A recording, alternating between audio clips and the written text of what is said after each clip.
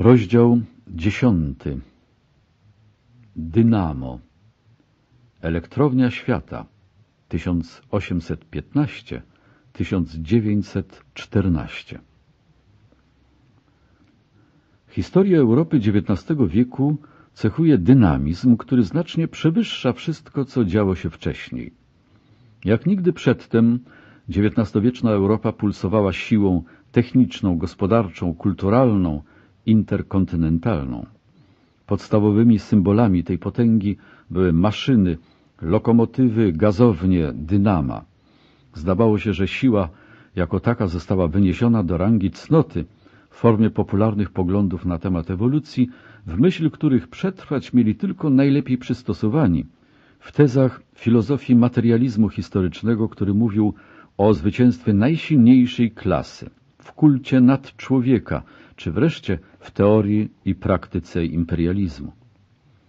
Prawdę mówiąc, Europejczyków skłoniono do tego, aby się poczuli nie tylko silni, ale i lepsi. Byli pod wielkim wrażeniem różnych niezwykłych sił, które pozwalały im odczuć swoją obecność. Widzieli, jak rodzą się nowe siły fizyczne od prądu elektrycznego po dynamit. Nowe siły demograficzne, które towarzyszyły bezprecedensowemu przyrostowi ludności. Nowe siły społeczne, które stawiały masy w centrum powszechnego zainteresowania. Nowe siły w handlu i przemyśle, które rozrastały się bujnie na gruncie nieznanego dotąd rozwoju rynku i postępu technicznego. Nowe siły militarne, które stwarzały możliwość mobilizacji milionów ludzi i maszyn. Nowe siły w sferze kultury, które dawały początek najróżniejszym ruchom zdolnym przemówić do szerokich mas. Nowe siły polityczne, dzięki którym można było zdobywać bezwzględną supremację we wszystkich zakątkach świata. Był to naprawdę triumfalny wiek siły Europy. Prym wiodły najpierw Wielka Brytania, ów warsztat świata, a w następnych dziesięcioleciach Niemcy – którym nie udało się znaleźć miejsca pod słońcem, co z kolei przyczyniło się do tego, że cała budowla legła w gruzach. Wśród przegranych i ofiar były wszystkie jednostki i wszystkie narody, które albo nie potrafiły się przystosować, albo nie umiały stanąć do współzawodnictwa. Chłopi, rzemieślnicy, tkacze, miejska biedota, ludy zamieszkujące kolonie – Irlandczycy, Sycylijczycy i Polacy, którzy byli zmuszeni emigrować całymi milionami. Trzy wielkie imperia wschodu – Turcja, Austro-Węgry, Rosja. Stulecie rozpoczęło się od spuścizny jednej rewolucji we Francji, a zakończyło się na preludium następnej w Rosji. Zaczęło się od kariery jednego niedoszłego władcy całej Europy, Napoleona, który głosił, że jego kochanką jest władza zakończyło się karierą innego, Lenina, którego slogan brzmiał komunizm równa się władza sowiecka plus elektryfikacja całego kraju.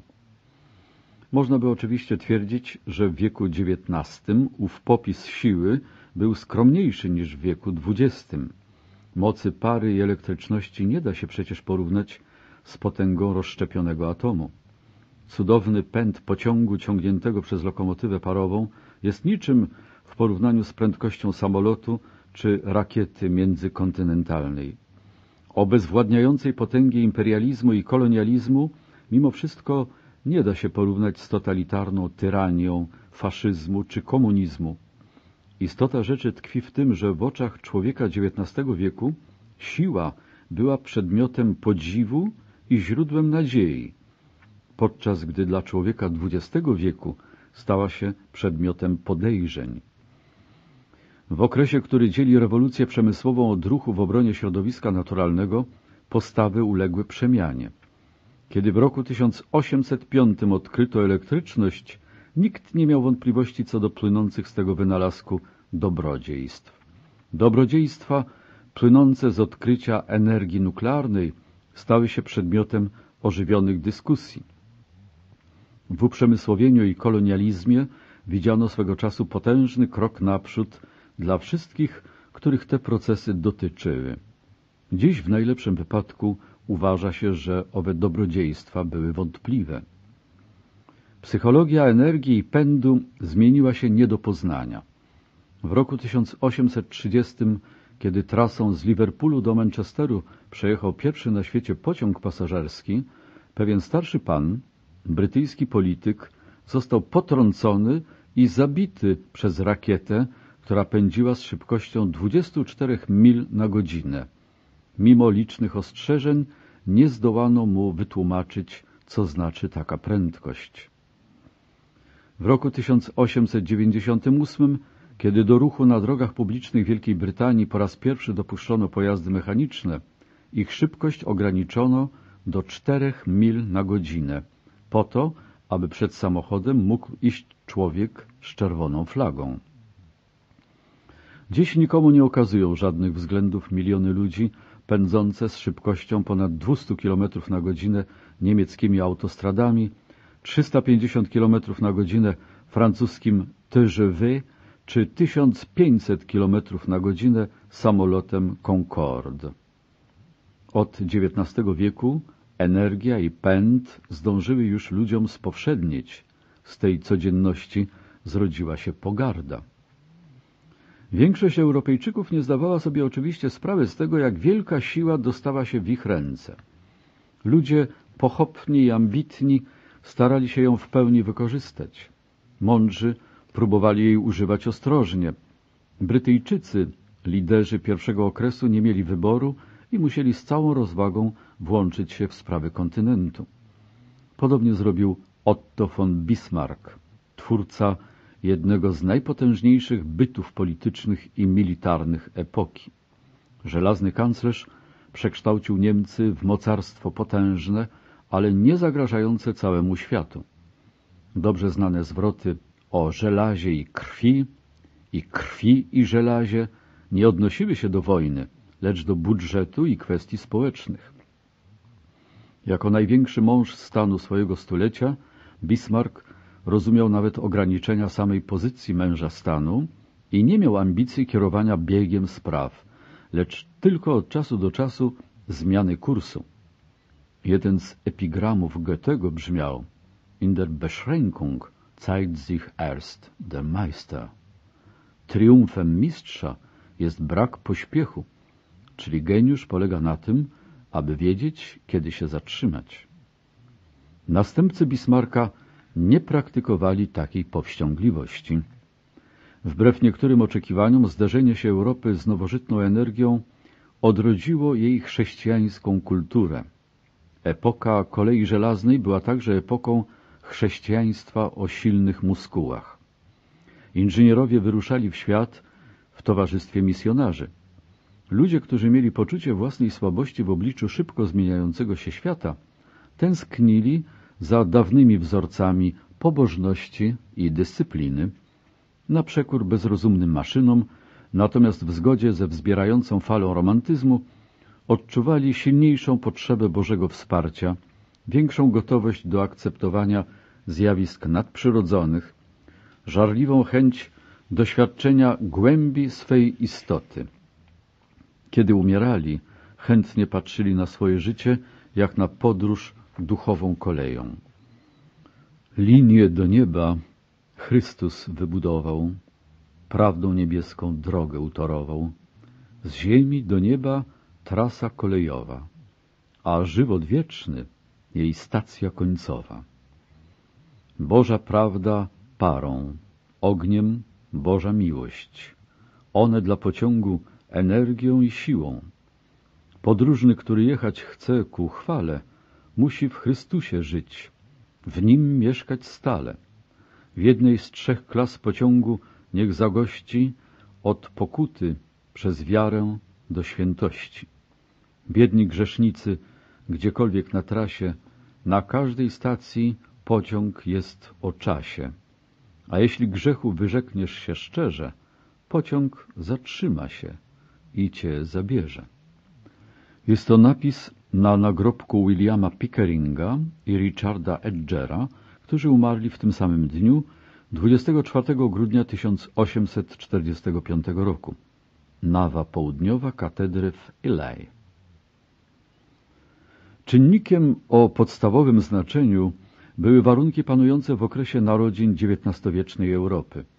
Mechanizmy przemian mogły zadziałać jedynie w ramach ogólnego układu politycznego i międzynarodowego, jaki się wytworzył pod koniec okresu wojen rewolucyjnych. A układ ten został w szczególny sposób zmodyfikowany w wyniku niezwykłych wydarzeń roku 1815. W lutym tego roku, w momencie, w którym kongresowi wiedeńskiemu właśnie nie udawała się próba porozumienia, rewolucyjny dżin raz jeszcze wyślizgnął się z butelki. Napoleon zbiegł z Elby. W ciągu mających teraz nastąpić stu dni Europa raz jeszcze musiała stawić czoło widmu wojny rewolucyjnej. Szok był potężny. Jeżeli nastrój polityczny panujący wśród zwycięskich mocarstw w roku 1814 można uznać za pełen ostrożności, to w roku 1815 było on wręcz reakcyjny. Wytworzył w ciągu nadchodzących dziesięcioleci atmosferę, w której natychmiast tłumiono wszelką zapowiedź przemian.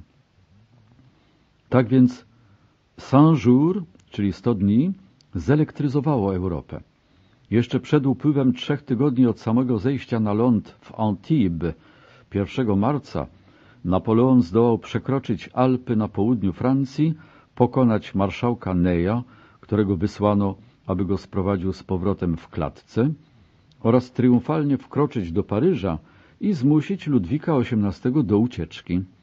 W ciągu trzech miesięcy zreformował armię i opuścił Paryż, aby zaatakować siły koalicji, które się gromadziły wzdłuż północnej granicy. Strategia Napoleona była prosta – wyłapać sprzymierzonych jednego po drugim, zanim zdążą się przeciwko niemu zjednoczyć. 16 czerwca pokonał pod linii Prusaków, którzy mimo wszystko wycofali się w dobrym porządku. 18 czerwca, pełen ufności we własne siły, zaatakował Brytyjczyków pod Waterloo w pobliżu Brukseli ale cienka, czerwona linia księcia Wellingtona opierała się wszystkim wściekłym szarżom Francuzów przez cały dzień bezlitosnej rzezi. Pruska kawaleria pod dowództwem Blüchera, wychynąwszy późnym popołudniem za horyzontu, zmiotła Francuzów z pola bitwy.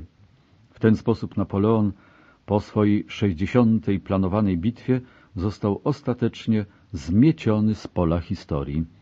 22 czerwca ponownie abdykował. 15 lipca, przebywając jako uchodźca w Rochefort, poddał się kapitanowi Maitlandowi z Królewskiego Okrętu Wojennego Bellerophon. Zabrano go do Plymouth, a stamtąd na odległą wyspę Świętej Heleny. Tym razem nie uciekł. Pisząc swoje memuary, przepowiedział, że w ciągu najbliższych dziesięciu lat Europa stanie się albo kozacka, albo republikańska. Kiedy umarł, według słów Talleyranda, nie nastąpiło żadne szczególne wydarzenie. Od jedna z wiadomości dnia. Kongres wiedeński, który zebrał się ponownie po Waterloo, obradował w atmosferze umiarkowania. Przedstawicieli zwycięskich mocarstw nie można już było oskarżyć jak poprzednio o to, że tańczą zamiast robić postępy. Nie byli gotowi do podjęcia żadnego ryzyka. Byli zdecydowani przede wszystkim przywrócić prawa monarchii, owej świętej instytucji, której największe zagrożenie widziano w rewolucji. W tej sytuacji mało uwagi zwracano zarówno na kwestie dotyczące demokracji, jak i na względy narodowościowe. Różnice zdań rozstrzygnięto, przyznając niezadowolonym odszkodowania kosztem pokonanych. Powstał Związek Niemiecki 39 państw, który miał zastąpić Związek Reński i Święte Cesarstwo Rzymskie. Prusy, które nalegały na przyznanie im Alzacji, Lotaryngii i Warszawy, dostały zamiast tego połowę Saksonii. Austrii, która właśnie straciła swoją pulę w Niderlandach, dano dużą część północnych Włoch. Zjednoczone prowincje, które straciły przylądek dobrej nadziei, otrzymały austriackie Niderlandy. Szwecji, która straciła Finlandię, dano Norwegię. Potwierdzono przynależność Finlandii, Litwy i wschodniej Polski do Rosji oraz dano jej odrębne Królestwo Polskie ze stolicą w Warszawie, w którym car mógł zostać królem. Wielka Brytania zadowoliła się pęczkiem wysp od Helgolandu po Ceylon. Przywrócono do istnienia statko przestarzałych monarchii w Neapolu, Madrycie i Turynie. Natomiast pozwolono powrócić do życia bardzo niewielu republikom. Jak zauważył car Aleksander, republiki nie są w modzie. Wyjątek uczyniono dla Rzeczypospolitej Krakowskiej, miasta, o które ubiegały się Prusy, Rosja i Austria, ale które nie dostało się żadnemu z nich. Duch postanowień kongresu był zatem więcej niż konserwatywny. W gruncie rzeczy równał się cofnięciu zegara. Podjęte decyzje miały zapobiec zmianom w świecie, w którym siły przemian ledwo, ledwo udawało się utrzymać na uwięzi. Komentarz księcia Wellingtona po Waterloo brzmiał Coś pięknego. Nigdy w życiu nie widziałem, żeby coś wisiało na tak cienkim włosku. Podobne nastroje panowały w całej Europie.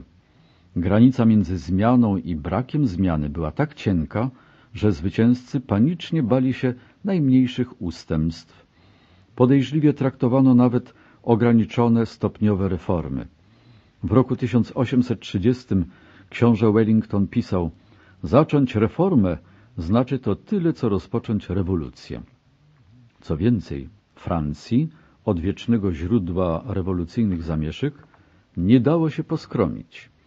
Paryż miał wybuchać raz po raz. W roku 1830, 48, 51 i w 1870. Kiedy Paryż kichnie, Europa dostaje Kataru, powiedział kanclerz Austrii Metternich. Demokracja na francuską modłę była zagrożeniem dla monarchii, kościoła i dla własności trzech filarów, na których opierało się wszystko to, co Metternich reprezentował.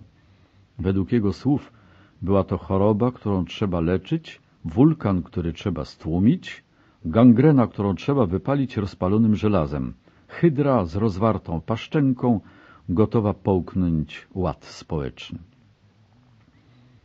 W swojej najbardziej skrajnej formie, której wcieleniem był Metternich, reakcyjny duch roku 1815 był przeciwny wszelkiego rodzaju zmianom, jeśli nie zostały one z góry zaakceptowane. Na początku znalazł wyraz w czterostronnym przymierzu Rosji, Prus, Austrii i Wielkiej Brytanii, które zgodziły się na zwoływanie w razie potrzeby przyszłych kongresów, a następnie w szerszym świętym przymierzu zainicjowanym przez cara. Pierwsze z nich doprowadziło do zwołania kongresu w Akwizgranie w 1818, który ponownie dopuścił Francję do udziału w porozumieniu szacownych narodów. Owocem drugiego była propozycja, żeby mocarstwa zapewniły wieczną gwarancję istniejących granic i rządów. Wszystkiego tego było za dużo dla rządu brytyjskiego, który odradzając księciu regentowi święte przymierze, umieścił go w towarzystwie sułtana i papieża. Jak na normy brytyjskie, rząd lorda Liverpoola był niesłychanie konserwatywny. W polityce wewnętrznej sprzeciwiał się reformom na wszystkich frontach, ale nie mógł dopuścić, żeby reakcjoniści Europy stworzyli międzynarodowy odpowiednik maszyny parowej pozbawionej jakiegokolwiek wentyla bezpieczeństwa. Podczas wszystkich następnych kongresów w Opawie, Tropał 1820 rok, w Lublanie, Leibach w 1821 i w Weronie w 22 Brytyjczycy z dużą rezerwą podchodzili do kolejnych ekspedycji mających na celu stłumienie rewolucji w Neapolu, Grecji i Hiszpanii. W krytycznej kwestii buntu kolonii hiszpańskich w Ameryce Południowej minister spraw zagranicznych Wielkiej Brytanii George Canning przyłączył się do prezydenta Stanów Zjednoczonych Jamesa Monroe'ego, opowiadając się za zakazem wszelkiej interwencji europejskiej w obu Amerykach. Powołałem do istnienia nowy świat, oświadczył Canning w Izbie Gmin w 1826 roku, po to, aby przywrócić równowagę staremu. W efekcie ostatecznie uśmiercił system kongresowy. Sytuacja ponownie się uzdrawia, powiedział na krótko przed śmiercią, każdy naród dla siebie, a Bóg ponad wszystkimi. Mimo wszystko krótkotrwały system kongresowy miał istotne znaczenie dla kształtowania się sceny, na której XIX-wieczna Europa rozpoczęła swoją burzliwą karierę. Mimo, że nie stworzył żadnych trwałych instytucji, choć przez krótki czas wydawało się, że przybiorą one kształt jakiejś przedwczesnej Ligi Narodów, jako jego wynik zrodził się klimat konserwatywnego, kontynentalnego porządku, z którym musieli walczyć wszyscy reformatorzy i rewolucjoniści nadchodzących lat. Wytyczył granice areny międzynarodowej, na której przez całe nadchodzące stulecie pięć uznanych mocarstw, państwa czwór przymierza oraz ponownie wprowadzona na tę arenę Francja miała staczać potyczki z parweniuszami i intruzami wszelkiego autoramentu. Mimo szeregu istotnych modyfikacji, układ pokongresowy stworzył mapę Europy, której zasadniczy kształt miał pozostać niezmieniony aż do czasu wojny z lat 1914-18. Licząc od początku, który wyznaczył rok 1815, stulecie przebiegało w trzech kolejnych wyraźnie odgraniczonych od siebie stadiach. Stadium reakcji 1815-48, stadium reformy 48-71 i stadium rywalizacji 871-914. W pierwszej fazie konserwatywna twierdza broniła się ze zmiennym powodzeniem, aż wreszcie runęła od siły powszechnego wybuchu rewolucyjnego z 1848 roku. W drugiej fazie mocarstwa niechętnie przyznały, że kontrolowana reforma jest lepsza od nieustannego oporu. Na wszystkich frontach poczyniono poważne ustępstwa. Przyznano konstytucję, wyzwolono ostatnich chłopów pańszczyźnianych. Kilku czołowym bojownikom o niepodległość pozwolono tę niepodległość zdobyć. W fazie trzeciej, końcowej, Europa wkroczyła w okres ostrej rywalizacji, którą dodatkowo wzmagały dyplomatyczne przeszeregowania, zbrojenia militarne i walka o przewagę kolonialną. Czterdzieści lat niezrównanego pokoju nie było w stanie powstrzymać rosnących napięć, którym w sierpniu 1914 roku pozwolono przerodzić się w otwarty konflikt. Społeczeństwa nowoczesne i zmierzające ku nowoczesności, wyposażone w nowoczesną broń, lekkomyślnie wdały się w nowoczesną wojnę, powodując rzeź, przy której bitwy Napoleona wyglądają jak drobne potyczki. Modernizacja, której nie należy mylić z modernizmem, jest dziś terminem chętnie używanym w opisach skomplikowanej serii przemian, jakim podlegają społeczeństwa, przechodząc drogę od zacofania do nowoczesności. Termin modernizm stosuje się na ogół do określenia prądów kulturalnych, w odróżnieniu od społeczno-ekonomicznych. W XIX wieku katoliccy konserwatyści używali go w znaczeniu pejoratywnym, ale później stał się czymś w rodzaju ogólnej etykiety, którą opatruje się wszelkie awangardowe ruchy artystyczne. Punktem wyjścia jest tradycyjny typ społeczeństwa rolniczego opartego na klasie chłopskiej, w którym większość ludzi pracuje na roli i wytwarza żywność na własne potrzeby. Celem natomiast społeczeństwo miejskie i uprzemysłowione nowoczesnego typu, którym większość ludzi zarabia na życie mieszkając w miastach i pracując w fabrykach. Łańcuch przemian składa się z około 30-40 powiązanych ze sobą ogniw, z których każde jest niezbędnym elementem całej operacji. Z pewnością obejmuje i zawiera w sobie uprzemysłowienie, a także rewolucję przemysłową, którą dziś uważa się zazwyczaj po prostu za jeden z istotnych składników, czy też za jedno ze stadiów całego procesu. Żadna zmiana ludzkiego życia, jaka nastąpiła od czasu wynalezienia rolnictwa, metalurgii i miast w nowej epoce kamiennej, nie była równie głęboka jak nadejście uprzemysłowienia. Panuje powszechna zgoda co do tego, że pierwsza modernizacji doświadczyła Wielka Brytania, czy też może raczej pewne rejony Wielkiej Brytanii. Lancashire, Yorkshire, hrabstwa środkowej Anglii, znane jako Black Country, czarny kraj, południowa Walia. Ale wkrótce dało się ją odczuć także na kontynencie, zwłaszcza na terenach wielkich złóż węgla w Belgii i w ich okolicy, w Zagłębiu Rury i na Śląsku. Z tych centrów przemysłowych rozchodziła się stopniowo, zataczając coraz szersze kręgi, obejmowała najpierw porty, potem stolice, a wreszcie całe kraje, dla których bodźcem stał się przemysł. Nigdy nie był to proces kompletny. W mniejszym lub większym stopniu jego efekty dały się odczuć na terenie całej Europy.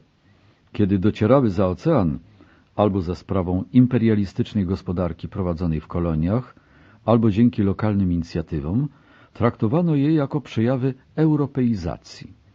W ten sposób modernizacja stała się ogniskową nie tylko światowego systemu gospodarki, ale także zaczęła funkcjonować jako kryterium rozróżnienia między krajami rozwiniętymi i rozwijającymi się. Modernizację trzeba przede wszystkim uznać za motor przemian, a nie po prostu za statyczną sumę elementów składowych. Taki motor, czyli silnik, musi najpierw zapalić, potem przyspieszyć, a w końcu osiągnąć punkt krytyczny, start, który oznacza przejście do zupełnie innego rodzaju ruchu. Najlepiej byłoby go przyrównać do dwudziestowiecznego samolotu, chociaż przykład lokomotywy z początku wieku XIX jest być może w tym kontekście bardziej stosowny. Najpierw potrzeba długiego przygotowania, kiedy podgrzewa się kocioł, dopóki nie zbierze się wystarczająca ilość pary. Potem następuje dramatyczny moment odjazdu, kiedy para zaczyna naciskać na tłoki, a koła zaczynają się obracać. Następnie przychodzi rozpęd, kiedy pośród jęków i wstrząsów maszyna nabiera prędkości. Aż wreszcie zaczyna się wspaniała podróż, kiedy parowóz z łagodnym pomrukiem pędzi po torach z największą szybkością i łatwością. Przez cały XIX wiek większość europejskich rządów walczyła o zapewnienie warunków, w których ich kraje mogłyby przejść od zapłonu fazę społecznego startu. Niektórym się to udało, innym nie. Jeszcze inne od początku nie miały żadnych szans na sukces. Po samotnym starcie Wielkiej Brytanii w połowie stulecia większość krajów północno-zachodniej Europy poszła w jej ślady. Najpierw Belgia i Holandia, potem Prusy, Piemont i Francja. Pod koniec wieku Wielką Brytanię zaczęły szybko wyprzedzać Zjednoczone Niemcy, mające przewagę zarówno pod względem zasobów, jak i dynamiki. W większości krajów zarysowały się wyraźne kontrasty między zmodernizowanymi rejonami wokół metropolii, a prowincjami, leżącymi z dala od głównych ośrodków. W granicach Zjednoczonego Królestwa Anglia zaczęła wyglądać bardzo odmiennie od leżących poza jej geograficznymi granicami pogórzy i wysp. Rejony wysoko rozwinięte zaczęły się pojawiać we Francji, wzdłuż linii Paryż, Lyon, Marsylia, w Niderlandach wzdłuż linii Lille, Liège, Rotterdam, w Niemczech wzdłuż linii Nadrenia, Zagłębie Rury, Berlin, Saksonia, Śląsk, w sercu Austro-Węgier, w rejonach Czech, Wiednia i Budapesztu, w granicach Zjednoczonych Włoch, w Lombardii, natomiast rejony w rodzaju Irlandii, Brytanii, Galicji czy Sycylii były zupełnie nierozwinięte. Imperium rosyjskie, mimo skrajnych kontrastów między poszczególnymi regionami, w ostatnich latach przed wybuchem I wojny światowej zaczęły szybko przyspieszać na drodze ku modernizacji. Z powodu różnic w tempie rozwoju zarówno między państwami, jak i w granicach państw bardzo mocno zarysowały się istniejące w Europie kontrasty gospodarcze. W ciągu XIX wieku wyłoniły się dwie odrębne strefy gospodarcze. Rozwinięta, wybitnie uprzemysłowiona i zmodernizowana strefa na północy i zachodzie oraz zacofana, wprawdzie uprzemysławiająca się, ale w większości niezmodernizowana strefa na południu i wschodzie. Pierwsza uczestniczyła w światowej gospodarce morskiej, wciąż jeszcze zdominowanej przez Wielką Brytanię i podobnie jak Wielka Brytania mogła wspierać swe działania przez zdobywanie zamorskich kolonii. Druga mogła tylko spełniać funkcję uzależnionego od innych źródła żywności, surowców i taniej siły roboczej, a także służyć jako zniewolony rynek zbytu. Jedynym przykładem zakłócenia tej prawidłowości były Niemcy, które wprawdzie stały się najbardziej dynamicznym krajem strefy uprzemysłowionej, ale jednocześnie z powodów politycznych i czasowych nie zdołały zdobyć porównywalnej z tą pozycją kolekcji kolonii.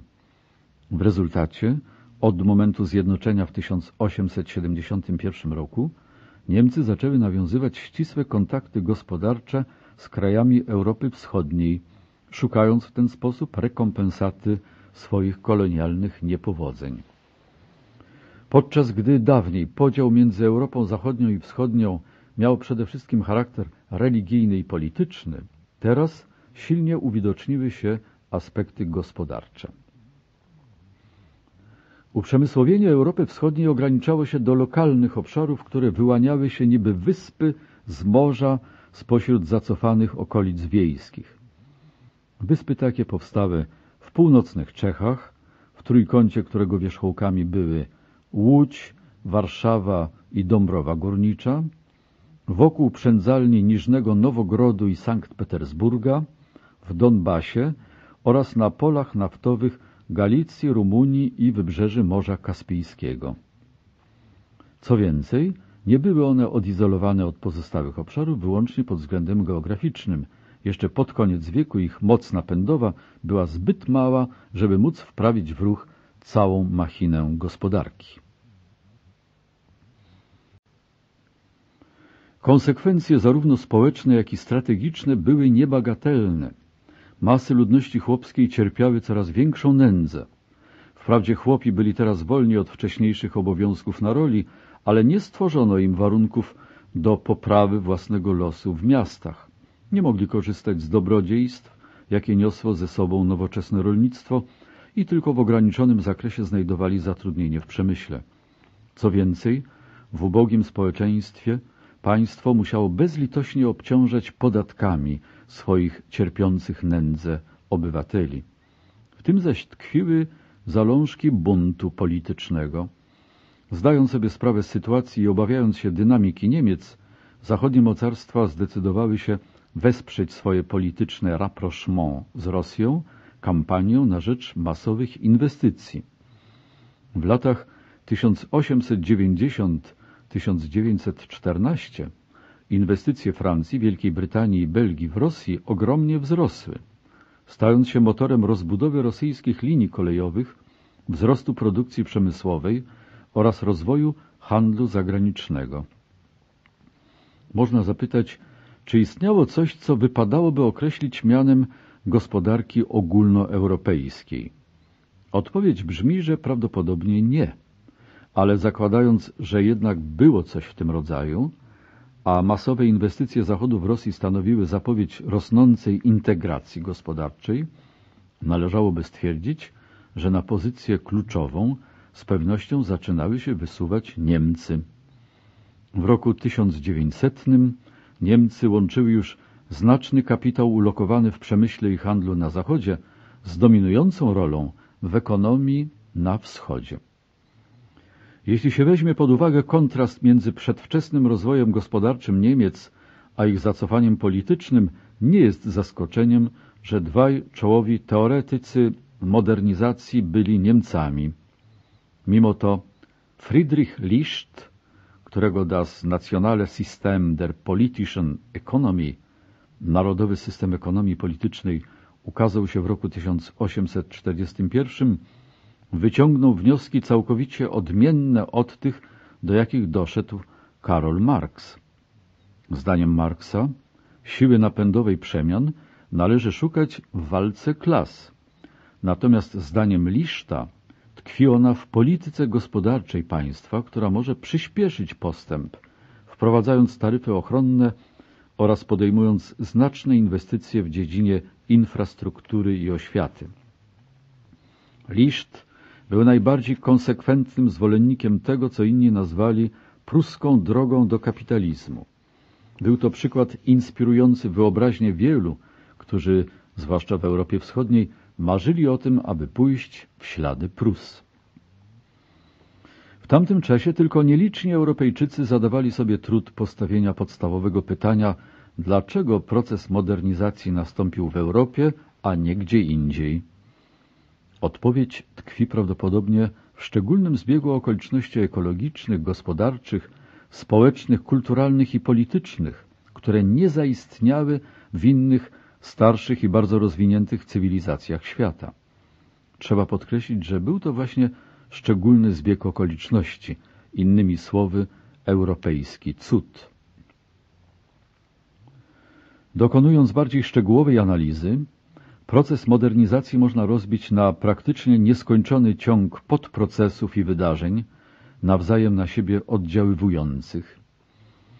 Poza kilkunastoma czynnikami, jakie składały się na pierwszą fazę rewolucji przemysłowej, należy uwzględnić około 30 innych, które odgrywały swoją rolę, w miarę jak kolejna zmiana napędzała następną w dziedzinie zjawisk gospodarczych, społecznych, kulturalnych, psychologicznych, politycznych i dotyczących wojskowości.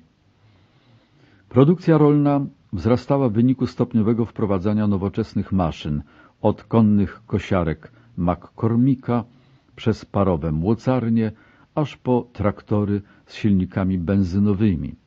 Rok 905. Eksport maszyn rolniczych był głównym składnikiem handlu między regionami przemysłowymi i nieuprzemysłowionymi.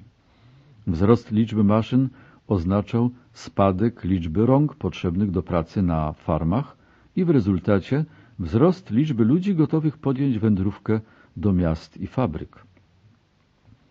Mobilność siły roboczej wzrosła znacznie w latach wojen rewolucyjnych, kiedy we Francji, Włoszech i Hiszpanii zniesiono pańszczyznę, a miliony żołnierzy opuściły rodzinne wsie, aby już nigdy do nich nie powrócić. W Europie Wschodniej wyzwolenie chłopów pańszczyźnianych odbywało się w ciągu kilku następnych dziesięcioleci. Wiele cierpień pociągnęło za sobą w latach 1811-848 w Prusach, gdzie brutalna rentyfikacja pracy na roli często pociągała za sobą wypędzanie chłopów siłą. W Austrii pańszczyznę zniesiono z dnia na dzień w roku 1848. Pozostał ciąg nierozwiązanych sporów. W Imperium Rosyjskim wyzwolenie chłopów przeprowadzono na mocy ukazu z 1861 roku. W Królestwie Polskim na podstawie ukazu z kwietnia roku 1864. Jako uzupełnienie króla paliw, węgla, zaczęto wprowadzać nowe źródła energii, najpierw gaz, potem ropę naftową, a w końcu elektryczność wykorzystywaną na skalę przemysłową. Londyński Pall oświetlono latarniami gazowymi w roku 1813. Od lat dwudziestych gaz węglowy był już w Wielkiej Brytanii ogólnie dostępny do celów komunalnych i domowych.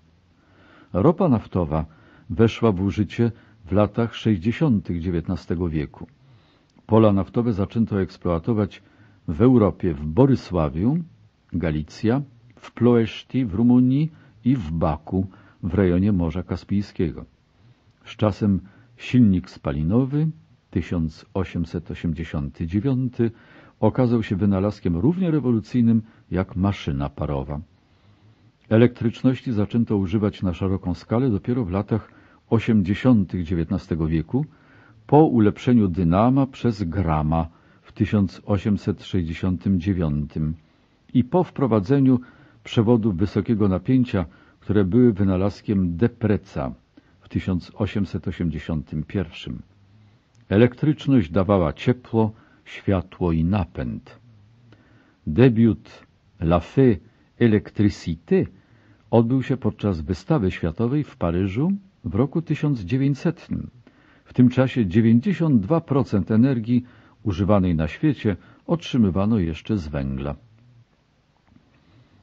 Napędzane energią maszyny i silniki stosowano w coraz szerszym zakresie do coraz większej liczby urządzeń, od pasów transmisyjnych po statki parowe. Największe znaczenie miało jednak wprowadzenie narzędzi mechanicznych, czyli maszyn służących do wytwarzania innych maszyn oraz narzędzi z napędem mechanicznym, młota parowego, kafara, które pozwalały na wyeliminowanie siły mięśni ludzkich przy wykonywaniu operacji wymagających dużego nakładu energii. Henry Maudsley z Woolwich, wynalazca obrabiarki do metalu w 1797, bywa uznawany za ojca tej gałęzi przemysłu metalowego. Mimo całego postępu w dziedzinie wydobycia i bezpieczeństwa pracy, górnictwo nadal wymagało wielkich nakładów ciężkiej pracy. W roku 1900, tak samo jak w roku 1800, miliony górników Europy czołgały się wzdłuż wąskich chodników z kilofami w rękach, wymieniając własne zdrowie na dobry zarobek i pylice. Kopalnictwo ród żelaza koncentrowało się wokół bogatych złóż Minet w Luksemburgu i Lotaryngii, w północnej Hiszpanii, północnej Szwecji i w okolicach Krzywego Rogu na Ukrainie. Metalurgia poczyniła większe postępy. Punktami kulminacyjnymi serii udoskonaleń konstrukcji pieców hutniczych był wynalazek konwertora, którego dokonał w Sheffield Sir Henry Bessemer w 1856 roku oraz procesu martenowskiego w Sirei w 1864. Epoka kolei żelaznej otrzymała tanią stal wysokiej jakości, z której poza szynami można było także wyrabiać elementy mostów, okrętów, statków, budynków, amunicji. W latach 80. XIX wieku postępy w dziedzinie teorii i praktyki alotropii zaowocowały wprowadzeniem na rynek wielu nowych stopów opracowanych specjalnie na potrzeby produkcji narzędzi czy dla artylerii. Wynalazek elektrometalurgii umożliwił produkcję aluminium. Jeśli XVIII-wieczni producenci żelaza byli książętami pierwszej rewolucji przemysłowej, to XIX-wiecznych producentów stali, Schneidera z Le Creusot czy Krupa z Essen z pewnością wypada uznać za ich godnych spadkobierców. Produkcja stali stała się kluczowym wskaźnikiem potęgi przemysłowej. Transport poczynił olbrzymie postępy pod względem prędkości, skuteczności i wygody. Drogi wkroczyły w nową epokę wraz z wprowadzeniem przez Johna McAdama technologii utwardzania nawierzchni z kamienia i smoły w 1815, którą jednak zaczęto w pełni wykorzystywać dopiero po wynalezieniu samochodu. W dziedzinie budowy mostów przełomem stał się pierwszy w dziejach most wiszący, skonstruowany przez Thomasa Telforda nad cieśniną Minai w 1819 roku. Pociągi przewoziły coraz więcej pasażerów i coraz więcej towarów, z coraz większą prędkością i coraz taniej. Podróż lądem z Paryża do Sankt Petersburga skróciła się z 20 dni w roku 1800 do 30 godzin w roku 1900. Europejczyków połączył zarówno romantyzm, jak i użyteczność ich kolei. Na przełomie wieków zdecydowanie najgęściejsza sieć kolei istniała już w Belgii, gdzie przypadało 42,8 km linii na 100 km kwadratowych powierzchni w porównaniu z 19 km linii w Zjednoczonym Królestwie czy 17,2 km w Niemczech. W przeliczeniu na liczbę mieszkańców zdecydowanie najlepiej wypadała Szwecja. 27 km linii na 10 tysięcy mieszkańców w porównaniu z 12,2 km w Belgii. Zdecydowanie najgorzej Serbia 2,5 km na 10 tysięcy mieszkańców w porównaniu z 5,7 km w europejskiej części Rosji. W 1885 roku Karl Benz z Mannheim skonstruował trójkołowy pojazd mechaniczny napędzany benzyną, czyli motorwagen. Często nazywa się go pierwszym samochodem, ale w gruncie rzeczy był to jedynie kamień milowy znaczący połowę dwustuletniego okresu dziejów samochodu. Napędzany parą wehikuł Nikolasa Kuniota zyskał sobie nazwę automobil już w roku 1769. W roku 1850 pojazdy parowe były w powszechnym użyciu. Próbowano też konstruować pojazdy napędzane silnikiem benzynowym, ale dopiero czterosuwowe silniki o wewnętrznym spalaniu, konstruowane przez Nikolausa Ottona w 1876, Gottlieba Daimlera w 885 i Rudolfa Diesla w 897 zapewniły transportowi samochodowemu jego wspaniałą przyszłość. Oryginalny trójkołowy samochód Benza można zobaczyć w Deutsches Museum w Monachium.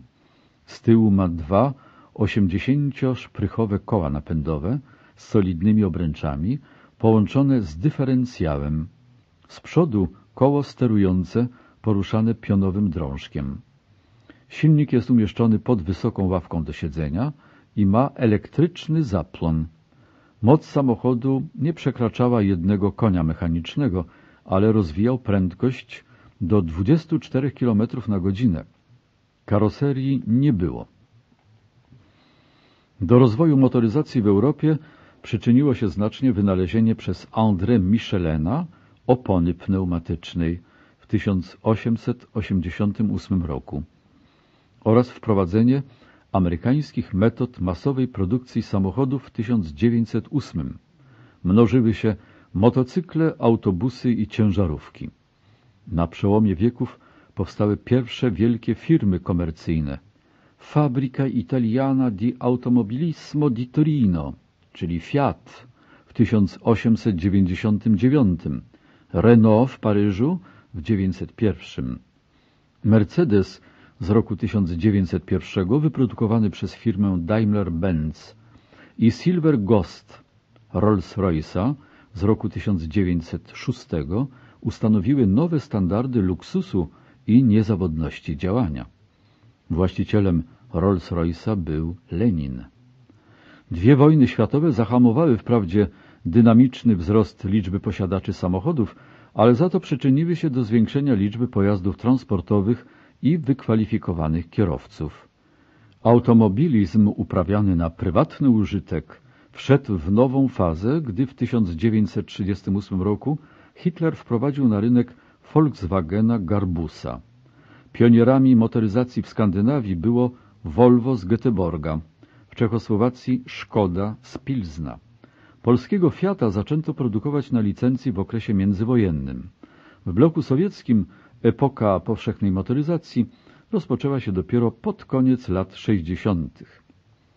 Przekleństwem dziejów techniki są roszczenia do bycia pierwszym, które nierzadko wypaczają obraz na ogół zespołowego charakteru postępu technicznego. Mimo to istnieją uchwytne przemiany jakościowe. Trudność polega na tym, aby je zidentyfikować. Na przykład, kiedy dokładnie odbyto pierwszy lot samolotem.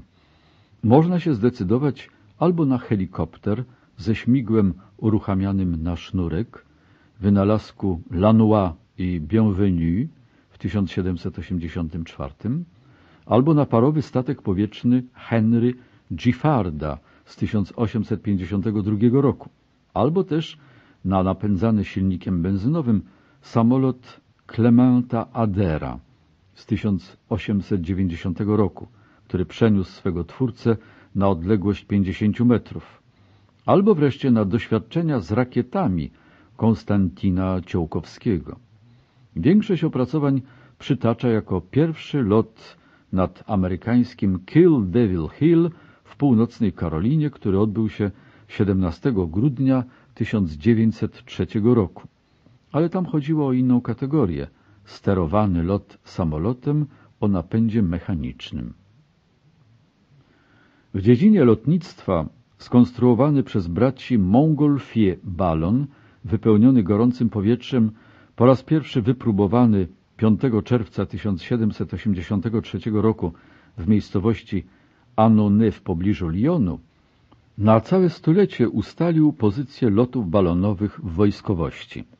Wyparł go dopiero sterowiec barona Cepelina z 1900 roku, a wkrótce później aeroplan. W latach 90. XIX wieku Otto Lilienthal po raz pierwszy wypróbował w Niemczech szybowiec, a w roku 1903 w Dayton w amerykańskim stanie Ohio braciom Wright udał się pierwszy przelot samolotem napędzanym silnikiem benzynowym z pilotem na pokładzie. 21 lipca 1909 roku sensację wzbudził wyczyn Louisa Blériota, który w ciągu 31 minut przeleciał jednopłatowcem nad kanałem La Manche. Równolegle z tymi wydarzeniami przebiegał rozwój systemów komunikacji.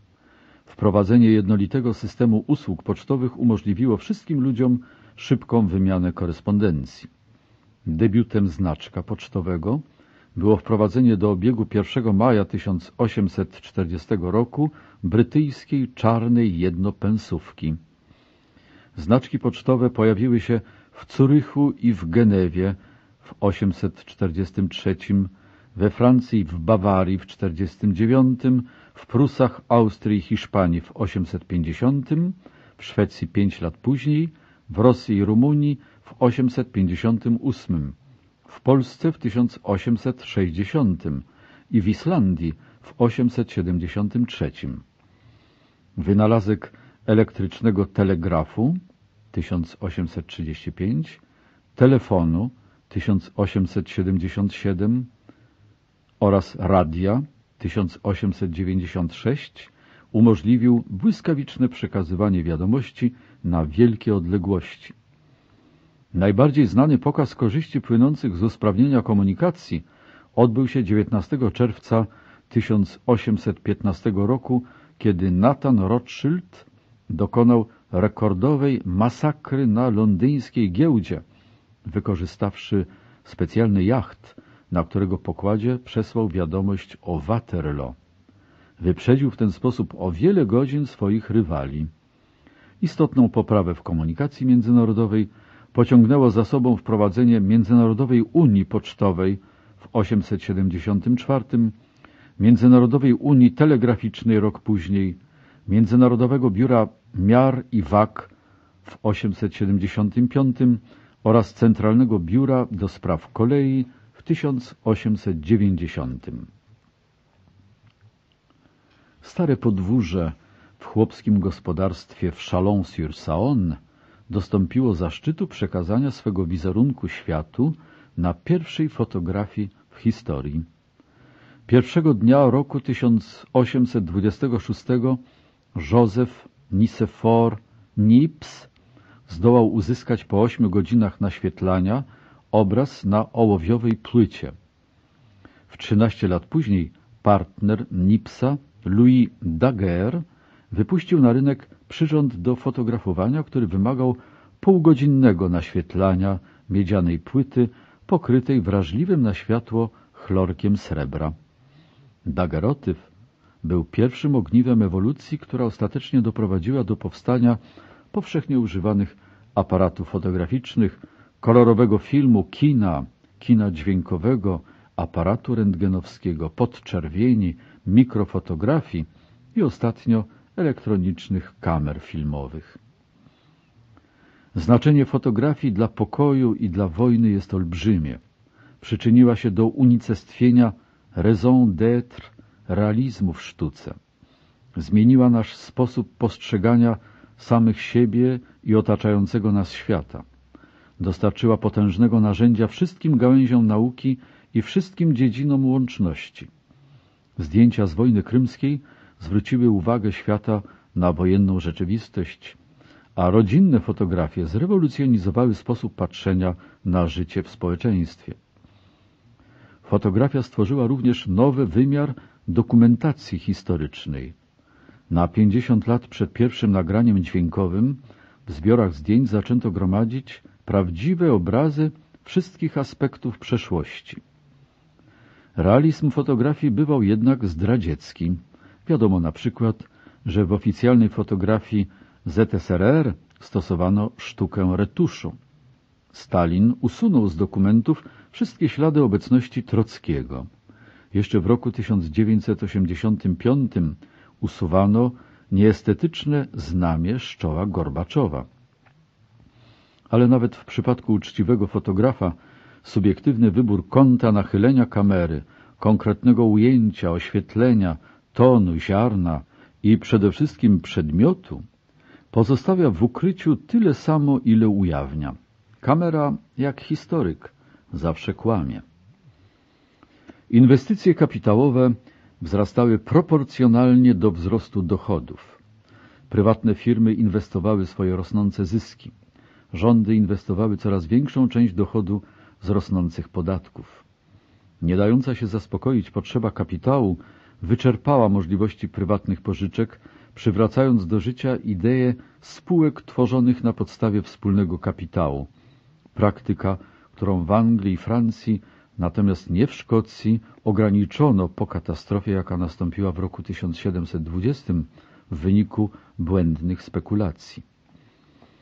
Po roku 1820 spółki kapitałowe z ograniczoną odpowiedzialnością stały się znane w całej Europie. Owy Société Anonyme SA, Aktiengesellschaft AG czy Company Limited ze swoimi udziałowcami i ich dorocznymi posiedzeniami wypłacały dywidendy inwestorom, podejmując jednocześnie tylko ograniczoną odpowiedzialność wobec kredytorów. Dzięki horyzontalnym fuzjom i wertykalnym kontraktom spółki zaczęły się łączyć w coraz większe konglomeraty, skonsolidowane tresty lub skonfederowane kartele. W Wielkiej Brytanii, gdzie panowały silne obawy przed monopolem, tresty i kartele rozwijały się powoli. Wiele spośród największych brytyjskich spółek, na przykład linie parowców Pent-Q, czyli spółka Cunarda, pojawiło się w latach 40. XIX wieku. Ale we Francji kartele były zjawiskiem powszechnym. W Zjednoczonych Niemczech nie bardzo sprzeciwiano się potężnym trestom. Powstawały więc tworzone na amerykańską modłę koncernen, które zdominowały wszystkie sektory rynku. Na szybki rozwój rynków krajowych wpływał wzrost liczby ludności, coraz łatwiejsza dostępność wielkich skupisk ludzkich, coraz rozleglejsze obszary dobrobytu, a także wyłanianie się zupełnie nowych potrzeb. Wśród licznych nowo powstających gałęzi przemysłu najważniejszą pozycję zajął przemysł chemiczny, który rozkwitł po wyodrębnieniu przez chemików barwników anilinowych w 1856, po opracowaniu przez Solwaja metody wytwarzania sody w 863 oraz po rozpoczęciu produkcji sztucznych nawozów. Szybko ruszyła lawina atrakcyjnych sztucznych surowców, plastików, betonu, celofanu, celuloidu, sztucznego jedwabiu, wiskozy i aspiryny. Wśród pionierów chemii na pierwszy plan wybijały się nazwiska Niemców Libiga, Hoffmana, Bunsera, Bayera. W 1856 roku pewien osiemnastoletni student rozpoczął serię doświadczeń chemicznych, które przeprowadzał w pokoju od podwórza w swoim domu w Harrow, na zielonym przedmieściu Londynu. Ów młody człowiek, później znany jako Sir William Henry Perkin, próbował uzyskać syntetyczną formę leku przeciw malarii, czyli chininy. Tymczasem utleniając siarczan aniliny z dwuchromianem potasowym, przypadkiem otrzymał jakiś nieznany osad. Kiedy go odsączył i rozpuścił w alkoholu, ujrzał jasny i oryginalny kolor, jakiego nikt jeszcze nie oglądał. W ten sposób powstał pierwszy na świecie syntetyczny barwnik. Odkrywca nazwał go fioletem tyryjskim. Potem francuscy chemicy nadali mu nazwę pochodzącą od nazwy kwiatu malwy, mauve, po polsku moweina.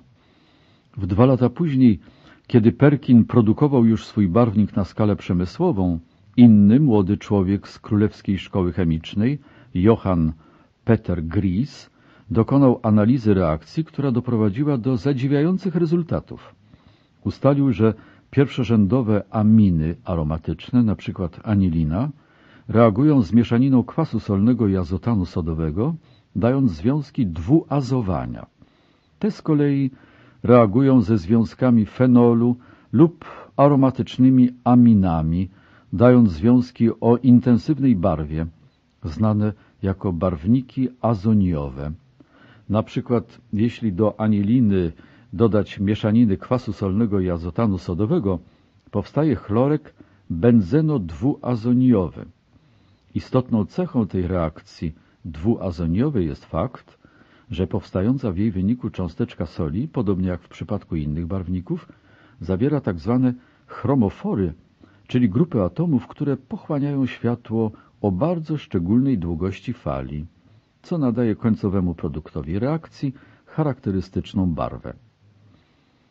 Moweina przetarła szlak. W ślad za nią pojawiło się całe mnóstwo syntetycznych barwników.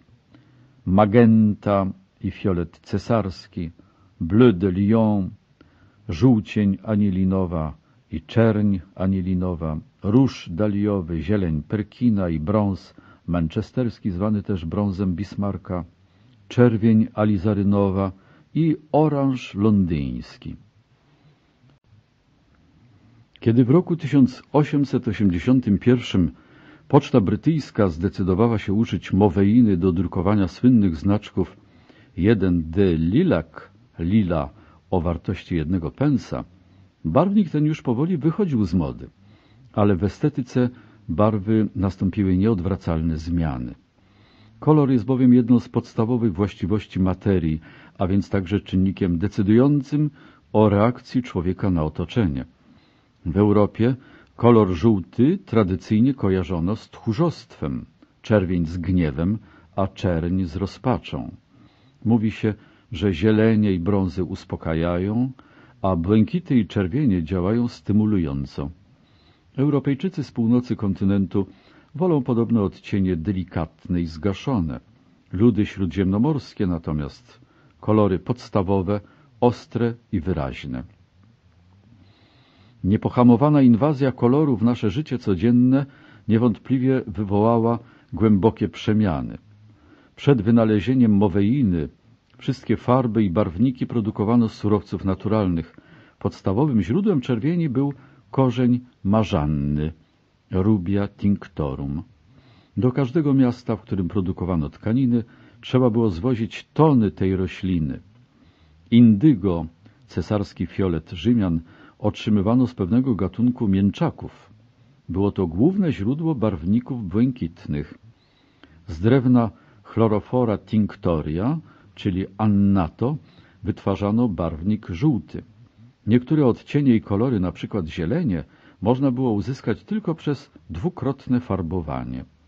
W latach 50. XIX wieku półsyntetyczną czerwień o nazwie Myrexid otrzymywano we Francji, działając kwasem solnym na ptasie guano. Natomiast po wynalezieniu moweiny bogactwo oślepiających barw i odcieni nie znało granic. Pod koniec XX wieku liczba barwników syntetycznych wytwarzanych w Europie na skalę przemysłową przekroczyła cztery tysiące. Jaskrawe plakaty, barwne ubiory i pstre tapety, nie mówiąc już o filmach w technikolorze, kolorowych zdjęciach i kolorowej telewizji, zachwycają lub brzydzą ludzi z czasów po rewolucji przemysłowej, dostarczając wrażeń, jakich mieszkańcy epoki sprzed rewolucji przemysłowej nie mogliby sobie nawet wyobrazić. Anglia wkrótce przekazała palmę pierwszeństwa Niemcom, gdzie Friedrich Bayer założył w 1863 roku w starej pralni w Wuppertal-Barmen pierwszą fabrykę farb anilinowych Bayer BASF Badische Anilin und Soda Fabrik i Höchst szybko przemieniły Niemcy w światową stolicę chemii. W roku 1890 przemysł chemiczny w Niemczech dwudziestokrotnie przewyższał przemysł chemiczny Wielkiej Brytanii. Zakłady IG Farben, podobnie jak brytyjskie ICI Imperial Chemical Industries, założono po I wojnie światowej. Syntetyczne barwniki szybko otworzyły przed chemikami perspektywy nieznane farbiarzom wcześniejszych epok. Produkując wszystkie rozliczne rodzaje materiałów półsyntetycznych i syntetycznych, które od tego czasu wynaleziono, współczesna chemia obaliła fundamentalne założenie, że o wewnętrznej budowie substancji mogą decydować wyłącznie Bóg i natura.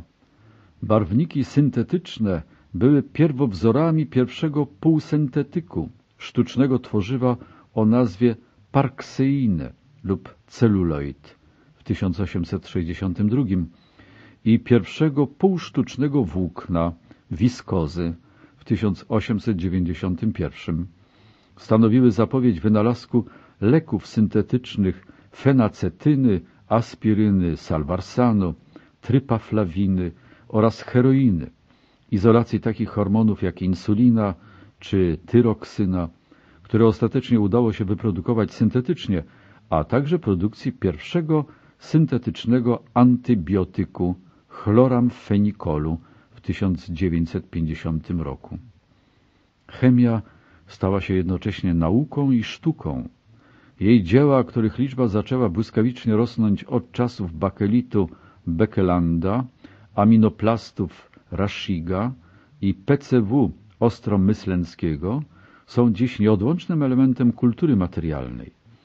Dzień, w którym cesarzowa Eugenia wystąpiła w sukni o barwie zieleni trójfenylometelanowej w roku 1864, przyniósł dowód na to, że syntetyki mają wartość nie tylko praktyczną, ale także estetyczną.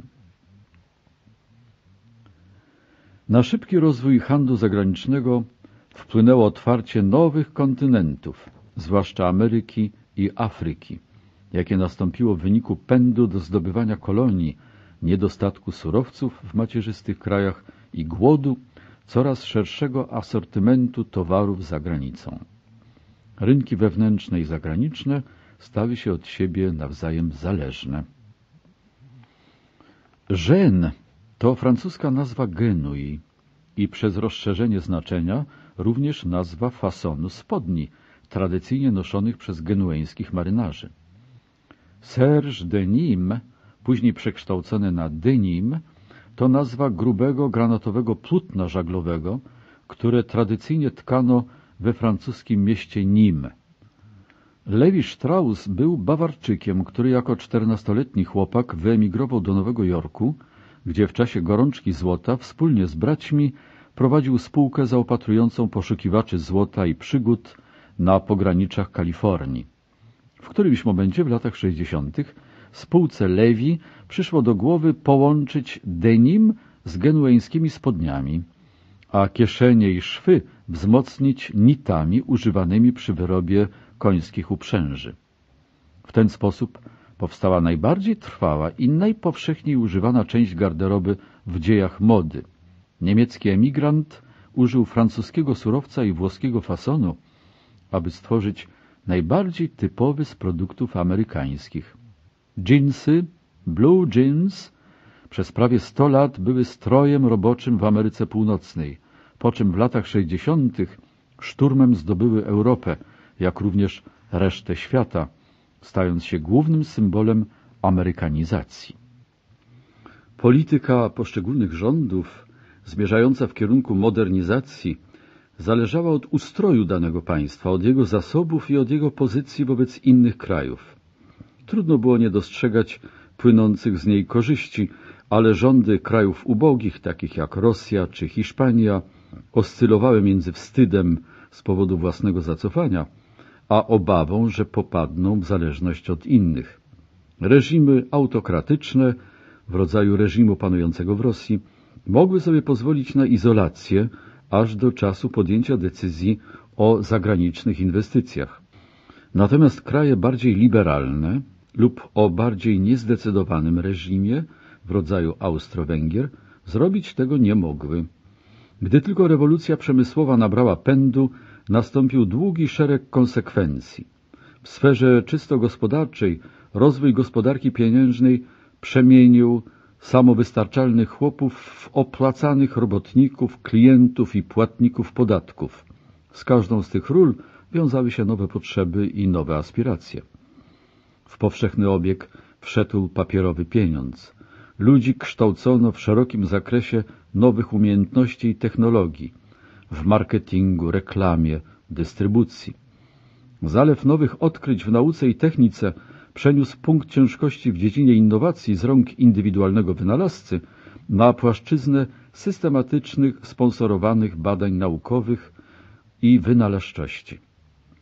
Potrzeba usług finansowych na drobną i na wielką skalę pociągnęła za sobą powstanie rozlicznych towarzystw kredytowych, banków oszczędnościowych i towarzystw ubezpieczeniowych.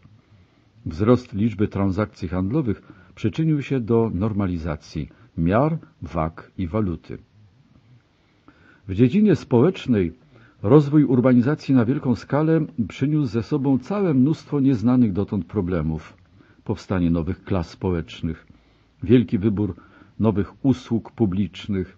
W tej ostatniej kategorii znalazły się brukowane ulice, miejski transport, system oświetlenia miast, brygady strażackie, sieć wodociągów, gazownie, system ścieków. Planowanie urbanistyczne, szpitale, parki, policja. W miejsce dawnego wiejskiego rozróżnienia między szlachtą i chłopami pojawił się nowy miejski podział na klasy średnie i klasy pracujące. W obrębie klas pracujących istniały właściwe im hierarchie, zupełnie tak samo jak w obrębie klas średnich, które były świadome istnienia odrębnych warstw. Zawodowi prawnicy czy lekarze uważali, że stoją na drabinie społecznej o wiele wyżej niż kupcy czy sklepikarze. Płatni robotnicy tworzyli ważny sektor pracowników zatrudnianych w majątkach wiejskich, w fabrykach lub jako niewykwalifikowani na wyrastających jak grzyby po deszczu placach budowy. Instytucja służby w licznych domach zamożnej klasy średniej tworzyła znaczną pulę miejsc pracy zarówno dla mężczyzn, jak i dla kobiet. Zatrudnienie w nowych fabrykach uważano za bardziej prestiżowe od pracy wykonywanej w małych warsztatach któregoś z dawnych rzemiosł. Wykwalifikowani, dobrze opłacani specjaliści i majstrzy mogli się uważać za proletariackich arystokratów w porównaniu z zatrudnianymi dorywczo niewykwalifikowanymi robotnikami czy miejską biedotą. Pojęcie klasy oparte na elastycznych kryteriach ekonomicznych bardzo się różniło od dawniejszych pojęć decydujących o podziale społecznym według kryterium urodzenia czy prawnych przywilejów. Było ono podstawową cechą nowożytnego społeczeństwa. Tradycyjnie zwykło się uważać, że europejskie gospodarstwo domowe jako jednostka społeczna było duże, złożone, stabilne i patriarchalne. Współczesne badania podważyły niektóre z owych ustalonych przekonań na temat klasycznej rodziny zrodzonej z nostalgii Zachodu. Wykazując, że małe gospodarstwo domowe oraz rodzina nuklearna nie są w całej rozciągłości nowoczesnym wynalazkiem. Mimo to trudno byłoby się zgodzić z twierdzeniem, że modernizacja nie wywarła dogłębnego wpływu na strukturę rodziny. Z pewnością właśnie przekonanie o tym, że nowoczesny styl życia burzy stabilizację rodziny, stało się inspiracją dla Frederica Le Playa, pioniera w dziedzinie historii rodziny i autora pojęcia La famille souche, rodziny szczepowej. Sytuacja kobiet uległa radykalnej zmianie. Tradycyjny model życia na wsi zapewniał kobiecie sprawiedliwy przydział pracy do wykonania, a życie w dużej rodzinie zmniejszało ciężar, jakim jest rodzenie i wychowywanie dzieci.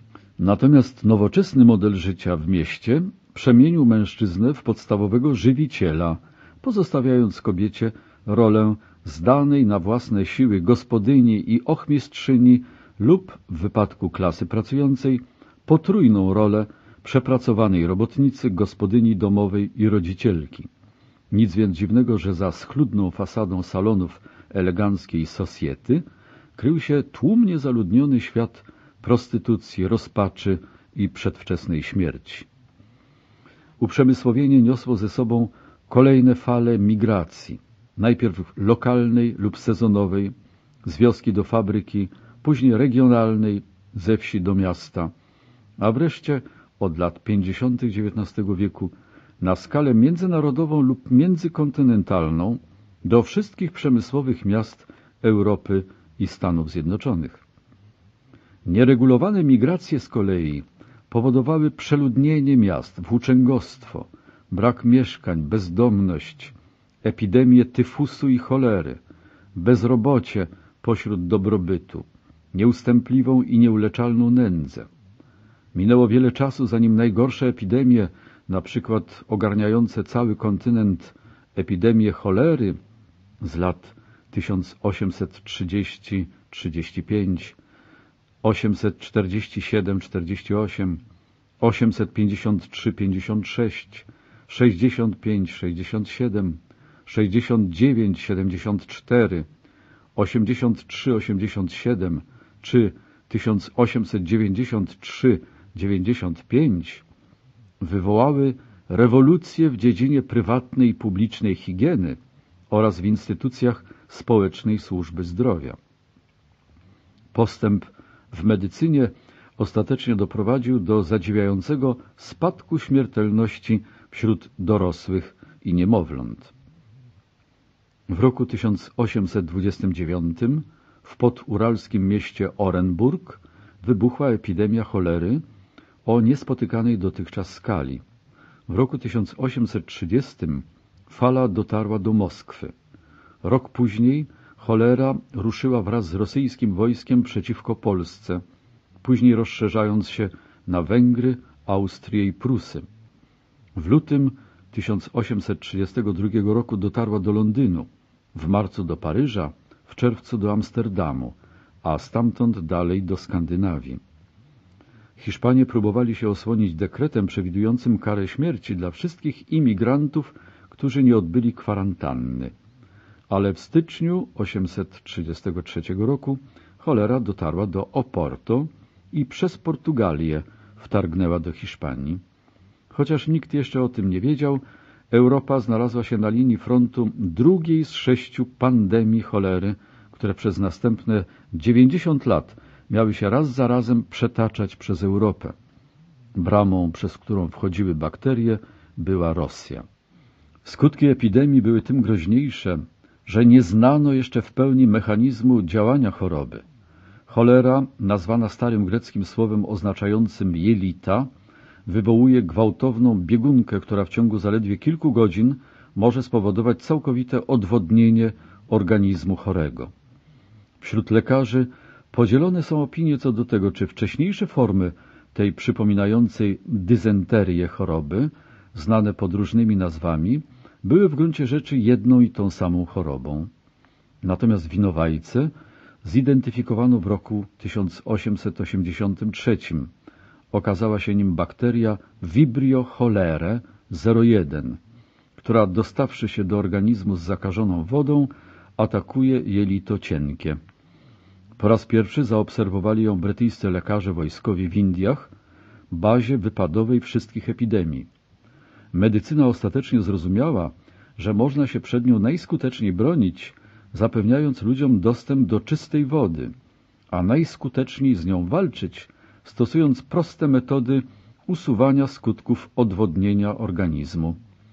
Pierwsza fala z lat 1817-23 przetoczyła się przez Azję w kierunku na wschód, ale wszystkie kolejne pandemie z ogromną zajadłością uderzały w Europę.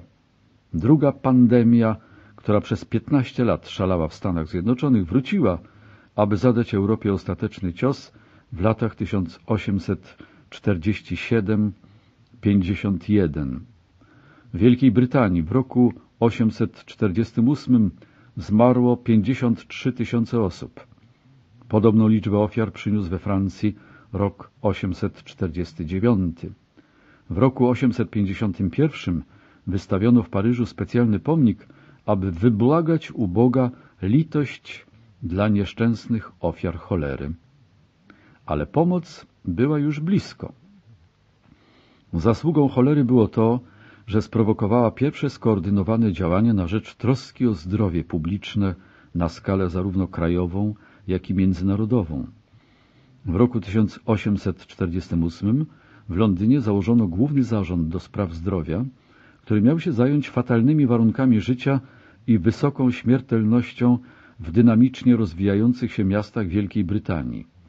Działalność zarządu wsparła wielka ustawa o ochronie zdrowia, w 875 roku Dizraeliego, która nakładała na wszystkie władze lokalne odpowiedzialność za skuteczne działanie systemu ścieków, osuszania i dostaw wody. Wspólna działalność obu tych instancji okazała się bardzo skuteczną ochroną dla Zjednoczonego Królestwa. Podczas czwartej pandemii straty Wielkiej Brytanii wynoszące około 15 tysięcy ofiar stanowiły zaledwie jedną dziesiątą liczby ofiar w Rosji, w Niemczech, Włoszech czy w monarchii austro-węgierskiej.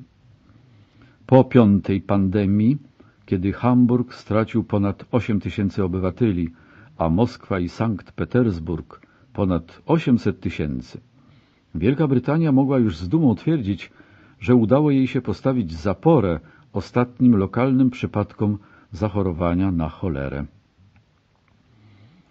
Roku 1851 z inicjatywy Napoleona III zwołano w Paryżu założycielską Międzynarodową Konferencję do Spraw Zdrowia. Celem konferencji była wymiana informacji na temat rozszerzania się chorób i zapobiegania im, ze szczególnym uwzględnieniem cholery. W tym czasie ani Pasteur, ani Lister nie dokonali jeszcze wprawdzie swoich pionierskich odkryć w dziedzinie bakteriologii, ale spotkanie w Paryżu zapoczątkowało serię konferencji w sprawach higieny, a w roku 1907 doprowadziło do założenia w Paryżu Międzynarodowej Organizacji Zdrowia, poprzedniczki Światowej Organizacji Zdrowia. Do tego czasu, zwłaszcza w Polsce, słowo cholera stało się już tylko jednym z ulubionych przekleństw. Niestety, gdy tylko Europie udało się opanować cholerę, natychmiast pojawiła się wynaturzona odmiana grypy, której triumf przewyższył wszystko, czego wcześniej dokonywała cholera. Pandemia grypy z lat 1918-19, której początków szukano w epidemii róży świń, jaka wybuchła w amerykańskim stanie Iowa w styczniu 1918 roku, przypłynęła do Europy wraz z armią amerykańską. Nazwano ją Blitzkatar, flamandką oraz z powodu choroby hiszpańskiego króla Hiszpanką. Specjalizowała się w atakowaniu młodych ludzi w kwiecie wieku, zwłaszcza kobiet. Podczas ostatnich miesięcy I wojny światowej spustoszyła Niemcy, gdzie grypa nawet nie podlegała obowiązkowi zgłaszania. Sparaliżowała siłę roboczą w wielkich miastach, przerywając dostawy i zakłócając ruchy wojsk. Podczas trzech straszliwych szczytów zachorowań w lipcu i październiku 18 roku i w lutym 19 roku pochłonęła miliony Europejczyków, a w skali światowej około 40 milionów istnień. Pandemia ta zabiła w ciągu kilku miesięcy więcej ludzi niż jakakolwiek zaraza odnotowana w dziejach.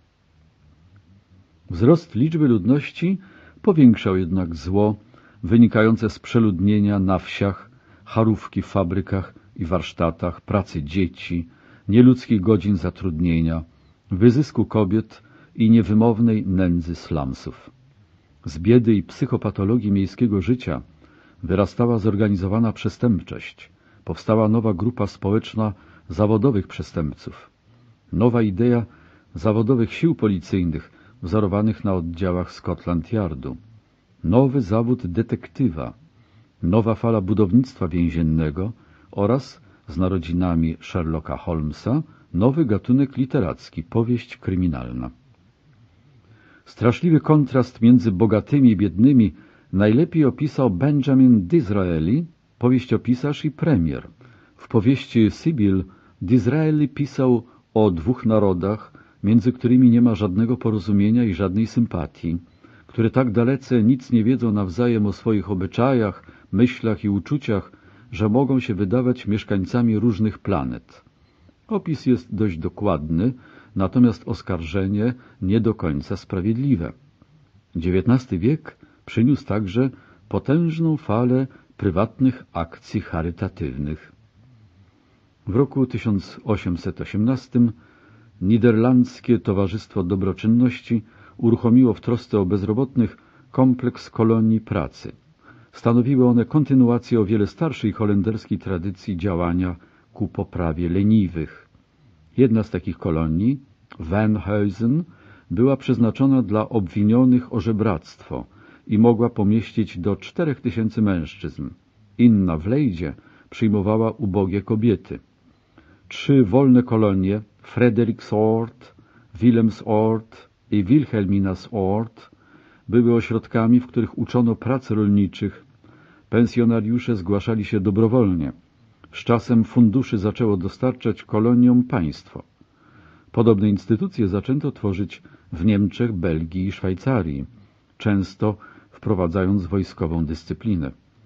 Są to przykłady świadczące zarówno o rozwoju opieki społecznej w XIX-wiecznej Europie, jak i o coraz wyższym stopniu dyscypliny. Podobnie jak w przypadku domów pracy tworzonych na mocy angielskiej ustawy o ubogich, zakładano, że ludzie zdolni do pracy i objęci programem dobroczynności będą musieli pracować. Dobroczynność w różnych formach uprawiano od czasów starożytnych, ale jej fundamentalne chrześcijańskie zasady sformułował święty Tomasz Zakwinu, który wyróżnił siedem opera misericordiae spiritualis, czyli uczynków miłosierdzia co do duszy, i siedem opera misericordiae cordialis, czyli uczynków miłosierdzia co do ciała. Pierwsze to konsule, wątpiącym dobrze radzić, carpe, krzywdy cierpliwie znosić, doce, nieumiejętnych pouczać, solare, strapionych pocieszać, remitte, grzesznych upominać, fer, urazy chętnie darować i ora, modlić się za żywych i umarłych. Drugie, tego, nagich przeodziać, poto, spragnionych napoić, cibo, głodnych nakarmić, redimo, więźniów pocieszać, visito, chorych nawiedzać, kolligo, podróżnych w dom przyjąć i kondo, umarłych pogrzebać. Na tej podstawie można było określić poszczególne grupy nieszczęśników, którym należało okazywać miłosierdzie. Byli wśród nich zagubieni, słabi, niepiśmienni, opuszczeni, uciemiężeni, przestępcy, grzesznicy, obcy, obdarci, głodni, więzieni, bezdomni, chorzy, szaleni i umarli. Chrześcijańska nauka powtarzała z naciskiem, tak więc trwają wiara, nadzieja, miłość, te trzy, z nich zaś największa jest miłość, albowiem z miłości, która jest miłością bliźniego, płynie miłosierdzie, będące gotowością przyjścia z pomocą tym, którzy są w potrzebie. W średniowieczu ciężar opieki nad ubogimi spadał na Kościół, a fundusze czerpano z dziesięciny. Święty Bernard zapoczątkował tradycję działalności dobroczynnej w klasztorach, a święty Franciszek tradycję działalności społecznej w obrębie wspólnoty. Obaj znaleźli licznych naśladowców. Władcy, arystokraci i patronaty miejskie podejmowały inicjatywę zakładania rozległej sieci Maison Dieu dla chorych i słabych, schronisk dla pielgrzymów, wędrowców i przybyszów z obcych stron, przytułków dla ubogich, którym należało się wsparcie, leprozoriów dla trędowatych. W wielkich miastach, na przykład w Londynie, istniało wiele wyspecjalizowanych instytucji. Szpital świętego Bartłomieja, Bedlam, Szpital Najświętszej Marii Panny z Betlejem dla umysłowo chorych, zajazd nawróconych dla żydowskich przechrztów wypędzonych przez gminy. Podobnie jak gdzie indziej zamożni kupcy w rodzaju Sir Richarda Whittingtona, swego czasu burmistrza Londynu, zostawiali szczodre zapisy. Ten średniowieczny system zaczął się załamywać w okresie reformacji, zwłaszcza w krajach protestanckich. Rozwiązanie klasztoru w Anglii w 1540 przyniosło konsekwencje społeczne, z którymi nie mogły sobie poradzić elżbietańskie ustawy o ubogich. Nowożytna Europa musiała zacząć szukać nowych rozwiązań. W miarę wzrostu liczby ludności instytucje charytatywne stawały się o wiele większe i coraz bardziej wyspecjalizowane. W wiekach XVIII i XIX szybko przybywało budynków wznoszonych z przeznaczeniem na przytułki dla weteranów, szpitale dla umysłowo chorych, domy poprawcze, więzienia, infirmerie, domy pracy, kolonie i szkółki. ruchy liberalne i humanitarne domagały się zniesienia niewolnictwa, tortur, warunków życia uwłaczających ludzkiej godności. Ciężar inwestycji i administracji przechodził z kościoła na rady parafialne i w ręce prywatnych towarzystw dobroczynnych i wreszcie w ręce państwa.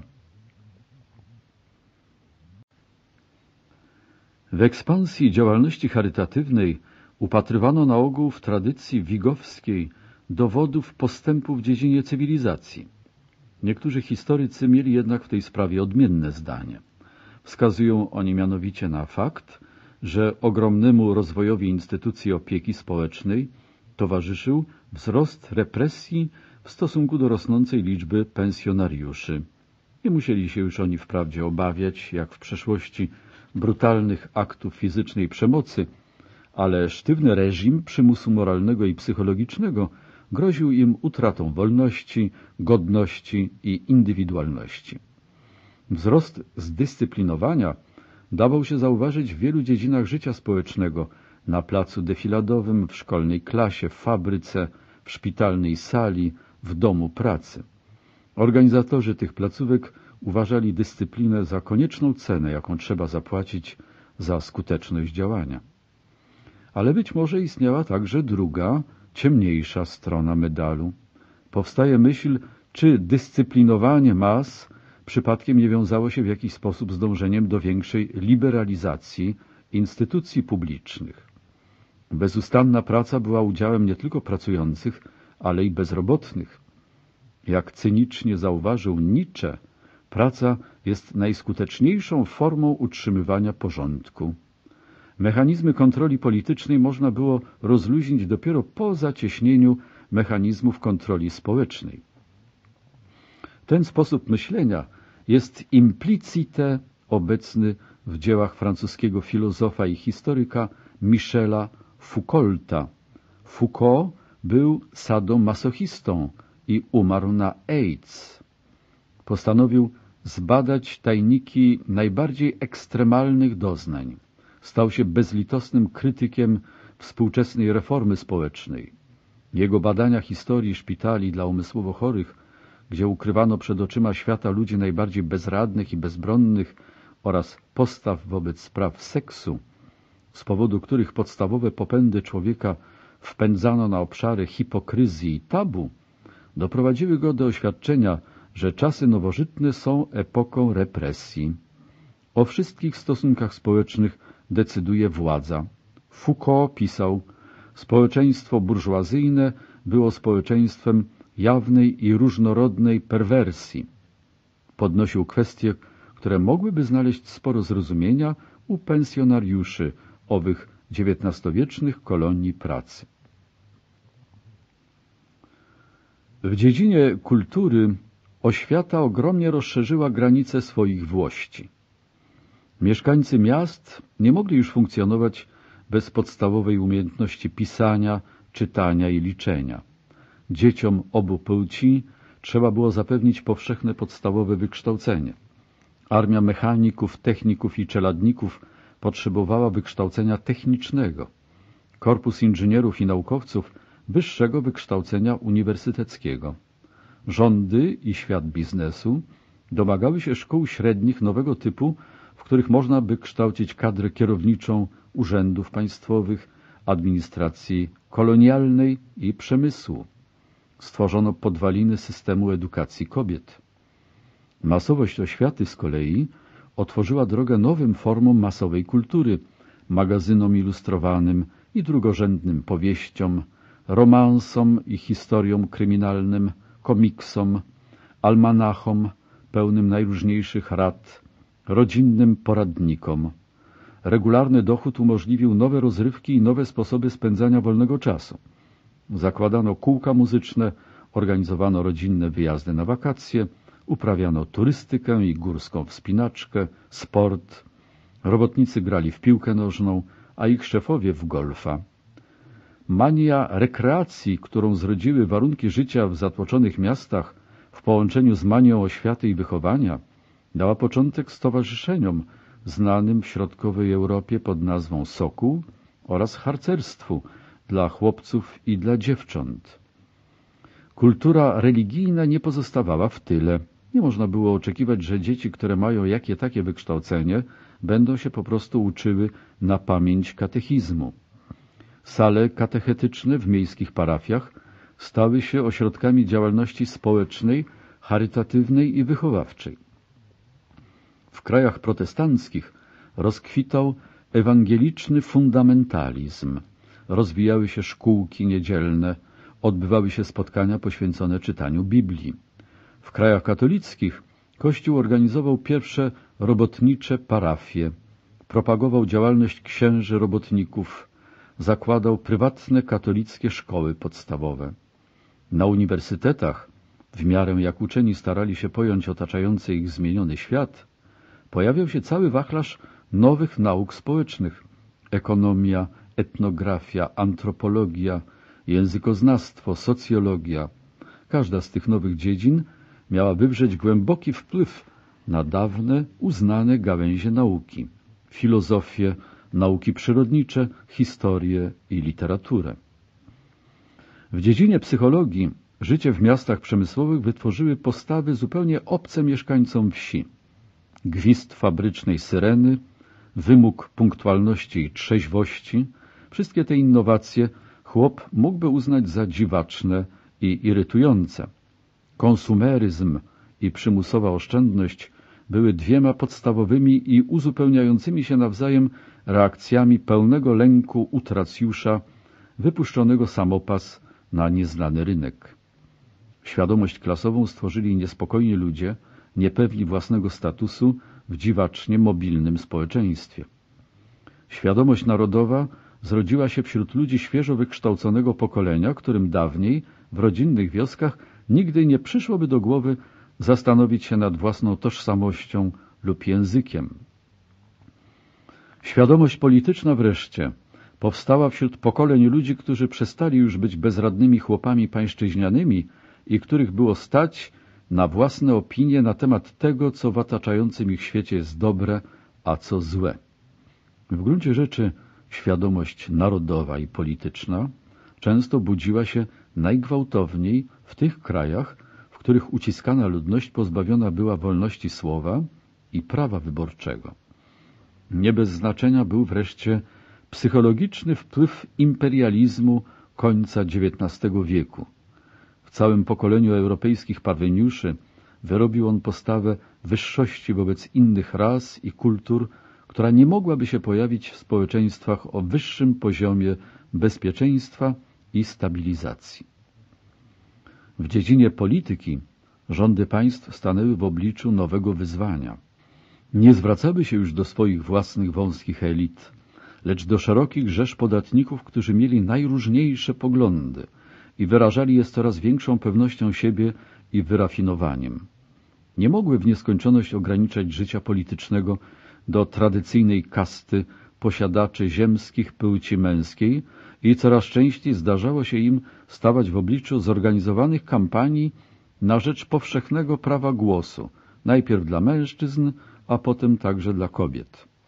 Większości Europejczyków prawa wyborcze nadano w latach 1848-1914. W wyniku tego procesu pojawiły się partie polityczne, każda z tłumem zwolenników i każda oddana interesom liberałów, konserwatystów, katolików, chłopów, robotników itd. Tak Rządy musiały także ustanawiać długi szereg wyspecjalizowanych ministerstw oraz kierować stale pęczniejącym aparatem biurokracji, który miał swój własny rozum i wolę. Były pracodawcami na wielką skalę i musiały brać pod uwagę dobro swoich pracowników, stworzyć narodowy system ubezpieczeń oraz emerytur i rent. Musiały zreorganizować organy lokalne, tak aby je dostosować do potrzeb zarozumiałych miast i nowo zaludnionych prowincji. A zatem musiały na nowo przemyśleć wszystkie zasady, na których opierały się stosunki między stolicą i peryferiami. Musiały sobie radzić z mnóstwem najróżniejszych stowarzyszeń zawodowych, handlowych i przemysłowych, a także zwłaszcza w drugim pięćdziesięcioleciu XIX wieku ze związkami zawodowymi które długo rościły sobie prawo do odgrywania roli grup nacisku, zanim zostały formalnie zintegrowane z całością życia politycznego. W sferze wojskowości wreszcie zarówno generałowie, jak i politycy musieli brać pod uwagę możliwości konfliktów, które wymagałyby powołania do udziału w wojennych trudach cywilów i kobiet, mobilizacji armii rekrutów o nieznanych dotychczas rozmiarach, akcji prowadzonych przez oficerów sztabowych uzbrojonych w rozkłady jazdy pociągów, dyrygujących przesuwaniem oddziałów wyposażonych w karabiny maszynowe na pola walki, które będzie można zasypać gradem pocisków o dużej sile rażenia, w ilości kilkunastu ton na każdy metr kwadratowy na godzinę. Ze wszystkich wyzwań stulecia w okresie przed rokiem 1914 na to właśnie byli oni najmniej przygotowani. Refleksje nad skutkami wojny nie skłoniły Europejczyków do zredukowania stanu liczebnego swoich wojsk. Kant w roku 1797 wydał jednoznaczny wyrok moralnego potępienia. Na końcu swojego uzasadnienia metafizyki moralności pisał Wojna nie powinna się zdarzać. Powszechnie jednak podzielano pogląd de Metra, że wojna jest zwykłym stanem ludzkiego gatunku. Traktat o wojnie z 1832 roku, napisany przez pruskiego generała Karla von Clausewitza, był jedną z najbardziej klarownych i wpływowych książek stulecia. Wojna, pisał, stanowi kontynuację polityki za pomocą innych środków. Relacjonując pochód modernizacji, łatwo stworzyć wrażenie, że droga była gładka, a kierunek oczywisty. Tymczasem byłoby to wrażenie fałszywe. Terytorium często bywało wrogie, przeszkody ogromne, nieszczęśliwe wypadki nagminne. Każdy przedsiębiorca miał swojego arystokratę, który nie życzył sobie, żeby linia kolejowa biegła przez jego ziemię. Każda maszyna miała swojego pozbawionego warsztatu rzemieślnika, który chciał ją zniszczyć. Każda nowa fabryka oznaczała kolejną opuszczoną wieś. Każdy wspaniały ratusz miał swoje slamsy. Na każde dziesięcioro dzieci urodzonych w tej Europie dumy i postępu troje lub czworo umierało. Rozwój gospodarczy nie wyrażał się regularną krzywą wzrostu. Młody kapitalizm był kapryśny. Po gwałtownych wybuchach koniunktury przychodziły nagłe załamania. W pierwszym dziesięcioleciu pokoju po 1815 roku w całej Europie nastąpił długi okres recesji. Kolejne recesje przyszły po roku 1848 i po roku 1871. W każdym z takich okresów odnotowywano krótsze cykle postępu i regresu. Wynagrodzenia i ceny zmieniały się zrywami i skokami. W przeszłości kryzysy ekonomiczne były wynikiem dających się zaobserwować zjawisk zarazy, klęski głodu. Teraz przypisywano je niewyjaśnionym czynnikom w rodzaju nadprodukcji, warunków rynkowych, załamaniu się pieniądza. Przeciętne warunki materialne ulegały zdecydowanej poprawie, natomiast dla konkretnych rodzin wszystko to często oznaczało albo nieznane dotąd bogactwo, albo rozpaczliwą biedę. Pod względem materialnym społeczeństwo Europy miało się lepiej, pod względem psychologicznym nękały je poważne niepokoje. Mimo wszystko świat stworzony przez europejską modernizację był niewiarygodnie bogaty dla tych, którzy z niego korzystali najbardziej, dla klasy średniej. Obfitował w dobra materialne, we wszelaką różnorodność, w kulturę i styl, w nowe doświadczenia. Profesor Uniwersytetu w Szkocji zarabiał w latach 80. XIX wieku 600 funtów rocznie. Była to suma dziesięć razy większa od najwyższej pensji robotnika i równała się cenie ośmiopokojowego domu. W latach 1890-91 17 narodowości wchodzących oficjalnie w skład Austro-Węgier dysponowało wspólnie pulą 215 zarejestrowanych uzdrowisk oraz 1801 gazet i czasopism. La Belle Époque była czasem, w którym tańczyło się walca, chodziło na kolację do Café Royal, kupowało płótna impresjonistów, żyło w luksusie Art Nouveau. Francuski polityk klasy burmistrza Lyonu, Eduarda Eriota, świetnie mówił po niemiecku i miał własne zdanie na temat muzyki Wagnera i dzieł Kanta. W roku 1895 mieszkający w Europie amerykański pisarz Henry James założył sobie w domu elektryczne oświetlenie. W roku 1896 jeździł na bicyklu. Rok później pisał na maszynie. A wszystko to działo się w czasie, który brytyjska Komisja Królewska nazwała okresem Wielkiej Depresji. Realna wartość pieniądza rosła, w miarę jak łagodnie spadały ceny. Biedacy mogli przynajmniej jeść tanią żywność. Narzekała tylko arystokracja ziemska, patrząc z przerażeniem na swoje kurczące się fortuny. Od ponad czterdziestu lat nie było żadnej poważniejszej wojny. Wyglądało na to, że ten świat będzie trwać wiecznie. Wzrost demograficzny był jednym z najpewniejszych wskaźników europejskiej dynamiki. Gołe liczby wskazują na zwiększenie się ludności z około 150 milionów w roku 1800 do ponad 400 milionów przed rokiem 1914. Rosnące tempo wzrostu ponad dwukrotnie przewyższyło tempo ubiegłych trzech stuleci. O implikacjach przypominano Europejczykom od samego początku. W roku 1816 angielski ekonomista Thomas Malthus opublikował ostateczną wersję swojego przygnębiającego traktatu, eseju o ludności. Przepowiadał w nim, że produkcja żywności będzie rosnąć w postępie arytmetycznym, natomiast liczba ludności w postępie geometrycznym. Gdyby miał rację, w ciągu kilkudziesięciu lat Europejczycy musieliby zacząć umierać z głodu. Istotnie, niektórzy sądzili, że klęska ziemniaczana w Irlandii w latach 40. XIX wieku jest zapowiedzią powszechnej katastrofy. Wyspy Brytyjskie ze swoim ograniczonym areałem ziemi uprawnej i gwałtownie wzrastającą liczbą ludności robiły wrażenie szczególnie narażonych na nieszczęście. W rzeczywistości powszechna katastrofa nigdy nie nastąpiła.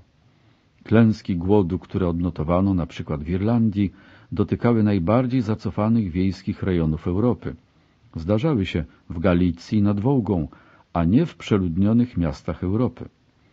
Moment krytyczny nadszedł w latach 70. XIX wieku, kiedy zaczęto sprowadzać ogromne ilości zboża z Ameryki Północnej, ale kilka krajów europejskich, przykład Ukraina czy Francja, produkowało korzystne nadwyżki, a w latach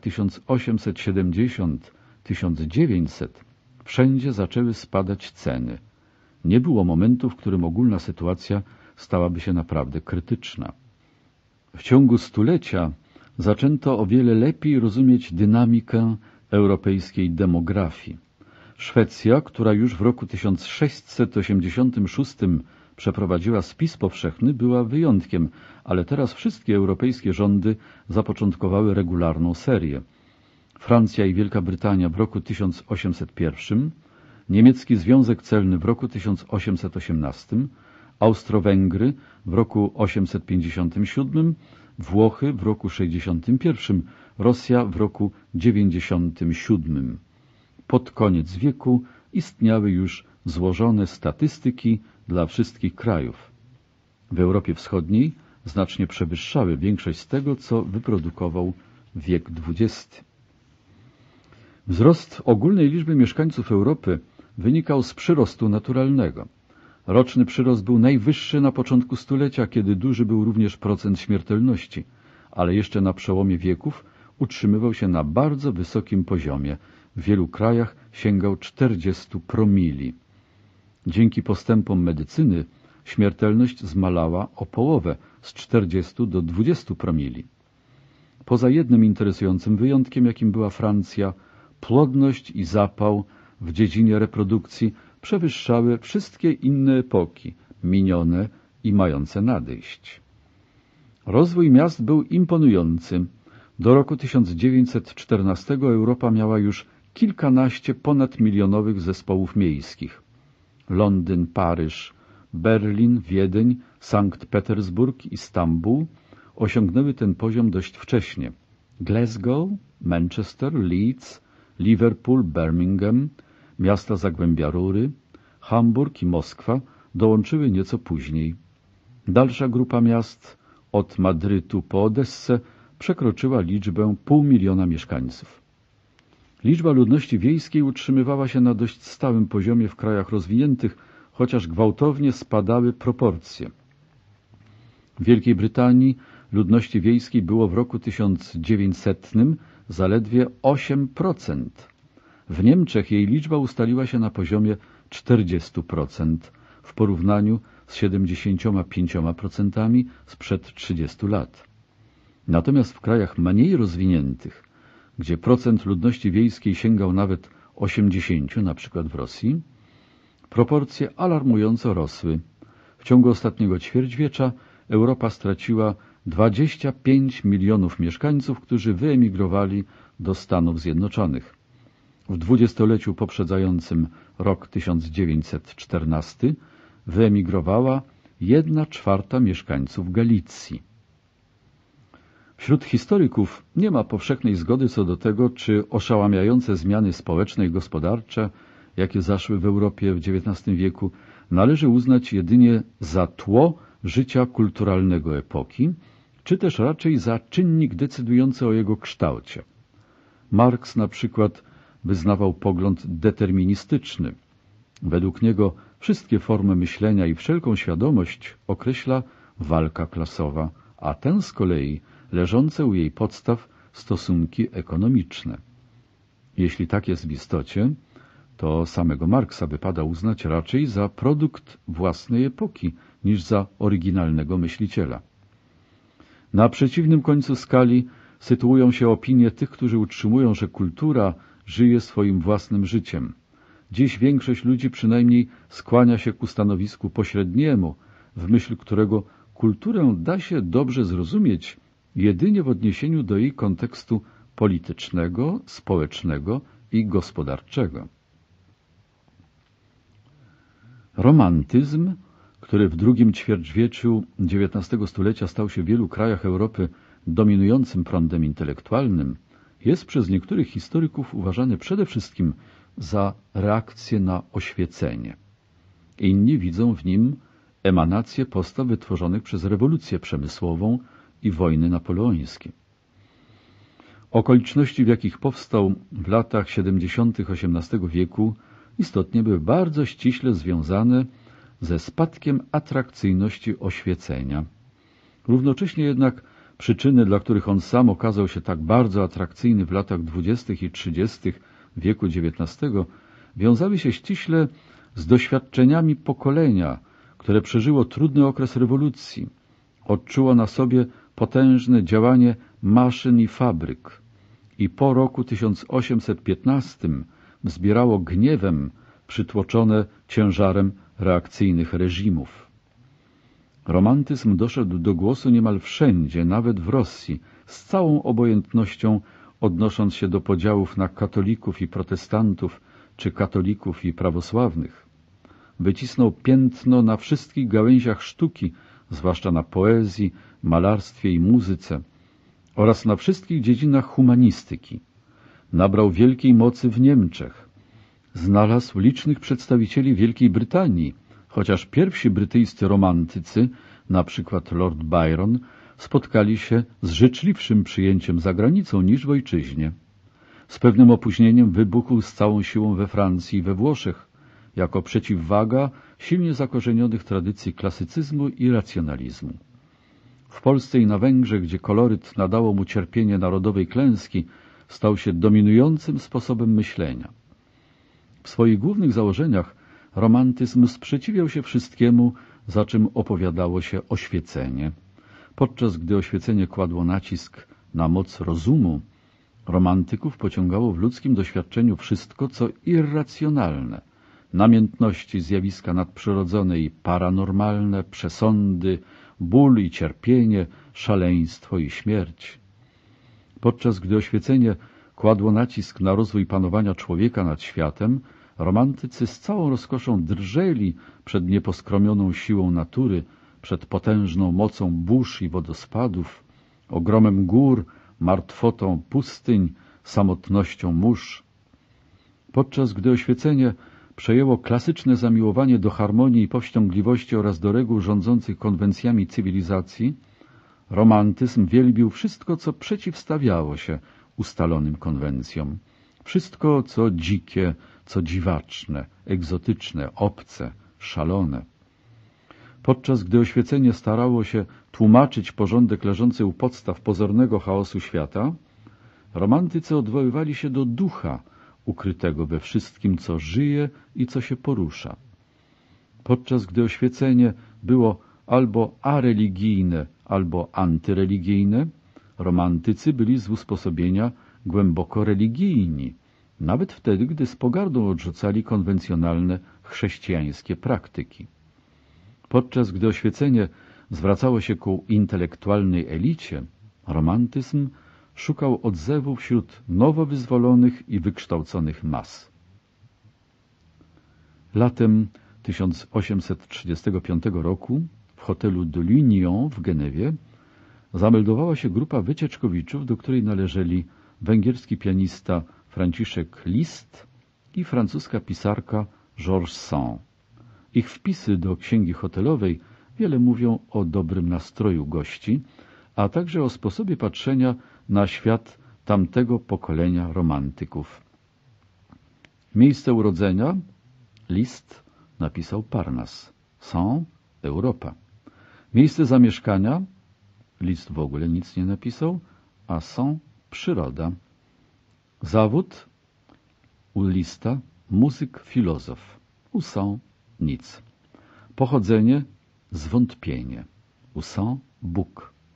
Cel podróży prawda, u Sand niebo. Data ważności paszportu nieskończoność. Wydany przez opinię publiczną, napisała Sand. W roku 1835 pojęcie Europy nie było chyba czymś o wiele mniej fantastycznym niż pojęcie Parnasu. 14 lipca 1865 roku młody angielski ilustrator i wspinacz Edward Limper po sześciu nieudanych próbach osiągnął szczyt Matterhornu, czyli Monte Cervino. W drodze powrotnej z wysokości na 4440 metrów skalnej piramidy, która góruje nad Cermatem, czworo uczestników jego wyprawy poniosło śmierć. Nie była to bynajmniej pierwsza wielka wysokogórska wyprawa. Na szczyt Mont Blanc wszedł w roku 1799 oraz de Saussure, ale tragiczny w skutkach wyczyn Wimpera rozpropagował nowy sport, jakim się stał alpinizm, ukazując jednocześnie, jak zmieniły się poglądy na rekreację. Sport przestał być zarezerwowany dla mających mnóstwo wolnego czasu elit.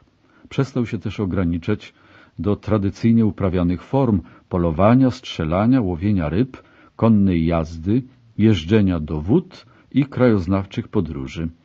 Wszyscy Europejczycy zaczęli szukać nowych sportów, nowych form sprawdzenia własnych sił i możliwości, nowych sposobów zdobywania sprawności fizycznej. Niecałe dwa lata wcześniej, 26 października 1863 roku, podczas spotkania w tawernie masońskiej w Londynie, założono Związek Piłki Nożnej. Celem związku była standaryzacja reguł futbolu oraz stworzenie ram dla zorganizowanego współzawodnictwa. Ci, którzy mieli odmienne poglądy na tę grę, oddzielili się i utworzyli Związek Miłośników Rugby. Wkrótce potem zaczęły powstawać pierwsze zawodowe kluby. W roku 1888 utworzono Angielską Ligę Piłkarską. Piłka nożna w odmianie propagowanej przez Związek Piłki Nożnej, znanej pod nazwą Soccer, szybko dotarła na kontynent. Pod koniec wieku miała już ustaloną pozycję najpopularniejszego sportu w Europie, oraz najpowszechniejszej formy masowego widowiska dla publiczności. W maju 1904 roku powstała Międzynarodowa Federacja Piłki Nożnej FIFA, którą utworzyli przedstawiciele Anglii, Austrii, Belgii, Danii, Finlandii, Francji, Holandii, Niemiec, Norwegii, Szwecji, Szwajcarii, Węgier i Włoch. Była najbardziej egalitarną z gier, jak mówi stare powiedzenie, przy piłce wszyscy są równi. Wszechogarniającą siłę przyciągania romantyzmu można zilustrować na wiele różnych sposobów. Najlepszym z nich jest jednak poezja. John Keats, żyjący w latach 1795-1821, archaizował, omdlewając z tęsknoty za wdziękami średniowiecznego dziewczęcia. O cóż ci jest, rycerzu blady, dokąd cię błędne wiodą szlaki? Na brzegach jezior żółkną trawy i milkną ptaki. Alphonse de Lamartine 1790-869 pławił się jednocześnie w pięknie Lac du Bourget i w rozmyślaniach o wieczności. Czasie, wstrzymaj się w locie. Racz chwil niepowrótnych, racz dni szczęścia naszego bieg dla nas przedłużyć, znikomej pomyślności, rozkoszy ulotnych, dozwól nam użyć. Giacomo Leopardi 1798-837 śpiewał nocną pieśń koczującego po Azji pasterza. O ty, samotna, odwieczna pątnico, zacichła w zamyśleniu, ty rozumiesz może tę ziemską dolę. Wiesz, czem jest nasza męka i tęsknota, czem jest konanie, owo ostateczne lic naszych poblednienie, to ujście z ziemi, to niknięcie w kole druchów, co mozuł dzielili żywota. Józef Freiherr von Eichendorff 1788-1857 przywoływał na Śląsku swoje ulubione tematy lust, nostalgię, Heimat, ojczyznę i Wald Einsamkeit, samotność pośród lasu. W cienistej dolinie nad zdrojem młyńskie koło się toczy, tu niegdyś stał dom miłej mojej, dzisiaj nie ujrzą me oczy. Ona mi dała słowo swoje, pierścieniem przypieczętowane. Dziś pierścień złamany na dwoje i wszystkie jej śluby złamane. Sam nie wiem, czego bym pragnął, gdy znów to młyńskie koło słyszę, najlepiej by mi umrzeć było i wszystko przemienić w ciszę. Natomiast Juliusz Słowacki 1809-849 pełen namiętności i elokwencji głosił pochwałę wzniosłego życia wewnętrznego. Kto mogąc wybrać, wybrał zamiast domu gniazdo na skałach orła, niechaj umie spać, gdy źrenice czerwone od gromu i słychać jęk szatanów w sosen szumie. Jest to fragment Beniowskiego. Ten fragment jest wyryty na nagrobku matki Józefa Piłsudskiego na cmentarzu na Rossie w Wilnie.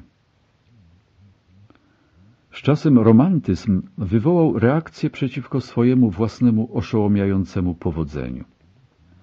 Przybrała ona kształt odrodzenia ideałów klasycyzmu. Krótko mówiąc, nastąpił neoklasycyzm. Od tego czasu oba rywalizujące ze sobą nurty stały się głównymi prądami stulecia. Rywalizacja uwidoczniła się z największą wyrazistością w architekturze. Rywalizujące ze sobą kompanie kolejowe budowały dworce w rywalizujących ze sobą stylach. Kolej londyńska, północno-zachodnia, wybudowała elegancki neoklasyczny dworzec Euston. Kolej środkowej Anglii, przylegający do niego dworzec St. Pancras w wybujałym stylu neogotyckim. Mieszanka romantyczno-neoklasyczna okazała się szczególnie owocna w literaturze. Trzech największych twórców epoki Aleksandra Puszkina 799-837, Adama Mickiewicza 798-855 i Johanna Wolfganga Goethego trudno jest jednoznacznie zaklasyfikować właśnie dlatego, że w ich utworach wątki klasyczne i romantyczne splatają się ze sobą w nierozerwalną całość. Ich mistrzowskie dzieła Eugeniusz Oniegin 1832, Pan Tadeusz dwa lata później i Faust 808-832 są poematami epickimi czy powieściami pisanymi wierszem, wszystkie też powstały niemal w tym samym czasie. Najwyższe mistrzostwo w operowaniu językiem w okresie szybkiego rozszerzania się oświaty przyniosło autorom status narodowych wieszczów i na stałe wprowadziło fragmenty ich dzieł do codziennego życia zwykłych ludzi. Nie ma Polaka, który nie umiałby z pamięci zacytować Litwo, ojczyzno moja, Ty jesteś jak zdrowie. Nie ma Niemca, którego nie zachwyciłby kraj, gdzie cytryna dojrzewa. Nie ma rosyjskiego ucznia, którego nie nauczono w szkole wiersza o jeźdźcu miedzianym z Sankt Petersburga. Naturą nam sądzono stąd wyrąbać okno na Europę, przy morzu twardo stawiać stopę. Kocham Cię, grodzie mój Piotrowy, tych zwartych kształtów kocham ład, prąd Newy, władczy i surowy, nadbrzeżny granit. Niech wiecznie trwa majestat Twój i chwała o Piotrowy grodzie. Jak Rosja niewzruszenie stój z żywiołem poskromionym w zgodzie. Tłumaczenie Tuwima. Natomiast Johann Wolfgang von Goethe 1749-1832 był nie tylko wieszczem narodowym, był olimpijczykiem, który swoją twórczością objął niemal wszystkie domeny intelektu. Różnorodność znakomicie uprawianych gatunków literackich, świadomość szybko zmieniającego się świata, rozliczne ewolucje, jakie przeszła jego twórczość, wszystko to daje mu tytuł do statusu ostatniego twórcy uniwersalnego. Urodził się we Frankfurcie nad Menem, wykształcenie odebrał w Lipsku i w Strasburgu, przez pół wieku mieszkał w Weimarze, był poetą, dramaturgiem, powieściopisarzem, filozofem, naukowcem, podróżnikiem, prawnikiem, zarządcą. Jego wczesne romantyczne inklinacje przygasły w latach osiemdziesiątych XVIII wieku. Faza klasyczna, wzmacniana dzięki wpływom zaprzyjaźnionego z nim Schillera, trwała mniej więcej do roku 1820. Rozległa psychologiczna panorama Fausta obejmuje długie lata refleksji nad ludzką kondycją. W momencie śmierci Goethe był największą postacią największej epoki w dziejach kultury europejskiej, bezustannie starającej się dosięgnąć tego, co nieosiągalne. Wszystko, co mija, jest li przyrównaniem. To, czego brak nam jest, tu nam się stanie. Co niewysłowione jest, byt ziści ten. Wieczna kobiecość nas pociąga hen.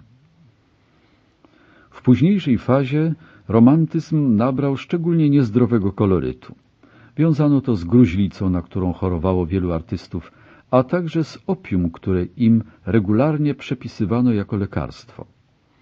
Postacią kluczową był Thomas de Quincey 1785-859, który uciekł ze szkoły w Manchesterze i najpierw żył jako bezdomny włóczęga, a potem osiadł w Oksfordzie i został narkomanem.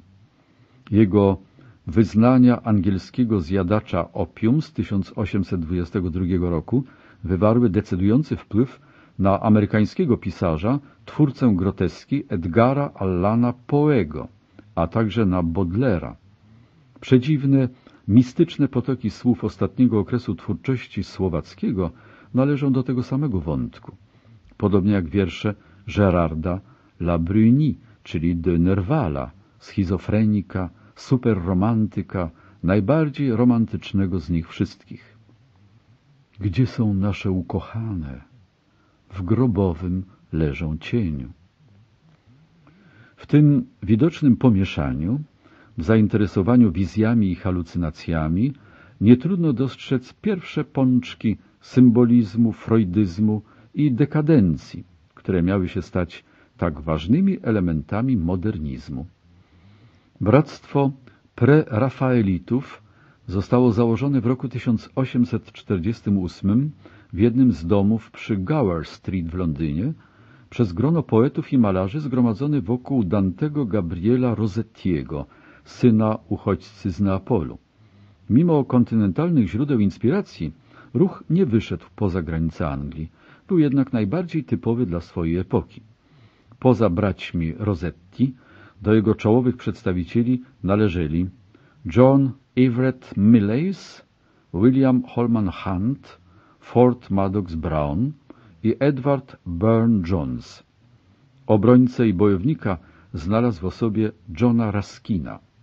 Stowarzyszenie wzięło swoją nazwę od wspólnego dla wszystkich członków entuzjazmu dla sztuki włoskiego Quattrocento, który stał się siłą napędową ich buntu przeciwko malarstwu akademickiemu. Korzystali w szerokim zakresie z powiązań między sztuką i literaturą. Sam Rossetti był tłumaczem Dantego i Villona, a swoje zasady stosowali do wszystkiego, od architektury i mebli, po mozaikę, gobelin, witraż i dekoratorstwo wnętrz. Kultywowali to, co uważali za techniki, a nade wszystko za ducha sztuki późnego średniowiecza. Naśladowali wyrazistość formy i jaskrawość barw ikon. Przepełniała ich moralna powaga, często wyrażana w formie mistycznej religijności. Do ich najsłynniejszych obrazów należą Ofelia Mileisa i Światłość świata Hanta. Wśród członków zwerbowanych w późniejszym okresie znalazł się William Morris, poeta, zwolennik prymitywnego socjalizmu, rzemieślnik, drukarz i projektant. W swoim dworze w Kelmscott Morris gościł niektórych spośród najwybitniejszych działaczy bractwa, jeszcze długo po rozpadnięciu się grupy. Był to także w całej Europie okres wybitnego rozwoju powieści jako gatunku literackiego. Honoriusz Balzac 1799-850 i Karol Dickens 812-870, urodzeni niejako naprzeciwko siebie w Rouen i w Portsmouth, należeli do pisarzy, którzy najwcześniej zawładnęli wyobraźnią czytelników. Z czasem wszystkie ważniejsze powieści zostały przetłumaczone na wszystkie języki Europy. Oceny krytyków różnią się między sobą, ale w pierwszym szeregu pochodu niewątpliwie powinni się znaleźć narzeczeni Alessandra Manzoniego, ojciec Goriot Balzaka, Oliver Twist Dickensa, bohater naszych czasów Lermontowa, Jane Eyre, Charlotte Brontë, Targowisko próżności Thackeraya, Madame Bovary, Gustawa Flauberta, Nędznicy Wiktora Hugo, Anna Karenina, Lwa Tołstoja, Zbrodnia i kara i bracia Karamazow, Fiodora Dostojewskiego i Lalka Bolesława Prusa. Ponieważ powieść była analizą problemów społecznych i psychologicznych, stała się podstawowym elementem wspólnym europejskiej kulturze. Autorzy przyjęli konwencję, która polegała na projekcji najbardziej intymnych obserwacji na fikcyjne postacie. Flaubert miał przy jakiejś okazji powiedzieć Madame Bovary, c'est moi. Pani Bovary to ja. W dziedzinie muzyki, podobnie jak w literaturze, wiek XIX nagromadził wielkie i zróżnicowane bogactwo dzieł, które znacznie rozszerzyły repertuar zapoczątkowany przez mistrzów epoki klasycznej i wczesnego romantyzmu. Johannesa Brahmsa, urodzonego w Hamburgu, z pewnością wypada uznać za postać o pierwszorzędnym znaczeniu. Intelektualne zainteresowanie formą klasyczną łączył z namiętną romantyczną miłością do liryki i z żarliwością uczuć, zyskując sobie tytuł prawdziwego spadkobiercy Bacha i Beethovena. Długi szereg kompozytorów dzieł orkiestralnych o bardziej zdecydowanie romantycznych tendencjach otwiera Hector Berlioz, którego Symphonie Fantastique, Symfonia Fantastyczna, z 1831 zrywała ze wszystkimi istniejącymi regułami. W poszukiwaniu inspiracji Berlioz obficie czerpał z literatury romantyzmu. Ktoś powiedział, Victor Hugo jest romantykiem, natomiast Berlioz to sam romantyzm. Na liście romantyków znaleźli się także najwspanialszy mistrz fortepianu, chorowity polski wygnaniec Fryderyk Chopin, niestrudzony węgierski wirtuos Franciszek Liszt, Robert Schumann i Felix Mendelssohn Bartholdy. Lista ta zawiera większość nazwisk, które często wymienia się, mówiąc o założycielach szkół narodowych. Później uzupełnili ją wybitni Rosjanie Anton Rubinstein, Piotr Czajkowski i Siergiej Rachmaninow. Niemiecki protestant Max Bruch i szwajcarski Żyd Ernst Bloch oraz silna grupa austriacko-niemieckich neoromantyków z Antonem Brucknerem, Gustawem Mahlerem, Ryszardem Straussem i kompozytorem pieśni Hugonem Wolfem na czele. Przez całe stulecie szkoła francuska produkowała wybitne talenty o wielkiej subtelności i oryginalności, od Cezara Franka i Camila Saint-Sansa po Gabriela Forego, Claudiusza Debussy'ego i Maurycego Ravela. Opera, która była połączeniem muzyki z dramatem historycznym lub literackim, świetnie pasowała do stylu romantyzmu. Sukces zapewniła jej rywalizacja trzech czołowych ośrodków. Opery francuskiej, w której prym wiedli Charles Gounod, Giacomo Meyerbeer, Georges Bizet i Jules Massenet, opery niemieckiej, której tradycję zapoczątkowali Mozart i Weber i która wzniosła się na najwyższe poziomy wraz z pojawieniem się niezwykłej indywidualności Ryszarda Wagnera oraz opery włoskiej, której niedoścignione tradycje melodyczne rozwijali Gioacchino Rossini, Gaetano Donizetti, Giuseppe Verdi i Giacomo Puccini. Rozkwitał również gatunek znany jako opera komiczna, operetka lub komedia muzyczna, zwłaszcza w Paryżu Jacques'a Offenbacha, w Wiedniu Johanna Straussa syna i Franciszka Lechara oraz w Londynie Gilberta i Sullivana. W XIX wieku rozwinęły się wszystkie instytucje, które miały przemienić muzykę w poważne publiczne przedsięwzięcie.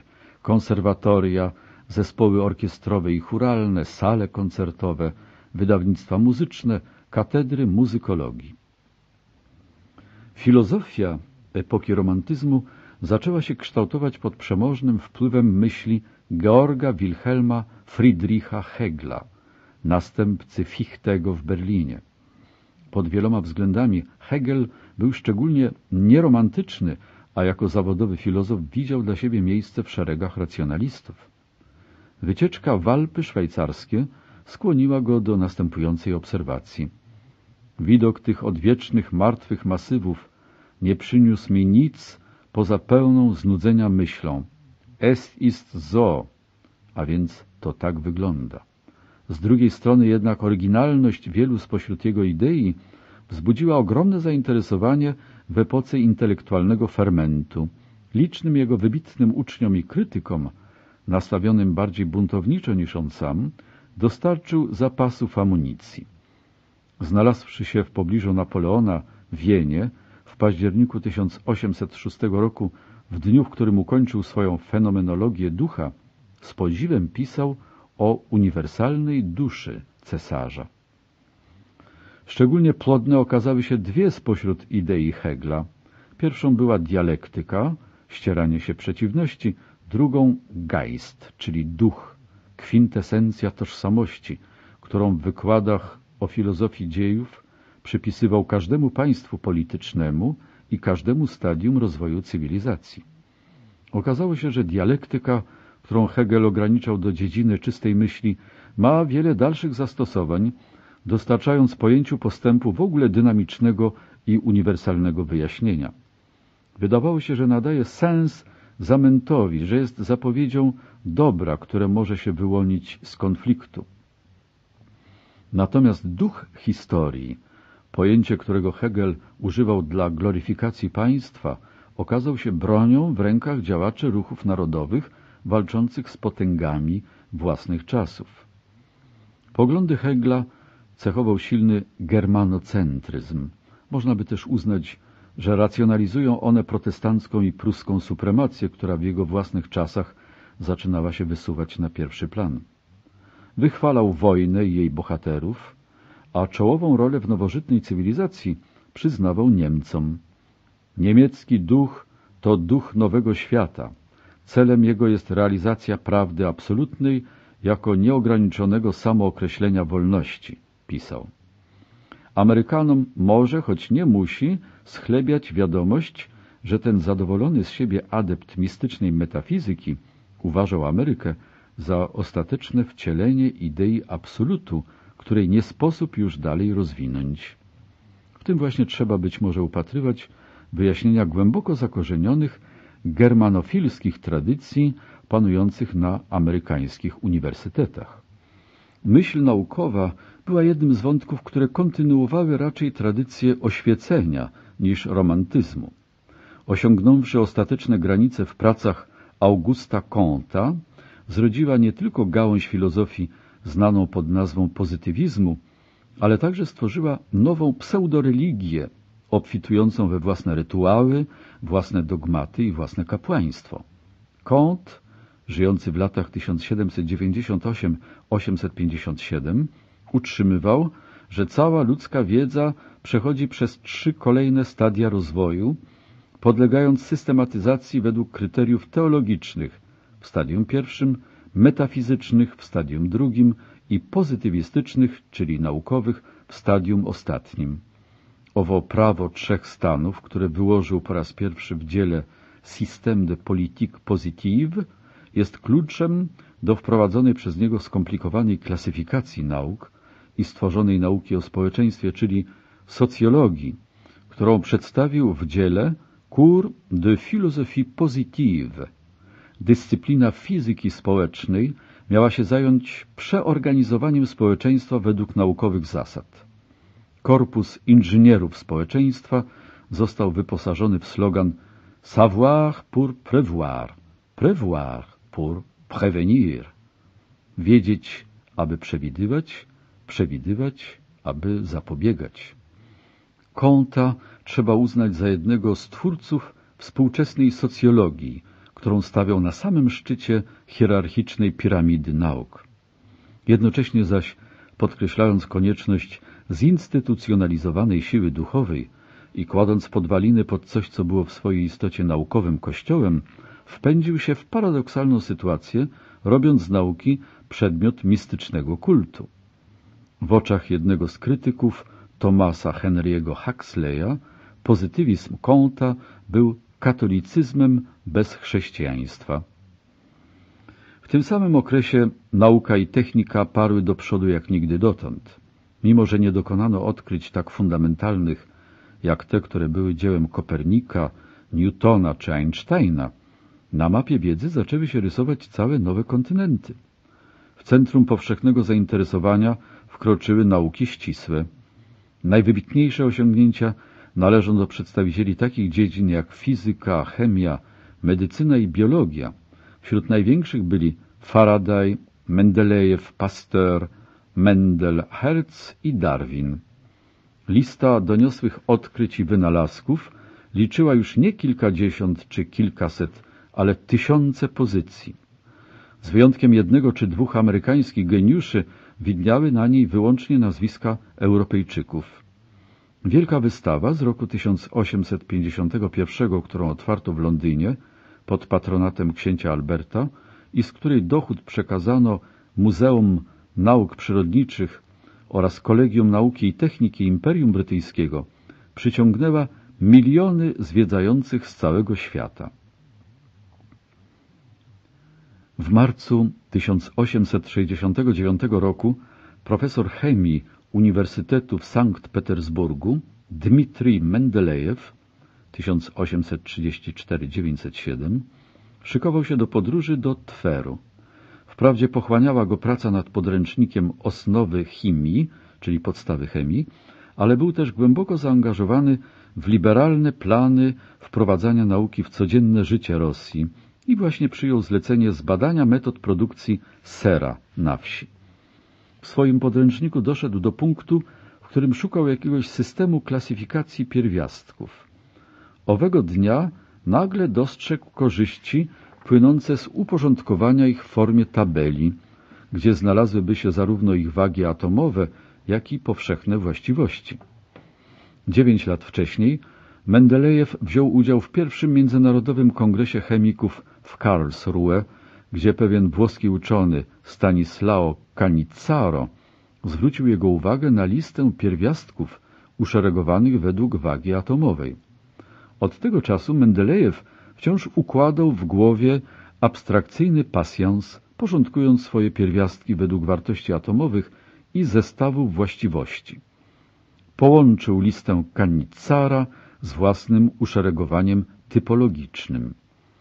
W rezultacie powstała pierwotna wersja okresowej tabeli oraz rządzącego nią podstawowego prawa, które głosi, że pierwiastki uszeregowane według wagi atomowej wyraźnie wykazują okresowość cech.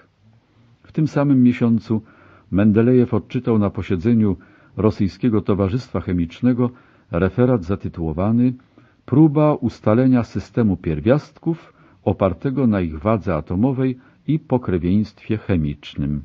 Tekst ukazał się w pewnym niemieckim czasopiśmie w marcu 1871 roku. Przed Mendelejewem pierwiastki poznawano i opisywano w sposób wyrywkowy. Starożytni rozróżniali ich dziesięć, ale na sposób myślenia uczonych wpływał fakt, że jednocześnie wierzyli w istnienie żywiołów, ziemi, ognia, powietrza i wody. Lavoisier znał 23 pierwiastki. Humphrey Davy otrzymał w wyniku elektrolizy sód i potas. W roku 1860 w Karlsruhe Canizzaro miał już na swojej liście 60 pierwiastków, dokładnie dwie trzecie tych dziewięćdziesięciu, które występują w przyrodzie.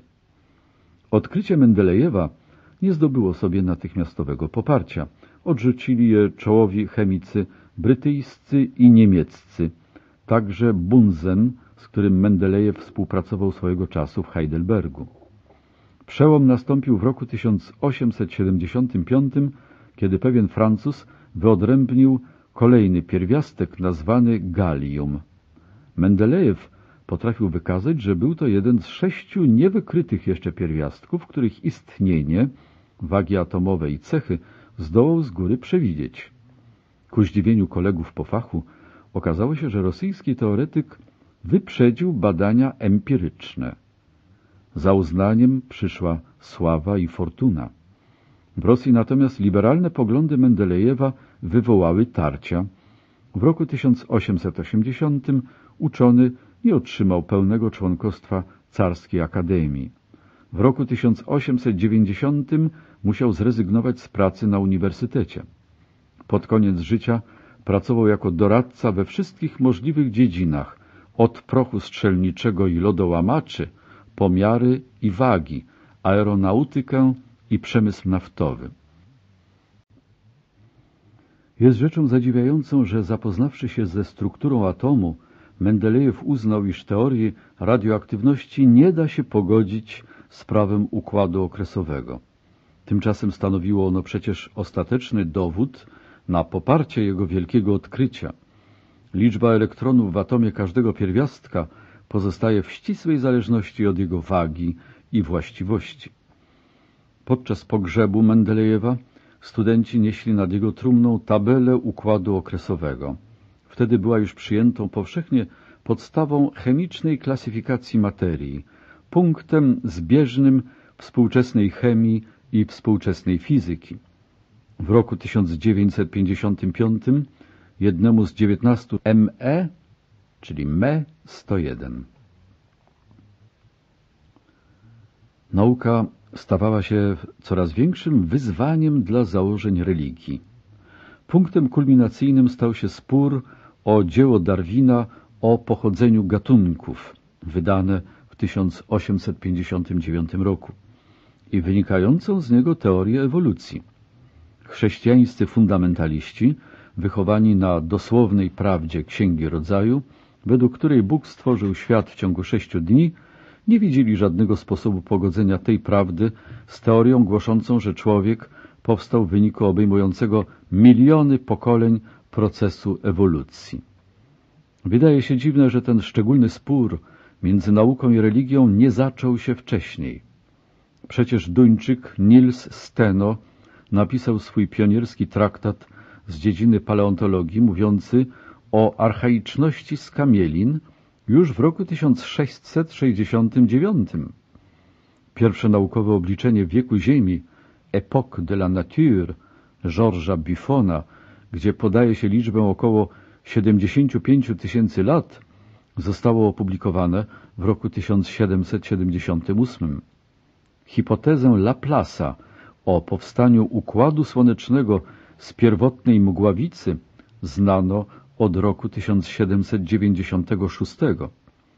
Francuski naturalista Jean-Baptiste Lamarck przedstawił swoją teorię ewolucji opartą na zasadzie dziedziczenia cech nabytych w roku 1809. Od czasu traktatu Nilsa Steno uczeni geolodzy bezustannie walczyli z tak zwanymi potopowcami, którzy przypisywali kształt wszystkich fizycznych form lądowych skutkom potopu. W sobotę 30 czerwca 1860 roku w jednej z sal wykładowych w Oksfordzie zgromadził się 700-osobowy tłum, który przyszedł na zebranie Brytyjskiego Towarzystwa do Spraw Rozwoju Nauki. Teoretycznie przybyli mieli wysłuchać wykładu pewnego amerykańskiego uczonego, niejakiego doktora Drapera, o rozwoju intelektualnym Europy, rozważanym w świetle poglądów pana Darwina. Ale w rzeczywistości przyszli po to, żeby obejrzeć pojedynek między dwoma głównymi uczestnikami dyskusji nad tym referatem. Po jednej stronie zasiadał Samuel Wilberforce, biskup Oksfordu, zajadły przeciwnik teorii ewolucji, znany pod przydomkiem Mydlany Sam. Po drugiej stronie wobec nieobecności Darwina profesor Thomas Henry Huxley, paleontolog, który wkrótce miał sobie zasłużyć na przydomek bulldoga Darwina. Nikt nie zapamiętał, o czym mówił dr Draper. Natomiast biskup Wilberforce, który wkroczył na mównicę w jowialnym nastroju, zakończył swoje wystąpienie pytaniem, czy pan Huxley twierdzi, że pochodzi od małpy po mieczu czy po kądzieli. Huxley zachował spokój i wyjaśnił, że teoria Darwina jest czymś o wiele więcej niż tylko hipotezą. Nie wstydziłbym się, gdyby moim przodkiem miała się okazać małpa, zakończył. Natomiast wstydziłbym się związków z człowiekiem, który używa swoich wielkich talentów w celu zaciemniania prawdy. Wśród krzyku, jaki się podniósł na sali, na ziemię padła zemdlona jakaś kobieta. Spotkanie było punktem zwrotnym w powszechnej reakcji na odkrycia nowożytnej nauki. Odbyło się zaledwie w rok po wydaniu pracy Darwina o pochodzeniu gatunków i w dwa lata po odczytaniu pracy, której Darwin był współautorem, zatytułowanej o tendencji gatunków do tworzenia odmian oraz o przekazywaniu cech odmian i gatunków w procesie doboru naturalnego. Cztery lata później, podczas spotkania rewanżowego, które odbyło się w sali Sheldonian Theatre, Benjamin Disraeli nie mógł sobie odmówić szyderstwa w stylu mydlanego sama. Sprawa sprowadza się do pytania, oświadczył, czy człowiek jest aniołem czy małpą. Dobry Boże, ja opowiadam się po stronie aniołów. Drogi dalszej kariery ewolucjonizmu są dobrze przedeptanym historycznym szlakiem. Jeden z kierunków popierany przez samego Darwina znany jest dziś pod nazwą darwinizmu społecznego. Głosi groźne credo, że najlepiej przystosowani nie tylko przetrwali, ale że tylko oni mieli prawo przetrwać. Inny kierunek wiąże się z praktyczną nauką podnoszenia standardów rasowych, czyli innymi słowy z hodowlą ludzi. W tej dziedzinie pionierami było wielu uczonych angielskich, na czele z Sir Francisem Galtonem, profesorem Uniwersytetu w Londynie. Otrzymała ona nazwę eugeniki. Wśród jej późniejszych wyznawców znaleźli się student i biograf Galtona Carl Pearson, statystyk i marksista, twórca teorii imperializmu społecznego oraz Houston Stewart Chamberlain, który propagował swoje idee w Niemczech. Francis Galton ponosi odpowiedzialność za pokaźną część najbardziej wpływowych naukowych i pseudonaukowych badań swojej epoki. Jego Art of Travel, sztuka podróży, była opisem pionierskiej ekspedycji do interioru południowo-zachodniej Afryki i początkiem mody na badanie kontynentu afrykańskiego. Meteorografika stanowiła podwaliny współczesnej meteorologii. Jako jeden z wczesnych psychologów Galton prowadził pierwsze badania nad zachowaniem się bliźniąt. Założył też pierwszy na świecie ośrodek badań zdolności umysłowych.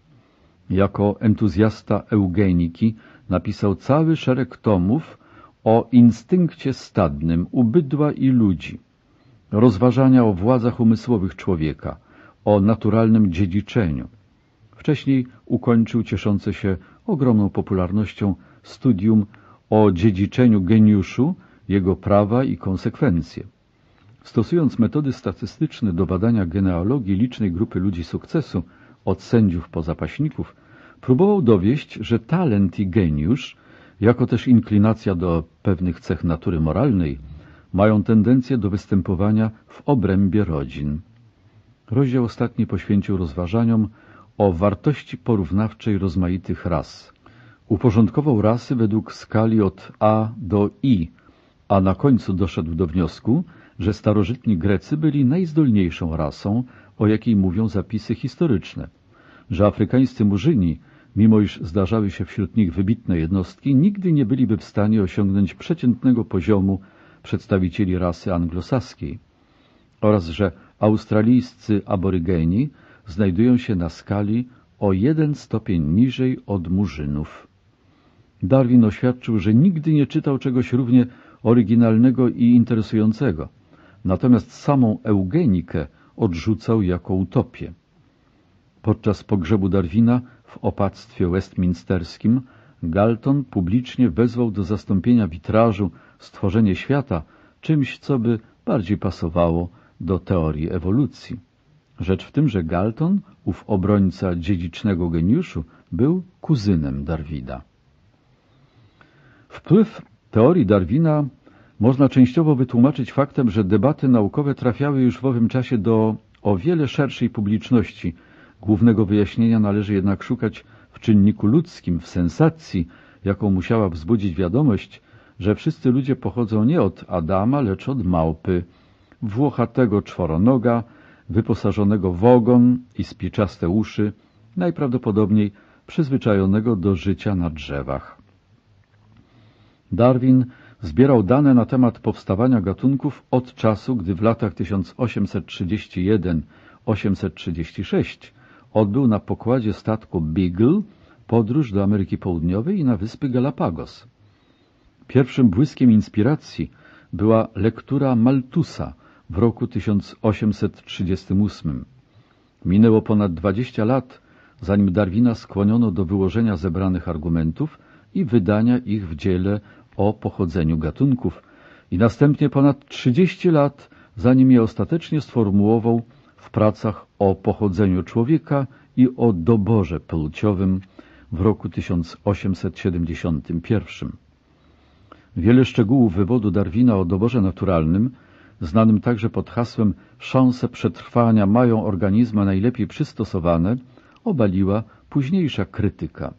Natomiast główna kwestia sporna ewolucjonizmu, a mianowicie twierdzenie, że wszystkie organizmy żywe w świecie roślin i zwierząt rozwijają się dzięki nieustannej interakcji ze środowiskiem i dzięki wzajemnej rywalizacji, szybko spotkała się z niemal powszechnym przyjęciem. Z czasem chrześcijaństwo głównego nurtu uznało, że można przyjąć zasadę ewolucji człowieka jako część boskiego zamysłu. Socjologowie zastosowali ideę ewolucji w wielu dziedzinach. Społeczny darwinizm, czyli przeświadczenie, że sprawy ludzkie to dżungla, w której przetrwać mogą jedynie najlepiej przystosowane narody, klasy czy jednostki, miał przed sobą długą karierę. Przekonanie, że metody naukowe można i powinno się stosować do badania zjawisk dotyczących człowieka w tej samej mierze, co do wyjaśniania zjawisk natury, było w istocie jedną z cech charakterystycznych zachodzących w tym okresie przemian. W efekcie, obok ekonomii i etnografii, pojawiły się socjologia, antropologia, geografia człowieka, nauki polityczne i wreszcie psychologia i psychiatria. W miarę jak rozszerzał się zakres nauk fizycznych i społecznych, kurczyła się domena czystej filozofii. Została jej tylko garstka tradycyjnie uprawianych dziedzin epistemologia, logika, etyka, estetyka i teoria polityki. Religia powracała do życia. Fakt ten znajdował odbicie w mnogości prac teologicznych, w żarliwości mas, w umacnianiu się dogmatu i organizacji Kościoła. Ten nowy klimat rodził się po części jako protest przeciwko ekscesom czasu rewolucji, a częściowo dlatego, że położono kres wielu wcześniejszym formom religijnej dyskryminacji. Oświecenie dobiegało końca, ale najpierw musiała zostać przyjęta zasada tolerancji religijnej. W licznych krajach protestanckich zniesiono datujące się z XVII wieku prawa dyskryminujące katolików. W licznych krajach katolickich protestantom przyznano równe prawa. Judaizm ponownie dopuszczano w wielu miejscach, z których był usuwany od czasu średniowiecza. Tak na przykład w Prusach w roku 1817 utworzono nowy Kościół Narodowy, który powstał z fuzji elementów luterańskich i kalwińskich. Pozycja Kościoła katolickiego została w pełni ustalona na mocy konstytucji z roku 1850. W cesarstwie austro-węgierskim zasada pełnej tolerancji religijnej stanowiła część postanowień Ausgleich z roku 1867. W Wielkiej Brytanii równouprawnienie religijne w szerokim zakresie gwarantował katolikom akt parlamentu w roku 1829, a Żydom akt z roku 1888, mimo że wyznawcy obu religii nadal pozostawali wyłączeni z prawa do tronu. W Niderlandach analogiczne środki podjęto ostatecznie w roku 1853. We Francji konkordat napoleoński pozostawał w mocy do roku 1905, mimo napięć w stosunkach między katolikami i republikanami. Ekstremistycznie nastawieni francuscy racjonaliści uprawiali własne formy religijnej żarliwości. W Limoges zorganizowali festiwal matematyki, który miał rywalizować z obchodami święta w niebowzięcia Najświętszej Maryi Panny. W Rosji natomiast panujący Kościół prawosławny narzucał innym wyznaniom surowe ograniczenia. Mimo, że protestanci z byłych szwedzkich prowincji nadbałtyckich, rodzima ludność chrześcijańska Kaukazu oraz muzułmanie ze środkowej Azji cieszyli się znaczną dozą autonomii, Żydzi, rzymscy katolicy i unici z byłych prowincji polskich podlegali kontroli ze strony państwa, byli nękani i dyskryminowani. Żydom prawnie nakazywano osiedlanie się w tzw. Tak strefie osadnictwa. Poza jej granicami mogli mieszkać tylko ci, którzy uzyskali specjalne zezwolenie. Kontrolę nad Kościołem rzymskokatolickim sprawowano za pośrednictwem tzw. Tak kolegium duchownego i pozbawiono go możliwości wszelkiego bezpośredniego kontaktu z Watykanem. Sankt Petersburg odmawiał wszelkich oficjalnych kontaktów z Rzymem, aż do czasu, gdy w roku 1849 udało mu się zawrzeć konkordat na własnych warunkach. Unitów siłą nawrócono na prawosławie. W imperium w roku 1839, a w byłym Królestwie Kongresowym w roku 1875. Całej Europie na ożywienie debaty teologicznej wpływały trzy niezależne od siebie zjawiska. Wymiana poglądów między protestantami i katolikami, którzy zaczęli teraz wychodzić ze swoich odizolowanych klatek, głębokie zainteresowanie romantyzmu egzotycznymi religiami, głównie buddyzmem i hinduizmem, oraz rozwój postaw naukowych. W ciągu XIX wieku wielu teologów zyskało sobie sławę wykraczającą poza granice poszczególnych wyznań i narodów. Znaleźli się wśród nich Calvin i profesor z Berlina, Ślązak Friedrich Schleiermacher, radykalnie nastawiony ksiądz z Brytanii Félicité de Lamennais, katolik z Bawarii i rektor z Monachium Johann Józef Ignaz von Dellinger, nawrócony na katolicyzm anglikanin John Henry Newman oraz ponury Duńczyk Søren Kierkegaard, którego słowa miały zostać zrozumiane dopiero w kilkadziesiąt lat po jego śmierci. Schleiermacher, który zajmował wpływową pozycję w pruskim Związku Kościołów, wprowadził teologiczny rygor do systemu zintegrowanych poglądów na sztukę i kulturę.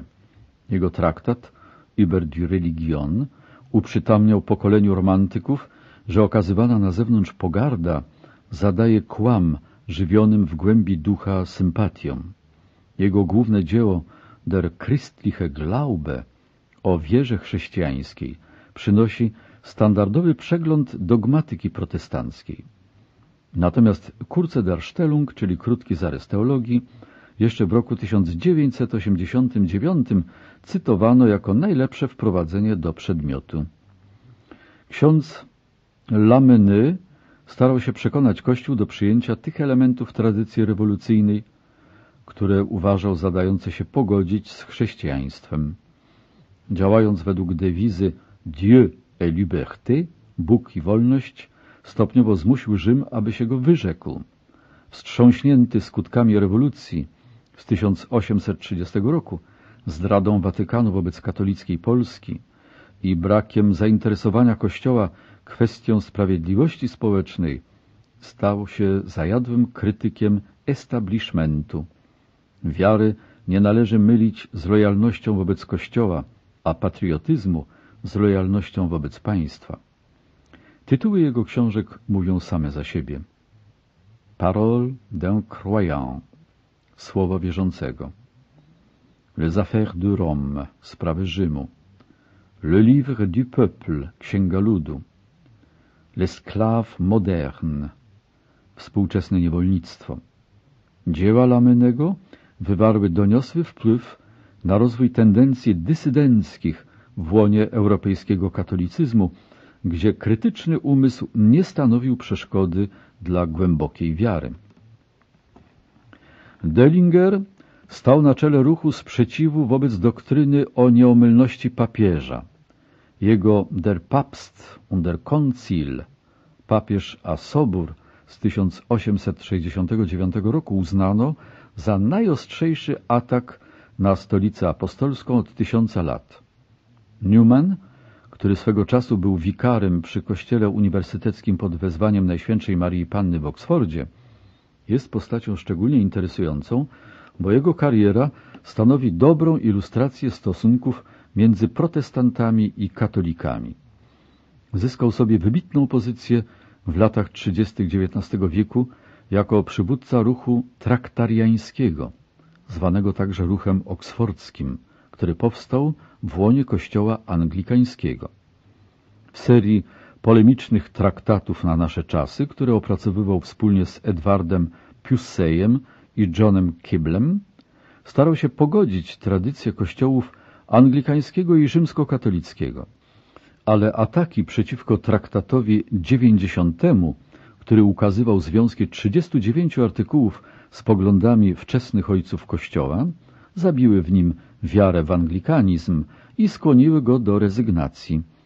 Jego apologia Provita Sua z 1864 roku z ogromną szczerością przedstawia duchowe zmagania autora. Jak pisze jego wstąpienie do katolickiej owczarni, wywołało głośne beczenie owieczek. Później starł się ze swoim kolegą, także nawróconym na katolicyzm i także kardynałem, Henrym Eduardem Manningiem, w sprawie nieomylności papieża. W swoim dysydenctwie nigdy jednak nie posunął się do nieposłuszeństwa. Pisma Kierkegaarda były wymierzone najpierw w postulaty filozofii Hegla, a następnie w wygodne praktyki duńskiego kościoła. wychodziły jednak daleko poza te dwie dziedziny, wkraczając w niezbadane dotąd rejony umysłu. Jego bojaźń i drżenie 843, pojęcie lęku, choroba na śmierć wkraczają w dziedzinę psychologii podświadomości. Zamykające nienaukowe postscriptum do okruchów filozoficznych z 846 bywa często uważany za podstawowy manifest egzystencjalizmu. Wszystkie prace Kierkegaarda są druzgocącą ofensywą wymierzoną przeciwko racjonalizmowi. Prawdą jest jego zdaniem subiektywizm. Pisał, historia świata chrześcijańskiego jest historią subtelnego braku poszanowania dla chrześcijaństwa. W ustępie będącym zadziwiającą przepowiednią katastrofy Titanica przyrównał Europejczyków do pasażerów ogromnego statku, który przepędzają noc na hulance, płynąc ku lodowej górze przeznaczenia. W trakcie wszystkich tych debat teologowie i badacze Pisma Świętego zaczęli stopniowo przejmować wiele metod i wartości od krytyki literackiej i historycznej. Najśmielsza wycieczka w tym kierunku, żywot Jezusa Ernesta Renana, doprowadziła do usunięcia autora z Collège de France. Mimo to modernizm nie przestawał czynić postępów, zwłaszcza gdy uroczyście potępili go hierarchowie. Żarliwość religijna nie jest wielkością, którą dałoby się łatwo zmierzyć. Nie ulega jednak żadnej wątpliwości, że wiara chrześcijańska budziła teraz w o wiele szerszych kręgach ludzi namiętności znacznie silniejsze niż w ubiegłym stuleciu. Powszechny pęd ku oświacie umacniał pozycję nie tylko świeckiego, ale i religijnego wykształcenia. Kampanie misyjne adresowano nie tylko do pogan z odległych kontynentów, ale w tej samej mierze także do biednych i zagubionych dusz z nowo powstających miast przemysłowych. Zwłaszcza w krajach protestanckich kościoły stawały się ośrodkami przywództwa społecznego i społecznej dyscypliny w stopniu nieznanym poprzednim epokom. Ruchy odrodzenia religijnego, niemiecki pietyzm, angielski metodyzm ogarniały teraz całe dzielnice, całe sektory społeczeństwa. W innych krajach, w Irlandii czy w niektórych częściach Polski, pobożność ludu zaczęto wiązać z ruchem narodowego oporu. Wszędzie tam nastąpił prawdziwy wybuch sztuki religijnej, dla której inspiracją i natchnieniem często bywały średniowieczne wzorce. Owo ożywienie znajdowało wyraz w istnej fali neogotyckiego budownictwa sakralnego, kościelnych hymnów inspirowanych przez religię ruchów artystycznych w sztuce, pre-rafaelitów w Anglii, nazareńczyków w Niemczech, bogactwa muzyki kościelnej. Według Karla Friedricha Schinkla, architekta uprawiającego styl neogotycki, sztuka jest sama w sobie religią. Kompozytorzy od Berlioza po Franka starali się odpowiadać na zapotrzebowanie na wciąż nową oprawę muzyczną dla mszy. Kościół rzymskokatolicki bynajmniej nie pozostawał odporny na zmiany, chociaż wyraźnie uwidaczniał swoją niechęć do pójścia z duchem czasu. Główne ośrodki katolicyzmu w Hiszpanii, Włoszech, Austrii, Polsce i południowych Niemczech nie były bezpośrednio wystawione na wpływy uprzemysłowienia i modernizacji. Ponadto najwyższe warstwy hierarchii, do głębi wstrząśnięte wydarzeniami epoki rewolucyjnej, zastygły w ultrakonserwatywnej postawie, od której miały się zacząć uwalniać dopiero w latach 60. XX wieku. Watykan przestraszył się dodatkowo długotrwałej akcji na tyłach toczącej się we Włoszech w sprawie państwa kościelnego, które zdławiono ostatecznie w latach 70. XIX wieku. Wrócił do łask ultramontanizm, do czego w pewnym stopniu przyczyniły się naciski walecznych francuskich biskupów oraz zakonu jezuitów restytuowanego w roku 1814. W dniach między 11 lutego a 16 lipca 1858 roku w grocie w pobliżu miasta Lourdes w Bigorre pewna niedożywiona, astmatyczna i zaniedbana dziewczynka imieniem Marie Bernard Subiru doświadczyła serii osiemnastu niezwykłych widzeń. Najpierw słyszała szelest wiatru, a potem ukazywała jej się piękna, młoda dziewczyna w białej sukni przewiązanej błękitną szarfą ze złocistymi różami u stóp. Postać wzywała Bernadettę do modlitwy i żalu za grzechy, a także kazała jej wybudować kaplicę i napić się wody ze źródła. Raz oświadczyła w miejscowym dialekcie, że jest immaculata concepciu, czyli niepokalanym poczęciem. Pozwoliła się też pokropić święconą wodą, dając tym samym dowód, że nie jest diablem. Pokazała także, że umie zarówno karać, jak i nagradzać. Ludzie z miasta, którzy wyrażali się o niej w sposób świętokradczy, zapadali na rozmaite choroby. Inni, którzy deptali róże obok groty, wracali do domu i odkrywali, iż ktoś zniszczył ich dobytek. Okazało się, że woda ze źródła ma lecznicze właściwości. Z początku sprawa nie zrobiła większego wrażenia, ani na władzach świeckich, ani na władzach kościelnych. Wypytywano Bernadettę o szczegóły, gromadząc obszerny materiał dowodowy. Grotę otoczono barierą. Kiedy się okazało, że nie da się już powstrzymać strumienia miejscowej ludności i przyjezdnych, wywieziono Bernadettę do klasztoru w Nevers. Z czasem jednak poniechano walki, pogodzono się z sytuacją i wybudowano potężną bazylikę dla pielgrzymów oraz katolicki ośrodek medyczny, gdzie zaczęto weryfikację przypadków cudownych wyleczeń. Lourdes miało się stać największym w Europie chrześcijańskim miejscem cudownych uzdrowień. W dziejach Kościoła świętą Bernadettę umieszczono w licznym gronie świętych, których udziałem były maryjne wizje owych pobożnych katolickich kobiet, które broniły tradycyjnej religii przed postępującą sekularyzacją. Podobnie jak chora na suchoty święta Teresa Martin, kwiatuszek z Lisieux, której autobiografia Dzieje duszy stała się niesłychanym bestsellerem, Bernadetta zademonstrowała światu świętość wiary w cierpieniu i w tej właśnie roli została powołana do walki kościoła francuskiego z jego wrogami. Bernadettę kanonizowano w roku 1933, w osiem lat po kanonizacji świętej Teresy. Widziany z nieco innej perspektywy przypadek Bernadetty Subiru pokazuje, że modernizacja społeczeństwa nie była procesem aż tak prostym, jakim się go na ogół przedstawia. Historycy opisują stopniową przemianę przedstawicieli warstwy chłopskiej, którzy pod wpływem nauk pobieranych w państwowych szkołach i służby wojskowej przekształcają się w jednolity naród francuski. Ale wydarzenia z 1858 roku ukazują działanie dodatkowych czynników. Wszyscy mieszkańcy Lourdes, nawet sam biskup, mówili dialektem patois. Nikt nie sugerował, że Bernadetta jest szalona i nikt jej nie oskarżał, że uprawia kult szatana. Opisywała Madonnę niezwykłą i bez dziesiątka. Należała do owej ponadczasowej wspólnoty, która otacza czcią wodę i w której rytuał oczyszczenia, prania odzieży, obmywania zmarłych i niemowląt jest wyłączną domeną kobiet. Mieszkała w okolicy, gdzie mimo, że biskup odbudowywał maryjne ołtarze, powszechnie uważano, iż jaskinie i groty pirenejskich pustkowi są nawiedzane przez wróżki.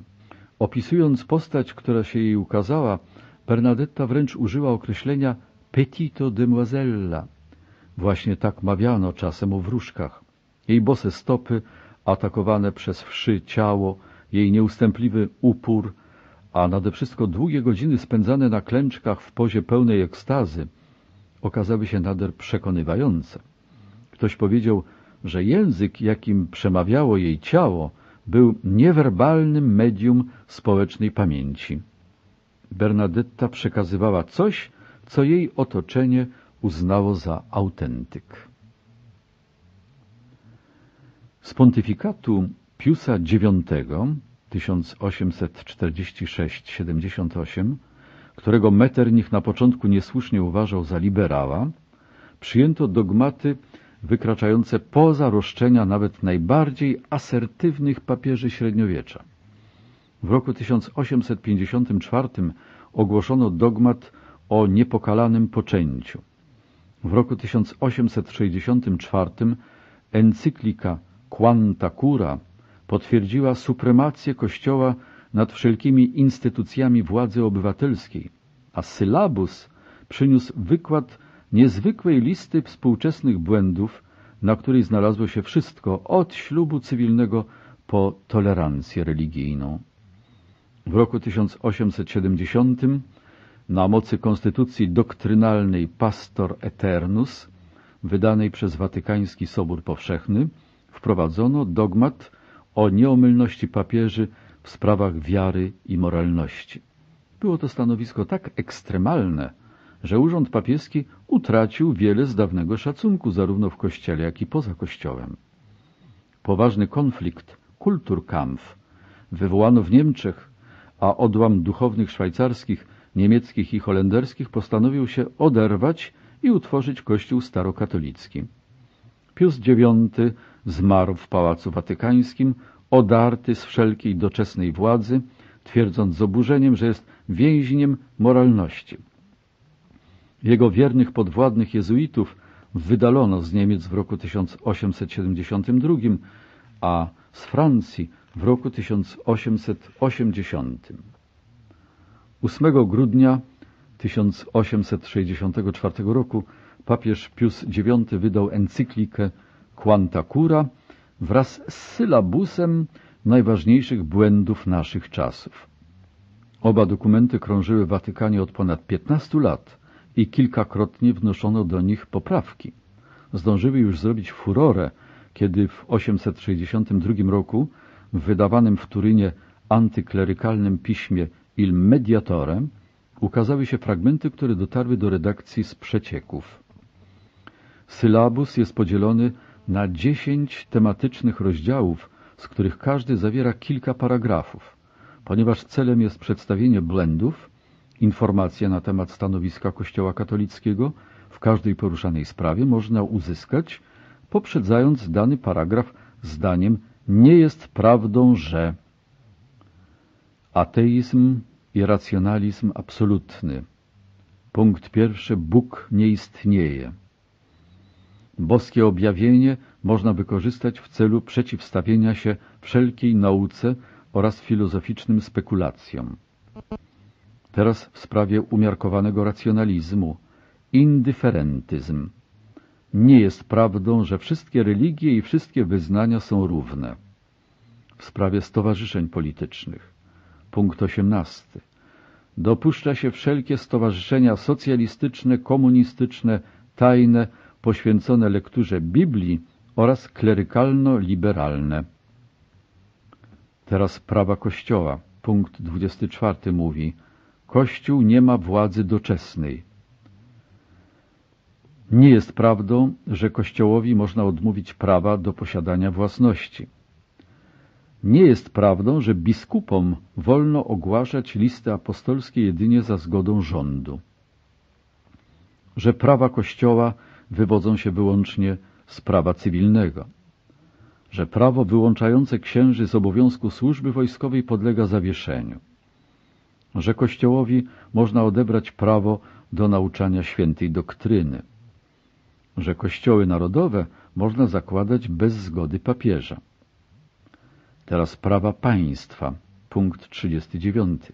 Nie jest prawdą, że państwo jest jedynym źródłem władzy społecznej, że władzom państwowym przysługuje prawo jednostronnego zniesienia konkordatu, że prawo cywilne jest nadrzędne wobec prawa kanonicznego, że prawo państwa do określania polityki oświatowej jest prawem absolutnym, że państwu przysługuje prawo najwyższej kontroli nad seminariami duchownymi, że państwo ma prawo odmówić hierarchii Kościoła bezpośredniej łączności z Rzymem, że ciałom świeckim przysługuje wyłączne prawo mianowania i odwoływania biskupów, że królowie i książęta mogą być wyłączeni z obowiązku przestrzegania praw Kościoła, że rozdział państwa od Kościoła jest konieczny. W dziedzinie etyki Punkt 56. Że prawa ludzkie nie muszą podlegać prawom naturalnym i prawu boskiemu. Że uznawać należy jedynie władzę, której podstawy mają charakter materialny. Że dopuszcza się bunt przeciwko pełnoprawnym władcom. Chrześcijańskie małżeństwo. Nie jest prawdą, że małżeństwo nie jest z samej natury sakramentalne że więzy małżeńskie podlegają rozwiązaniu, a zatem państwo może dopuścić rozwód sensu stricto, że tylko państwo ma prawo określać przeszkody do zawarcia małżeństwa. Władza doczesna biskupa Rzymu. Punkt 75. Nie jest prawdą, że wierzącym katolikom wolno wątpić w doczesną i duchową władzę biskupa Rzymu, że Kościół odniósłby korzyść gdyby zrezygnował ze sprawowania władzy doczesnej. Liberalizm. Punkt 77. Nie jest już rzeczą konieczną, aby katolicyzm pozostawał jedynym wyznaniem. Że imigrantom przybywającym do krajów katolickich powinno przysługiwać prawo publicznego praktykowania wszystkich religii. Że biskup Rzymu może i powinien pogodzić się z wymogami postępu, liberalizmu, i współczesnej cywilizacji i działać zgodnie z nimi. Źródeł powstania sylabusa należy szukać w prośbach włoskich biskupów o wskazówki zgłaszanych w wirze debaty toczącej się wokół kwestii utworzenia Królestwa Włoch. Watykan był czynnym uczestnikiem walki politycznej i wiele paragrafów sylabusa, mimo że zostały sformułowane w kategoriach ogólnych, było podyktowanych wymogami bardzo specyficznej sytuacji lokalnej. Ta istotna wada doprowadziła do wielu nieporozumień.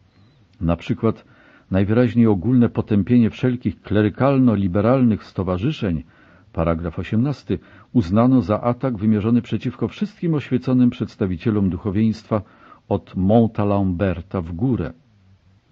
Tymczasem intencją tego paragrafu było po prostu poskromienie tej grupy duchowieństwa w Piemoncie, która popierała plany rządu w sprawie kasaty klasztorów. Kiedy się dokładnie czyta ten tekst, staje się jasne, że w większości przypadków Watykan po prostu zachowywał własną pozycję. Mówiąc, nie jest prawdą, że biskup Rzymu powinien działać zgodnie z wymogami współczesnej cywilizacji, Sylabus jedynie stwierdzał rzecz oczywistą, że Kościół kieruje się ponadczasowymi zasadami swojej religii i że nie ugnie się pod naporem modnych sloganów. Powstało jednak nieco inne wrażenie. Kilku kluczowym paragrafom nadano oplakany kształt i nigdy nie powinny były wejść w skład sylabusa. Gdy już podwójne przeczenia obiegły tam i z powrotem całą nieprzyjazną prasę, wielu ludzi doszło do przekonania, że Kościół katolicki jest nieprzejednanie przeciwny wszelkiej tolerancji, wszelkiej racjonalnej myśli, wszelkim formom separacji małżeńskiej, wszelkiemu samookreśleniu się narodów oraz wszelkim formom dobroczynności społecznej. W aspekcie politycznym z perspektywy czasu wydaje się rzeczą zadziwiającą, że prawnicy Watykanu potrafili wrzucić wszystkich socjalistów, komunistów, członków tajnych stowarzyszeń, niezależnych badaczy Biblii i liberalnych duchownych do jednego piekielnego worka. Był to jednak znak czasów. Inni wysoce inteligentni konserwatyści w innych miejscach Europy myśleli dokładnie tak samo. Fiodor Dostojewski, być może najwybitniejszy umysł epoki, poparłby zapewne paragraf 18 w całej rozciągłości. Może tylko ze swojego szczególnie rosyjskiego punktu widzenia miałby pokusę, aby go uzupełnić o jeszcze jeden dodatek, jak również wszystkich rzymskich katolików. Za pontyfikatu Leona XIII 1878-903, zwanego papieżem pokoju, Kościół znacznie się zbliżył do współczesnego sposobu myślenia w sprawach politycznych i zwłaszcza społecznych. celem encykliki Libertas było potwierdzenie pozytywnych aspektów liberalizmu, demokracji i wolności sumienia. Kolejna encyklika Rerum Novarum z 1891 stawiała Kościół po stronie sprawiedliwości społecznej, potępiając ekscesy nieokiełznanego kapitalizmu i nawołując wszystkie państwa do podejmowania starań o dobro wszystkich swoich obywateli. Natomiast wydana za czasów Piusa X, pontyfikat 1903-914, encyklika Pascendi Dominici Gregis jednoznacznie odrzucała modernizm jako podsumowanie wszelkich herezji, wznosząc w ten sposób w górę sztandar reakcji. Świat prawosławny był świadkiem przemian zachodzących zwłaszcza w polityce narodowej. W miarę ustępowania władzy Turków osmańskich z Bałkanów ustanawiano odrębne kościoły autokefaliczne w Grecji, Serbii, Rumunii, Czarnogórze i Bułgarii. Każdy z nich podlegał własnemu synodowi lub patriarsze. Kościoły te miały istotne znaczenie jako ośrodki konsolidacji tożsamości narodów bałkańskich. Proporcjonalnie do tych wydarzeń ekumeniczni patriarchowie Konstantynopola tracili wiele ze swojego dawniejszego prestiżu i wpływów. Wielokrotnie degradowani przez Portę, szczególnie zagrożenie widzieli w pretensjach rosyjskiego kościoła prawosławnego, który w coraz większym stopniu rościł sobie prawo do ochrony i patronatu nad wszystkimi prawosławnymi poddanymi sułtana. Bolesne rozłamy w łonie chrześcijaństwa okazały się trudne do złagodzenia. Nie było powszechnej woli jedności czy porozumienia. Rosyjscy prawosławni okazali pewne zainteresowanie starokatolikom przy okazji koronacji cara w 1895 roku nawiązano pierwsze z serii kontaktów z kościołem anglikańskim. Ale owe wczesne poruszenia ekumenizmu z konieczności ograniczały się do świata protestanckiego. Zawarty w 1817 w Prusach Związek Kościołów połączył Kalwinów i Luteran. Brytyjskie i zagraniczne Towarzystwo Biblijne, powstałe w 1804 roku, IMKA w 844 i IFKA w 885 stały się pionierskim przykładem współpracy między różnymi wyznaniami i różnymi krajami. Ogólnie rzecz biorąc, hierarchia Kościoła rzymskokatolickiego trzymała się z daleka, dopóki skandal, jakim okazały się rywalizujące ze sobą organizacje misyjne w Afryce i Azji, wreszcie nie zmusił jej do działania. Podczas Światowego Kongresu Misjonarzy, który odbył się w roku 1910 w Edynburgu, utworzono Światową Radę Misyjną, pierwsze z dwóch uznanych źródeł przyszłego ruchu ekumenicznego. Polityka XIX wieku skupiała się wokół losów monarchii, których supremacja została wprawdzie przywrócona, ale których fundamenty zaczęły później stopniowo podkopywać trzy wielkie ruchy tej epoki – liberalizm, nacjonalizm i socjalizm. Ogólnie rzecz biorąc, mimo pewnych godnych uwagi ofiar, monarchie przetrwały w stanie nienaruszonym. W roku 1914 święte trony Europy miały więcej koronowanych głów niż przed stu laty, ale udało im się przetrwać tylko dzięki dogłębnej przemianie charakteru więzi, jakie łączyły rządzących i rządzonych. Liberalizm rozwijał się w dwóch biegnących równolegle kierunkach w polityce i gospodarce. Liberalizm polityczny opierał się na podstawowej koncepcji wolnej gry sił politycznych. Swoją nazwę wziął od hiszpańskich liberales, którzy opracowali swoją konstytucję z 1812 roku w opozycji do arbitralnych rządów monarchii hiszpańskiej. Jego korzenie tkwiły jednak o wiele głębiej w teoriach politycznych oświecenia i poza nim. W gruncie rzeczy, przez większość wczesnego okresu swoich dziejów, liberalizm do złudzenia przypominał rozwój ograniczonych rządów. Za jego pierwszy trwały sukces można uznać rewolucję amerykańską, mimo że obficie korzystała z doświadczeń parlamentaryzmu brytyjskiego oraz pierwszą konstytucyjną fazę rewolucji francuskiej. W najbardziej bezkompromisowej formie obejmował także republikanizm, mimo iż większość liberałów z radością przyjmowała koncepcję lubianego i uczciwego monarchy o ograniczonej władzy jako istotny czynnik stabilizacji. Zwolennicy liberalizmu kładli nacisk przede wszystkim na praworządność, swobody obywatelskie jednostki, procedury konstytucyjne, tolerancję religijną i powszechne prawa człowieka. Występowali przeciwko prerogatywom przysługującym z urzędu koronie, kościołowi czy arystokracji. Wszędzie tam, gdzie taki system jeszcze się zachował. XIX-wieczni liberałowie przywiązywali także wielką wagę do własności, w której widzieli podstawowe źródło odpowiedzialnych sądów i rzetelnego obywatelstwa. W rezultacie, mimo że odgrywali główną rolę w podcinaniu skrzydeł absolutyzmowi i budowaniu podwalin nowożytnej demokracji, to jednak nie byli gotowi uwzględniać radykalnych projektów wprowadzenia powszechnego prawa głosu czy zasad egalitaryzmu. Liberalizm gospodarczy opierał się na koncepcji wolnego handlu i związanej z nią doktrynie laissez-faire. Doktryna ta sprzeciwiała się przyjętej praktyce, w myśl której rządy regulowały życie gospodarcze za pomocą taryf ochronnych. Podkreślał prawo posiadaczy do podejmowania działalności handlowej i przemysłowej bez zbędnych ograniczeń. Swoją energię skoncentrował z jednej strony na znoszeniu barier gospodarczych, które namnożyły się zarówno w poszczególnych krajach, jak i na płaszczyźnie międzynarodowej, z drugiej zaś na zwalczaniu wszelkich form zbiorowej działalności, od starych gildii po nowe związki zawodowe. Liberalizm bywa często klasyfikowany jako ideologia nowych klas średnich. Rzeczywiście odwoływał się do interesów owej szerokiej i wciąż rozszerzającej się warstwy społeczeństwa, która sytuowała się między dawną uprzywilejowaną klasą arystokracji, a pozbawionymi własności masami robotników przemysłowych. Ale jego wpływów nie można ograniczać do tak wąskich granic. Dotyczył także szerokiego wachlarza spraw, których podłoże niekoniecznie miało charakter wyłącznie społeczny czy gospodarczy.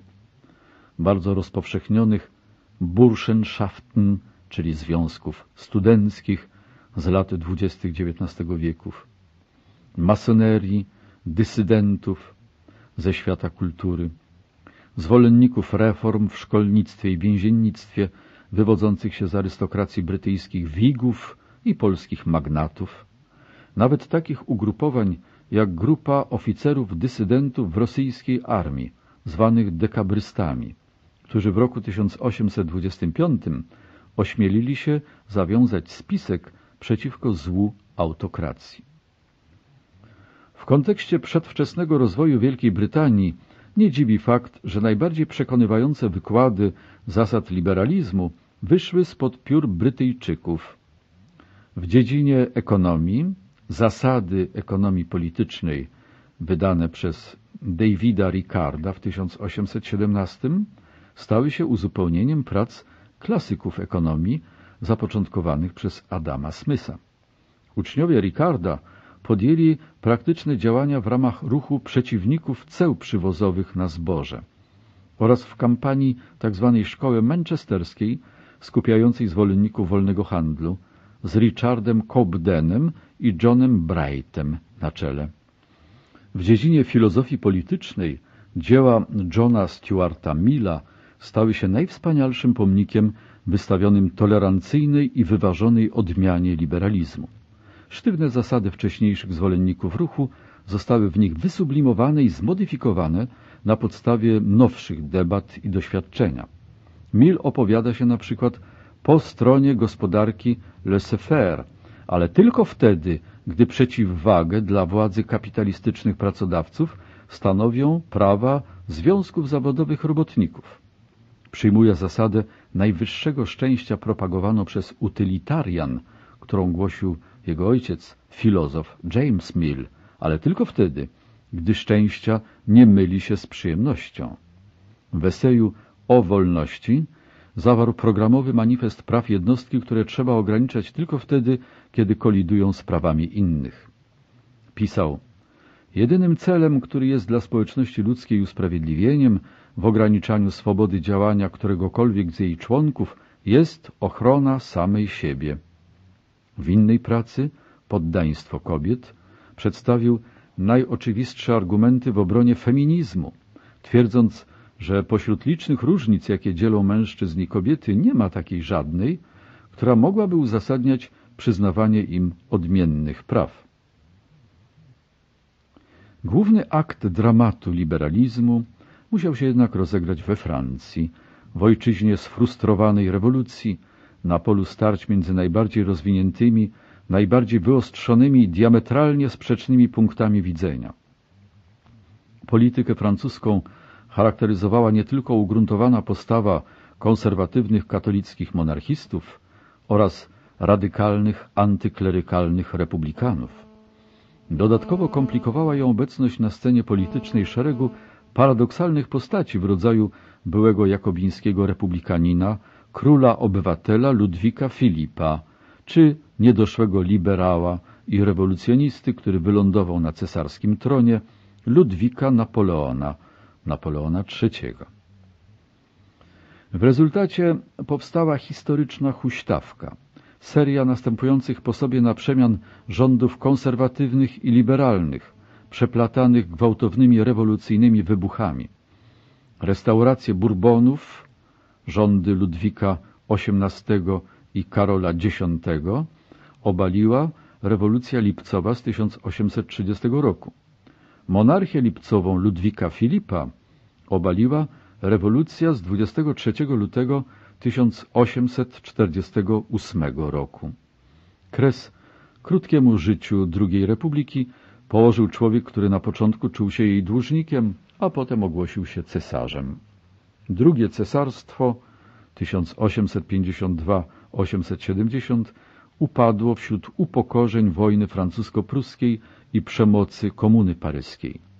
Trzecia Republika, zainaugurowana w 1870 roku, przeżyła 70 lat. Był to jednak okres zmieniających się rządów, niezwykle ożywionych i równie bezużytecznych publicznych debat oraz skrajnej wrogości przeciwnych obozów. Głośna sprawa kapitana Dreyfusa, która przykuwała uwagę Francji w latach 894-906, była dowodem, że liberalne i antyliberalne namiętności Francuzów muszą sobie dopiero znaleźć jakiś modus vivendi. Taka sama zmienność charakteryzowała burzliwe losy Hiszpanii, która odgrywała rolę czegoś w rodzaju laboratorium liberalizmu. Między exaltados, czyli ekstremalnymi radykałami, i apostolikos, czyli ekstremalnymi monarchistami, popieranymi przez Kościół, otwierała się głęboka przepaść.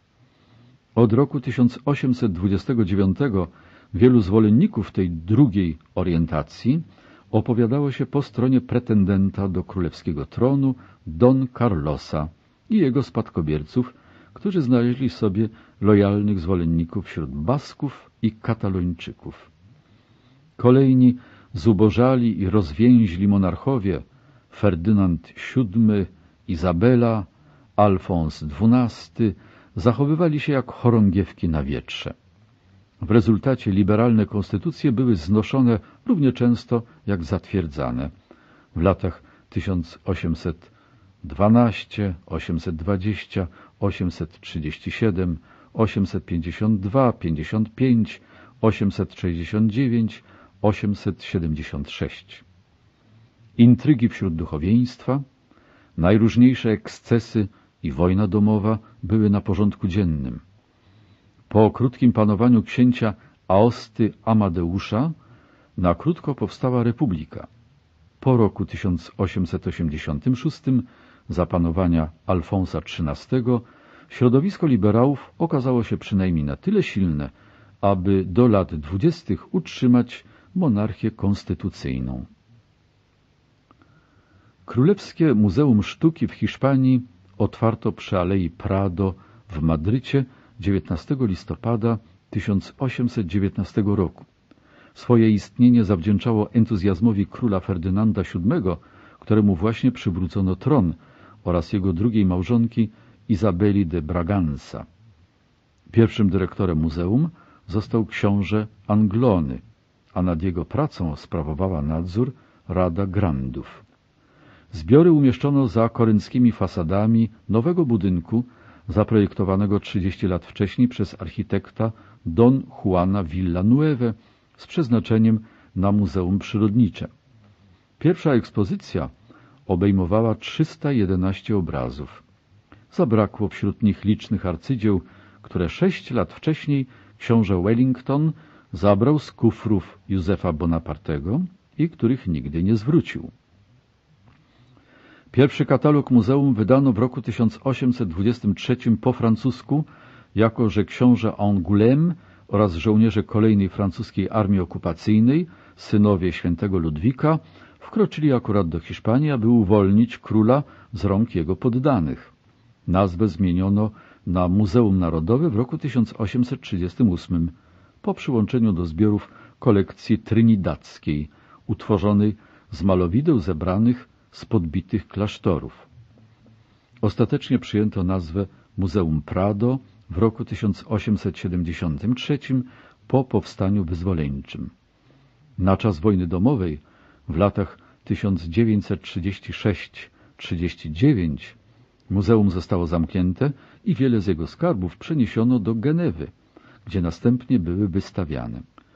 Dzieje królewskich zbiorów sztuki w Hiszpanii sięgają czasów Jana II Kastylijskiego, o którym wiadomo, że kupował obrazy Rogera van der Weydena. Ich największymi dobroczyńcami byli mecenasi Tycjana, Karol V i Filip II, Filip IV, który zatrudnił na swym dworze Velasqueza oraz Karol III, który w 1774 roku zarządził sekwestrację całego majątku należącego do jezuitów. Mimo poważnych strat spowodowanych przez ogień Francuzów, Prado stało się jedną z najwspanialszych kolekcji obrazów na świecie, zachowaną w idealnym stanie dzięki suchemu powietrzu kastylijskiej równiny. Katalog skarbów Prado obejmuje pełną listę wielkich nazwisk przedstawicieli szkół włoskiej, flamandzkiej, niemieckiej, holenderskiej i francuskiej. Przede wszystkim jednak tu właśnie znajdują się najwspanialsze dzieła malarzy szkoły hiszpańskiej. Plutna osiadłego w Toledo kretyńczyka El Greco, Diego de Velázqueza i Bartolomé Murillo z Sewilli, José de Ribery z Walencji i niezrównanego Francisca de Goy, który w chwili otwarcia Muzeum Prado był najwybitniejszym współczesnym malarzem Hiszpanii. Galerie sztuki przechowują kwintesencję twórczego geniuszu człowieka. Są najłatwiej chyba dostępną drogą dotarcia do przeszłości. Atakują zmysły i pobudzają wyobraźnię żywiej niż najlepsza nawet książka o historii. Prado znajduje się w czołówce pierwszej ligi galerii narodowych obok Louvru w Paryżu, Rijksmuseum w Amsterdamie, Kunsthistorisches Museum w Wiedniu, Ermitażu w Sankt Petersburgu, a we Włoszech Galerii Uffizi we Florencji i zbiorów Watykanu w Rzymie. Wspiera je druga Liga Prowincjonalnych Galerii Muzeów w Mińsku, Manchesterze czy Monachium, w Krakowie i w Oksfordzie, często zaskakująco wspaniałych, oraz Galerie Sztuki Współczesnej. Na dalszym planie lokują się instytucje mało znane, choć świadczące o oddaniu swych twórców i sponsorów. Od Cholet po Jędrzejów czy Dalwich. W roku 1784, kiedy urodził się Ferdynand VII i kiedy rozpoczęto budowę Prado, inny europejski monarcha podjął plany otwarcia innego królewskiego Muzeum Sztuki. Król Polski Stanisław August Poniatowski zlecił pewnemu londyńskiemu handlarzowi obrazów skompletowanie kolekcji dzieł dawnych mistrzów, którą mógłby uzupełnić swoje prywatne zbiory w Warszawie. Potem przyszła wojna polsko-rosyjska i rozbiory.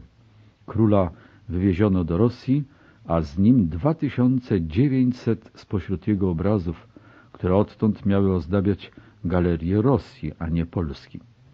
Nigdy nie zobaczył zgromadzonych dla niego w Londynie malowideł za które zresztą nie dało się już zapłacić. Miały utworzyć główny trzon zbiorów Galerii Malarstwa w Dulwich, jednego z tych licznych, pomniejszych muzeów, które zasługują na to, aby je lepiej poznać. Portugalia przeszła trwający 80 lat okres walk konstytucyjnych, które zakończyły się zniesieniem monarchii. Konstytucyjną kartę praw nadano w roku 1826, na krótko po ogłoszeniu przez Brazylię niepodległości i król Pedro postanowił zostać na tronie jako cesarz Brazylii. Wymyślano jednak wszelkie możliwe strategie, aby utrudnić wprowadzenie karty w życie. Do roku 1853 przewagę miał absolutystyczny dwór Marii II i jej dwóch synów.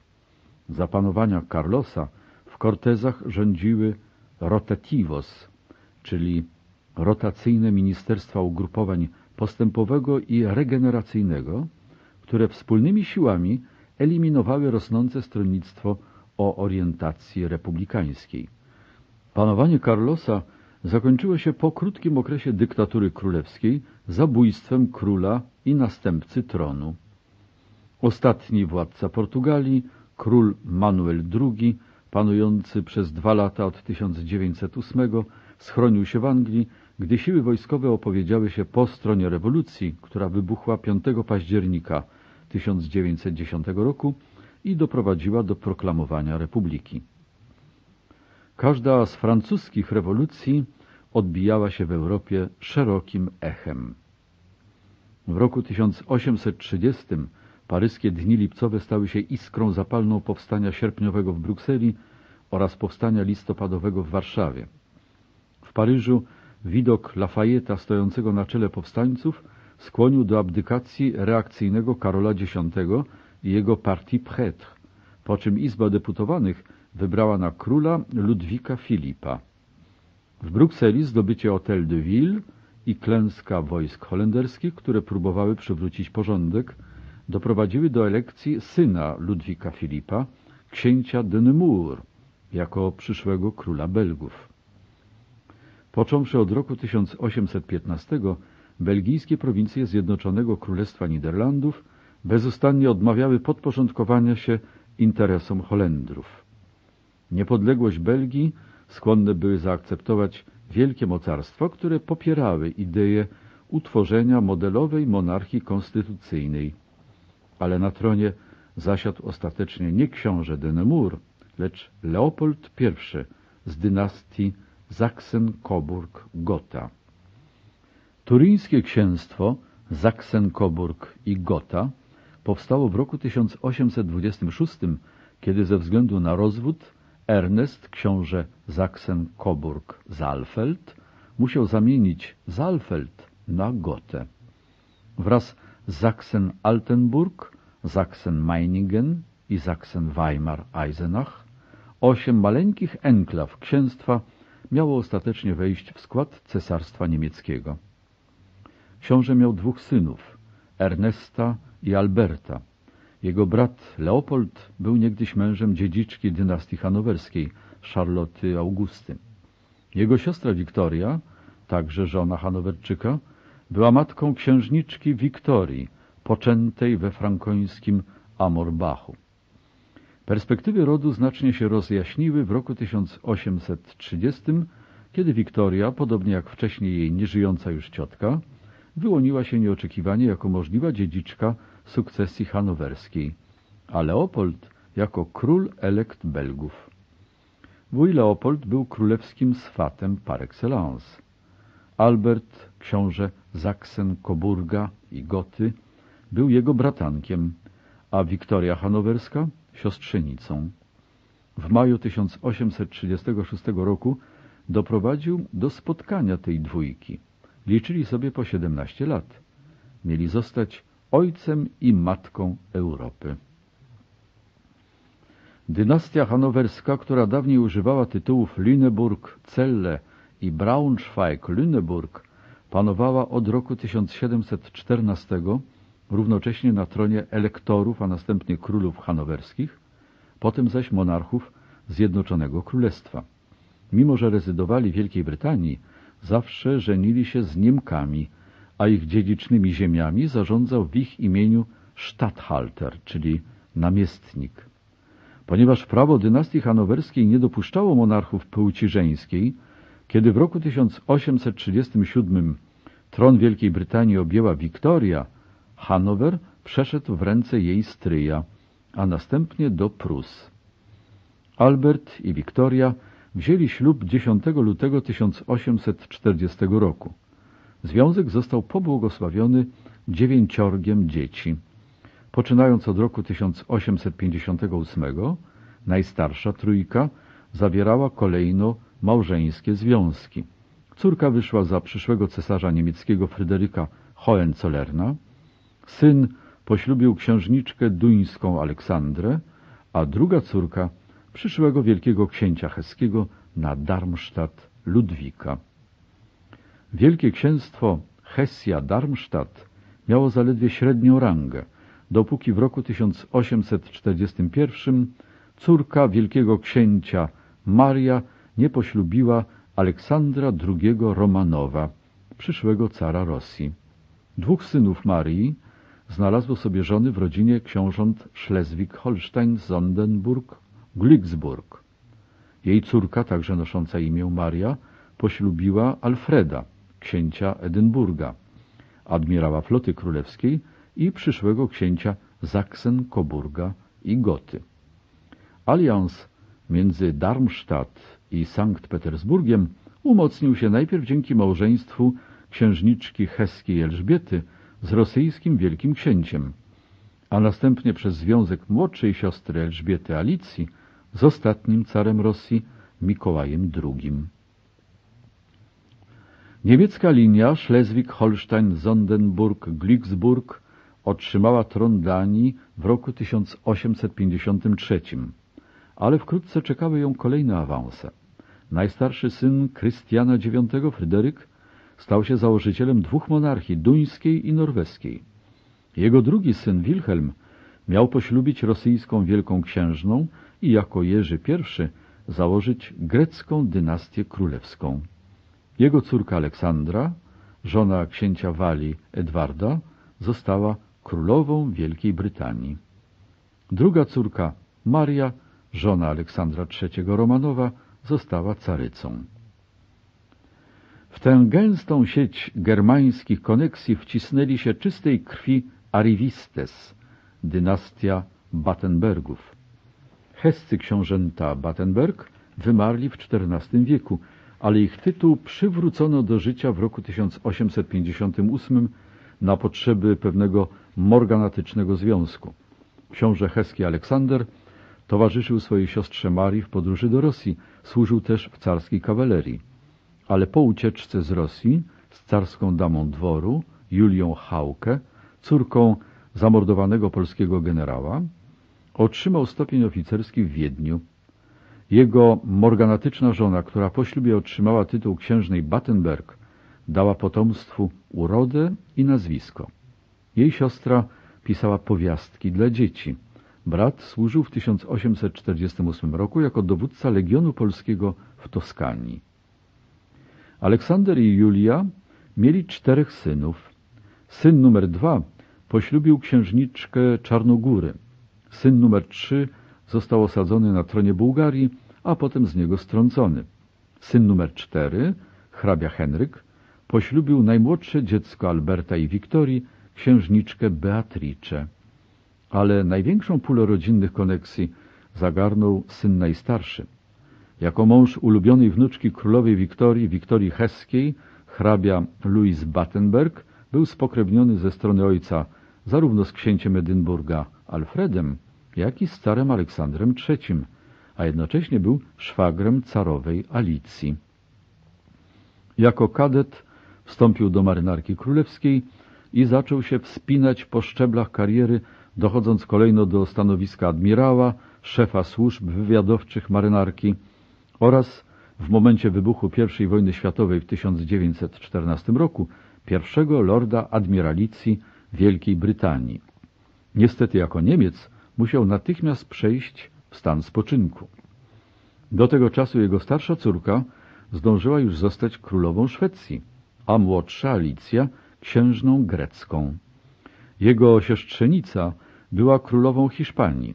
Młodszy syn, Louis, znany pod przydomkiem Dicky, późniejszy hrabia Birmy, miał pójść w ślady ojca i trafić do brytyjskiej admiralicji. W lipcu 1917 roku nazwisko rodu zmieniono po raz kolejny, tym razem z Battenberg na Mountbatten. Ich krewni z rodziny Romanowów siedzieli w areszcie, a powinowaci z dynastii Sachsen-Coburg-Gotha-Hanover-Teck właśnie pośpiesznie zmieniali nazwisko na Windsor. Z czasem admirał Louis Mountbatten zaczął przejawiać takie same talenty do swatania par, jak wujek królowej Wiktorii, Leo. Jego ulubionym siostrzeńcem był młody, żyjący na wygnaniu grecki książę Filip. W rodzinie Windsorów w 1937 roku wyłoniła się jako możliwa dziedziczka tronu brytyjskiego młoda księżniczka Elżbieta. Wujek Dicky doprowadził do ich spotkania. Filip, książę Schleswig-Holstein, Sondenburg, Glicksburg, urodzony w 1921 i Elżbieta, księżniczka Windsor, urodzona w 1926, zawarli ślub w 1947 roku. Oboje byli w takim samym stopniu spokrewnieni z liniami Zaksen, Coburga i Goty, Hanoweru, Hesji i Danii. Jeśli nie liczyć kilkorga krewnych szkockiej matki Elżbiety, żadne z nich nie miało nowożytnych angielskich przodków.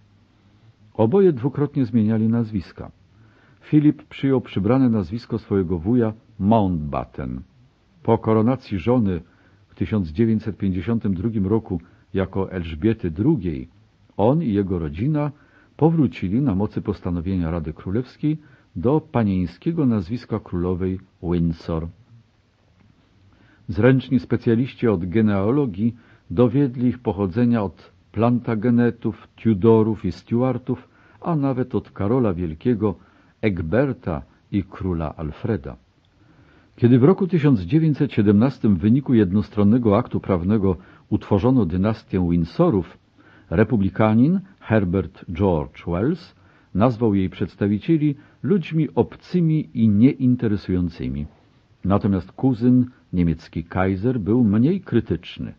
W rzadkim przystępie poczucia humoru oświadczył, że wybiera się do teatru, żeby obejrzeć przedstawienie pod tytułem Wesołe kumoszki z Zaksen, Coburga i Goty. W lutym 1848 roku moc rewolucyjnej machiny była o wiele większa niż w roku 1830, a impet wybuchów objął wszystkie większe państwa z wyjątkiem Wielkiej Brytanii i Rosji. Tym razem chmury zbierały się nad Szwajcarią już od roku 1845, nad Rzeczpospolitą Krakowską od roku 1846, a nad Sycylią od roku 847. Obalenie Ludwika Filipa stało się sygnałem, który spowodował wybuch pożarów we wszystkich większych miastach Niemiec, Włoch, Austrii i Węgier. Wydarzenia z lat 1848-49 nazwano rewolucją intelektualistów, głównie z powodu doniosłych debat, jakie się toczyły w For Parlament we Frankfurcie i na Kongresie Słowian w Pradze i w związku z wydaniem epokowego manifestu komunistycznego. W rzeczywistości był to czas, w którym krwawe czyny przemawiały o wiele głośniej niż słowa. Nie tylko intelektualiści stawali na barykadach, chociaż w wir walki rzucili się poeci Lamartine, Mickiewicz, Szandor Pötefi. Lamartine pełnił funkcję ministra spraw zagranicznych w pierwszym rewolucyjnym rządzie Francji. Mickiewicz utworzył legion złożony z polskich uchodźców do walki o Republikę Rzymską. Petefi zginął w bitwie z Austriakami. W Paryżu podczas dni czerwcowych, kiedy oddziały generała Cavaignaca stłumiły opór robotników, kładąc kres krótkiemu życiu znacjonalizowanych zakładów produkcyjnych, zginęło ponad 10 tysięcy ludzi. W Berlinie, podobnie jak gdzie indziej, władcy woleli najpierw strzelać, a potem rozmawiać o konstytucji. We Włoszech, na Sardynii rozpoczęła się Guerra Santa, święta wojna, przeciwko panowaniu Austriaków w Lombardii. Na Węgrzech, gdzie zdetronizowano Habsburgów oraz mianowano Koszuta regentem i dyktatorem, trzeba było dwóch rosyjskich armii trwającej przez cały rok kampanii, aby przeprowadzić restaurację. We Włoszech dopiero wezwanie na pomoc oddziałów wojsk francuskich, austriackich i neapolitańskich pozwoliło zniszczyć samozwańcze republiki Rzymu i Wenecji. Rok 1848, widziany z bliskiej perspektywy, przyniósł zatem serię klęsk liberalizmu. Obalono tylko jedną monarchię i to we Francji, gdzie prezydent Ludwik Napoleon prędko zabrał się do podkopywania fundamentów tych samych republikańskich instytucji, które przyniosły mu władzę. Przed upływem trzech lat Francuzi, którzy wypędzili swojego króla, mieli z powrotem na karku autorytarnego cesarza. Nie przetrwała żadna z nowych republik Europy. Metternich, symbol minionej epoki, powrócił do Wiednia z londyńskiego wygnania. Wraz z nim wróciły nowe represje wprowadzane przez nowych przywódców. Ale rok 1848 szybko zaczęto uważać za punkt przełomowy dla spraw Europy. Reakcyjne rządy odniosły wprawdzie triumf, ale za tak wielką cenę, że nie mogły sobie pozwolić na powtórkę. Konstytucje, które nadano, narzucono i w niektórych wypadkach unieważniono, stopniowo wprowadzano ponownie lub poszerzano. Odrzucano wprawdzie metody przemocy stosowane przez rewolucjonistów, ale same reformy polityczne i społeczne, jakich się domagali, zaczęto teraz poważnie brać pod uwagę.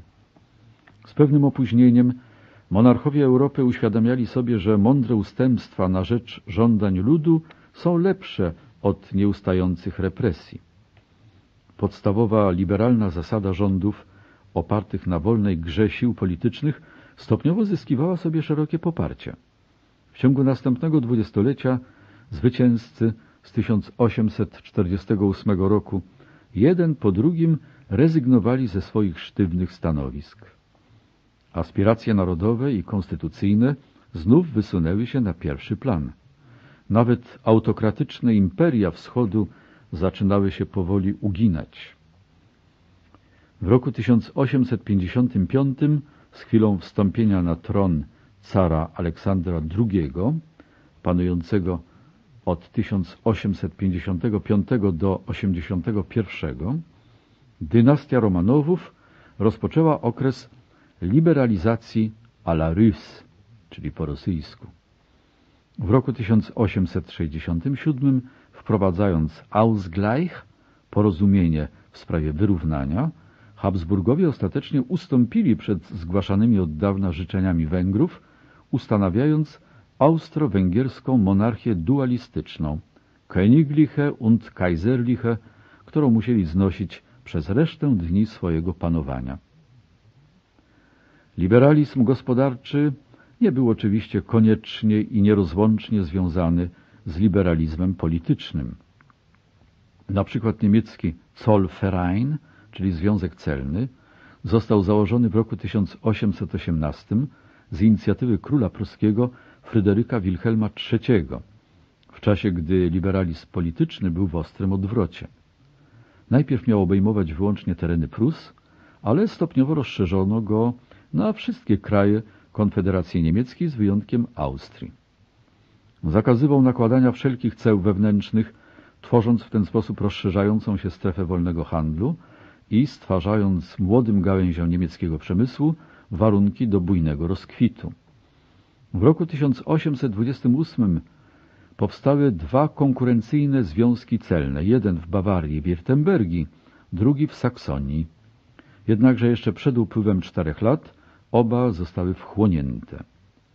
W roku 1852 Austria podjęła próbę przełamania swojej izolacji i wystąpiła z propozycją utworzenia Związku Celnego, który obejmowałby całą Europę Środkową i północne Włochy.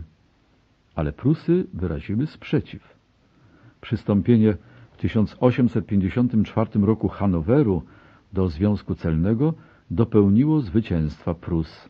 Jedynym wyjątkiem były dwa nieugięte miasta Brema i Hamburg.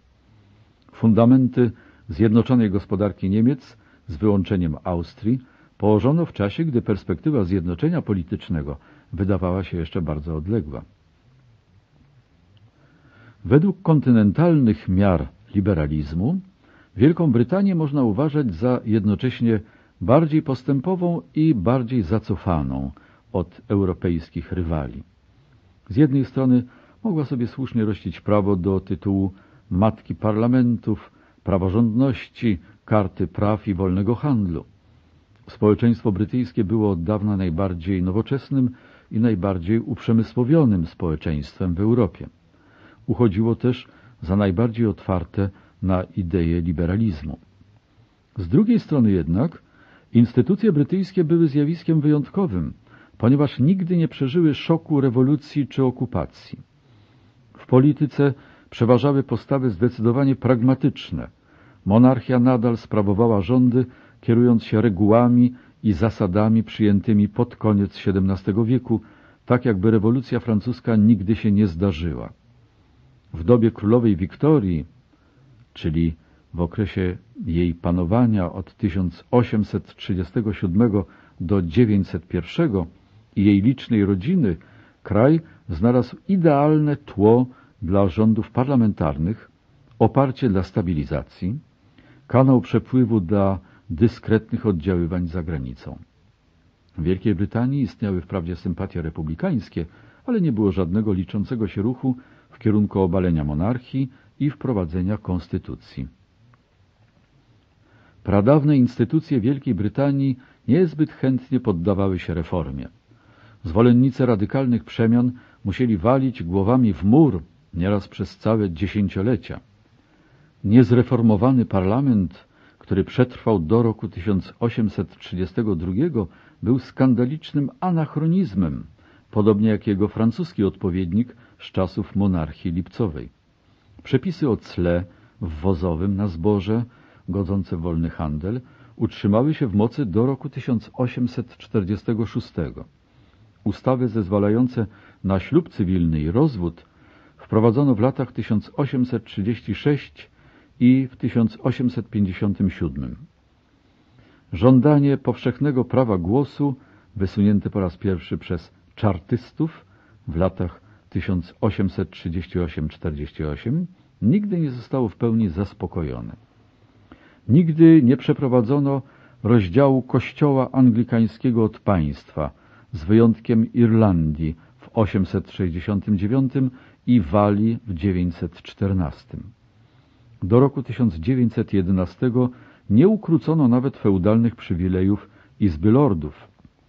Tolerancja religijna nigdy nie była całkowita. System dwupartyjny, który dawne obozy Wigów i Torysów przemianował na liberałów i konserwatystów, opóźniał nadejście silnego ruchu socjalistycznego i w znacznej mierze hamował prawodawstwo społeczne. Za czasów Williama Gladstona i Benjamina Disraeliego, którzy w trzecim ćwierćwieczu dominowali na scenie politycznej i którzy mieli liberalne skłonności, reformy wewnętrzne często schodziły na drugi plan wobec interesów imperium.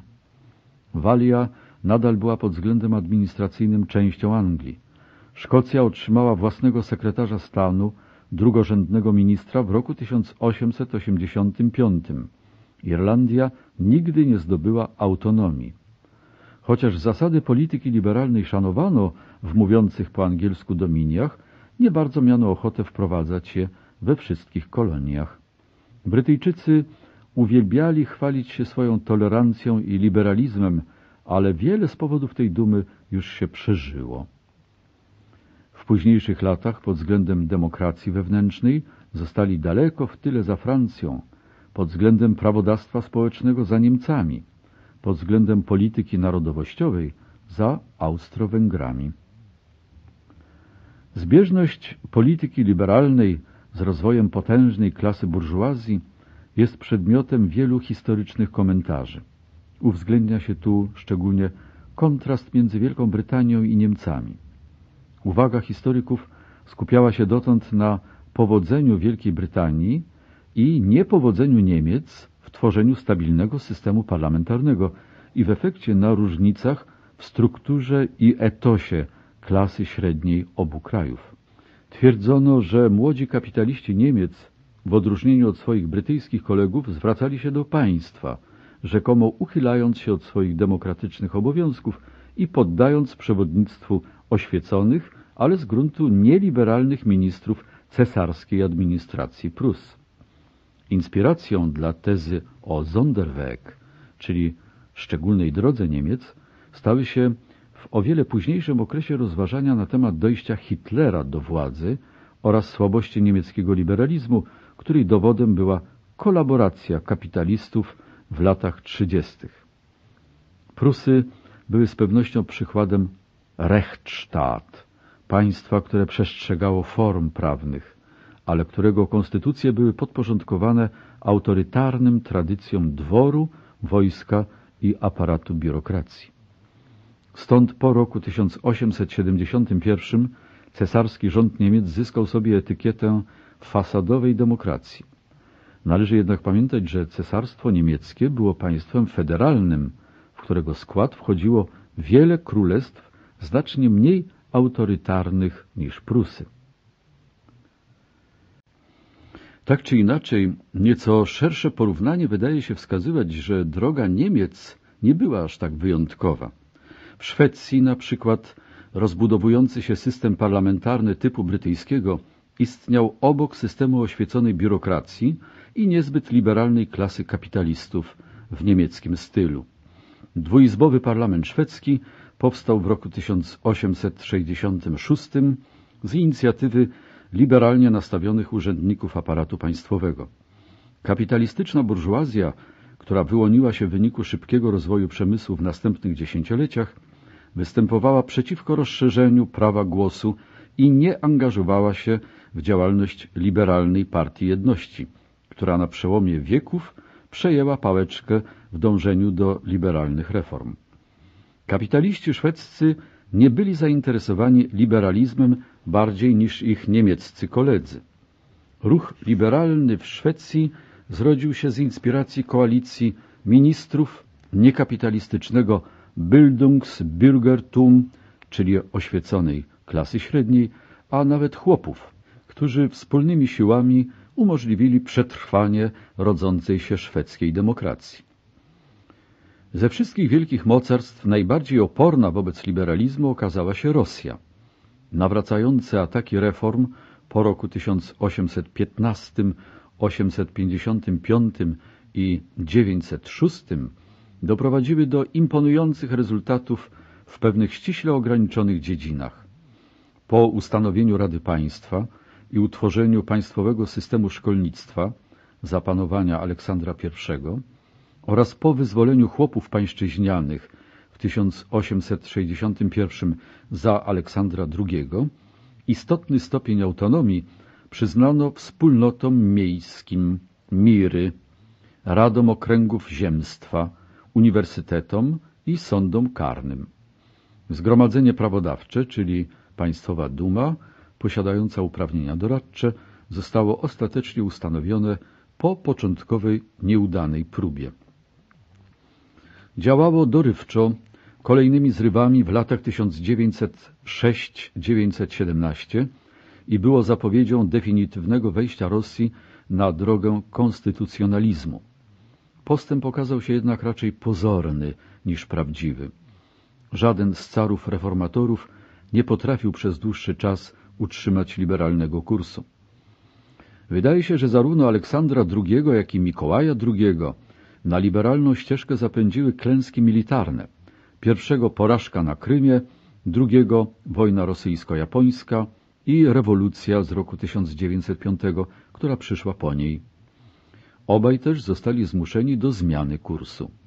Każdy wybuch działań reformatorskich kończyła jakaś force majeure, czyli siła wyższa, bunt dekabrystów w roku 1825, powstanie w Polsce w latach 1863-64 oraz wybuch I wojny światowej. We wszystkich wypadkach następstwem była gwałtowna reakcja – w wyniku której tłumiono siły liberalne. Sto lat po kongresie wiedeńskim rosyjska autokracja i jej policyjny reżim wciąż utrzymywały się w zasadniczo nienaruszonym stanie. Nie uczyniono żadnego wyłomu w przysługującym carom autokratom podstawowym prawie do unieważniania wszelkich poczynionych ustępstw. Co więcej, Rosja często interweniowała w kampaniach wymierzonych przeciwko rozwojowi tendencji liberalnych za granicą. Chociaż car Aleksander III porzucił strategię bezpośredniego interwencjonizmu, utrzymał się od dawna zakorzeniony odruch przyznawania Rosji roli żandarma Europy. Kiedy w lutym 1848 roku, podczas odbywającego się właśnie w pałacu balu, Mikołaj I dowiedział się o obaleniu monarchii Ludwika Filipa, oświadczył Panowie, siodłajcie konie, Francja jest republiką. Tak więc we wszystkich europejskich monarchiach powiały z mniejszą lub większą siłą wiatry liberalizacji. Ale podmuchy były nieregularne, a skutki różne. Europejski liberalizm nabierał wiatru w żagle podczas reakcyjnych dziesięcioleci po roku 1815 i ruszył z największym impetem na fali eksplozji z roku 1848. W drugiej połowie stulecia liberałowie kontynuowali wprawdzie swoją batalię, ale ich niedokończony program musiał teraz współzawodniczyć z roszczeniami konserwatyzmu, nacjonalizmu, socjalizmu i imperializmu. Konserwatyzm zaczął przybierać kształt spójnej ideologii w powiązaniu z rozwojem prądów liberalnych. Nie występował ani przeciwko demokracji, ani przeciwko zmianom jako takim i nie powinno się go mylić ze zwykłymi postawami reakcyjnymi. Podkreślał natomiast z naciskiem, że wszelkie zmiany należy regulować i kontrolować, tak aby nie zagrażały organicznemu rozwojowi ustalonych instytucji państwowych i społecznych, monarchii, kościołowi, hierarchii społecznej, własności, rodzinie. Stąd też jego nazwa, wywodząca się od łacińskiego conservare, zachowywać. Jest rzeczą charakterystyczną, że jeden z jego twórców, Edmund Burke, najpierw z radością powitał wybuch rewolucji francuskiej, a dopiero później zaczął zdecydowanie występować przeciwko wynikłym z niej ekscesom. Podobnie jak liberałowie, konserwatyści uznawali wartość jednostki, sprzeciwiali się idei wszechwładnego państwa i dążyli do ograniczenia centralnej władzy wykonawczej. Dzięki temu często okazywali się najbardziej skuteczni w działaniu ze wszystkich zwolenników reform, łagodząc propozycje wychodzące od ugrupowań zajmujących skrajne postawy i pełniąc funkcję pośredników między nimi a panującym dworem.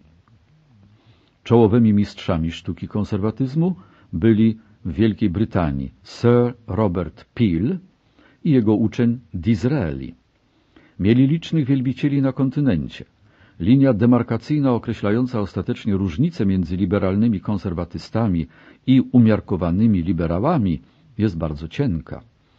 W wielu demokracjach rozległy obszar spraw, co do których obie formacje były zgodne, zaczęto nazywać polityką środka. Nacjonalizm, czyli zbiór idei dotyczących narodu, którego interesy uważane są za najwyższe dobro, urósł do rangi jednej z podstawowych sił naszych czasów. Najpotężniejszym bodźcem stała się dla niego rewolucja francuska, a wykrystalizował się w procesie społecznych i politycznych przemian zachodzących w XIX-wiecznej Europie. Od tamtego czasu zdążył dotrzeć na wszystkie kontynenty świata. Występował w dwóch sprzecznych ze sobą odmianach. Pierwsza, nacjonalizm państwowy, czyli obywatelski, była wspierana przez układy sił rządzących w istniejących na świecie państwach. Siłę napędową drugiej, nacjonalizmu ludowego, czyli etnicznego, stanowiły żądania społeczności żyjących w tych państwach i występujących przeciwko polityce swoich rządów.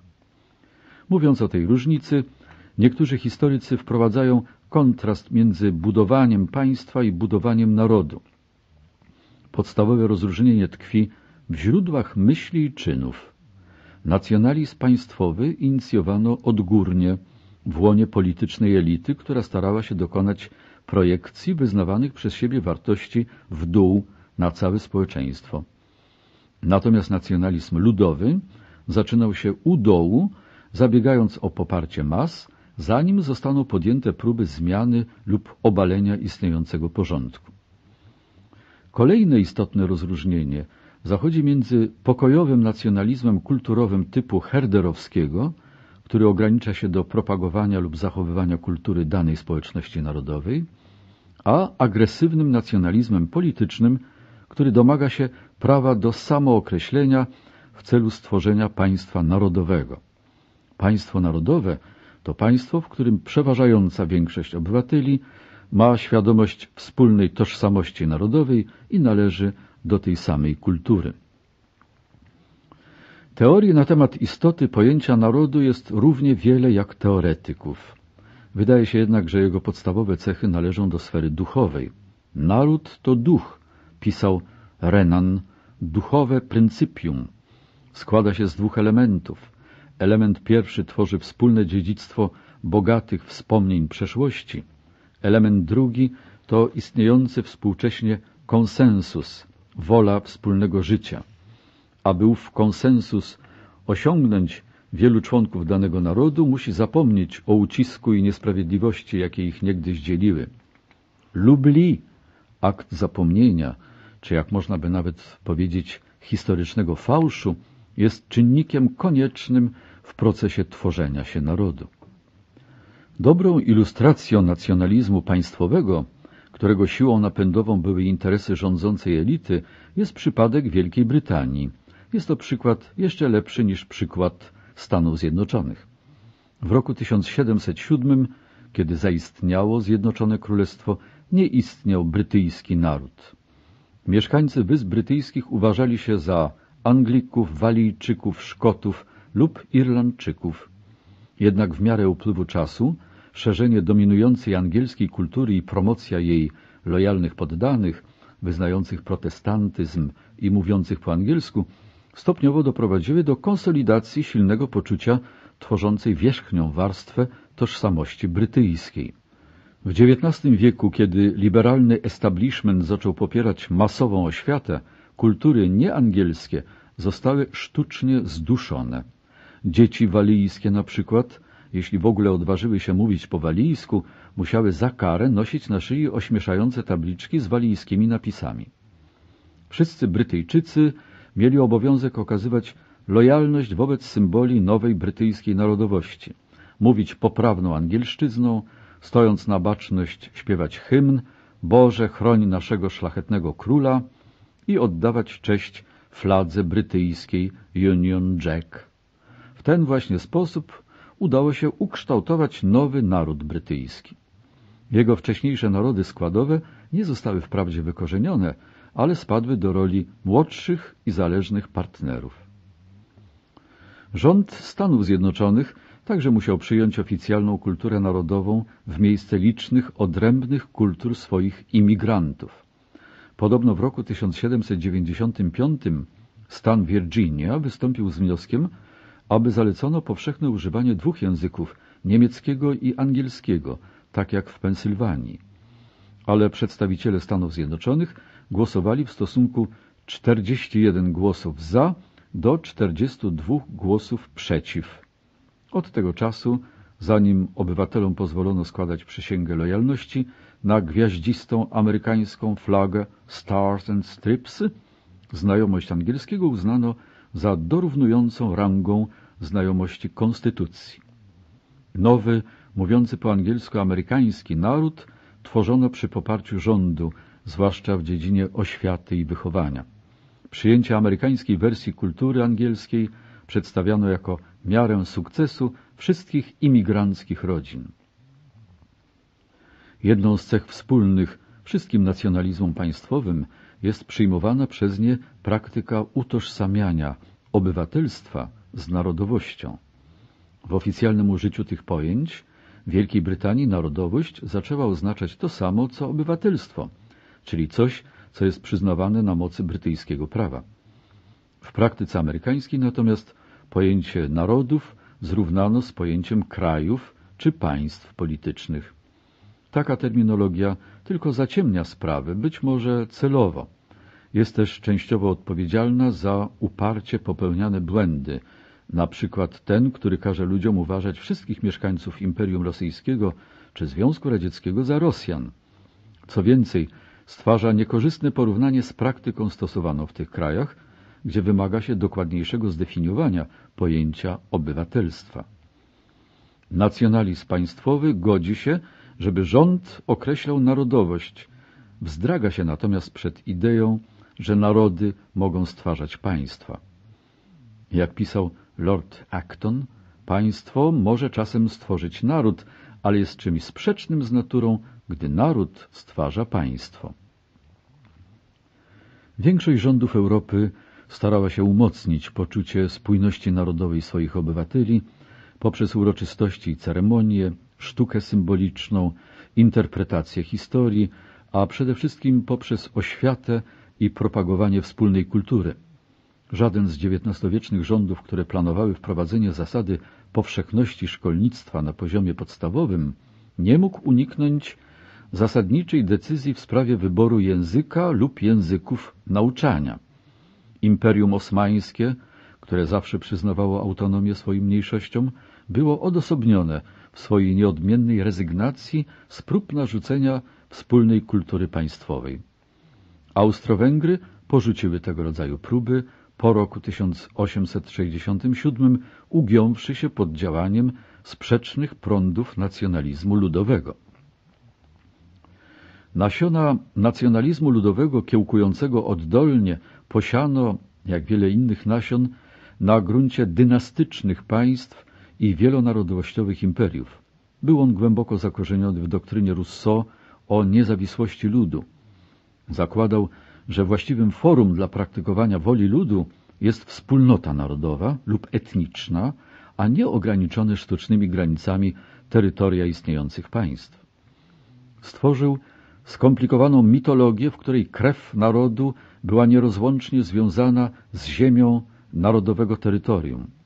Uważano zatem, że skoro Włosi mieszkali na terytorium kilku państw, od Szwajcarii po Sycylię, to z punktu widzenia narodu włoskiego sprawiedliwość oznaczała zniesienie owych państw i zastąpienie ich jednym zjednoczonym królestwem Włoch.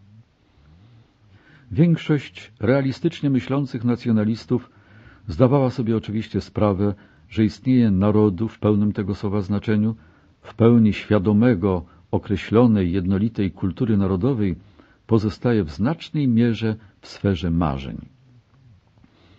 Jak w roku 1861 Massimo D'Acelio powiedział podczas sesji inauguracyjnej włoskiego parlamentu skoro już stworzyliśmy Włochy, trzeba będzie się zabrać do tworzenia Włochów. Na przebieg XIX-wiecznych dyskusji na temat narodowości w znacznej mierze rzutowało przeświadczenie, że ludy Europy można podzielić na narody historyczne i niehistoryczne.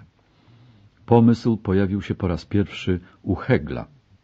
Przyjęli go zwolennicy społecznego darwinizmu, uważający współzawodnictwo między narodami za proces ewolucyjny, w którym narody dobrze przystosowane mają szansę przetrwać i zachować niepodległość, podczas gdy inne skazane są na zagładę. U Marksa na pierwszy plan wysunął się czynnik ekonomiczny. Kryteria i kalkulacje oczywiście różniły się między sobą, podobnie jak listy potencjalnych państw narodowych. Mimo to do połowy XIX wieku udało się już osiągnąć pewien stopień zgody. Powszechnie przyjmowano, że udziałem niekwestionowanych mocarstw Francji, Wielkiej Brytanii, Prus, Austrii i Rosji jest historyczne przeznaczenie. Podobnie jak w przypadku państw, które zostały przez owe mocarstwa uznane, Hiszpanii, Portugalii, Belgii, Niderlandów, Szwecji, Danii i Grecji, a także narodów, które otwierały pochód kandydatów ubiegających się o tę pozycję Włochów, Niemców i Polaków. Mazzini naszkicował mapę przyszłej Europy, na której widniało 12 państw narodowych. W gruncie rzeczy jednak pojęcie historyczności było z gruntu subiektywne, żeby nie powiedzieć fałszywe. Trzy spośród pięciu mocarstw, które w opinii ich wielbicieli należeli do najtrwalszych elementów sceny europejskiej, miały z niej zniknąć przed upływem stulecia.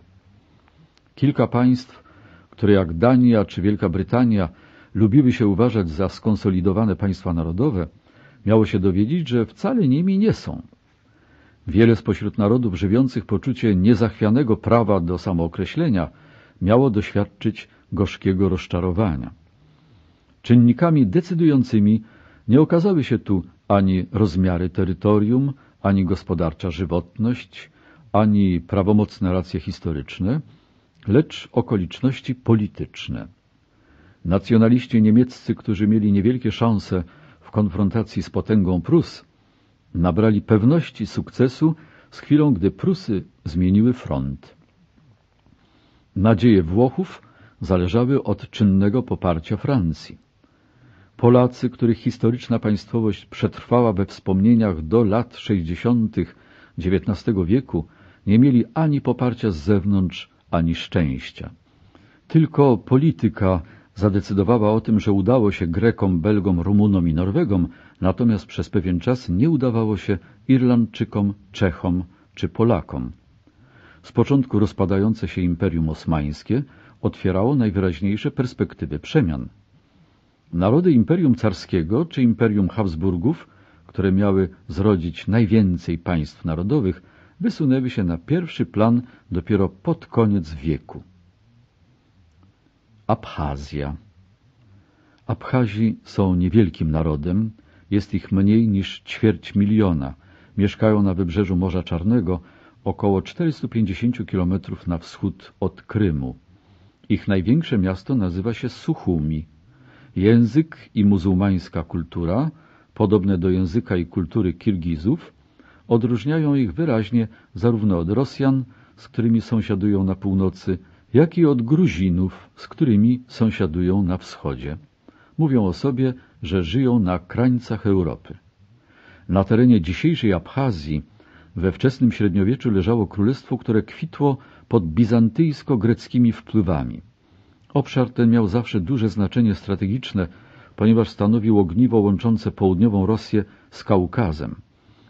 Po podboju Abchazji przez Imperium Carskie w latach 1810-829 znaczny procent rodzimej ludności był zmuszony wyemigrować.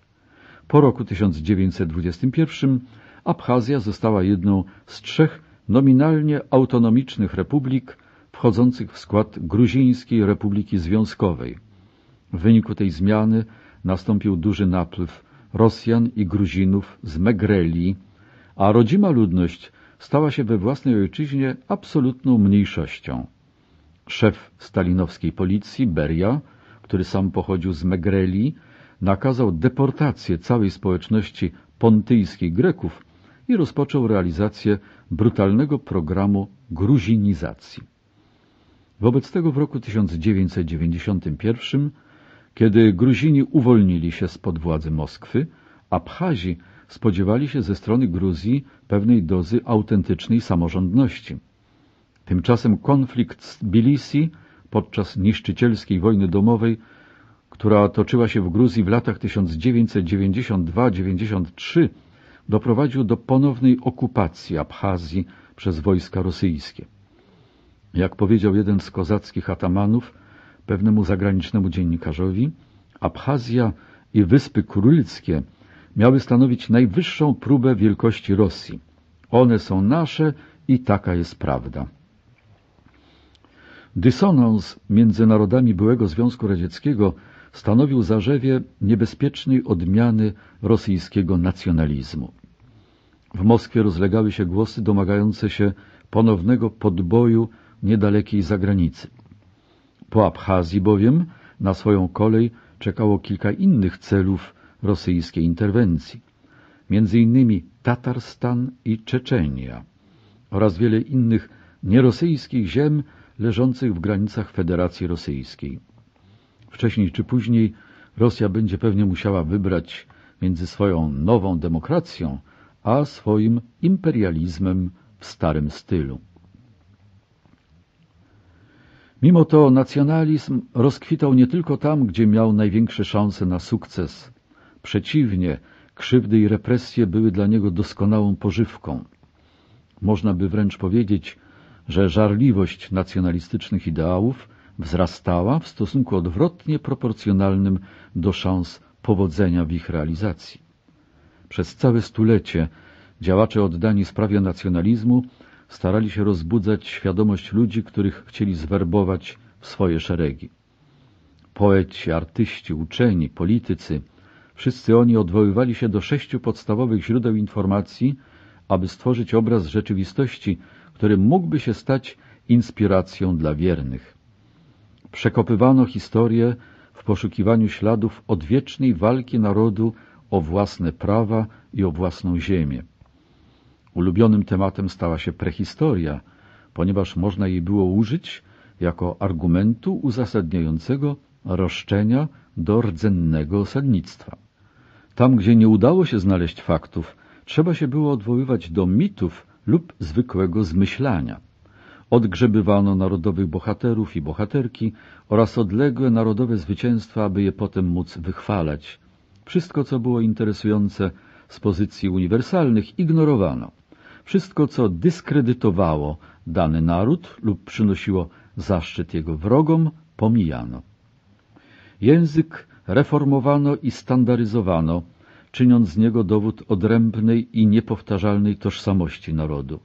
Pisano słowniki i gramatyki, gromadzono księgozbiory tam, gdzie ich nigdy przedtem nie było. Przygotowywano podręczniki dla narodowych szkół i narodowych uniwersytetów. Językoznawcy zaczęli dowodzić, że zaniedbywane dotąd języki lokalne są dokładnie tak samo subtelne i rozwinięte jak łacina czy greka, że język czeski czy kataloński, gaelicki czy norweski jest dokładnie tak samo skutecznym narzędziem porozumienia, jak istniejące języki państwowe.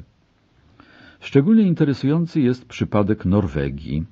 Złożony konglomerat wiejskich dialektów zwany nynorsk lub landsmål, nowonordycki, czyli wiejski, wynaleziono po to, aby rzucić wyzwanie ustalonemu riksmål, czyli bokmål państwowemu, czyli książkowemu językowi Danii i Norwegii.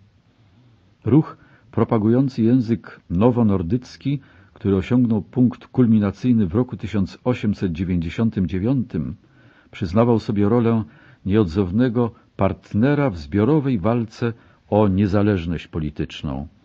Ale podobnie jak w przypadku języka gaelickiego w Irlandii, udało się osiągnąć jedynie połowiczny sukces. Z Volkskunde, czyli folkloru, wydobywano wszystko, co się dało. Z jednej strony uważano, że tworzy on więź nowożytnego narodu z jego najstarszymi kulturowymi korzeniami. Z drugiej niełatwo było sprawdzić jego autentyzm. W odróżnieniu od Herdera, którego zbiór Volkslieder zawierał pieśni z wielu krajów od Grenlandii po Grecję, uczeni nacjonaliści ograniczali się do folkloru narodowego. W tym kontekście za najbardziej znaczące wypada uznać pracę braci Jakuba i Wilhelma Grimmów. Wśród ich ogromnie różnorodnych dzieł znalazły się Über den Alldeutschen Meistergesang, Deutsche Sagen, Deutsche Grammatik oraz znane na całym świecie baśnie braci Grimm, Kinder und Hausmärchen. Serbski rówieśnik braci Grimm, Wuk Karadzic, wydał znany zbiór baśni serbosłowiańskich, nie licząc gramatyki, słownika i projektu reformy cyrylicy.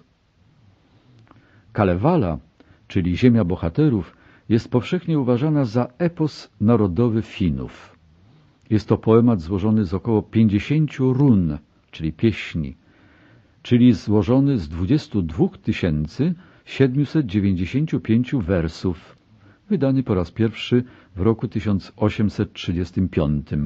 Drugie wydanie ostatecznej wersji pochodzi z roku 1849. Jest to na wpół literacki epos, będący w znacznej mierze kompilacją autentycznego folkloru. Stanowi w przeważającym stopniu dzieło głównego kompilatora Eliasa Lenrota, który wykorzystał klasyczne wzorce, przekształcając i upiększając surowe ustne przekazy zbierane wśród chłopów wschodniej Finlandii i rosyjskiej Karelii. Sam w sobie poemat jest ilustracją nie tylko dziedzictwa pogańskiego folkloru Europy, ale także dokonań XIX-wiecznych działaczy, którzy wykorzystywali zaniedbane ludowe źródła do kształtowania narodowej świadomości. Johann Gottfried Herder umocnił przeświadczenie, że nowożytne narody mogą liczyć na rozkwit tylko wtedy, gdy będą miały odrębną tożsamość kulturową opartą na rodzimym języku i tradycji ludowej. Kalevala jest par excellence ćwiczeniem w stylu Herdera. W czasach Lenrota Finowie przeszli spod władzy Szwecji pod rządy carskiej Rosji i odczuwali pilną potrzebę odcięcia się od kultury swoich szwedzkich i rosyjskich władców. Opowieści skupiają się wokół postaci Wejnemeinena, odwiecznego mędrca, który włada ziemią Kalewi, prowadząc ją do walki przeciwko Pochioli, zaludnionej przez bogów, olbrzymów i niewidzialne duchy. W małej, miedzianej łódeczce, w łódeczce o płaskim dnie, na jednego człowieka popłynął ku niebiosom. Tam statek swój zatrzymał, wydostał swą kantelę i wraz ze swoją pieśnią zostawił ją Finlandii.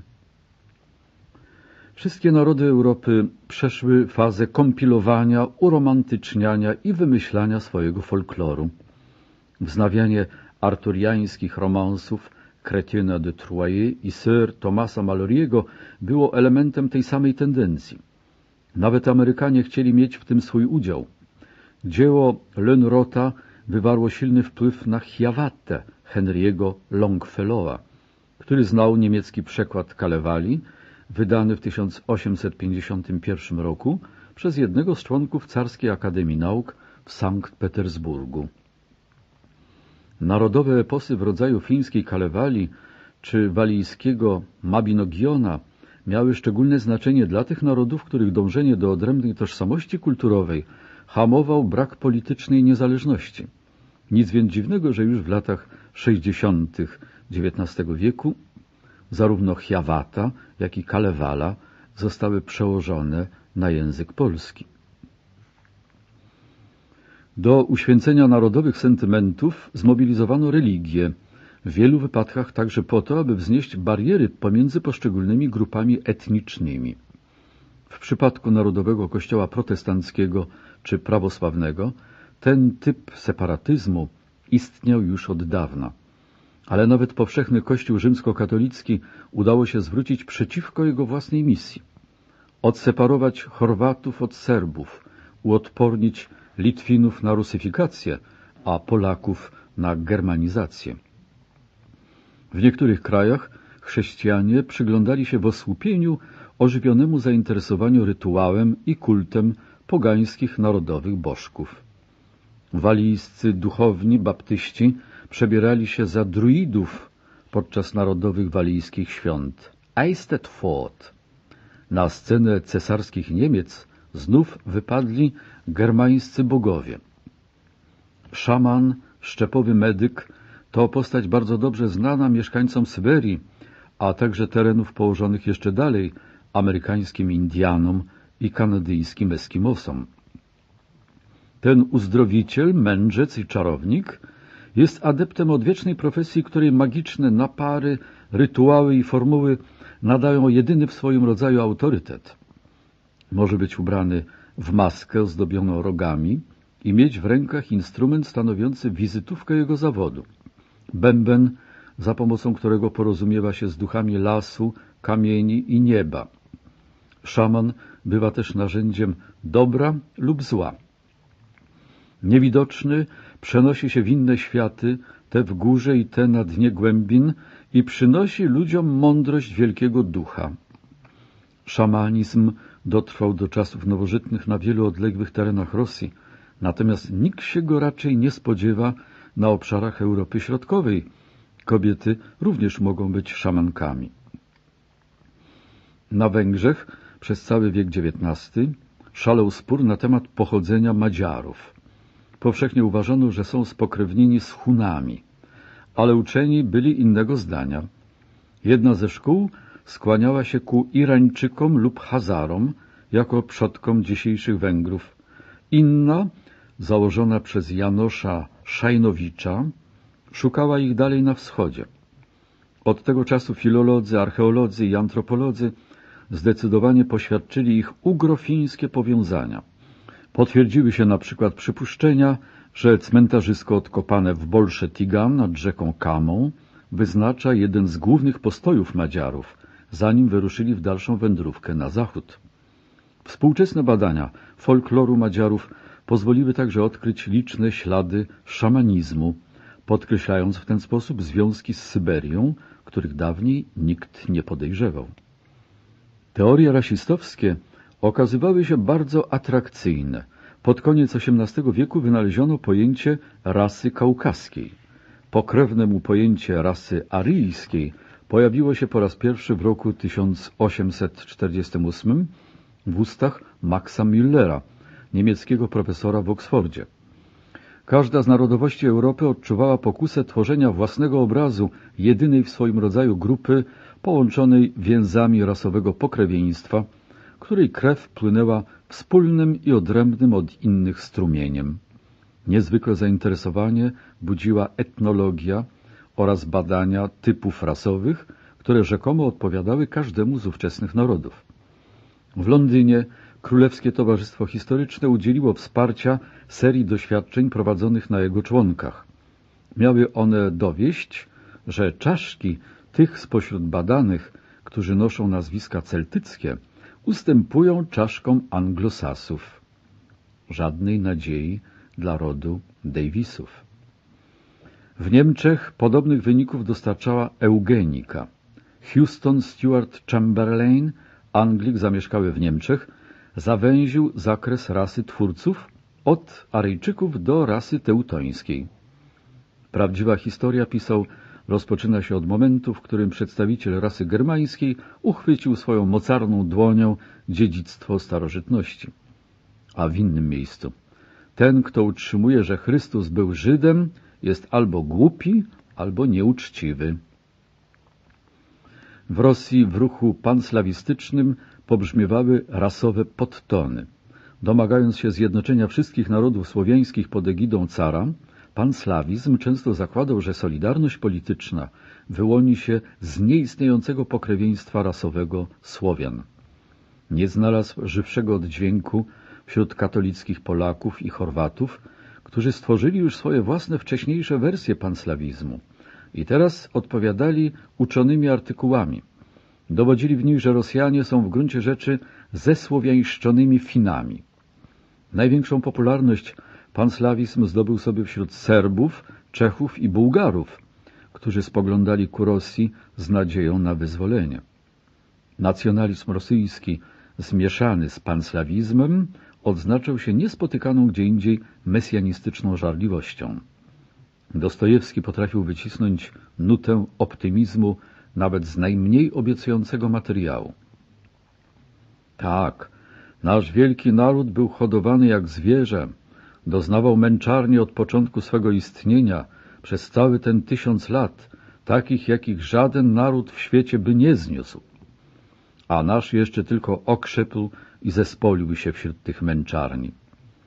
Rosja wspólnie z całą słowiańszczyzną i na jej czele powie światu największe słowo, jakie świat kiedykolwiek słyszał. I to właśnie słowo będzie gwarancją powszechnego zjednoczenia ludzkości. U nas wszyscy, mimo całej różnicy zdań, zgadzają się i sprowadzają wszystko do tej jednej, ostatecznej, wspólnej idei ogólnoludzkiej jedności.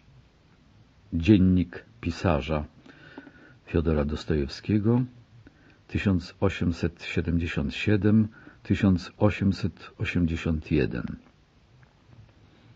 Były to pobożne życzenia na skalę odpowiadającą skali kraju, którego dotyczyły. W całej Europie do eksploatacji i upiększania narodowych wątków zmobilizowano wszystkie gałęzie literatury i sztuki.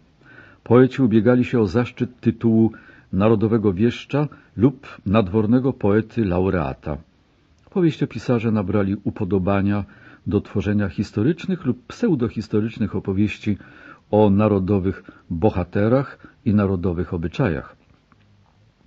Uznanym wzorcem w tej dziedzinie stał się tzw. Tak cykl Waverley powieści Waltera Scotta.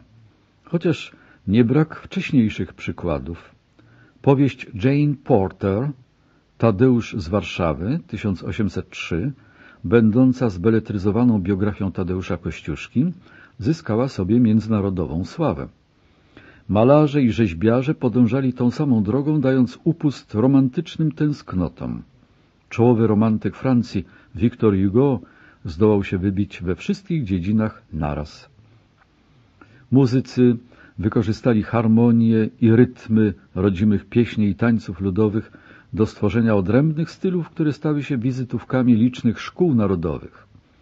Piękny szlak wiedzie od wspaniałych mazurków i polonezów Chopina i rapsodii węgierskich Lista, przez rozkosze muzyki Czechów, Bedrzycha Smetany, Antonina Dworzaka i Leosza Janaczka, Norwega Edwarda Griga, Fina Jana Sibeliusa i Duńczyka Karla Nilsena, Hiszpanów Isaaka Albenisa, Enrique Granadosa i Manuela de Fali, Węgrów Beli Bartoka i Zoltana Kodaja, Anglików Edwarda Elgara, Frederika Deliusa i Ralfa Wołna Williamsa. I wreszcie sławnej rosyjskiej piątki Cezara Cui, Milija Bałakiriewa, Aleksandra Borodina, Nikołaja Rymskiego-Korsakowa i Modesta Musorgskiego. Owe szkoły narodowe przyczyniły się do rozszerzenia kręgów odbiorców muzyki. Co więcej, te narody, którym bariera językowa utrudniała walkę o własną sprawę za pośrednictwem literatury, w salach koncertowych mogły przemawiać do całej Europy. Warto zauważyć, że abstrakcyjny charakter muzyki zachęcał do najrozmaitszych reakcji na ten sam zapis nutowy. Kompozytor tej miary co Chopin znajdował zrozumienie nie tylko u słuchaczy, którzy byli szczególnie nastawieni na odbiór jego politycznego przesłania, ale w takiej samej mierze u innych, którzy nie mieli o nim pojęcia. Między uniwersalnymi i narodowymi aspektami jego geniuszu nie było żadnej sprzeczności. Zachwycająco niejednoznaczne wartości emocjonalne jego słodko-gorzkich polskich melodii przeplatają się ze zmiennymi nastrojami narastającego protestu i melancholijnego rozmarzenia. Dla jednych był tłumaczem polskiej historii na nuty i klawiaturę. Dla innych wyczarowywał potęgę wyłącznie osobistego, intymnego oddziaływania.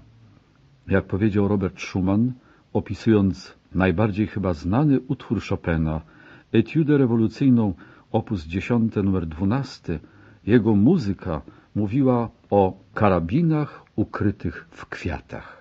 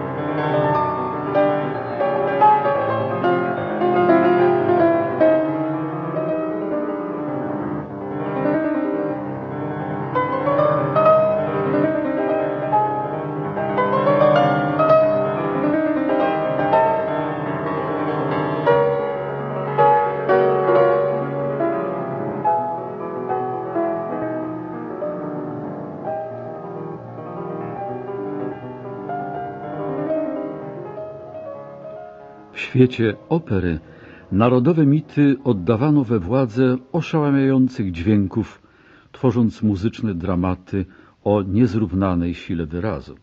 Publiczność, która oglądała i słuchała, przykuta do foteli przedstawienia Borysa Godunowa, Musorgskiego, czy Pierścienia Nibelunga, Wagnera, traciła wszelkie zainteresowanie dla krzywd i racji historycznych.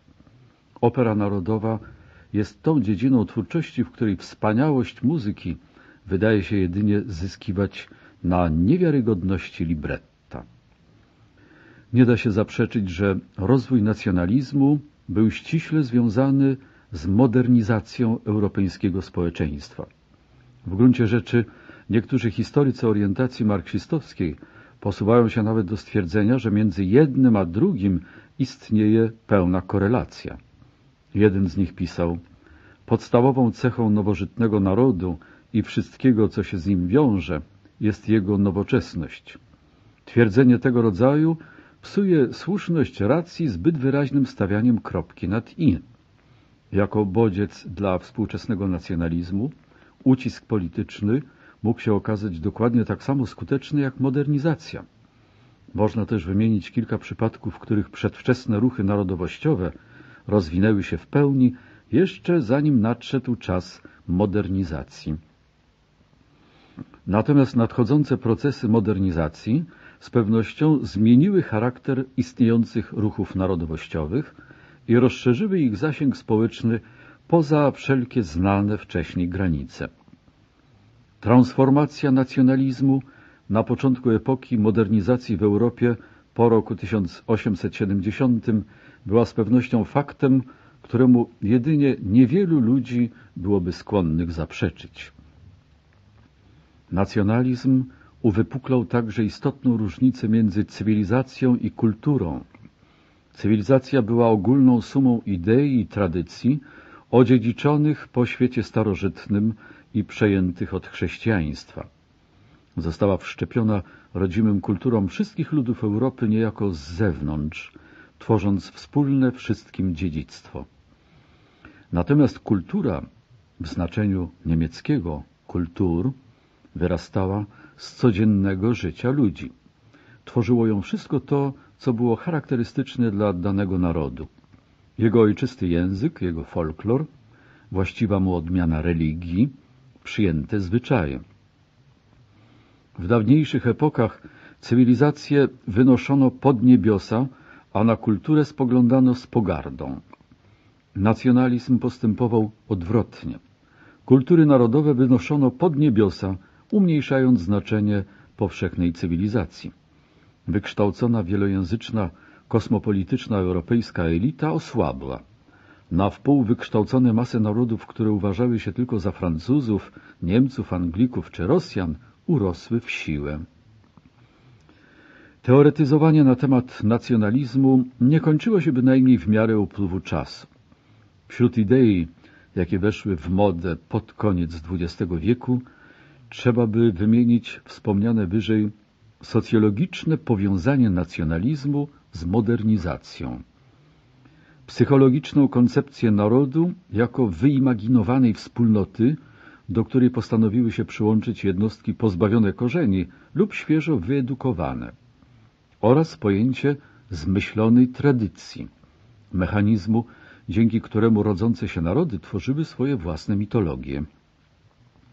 Warto zauważyć, że wszystkie te bardzo współczesne idee można odnaleźć w pismach mało znanego polskiego socjalisty i teoretyka społeczeństwa Kazimierza Kels-Krausa 1872-1905. Namiętności nacjonalizmu nieuchronnie stawały się zarzewiem konfliktu. W niemal wszystkich częściach Europy żyły mniejszości etniczne, których ludowe nacjonalizmy musiały się zetrzeć z propagowanym przez państwo nacjonalizmem władz. W Wielkiej Brytanii istniały trzy potencjalne ruchy separatystyczne. W Imperium Rosyjskim 70. Nawet w Cesarstwie Niemieckim, które z etnicznego punktu widzenia było wybitnie homogeniczne, wieloletnie konflikty zrodziły się w dawnych prowincjach polskich. na granicy z Danią w Szlezwiku-Holsztynie oraz w Alzacji i Lotaryngii. Istotne konflikty występowały także między przywódcami ruchów narodowościowych a przywódcami o poglądach liberalnych lub socjalistycznych, którzy albo nie zgadzali się z nacjonalizmem jako takim, albo też występowali przeciwko zasadzie nadrzędności interesów narodowych. Dobrym przykładem była tu Rosja, gdzie imperialistyczny proces państwowo-twórczy prowadzony przez dynastię Romanowów oznaczał konflikt nie tylko z nierosyjskimi narodami imperium, ale także z sentymentami narodowo-twórczymi powszechnymi wśród samych Rosjan. W samym sercu dawnego państwa moskiewskiego imperium wiodło niespokojną egzystencję obok narodu. Instytucje carskie oparte na dworze, szlachcie i aparacie biurokracji działały jak obce siły okupacyjne w społeczeństwie, w którym przeważali chłopi i z którym miały niewiele wspólnego. Wyzwolenie chłopów pańszczyźnianych tylko odsunęło w czasie frustrację chłopskiego narodu, którego życie opierało się na wioskowej wspólnocie i rosyjskim kościele prawosławnym. Niepowodzenie podejmowanych na początku XIX wieku prób wprowadzenia rodzimej rosyjskiej Biblii, która mogła była posłużyć za fundament współczesnej narodowej kultury, uznano tu za zjawisko o zasadniczym znaczeniu. W miarę jak mijały kolejne dziesięciolecia, nacjonalizm zaczynał często przybierać bardziej wojowniczy ton. Działacze ruchów narodowych, które na początku były elementem wyzwoleńczej krucjaty przeciwko reakcyjnym dynastiom, odczuwali frustrację, widząc, że ich żądań nie da się w pełni urzeczywistnić. Wobec tego w ostatnim ćwierćwieczu dawny wyzwalający i jednoczący nacjonalizm często ustępował miejsca nietolerancyjnej odmianie nacjonalizmu integracyjnego. Zaczęto mówić o wypędzaniu mniejszości i o zdradzie ze strony każdego, kto nie podporządkuje się ukutej przez samych nacjonalistów dogmatycznej definicji ich wspólnoty. Właśnie w tym negatywnym znaczeniu zaczęto powszechnie używać terminu nacjonalizm w latach 90. XIX wieku.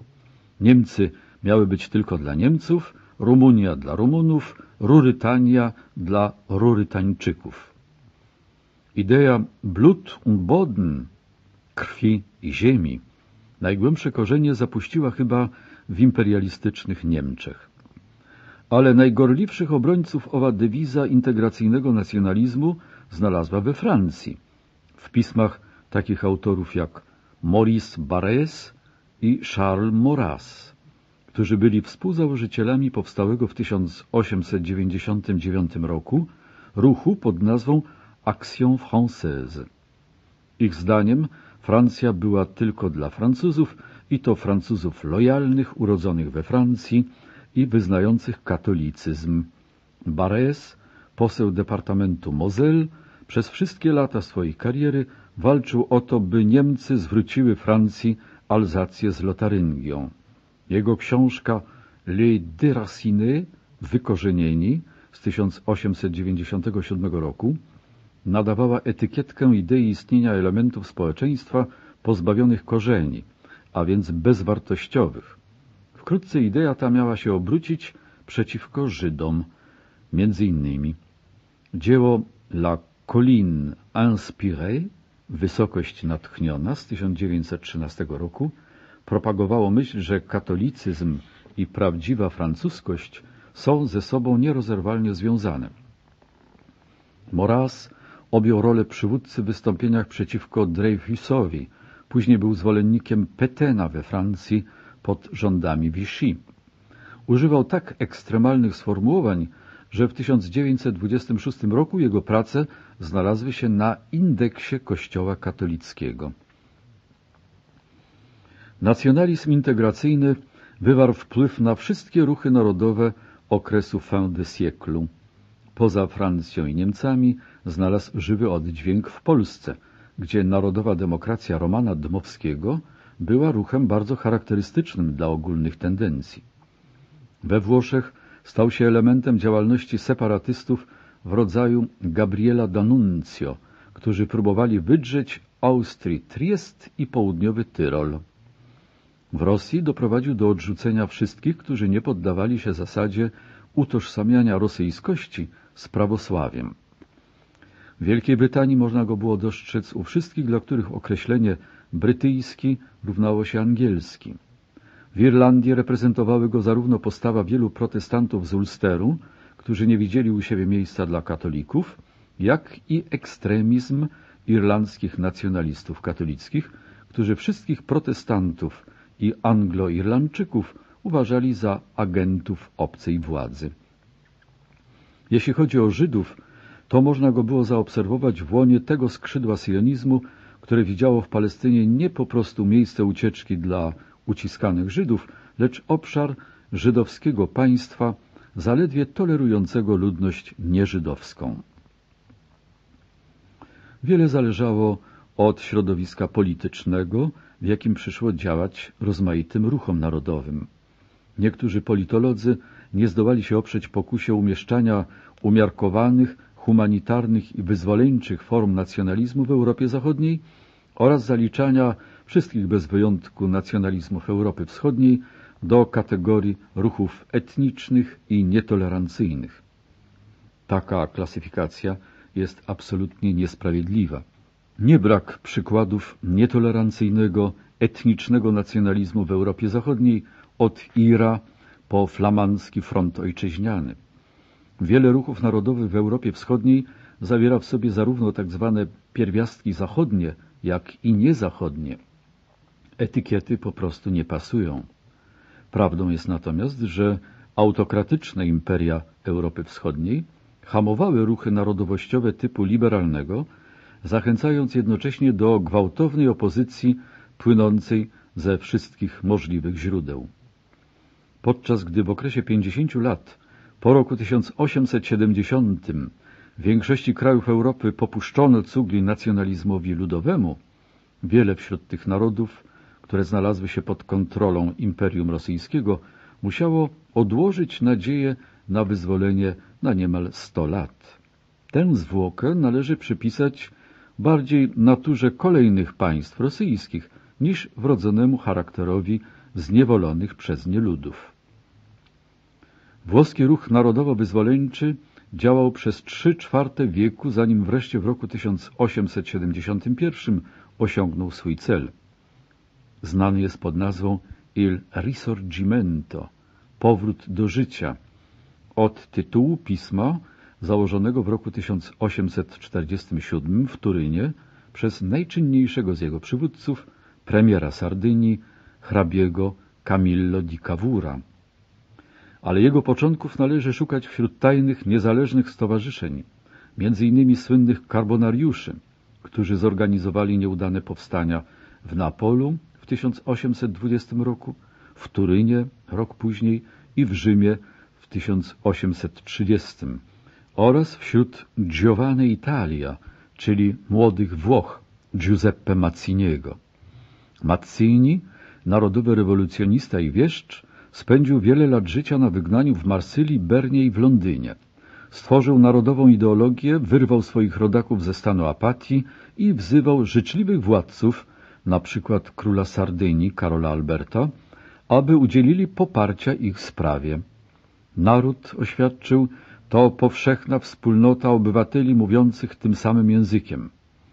W roku 1834 powołał do istnienia międzynarodowy odłam swojej kampanii Młodą Europę, gdzie kształcono spiskowców, przygotowując ich do zadania utworzenia demokratycznych konstytucji wszędzie na kontynencie.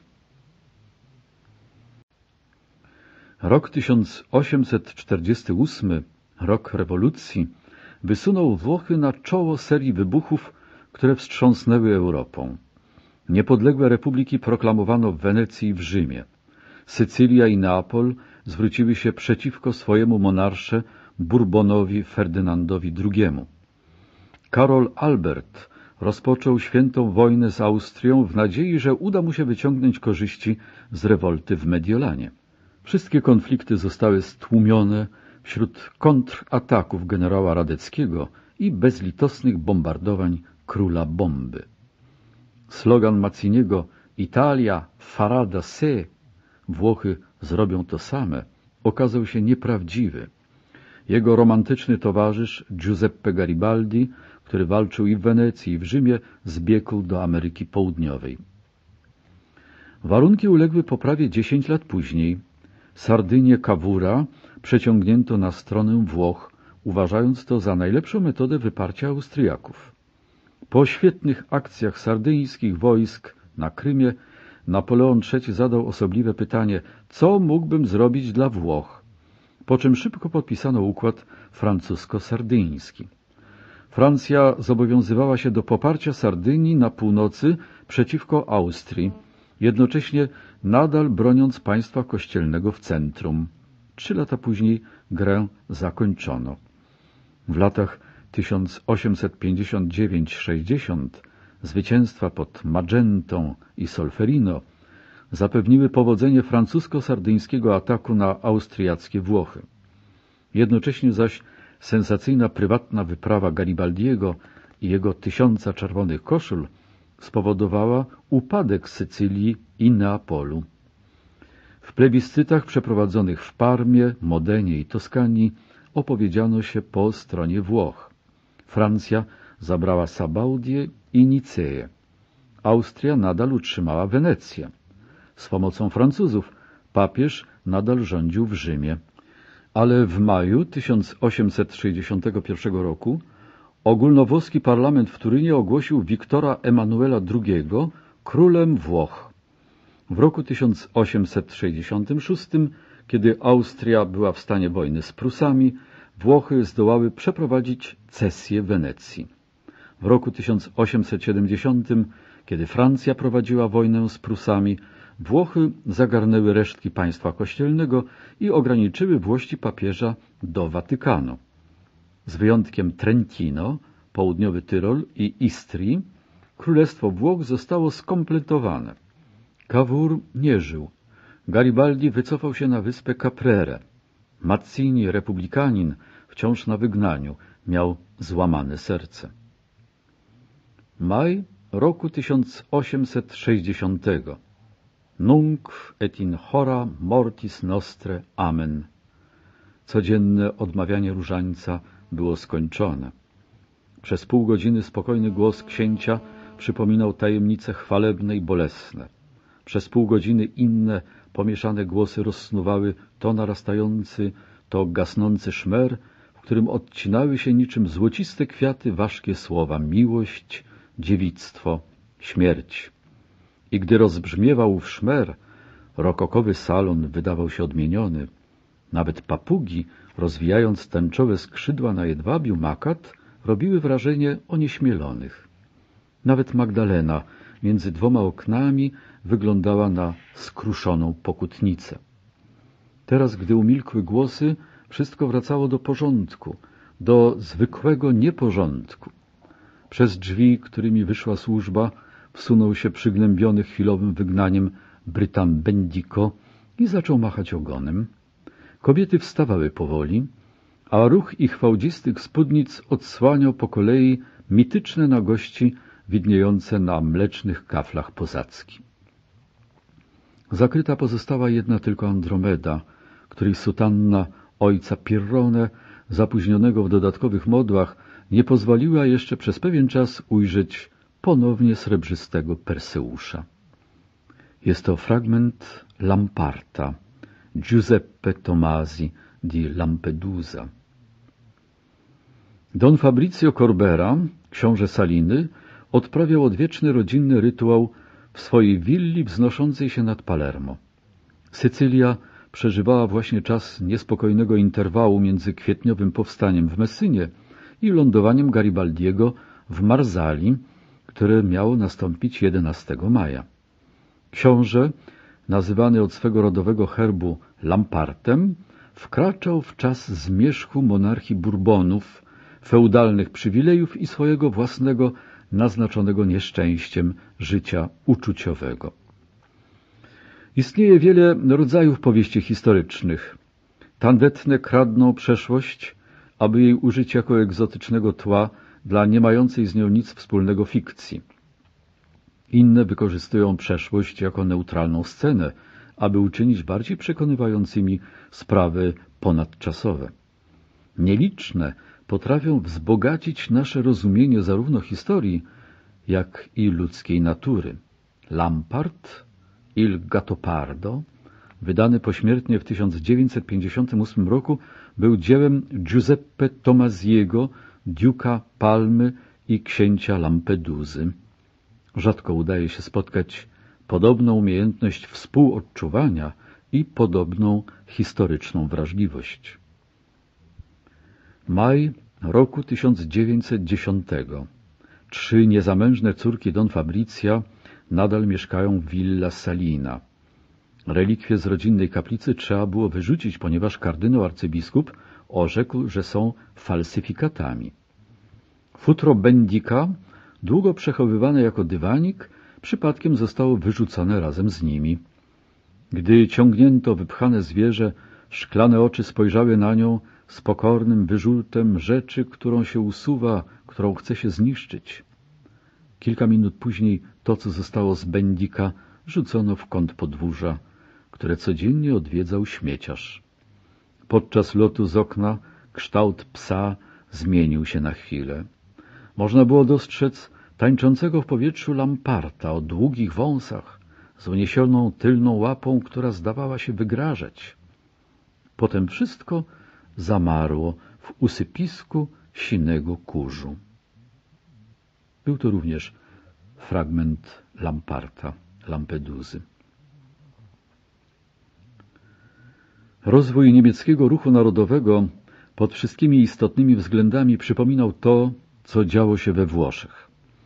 Zrodził się z entuzjazmu wojny wyzwoleńczej z lat 1813-14 i stajnych stowarzyszeń okresu restauracji.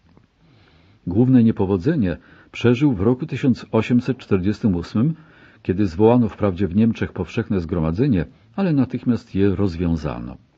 Swój cel osiągnął w roku 1871, kiedy król Prus przeszedł na jego stronę. W okresie przed marcem 1848 roku, który przeszedł do historii jako Vormärz, wyraźnie uwidoczniła się niezdolność Związku Niemieckiego do działania. Jego Sejm spadł do roli niewiele przewyższającej rolę sądu apelacyjnego. Wciąż jeszcze zajmował się rozwiązywaniem spraw zadłużenia z okresu wojny trzydziestoletniej. Artykułu jego konstytucji, który głosił, że każdy z niemieckich książąt ma obowiązek zwoływania parlamentu, przestrzegano lub nie, zależnie od chwilowego widzimisię. Inicjatywy liberalne krępowało prawo książąt do anulowania uchwał i odwoływania się do pomocy z zewnątrz. W latach 1848-49 w Niemczech, podobnie jak we Francji, we Włoszech, wybuchły pożary, wzniecone przez powstania w Wiedniu, Berlinie, Kolonii, Pradze, Dreźnie, Baden i wielu innych miastach. Narodowy Vorparlament, który zebrał się w kościele świętego Pawła we Frankfurcie, nakreślił konstytucję przyszłego cesarstwa niemieckiego. Nie był natomiast w stanie wprowadzić w życie żadnego ze swoich postanowień. W jego łonie zarysował się głęboki rozłam w sprawie Szlezwika-Holsztynu. Nie potrafił zdecydować, czy Niemcy należy ograniczyć do niemieckiego terytorium etnicznego, czy też raczej objąć ich granicami całe cesarstwo austriackie, które w przeważającej części nie było niemieckie. Zaoferował koronę królowi Prus Fryderykowi Wilhelmowi IV, a ten odrzucił honor, który zalatywał rynsztokiem. Parlament rozwiązał się w lipcu 1849 roku w atmosferze wzajemnych zarzutów i pretensji. Przejście Prus na stronę zwolenników ponownego zjednoczenia Niemiec nastąpiło w latach 60. XIX wieku głównie jako sposób na wyłamanie się ze Związku Niemieckiego i beznadziejnego uwikłania w sprawy Austrii. We wczesnych latach panowania Wilhelma I 1861-88 sprawy Prus weszły w bardzo niejednoznaczną fazę. autorytarny system rządów umocniły reformy wojskowe von Rona, a jednoczesne wybory do Landtagu przyniosły liberalną większość, na której czele stała Fortschrittspartei Waldeka. W roku 1862 premierem mianowany został Otto von Bismarck 1815-98, który miał rozwiązać zaistniały kryzys, jeżeli zajdzie potrzeba, używając niekonstytucyjnych środków. Jego celem było osadzić Prusy w siodle w Niemczech, a Niemcy w Europie. Ogromne tarcia wywołała decyzja o wspólnej prusko-austriackiej administracji Szlezwika-Holsztynu. Wilhelm I nie mógł się zdecydować, czy ma stanąć na czele związku, czy też pozostawić go Franciszkowi Józefowi, tak jak to zrobił w przypadku frankfurckiego Fürstentagu w roku 1863. Wszystkie te kwestie rozstrzygnęła determinacja Bismarcka w dążeniu do utworzenia nowego Związku Północno-Niemieckiego z wyłączeniem Austrii, a także mistrzowskie wykorzystanie strategii ograniczonej wojny. W roku 1864 Prusy zaatakowały i pokonały Danię z powodu aneksji Szlezwiku. W roku 1866, kiedy Austria podniosła sprawę Szlezwika na Sejmie Federalnym, Prusy szybko się wycofały, po czym zaatakowały i pokonały Austrię i jej niemieckich sojuszników. Błyskawiczne zwycięstwa pod Sadową w pobliżu Hradca Kralowe, Königgrätz potwierdziły supremację Prus i przypieczętowały powstanie Związku Północno-Niemieckiego. W latach 1870-71 Prusy zaatakowały i pokonały Francję. W atmosferze zwycięskiej euforii Bismarck przeprowadził przyjęcie do Związku Państw Południowo-Niemieckich oraz ogłoszenie Wilhelma I cesarzem Niemiec. Niemcy zostały ponownie zjednoczone. Twierdza konserwatyzmu triumfowała. Nadzieje liberałów legły w gruzach. Hermannsdenkmal, czyli pomnik wystawiony Arminiuszowi, stoi na polanie wznoszącej się wysoko nad zadrzewionymi stokami lasu teutoburskiego w pobliżu miasta Detmold w Westfalii. Upamiętnia miażdżące zwycięstwo, jakie w roku dziewiątym naszej ery wódz germańskiego plemienia Cherusków Herman, czyli Arminiusz, odniósł nad legionami rzymskich najeźdźców. Na piedestale ozdobionym kolumnadą ustawiono gigantyczny posąg z kutej miedzi, wysoki na prawie 30 metrów. Powiększony ponad 10 razy Herman spogląda groźnie spod skrzydlatego hełmu, wznosząc potężny miecz zemsty ku rozciągający się w dole równinie. Budowa pomnika trwała niemal 40 lat. Pomysł, podobnie jak projekt klasycystycznej świątyni Walhalli, wybudowanej w latach 1830-42 przez króla bawarskiego nad urwistym Cyplu nad brzegiem Dunaju w pobliżu Ratyzbony, zrodził się w umysłach pokolenia, które pamiętało wojny wyzwoleńcze ery napoleońskiej. Ale zrealizowano go dopiero wtedy, gdy Niemcy zostały zjednoczone, a niemiecki nacjonalizm nabrał potężniejszych kształtów. Autor i zarazem spiritus movens projektu, Ernst von Bandel, kilkakrotnie ponawiał bezskutecznie starania o fundusze. Wreszcie zdobył je, organizując subskrypcję, którą objęto wszystkie szkoły Cesarstwa Niemieckiego. W roku 1895 odsłonięto pomnik Hermana, wielce stosowny symbol odnalezionej na nowo dumy cesarstwa. W szczytowym okresie rozwoju nacjonalizmu każdy szanujący się naród uważał za punkt honoru szukanie godnych upamiętnienia bohaterów. Pomniki wznoszono w miejscach publicznych, służyły określonym celom społecznym i wychowawczym. Hermannsdenkmal był jedną z pierwszych pozycji na liście osiągnięć owego pseudohistorycznego żanru, który szybko zdobył sobie popularność w całej Europie.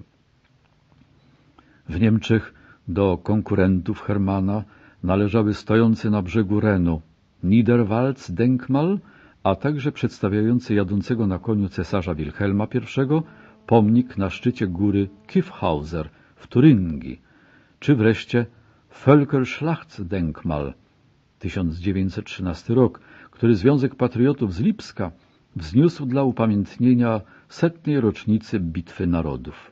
Ten ostatni powstał w podobnym czasie i w podobnym duchu, jak pomnik wystawiony najbardziej nieparlamentarnemu z monarchów.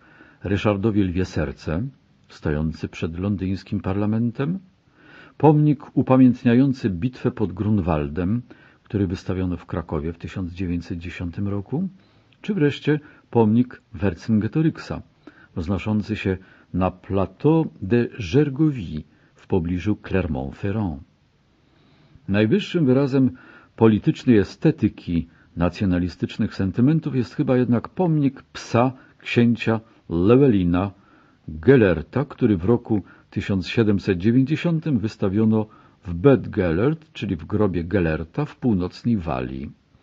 Im więcej patosu, im bardziej odległe czasy, im bardziej romantyczne nastroje, tym więcej entuzjazmu dla takich śladów własnych korzeni. Polski ruch narodowy miał najdłuższy rodowód, najlepszą opinię, najwięcej determinacji, najgorszą prasę i najmniej szczęścia. Jego początki sięgały konfederacji antyrosyjskich z XVIII wieku. W okresie dzielącym rozbiory od zakończenia II wojny światowej przynosił zbrojne powstanie każdemu pokoleniu. W latach 1733, 768, 794, 830, 848, 863, 1905, 1919, 944. Uprawiał ową wczesną odmianę nacjonalizmu, która dojrzewała już za czasów Napoleona. W swojej istocie miał niewiele wspólnego ze względami ekonomicznymi, a bardzo wiele z chęcią zachowania kultury, tożsamości i honoru. Polskie powstania z początku XIX wieku miały na celu przywrócenie do życia ukrzyżowanej Rzeczypospolitej Polski i Litwy. Inspiracją były dla nich mistyczne wizje z poezji romantyków, przekonanie, że Polska, Chrystus narodów, doczeka swojego trzeciego dnia. Chwała Tobie, Chryste Panie, lud, który chodził Twym śladem, co Twoim cierpiał przykładem, z Tobą święci zmartwychwstanie. Akcję kierowano głównie z Królestwa Kongresowego przeciwko Rosji, ale Polacy z Austrii i Prus również mieli w niej swój udział. Solidarnościowe powstania wybuchły na Litwie, Białorusi i Ukrainie. W listopadzie 1830 roku szaleńczy spisek sprowokowany plotką, jakoby car zamierzał wysłać swoje polskie wojska przeciwko Belgii, stał się zarzewiem wojny polsko-rosyjskiej. Car odrzucił rady rządu w Warszawie, któremu przewodził konserwatysta książę Czartoryski i odmówił podjęcia wszelkiego dialogu. Wobec tego sprawy dostały się w ręce ludzi bezkompromisowych. Tym razem zawodowe wojsko polskie rzeczywiście miało szansę zwyciężyć, ale krok po kroku zostało oskrzydlone i zgniecione. We wrześniu 1831 roku, kiedy Rosjanie zaatakowali ostatnie stanowiska wojsk w pobliżu Warszawy, znaleźli wyprostowane, martwe ciało generała Sowińskiego, stojące pośród pól zasłanych ciałami poległych i konających. Ten były oficer napoleoński rozkazał swoim żołnierzom, aby wbili jego drewnianą nogę głęboko w polską ziemię, żeby nie musiał kłaniać się tyranom. Konstytucję Królestwa Kongresowego zawieszono. Wszystkich powstańców pozbawiono wolności i majątku. Dziesięć tysięcy uchodźców trafiło do Francji. Dalsze dziesiątki tysięcy zakuto w kajdany i popędzono na Syberię. Impet polskich działań w roku 1848 przytłumiło fiasko powstania sprzed dwóch lat, które miało być powstaniem powszechnym. Rzeczpospolita krakowska przypieczętowała wówczas swój los, nie zdoławszy zapanować nad rewolucjonistami. Podżegani przez austriackich urzędników chłopi dokonali w pobliskich galicyjskich wsiach masakry na tysiącach szlachty. Polski wkład w wiosnę innych ludów polegał zatem na jednym drobnym wybuchu zamieszek w Poznańskiem, dwóch wybuchach w Krakowie i Lwowie oraz na udziale licznego kontyngentu polskich uchodźców z generałem Józefem Bemem na czele w walkach o Węgry. W styczniu 1863 roku Królestwo Kongresowe sfrustrowane sprzecznymi posunięciami cara wyzwoliciela Aleksandra II wybuchło jeszcze raz. Aleksander wyzwolił wprawdzie chłopów pańszczyźnianych w swoim imperium, ale nie miał zamiaru dać Polakom konstytucji. Dwa lata patriotycznych demonstracji w Warszawie, którym przewodzili księża, pastorzy i rabini, doprowadziły do utworzenia tajnego rządu narodowego. Szesnaście miesięcy zajadłej wojny partyzanckiej zakończyło się egzekucją przywódców powstania na stokach Cytadeli. Tym razem zdławiono samo Królestwo Kongresowe. Osiemdziesiąt tysięcy Polaków rozpoczęło straszliwą podróż na Syberię. Był to największy w dziejach caratu kontyngent więźniów politycznych. W roku 1905 pochodnie Powstania Patriotycznego przejęła Polska Partia Socjalistyczna.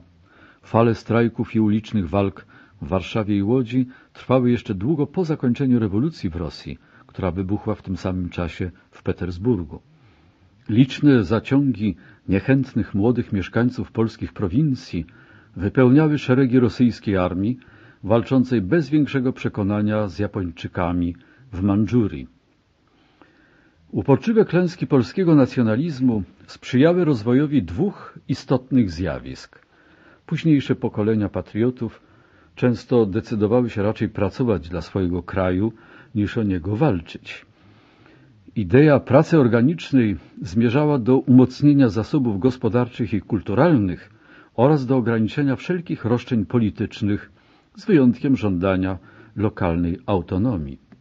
Pogląd ten stał się standardową strategią wszystkich ruchów narodowych, którym brakowało wystarczającego poparcia militarnego i dyplomatycznego.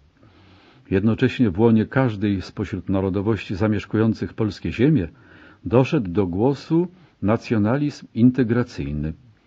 Nacjonalizmy litewski, białoruski, ukraiński i syjonistyczny przyjmowały stanowiska, które skutecznie paraliżowały wszelkie poczucie walki o wspólną sprawę. Polscy nacjonaliści Dmowskiego gwałtownie występowali przeciwko polskiemu ruchowi wyzwoleńczemu Piłsudskiego. Ich slogany domagające się Polski dla Polaków ujawniały głębokie kompleksy antyniemieckie, antyukraińskie i antysemickie. Na terenie Imperium Rosyjskiego w oficjalnych postawach wobec rosnącej fali nacjonalizmu zarysowała się istotna gradacja.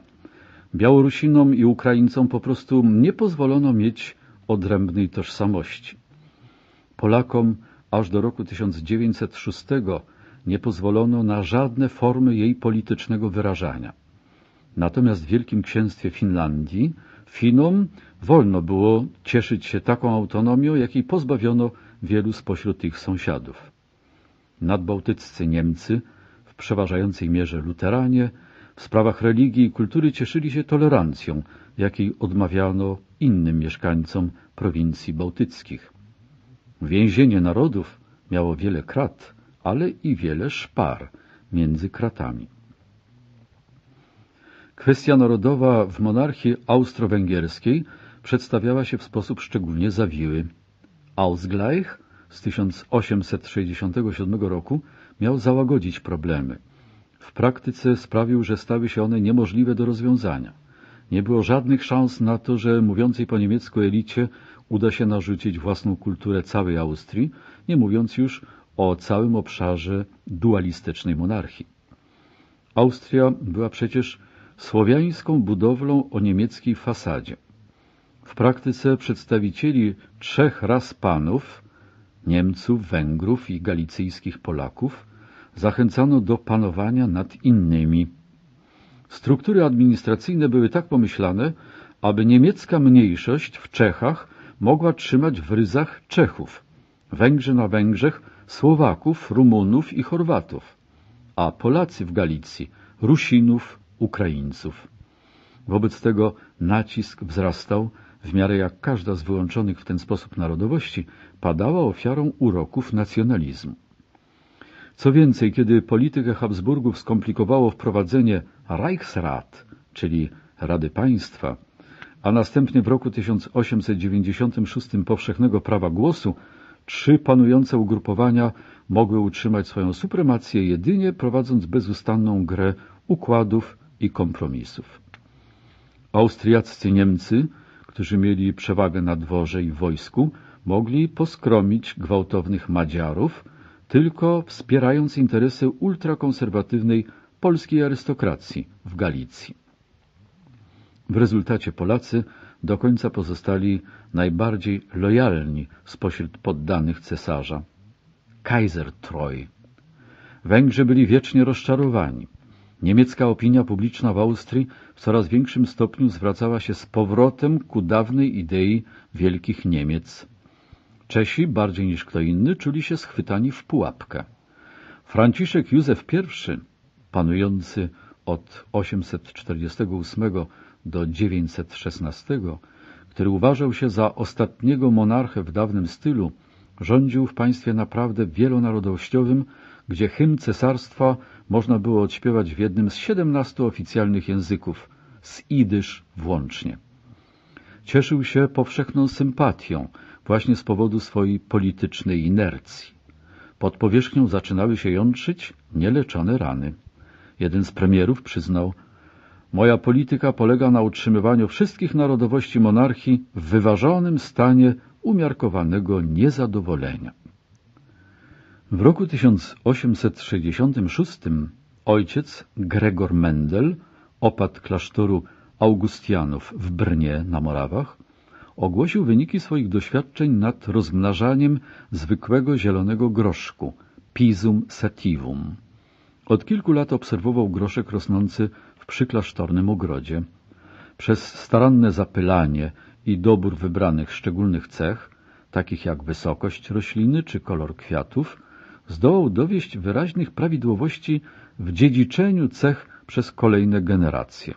Ustalił, że obok cech dominujących istnieją także cechy recesywne i potrafił empirycznie przewidzieć ich występowanie u mieszańców. Jego odkrycia całkowicie zignorowano. Prawa dziedziczenia, zwane dziś jako prawa Mendla i stanowiące punkt wyjścia współczesnej genetyki, zostały odkryte na nowo w 1900 roku, równocześnie przez trzech biologów. Przez wiele dziesięcioleci prawa Mendla nie wychodziły poza stadium eksperymentu.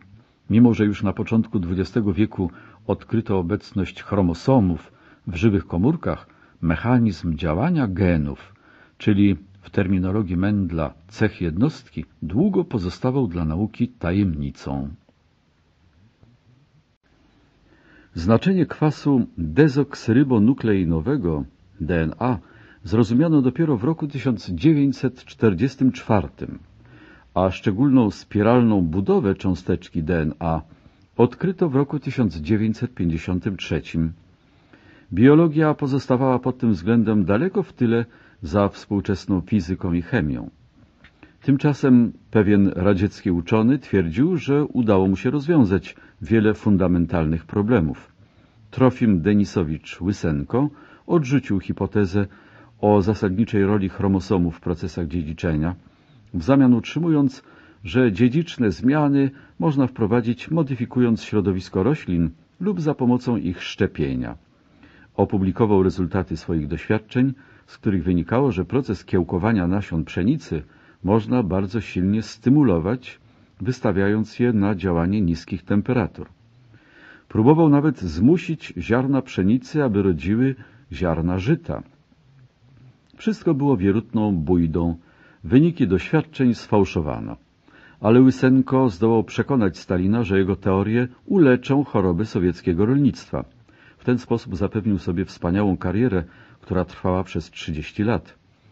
W 1938 roku został wybrany na przewodniczącego Akademii Nauk Rolniczych imienia Lenina i kazał obsiać tysiące hektarów ziemi zbożem przygotowanym według własnej receptury.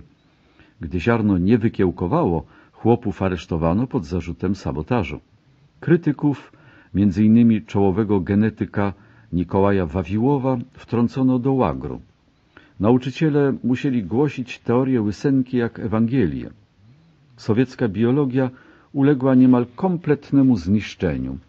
Łysenko otrzymał dwie nagrody stalinowskie, Order Lenina oraz tytuł bohatera ZSRR. Biolodzy z Zachodu traktowali Łysenkę jak analfabetę. W rewanżu za tę opinię Łysenko szydził ze wszystkich prawomyślnych genetyków, nazywając ich reakcyjnymi dekadentami, którzy się płaszczą przed zachodnim kapitalizmem. Głównym celem jego ataków był ojciec Gregor Mendel. W Europie było pełno ruchów narodowych, o których milczą podręczniki. Wiele spośród mniejszych społeczności dobrowolnie ograniczyło się do działalności kulturalnej.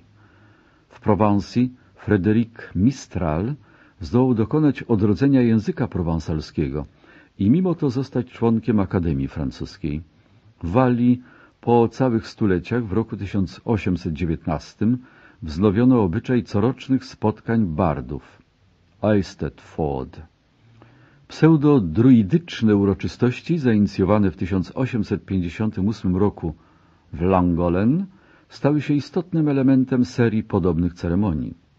W Niemczech Słowianie, Połapscy, Serbo-Łużyczanie i Kaszubi przywrócili do życia swoje pradawne słowiańskie kultury. Słowianie połapscy przetrwali w maleńkiej enklawie wokół miejscowości Lüchow w pobliżu Hanoweru. Antologię ich literatury oraz podręcznik do gramatyki wydano z pomocą Rosjan w 1871 roku. Z inicjatywy Serbo-Łużyczan, których społeczność liczyła około 200 tysięcy osób, w roku 1847 powstała Macicza, czyli Stowarzyszenie Kulturalne w Budziszynie, Bałcen. Podobną organizację założyli Kaszubi z Pomorza. Wrogami narodowościowych aspiracji mogły się okazać zarówno ustroje konstytucyjne, jak i autokratyczne. Warto porównać pod tym względem doświadczenia Irlandczyków i Ukraińców. Polityczna arytmetyka w obu przypadkach działała na ich niekorzyść. Irlandczycy byli udziałowcami jednej z wybitnych zachodnich demokracji. Od roku 1801, kiedy ustanowiono Unię Irlandii z Wielką Brytanią, w brytyjskim parlamencie w Westminsterze zasiadało ponad 50 irlandzkich posłów. Przynosiło im to wszelkiego rodzaju korzyści, poza prawem kierowania swoimi własnymi sprawami, o czym najbardziej marzyli. Prowadzili nieprzerwaną działalność polityczną, Stowarzyszenie Katolików Daniela O'Connella, które przez lata organizowało swoje monstrualne wiece, w roku 1829 wywalczyło prawo tolerancji religijnej. Później niezadowolenie utrzymywało się w stanie wrzenia z powodu cierpień związanych z klęską głodu, z powodu niesprawiedliwych rozwiązań zawartych w kolejnych aktach ziemskich, z powodu braku postępu w dziedzinie polityki. Spokój ducha angielskich konserwatystów, nieustępliwy opór protestantów z Ulsteru oraz akty gwałtu ze strony irlandzkiego ugrupowania radykalnego, które od roku 1858 reprezentowali Fenianie, członkowie Irlandzkiego Braterstwa Republikańskiego, a po roku 1905 Sinn Féin prowadziły do politycznego pata. Na irlandzkiej wsi prowadzona już od dawna wojna między cieszącymi się poparciem rządu właścicielami ziemskimi, a buntowniczymi dzierżawcami zjednoczonymi w Lidze Ziemskiej wytwarzała dręczącą atmosferę strachu. Nawet gdy Charles Stuart Parnell i jego ugrupowanie w Westminsterze zyskali poparcie liberałów rządu Gladstona, Izba Lordów odrzuciła trzy kolejne projekty ustawy w sprawie autonomii Irlandii. Home Rule Prawdziwe przebudzenie kulturalne Irlandczyków nastąpiło późno, w latach dziewięćdziesiątych XIX wieku, kiedy za sprawą konieczności zdeanglicyzowania irlandzkiego narodu otwarto irlandzki teatr literacki, oraz założono Celtycki Związek Sportowy i Ligę Celtycką. W roku 1900 królowa Wiktoria odwiedziła Dublin po raz pierwszy od 40 lat. Uchyliła zakaz noszenia koloru zielonego oraz zachęciła do organizowania w całym imperium masowych pochodów z okazji Dnia Świętego Patryka. Ale było już za późno na symboliczne gesty. W roku 1912, kiedy przygotowano czwarty z kolei projekt ustawy o Home Rule, zarówno ochotnicy ulsterscy w Belfaście, jak i ochotnicy narodowi w Dublinie zdążyli już powołać pod broń potężne armie. W tym samym czasie, w którym Europa zbliżyła się ku Wielkiej Wojnie, Irlandia stała na krawędzi wojny domowej. Była rzeczywiście podzielona. Ulster, oporny i zbuntowany, nie miał poczucia irlandzkiej tożsamości.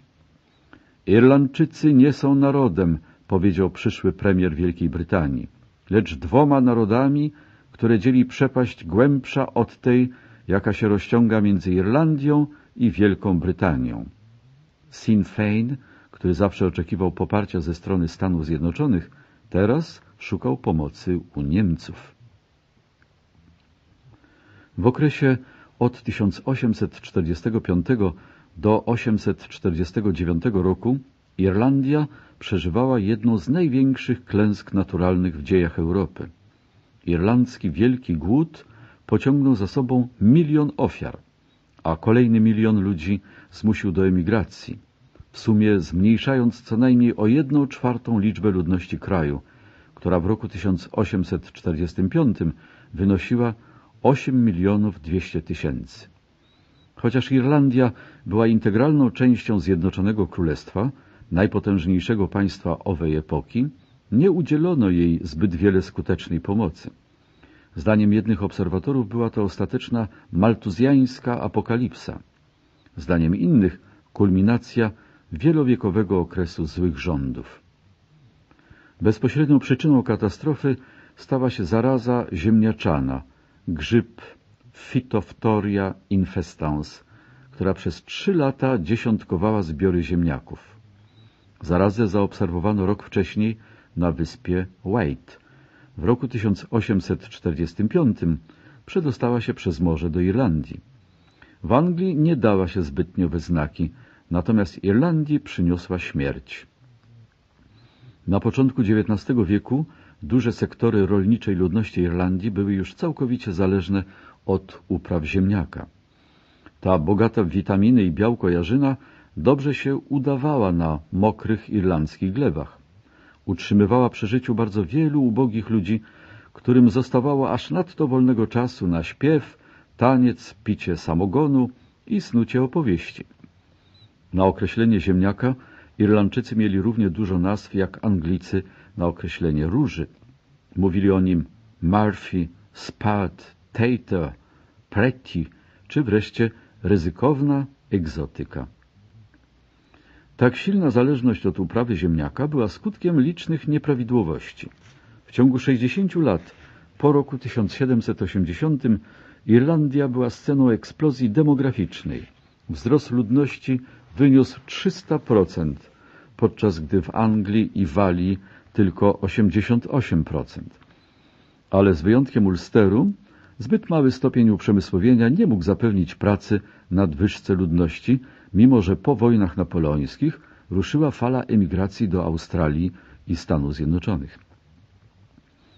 Najpoważniejszym ograniczeniem dla społeczeństwa Irlandii był kompleks represyjnych przepisów prawnych, które blokowały szereg oczywistych rozwiązań problemów, z jakimi borykał się kraj. Warunki pracy w rolnictwie były straszliwe od niepamiętnych czasów.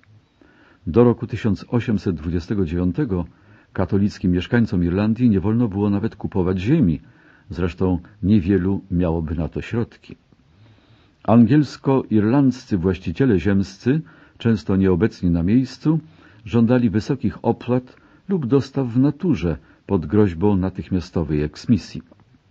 Eksmisję przeprowadzało wojsko, które regularnie równało z ziemią lub wywracało domy nieposłusznych. Irlandcy chłopi nie mieli ani poczucia bezpieczeństwa, ani bodźców do pracy. Często mordowali swoich prześladowców lub wstępowali do armii brytyjskiej. Według słów księcia Wellingtona Irlandia była nieustającą szkółką hodującą najlepszych żołnierzy. Ale była to także ziemia nędzy, licznych obdartych rodzin, mieszkających w ziemiankach, bez żadnych mebli, razem ze świniami. Jak zauważył pewien niemiecki podróżnik, wydaje się, że najbiedniejsi Łotysze, Estończycy czy Finowie prowadzili w porównaniu z nimi życie pełne wygód.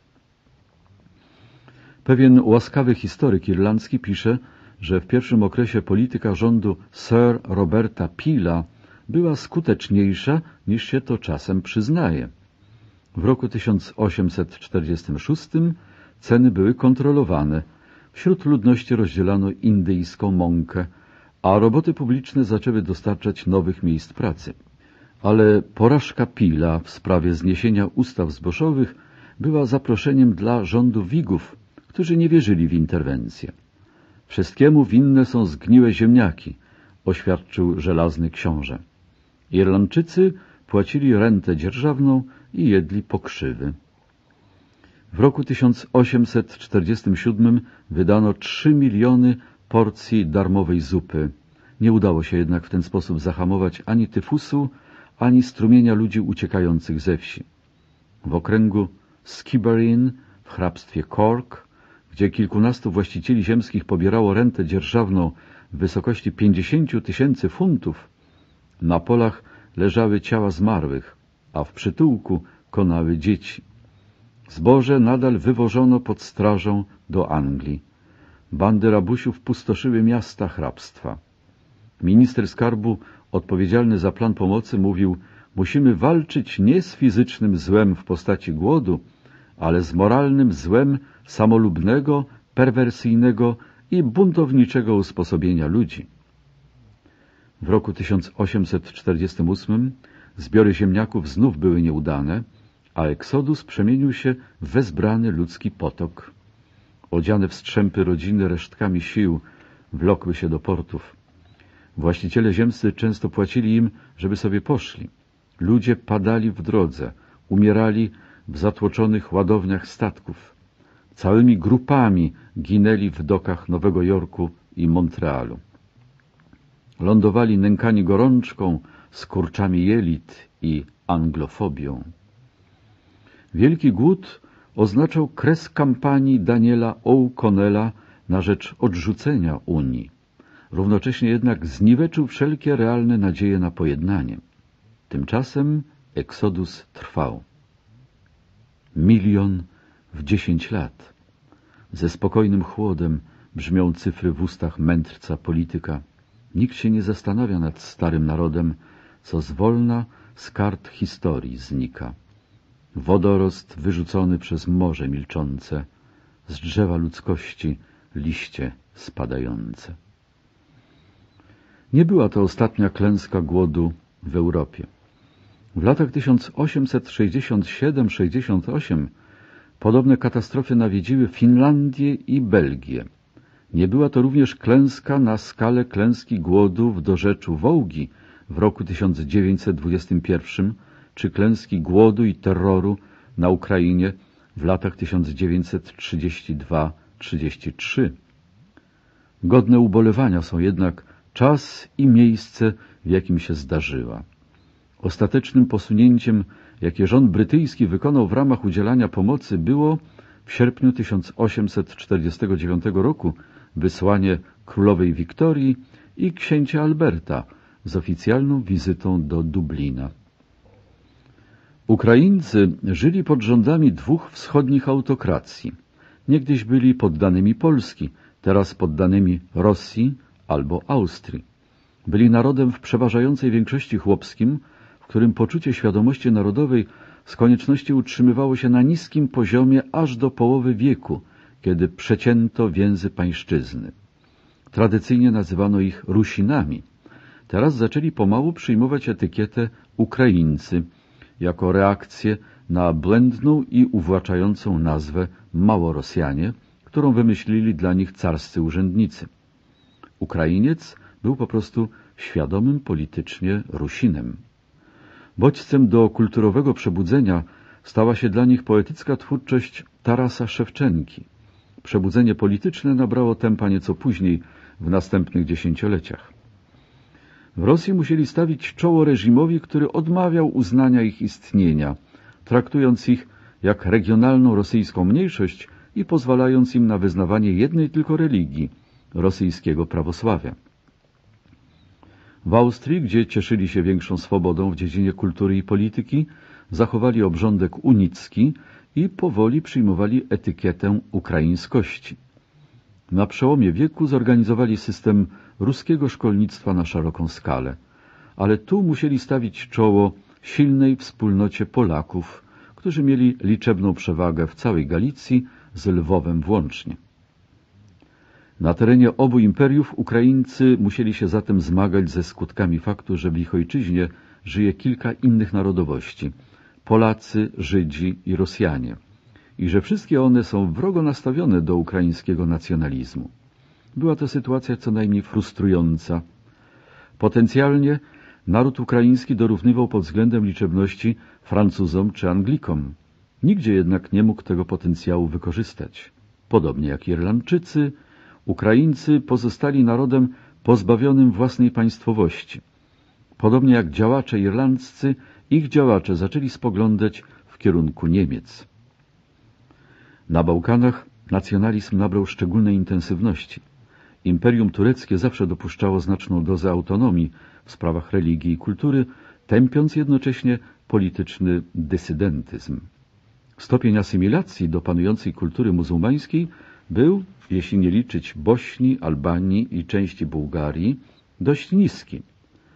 W rezultacie gotowe do życia chrześcijańskie narody czekały, aby wypłynąć na powierzchnię, kiedy tylko ustąpi turecka władza. Według typowej kolei rzeczy przez dłuższy czas miały praktyczną autonomię uwarunkowaną nominalną obecnością tureckich garnizonów, po czym uzyskiwały pełną niepodległość. Na ogół zaczynały egzystencję na ograniczonym obszarze, który nie był w stanie zaspokoić ich aspiracji, co z kolei doprowadzało do powtarzających się konfliktów z sąsiadami. Żadne z tych państw nie miało nawet pozorów etnicznej jednorodności. Grecja zdobyła oficjalną niepodległość w roku 1832, księstwa Rumunii, Wołoszczyzna i Mołdawia w roku 1856, Czarnogóra w roku 860, Serbia i Bułgaria w roku 1878. Albańczykom, jedynemu narodowi tego rejonu, który miał przewagę ludności muzułmańskiej, zabrakło poparcia ze strony chrześcijańskich mocarstw i wobec tego musieli czekać aż do roku 1913. Grecy nie mieli szczęścia, a już najmniej do monarchów. Na siedem okresów panowania w latach 1832-1973 pięć zakończyło się abdykacjami. Pierwszy król Helenów, Otton I Bawarski, katolicki entuzjasta niemieckiej skuteczności działania, okazał się bardziej niepopularny od Turków. Drugi, Jerzy I, założyciel pechowej dynastii, został importowany z Danii. Nacjonalizm nie najlepiej pasował do praktyki sprowadzania królów z zagranicy. Doświadczenia Serbii okazały się nie lepsze. Krwawe walki między rywalizującymi ze sobą dynastiami Karadżo-Dżerdżewiczów i Obrenowiczów stały się powodem dziesięciu morderstw, jakie popełniono na członkach królewskich rodów. Poparcie Rosji wywołało silną reakcję ze strony Austrii, zwłaszcza wobec faktu, że Słowianie z dualistycznej monarchii austro-węgierskiej pozostawali pod coraz większym wrażeniem przykładu, jaki im dawali Serbowie. Sukcesy Serbii w wojnach bałkańskich ostatecznie skłoniły Wiedeń do gry w otwarte karty. Etniczna mozaika Bałkanów utrudniała niestety utworzenie trwałych państw narodowych. Bałkanizacja stała się synonimem rozbicia politycznego, małostkowego nacjonalizmu i zażartych walk. Podczas trzech wojen bałkańskich z początku XX wieku Nowo powstałe państwa chrześcijańskie z taką samą zajadłością walczyły między sobą, jak z wycofującymi się Turkami. Historyk musi zadać sobie takie pytanie, dlaczego na kontynencie wypełnionym po brzegi ludowymi ruchami narodowościowymi pewna liczba państw oparła się ogólnym tendencjom. Dlaczego na przykład nie powstał żaden skuteczny ruch narodowy w XIX-wiecznej Szkocji? Szkoci zostali przecież dość wcześnie poddani intensywnej modernizacji. Jako młodszy partner Anglii w Zjednoczonym Królestwie Szkocja mogła bez trudu znaleźć wiele powodów do odrzucania angielskiej dominacji, a jednak tego nie zrobiła. Odpowiedź leży zapewne po części w podziałach między celtyckim i nizinnym elementem w obrębie szkockiej kultury, a po części w potężnej sile przyciągania brytyjskiego nacjonalizmu państwowego. Podobnie jak Cardiff czy Belfast, główne miasto Szkocji, Glasgow, rozkwitało w wyniku inicjatyw Imperium Brytyjskiego. Związek Szkocji z odnoszącą sukcesy Unią miał nie słabnąć aż do czasu, gdy nadszedł zmierzch samego imperium. Pionier wśród piewców szkockiego nacjonalizmu, Hugh MacDiarmid, zaczął pisać dopiero w latach dwudziestych XX wieku. Kluczowy traktat polityczny tego ruchu, Rozpad Wielkiej Brytanii, Toma Nairna, ukazał się dopiero w roku 1977. Tymczasem jeden z najbardziej proroczych obserwatorów doszedł do przekonania, że nacjonalizm nie jest niczym więcej jak tylko jedną z kolejnych faz. Pisząc w roku 1882 Ernest Renan odnotował swoje niepokojące spostrzeżenie, że żadne państwo i żaden naród nie są wieczne. Wcześniej czy później wszystko zostanie zastąpione czymś innym, być może jakąś europejską federacją. Metternich powiedział przy jakiejś okazji, dla mnie Europa od dawna zawierała w sobie istotę ojczyzny. Zasiano nadzieję, że pewnego dnia takie sentymenty powrócą w bardziej realnym kształcie. Socjalizm, podobnie jak nacjonalizm, był wyznaniem wiary w kolektywizm. Występował przeciwko wyzyskiwaczom i manipulatorom, stając w obronie nie jednostki, ale społeczeństwa jako całości. Wziął swoją nazwę od idei wspólnoty lub używając współczesnego terminu solidarności. Socius znaczy po łacinie towarzysz. Utrzymywał, że biednym, słabym i uciskanym można zapewnić godziwe życie tylko przez gromadzenie wspólnych zasobów, sprawiedliwie dzieląc bogactwa oraz podporządkowując prawa jednostki idei wspólnego dobra.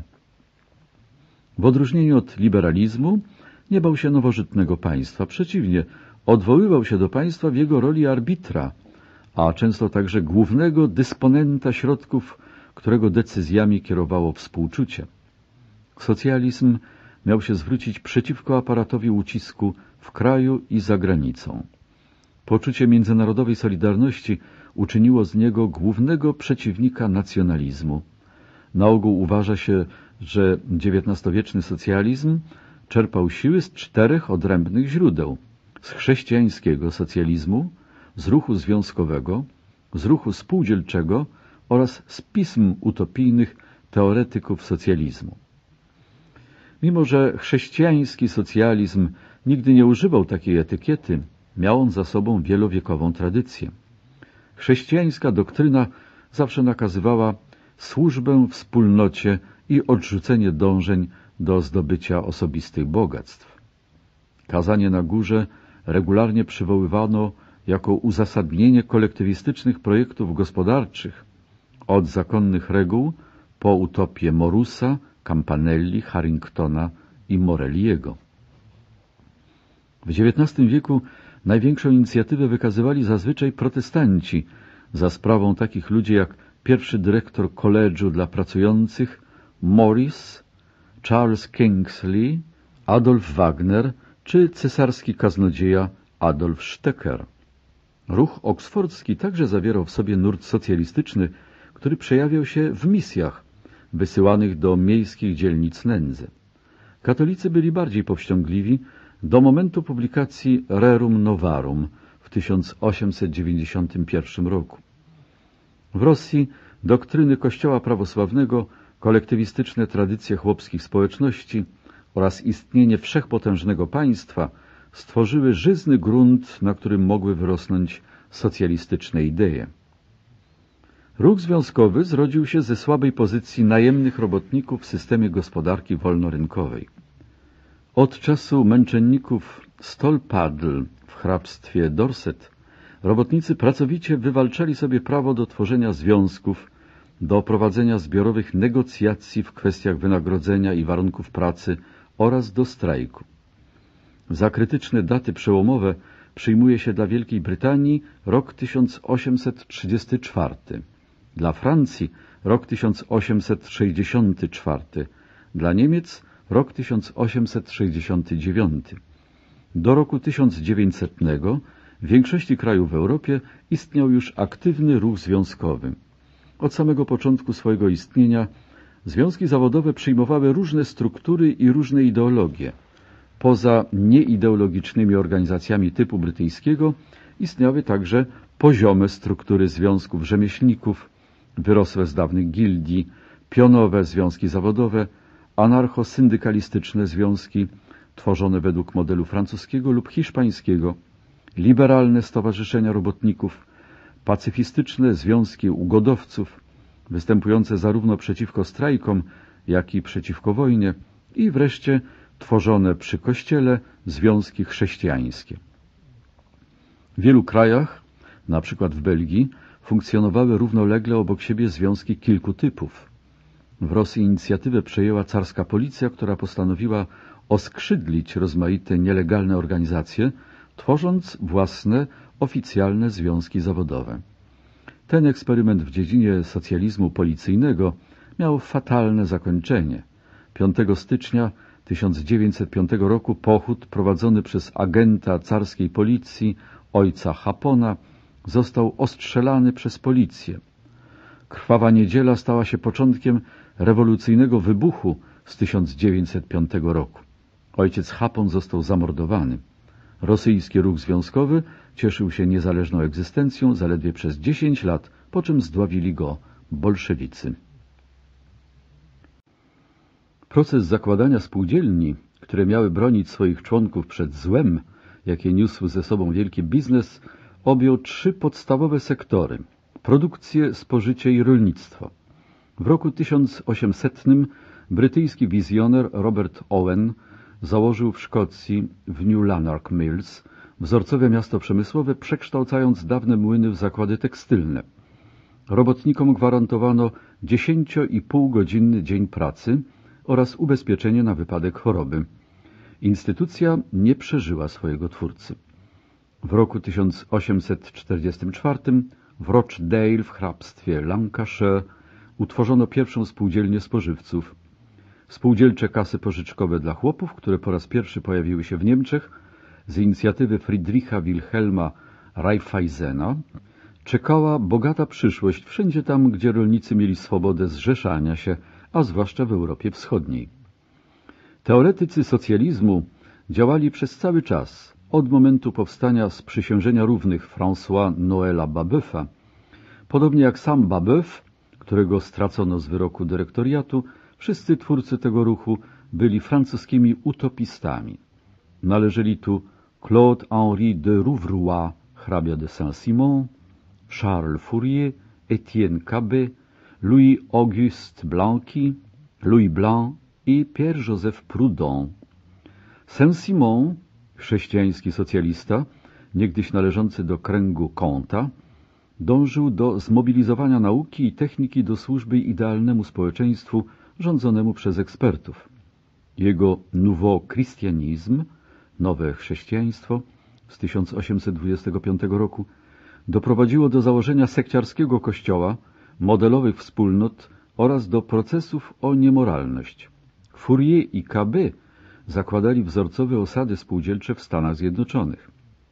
Teorie de quatre mouvements, teoria czterech ruchów Fouriera, tworzyła wizję społeczeństwa zorganizowanego według naukowych zasad, wolnego od wszelkiej formy rządu, które, osiągając kolejne stadia doskonałości, podążałoby drogą wiodącą ku harmonii.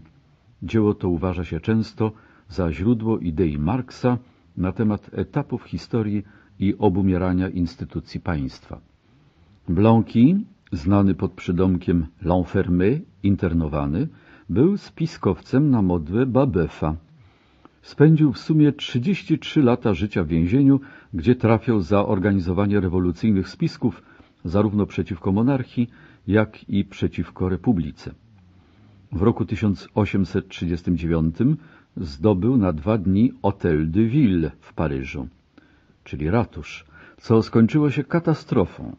Natomiast jego zwolennicy odegrali kluczową rolę w Komunie Paryskiej roku 1871. Sam Blanqui nie brał w niej udziału, ponieważ został aresztowany na dzień przed wybuchem powstania. Jego dewiza brzmiała ni Dieu, ni maître, ani Boga, ani Pana. W przeciwieństwie do niego Louis Blanc opowiadał się za utworzeniem egalitarnych, kontrolowanych przez robotników i finansowanych przez państwo zakładów pracy, gdzie wkład robotników zależałby od ich umiejętności, a płaca od potrzeb.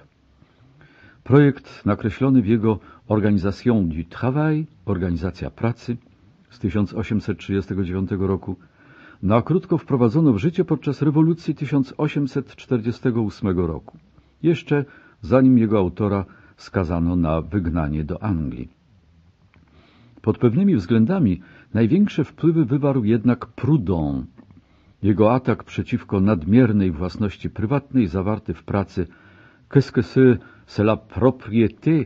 Czym jest własność? okazał się prawdziwą sensacją, zwłaszcza gdy zaczęto cytować pochodzące stamtąd najsłynniejsze powiedzenie własność to kradzież w oderwaniu od kontekstu. Jego Philosophie de la misère, filozofia nędzy, wywołała jedną z najostrzejszych reakcji Marksa. La misère de la philosophie, nędza filozofii. Natomiast idée générale de la révolution, podstawowa idea rewolucji, przynosiła opis przyszłej Europy bez granic, bez centralnych rządów i bez praw państwowych.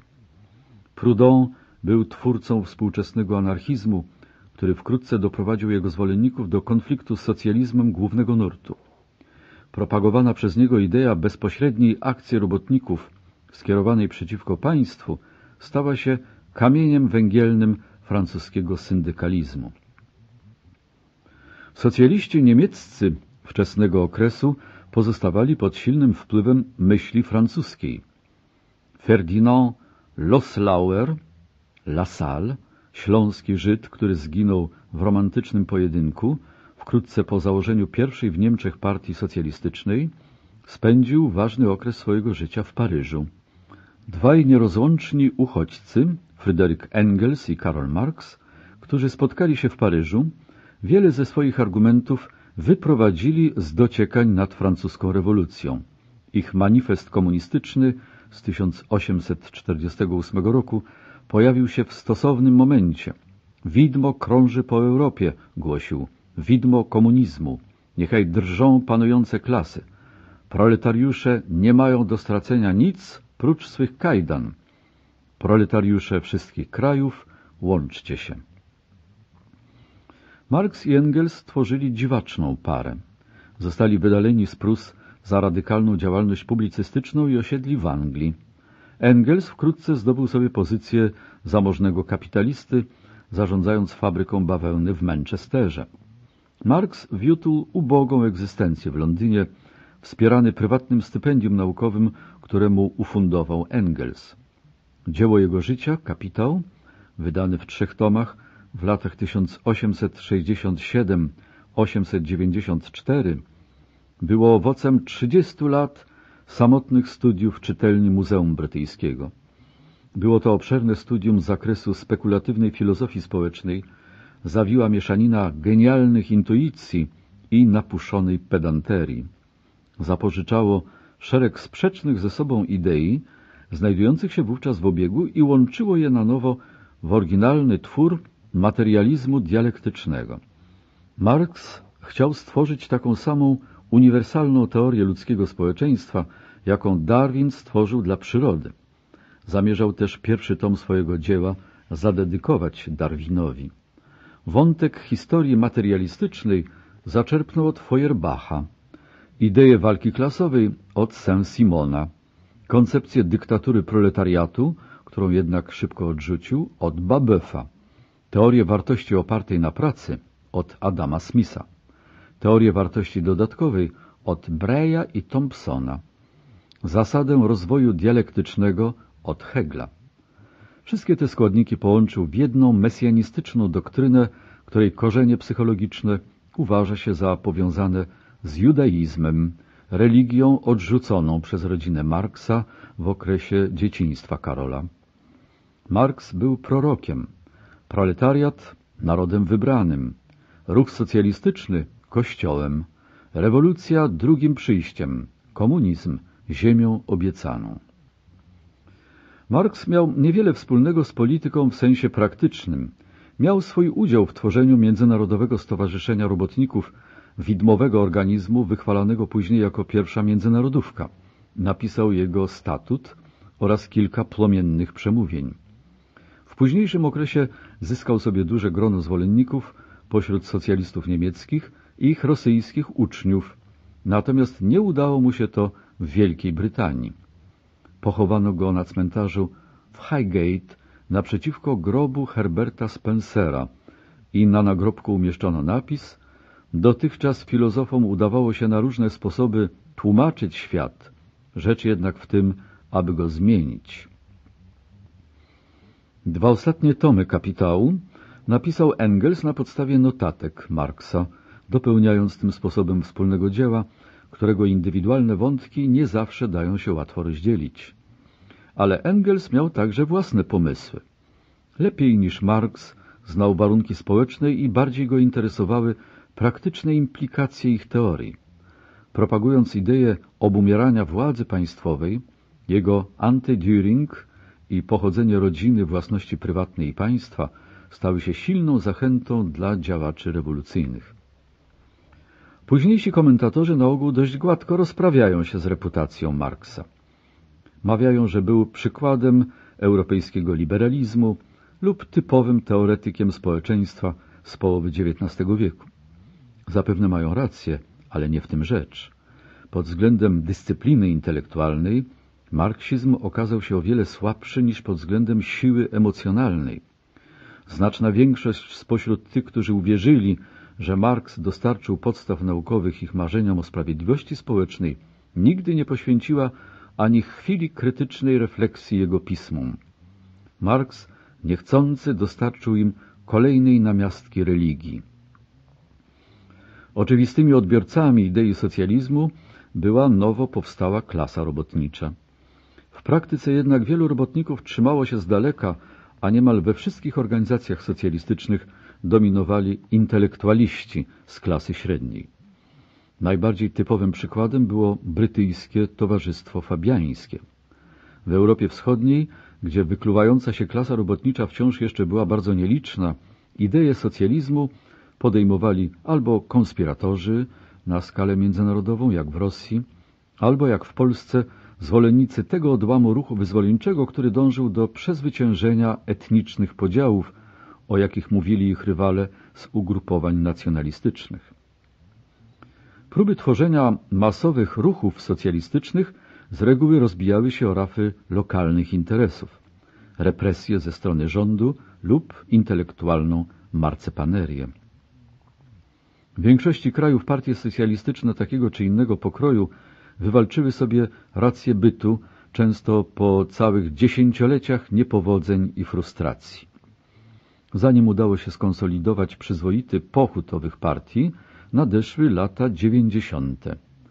Najważniejsza z nich, niemiecka partia socjaldemokratyczna SPD, została ostatecznie ustanowiona w roku 1890 po dwunastu latach zakazu na mocy uchwały antysocjalistycznej Bismarcka. Jej początki sięgały programu sformułowanego w Gocie w 1875 roku oraz fuzji Stowarzyszenia La Sala z szeregiem ugrupowań zwolenników Marksa. Program opracowany w roku 1891 w Erfurcie był w znacznym stopniu dziełem Karla Kautskiego i miał charakter jawnie marksistowski. Ale wkrótce został zmodyfikowany zarówno na skutek rewizjonistycznej krytyki Eduarda Bernsteina, który odrzucał apokaliptyczną wizję socjalizmu, jak i pod wpływem pragmatycznych inklinacji przywódców partyjnych w Reichstagu. Międzynarodowy odłam ruchu napotykał podobne trudności. Pierwsza międzynarodówka rozpadła się wśród wzajemnych oskarżeń wysuwanych przez marksistów i anarchistów. Drugą międzynarodówkę, której w roku 1889 udało się założyć stały sekretariat w Brukseli, szybko zdominowali przedstawiciele SPD.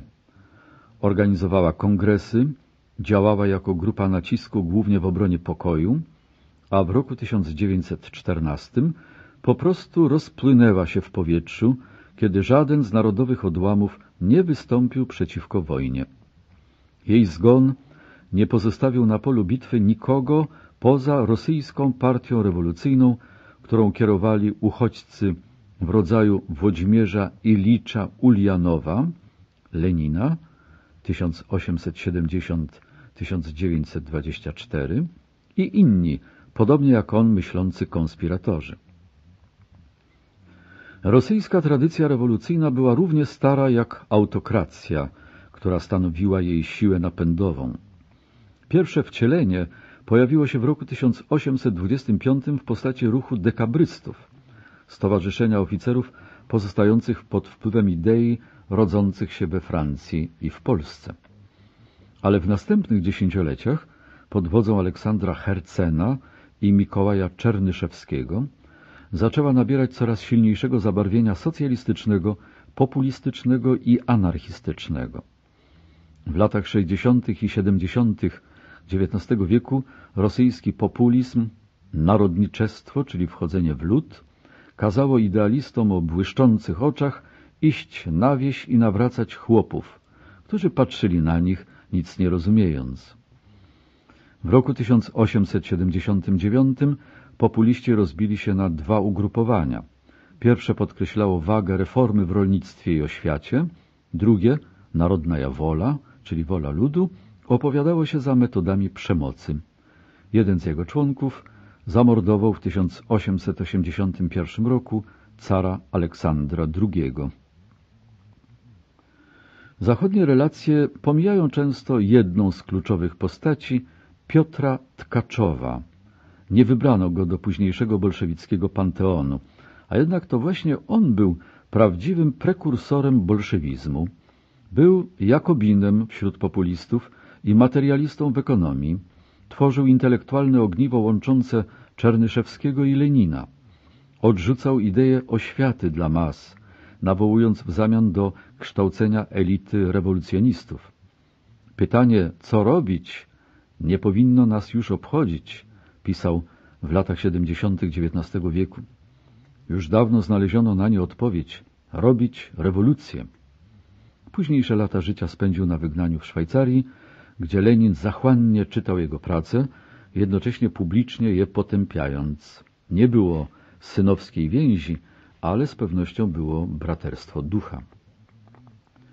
Dzieje ugrupowania leninowskiego są ilustracją niewiarygodnych dylematów, jakie stawały przed socjalistami, którzy usiłowali głosić swoje poglądy we wrogim środowisku. Jako wygnańcy i nielegalni działacze nie mieli szans na stosowanie takich samych demokratycznych metod, jakich używała SPD, od której czerpali inspirację. Jako rewolucjoniści mogli się odwoływać do pewnej części rosyjskiej opinii publicznej, do ludzi, którzy przyklasnęliby każdemu, kto obiecywał walczyć z carem. Ale jako socjaliści nieuchronnie musieli popaść w konflikt z innymi odłamami ruchu, zwłaszcza z socjalistami rewolucjonistami, eserowcami, którzy lepiej dostosowali się do dwóch największych w imperium grup potencjalnych klientów, chłopów i przedstawicieli narodowości nierosyjskich. Jako marksiści musieli przyznać, że prawdziwa rewolucja robotnicza ma niewielkie szanse powodzenia wszędzie tam, gdzie jak w Rosji klasa robotnicza jest nieliczna. jako ugrupowanie najsilniej opowiadające się za stosowaniem metod konspiracyjnych, niechętnie przyjmowali strategię tworzenia jawnej, masowej partii zwolenników. Mimo nazwy bolszewiki, większościowcy, którą Lenin przywłaszczył sobie w odpowiednim momencie, zazwyczaj tworzyli mniejszość nawet w obrębie socjaldemokracji rosyjskiej. Podobnie jak Tkaczow, Lenin słusznie zakładał, że zdyscyplinowana mniejszość może zdobyć władzę bez poparcia mas. Jednak próbując uzasadnić taką strategię w zgodzie z założeniami socjalizmu, od samego początku był skazany na przystrajanie jej fantastyczne szaty. Istotą bolszewizmu jest zakłamanie. Innymi słowy, leninizm był socjalizmem kultowym, dziwaczną i odległą imitacją oryginalnego modelu. Ta forma marksizmu, jaka zapanowała nad rewolucją rosyjską, pisze pewien krytyk, który zdobył sobie dobrą sławę w postkomunistycznej Rosji, była podobna do oryginału mniej więcej tak samo, jak chrześcijaństwo Taipingów do chrześcijaństwa świętego Tomasza z. Napisał to Robert Conquest. Trzeba było ponad pół wieku, żeby ten fakt dotarł do powszechnej świadomości. Anarchizm przeżył wprawdzie swoje dzieciństwo w towarzystwie socjalizmu, ale szybko nabrał cech, które spowodowały niezgodność charakterów. U podstaw myśli anarchistycznej tkwi przekonanie, że wszelkie formy dominacji są godne potępienia, a rząd jest nie tylko czymś zbędnym, ale wręcz szkodliwym. Jeden z wcześniejszych wątków, wywodzący się od anabaptystów i kopaczy z XVII wieku, zaowocował w Anglii traktatem Williama Godwina Analiza sprawiedliwości politycznej z 1793 roku oraz wzniosłą wizją Prometeusza Wyzwolonego, pióra zięcia Godwina Percy Bysshe Shelley'a. Rozdarta maska obmierzła, opadła i został człowiek wolny od pęd władzy, od nierówności klas, ras i narodów, zbyty już trwogi, poddaństwa, poniżeń, sam sobie panem, mądrym, sprawiedliwym, po prostu człowiek. Kobiety szczere, piękne, wdzięku pełne jak czyste niebo, co wraz światło świeże i rosę zsyła na ziemię. Promienne postaci, czyste, zbyte z kas natury, co głoszą prawdy, niegdyś im zbyt śmiałe, pełne uczucia, co lęk w nich budziło, o takiej zmianie nawet śnić nieśmiałe, lecz teraz niebo uczyniły z ziemi. Wątek drugi, rozwijany we Francji w pracach i dziele Proudhona i jego ucznia Anselma Bellegaric, skupiał się na doktrynie mutualité, mutualizmu. Doktryna ta głosiła, że robotnicy powinni unikać udziału w polityce parlamentarnej i szukać wyzwolenia metodą bezpośrednich akcji podejmowanych na ulicach miast i w fabrykach. Wątek trzeci wyrósł z ekstremalnych reakcji przeciwko ekstremalnej autokracji Imperium Rosyjskiego.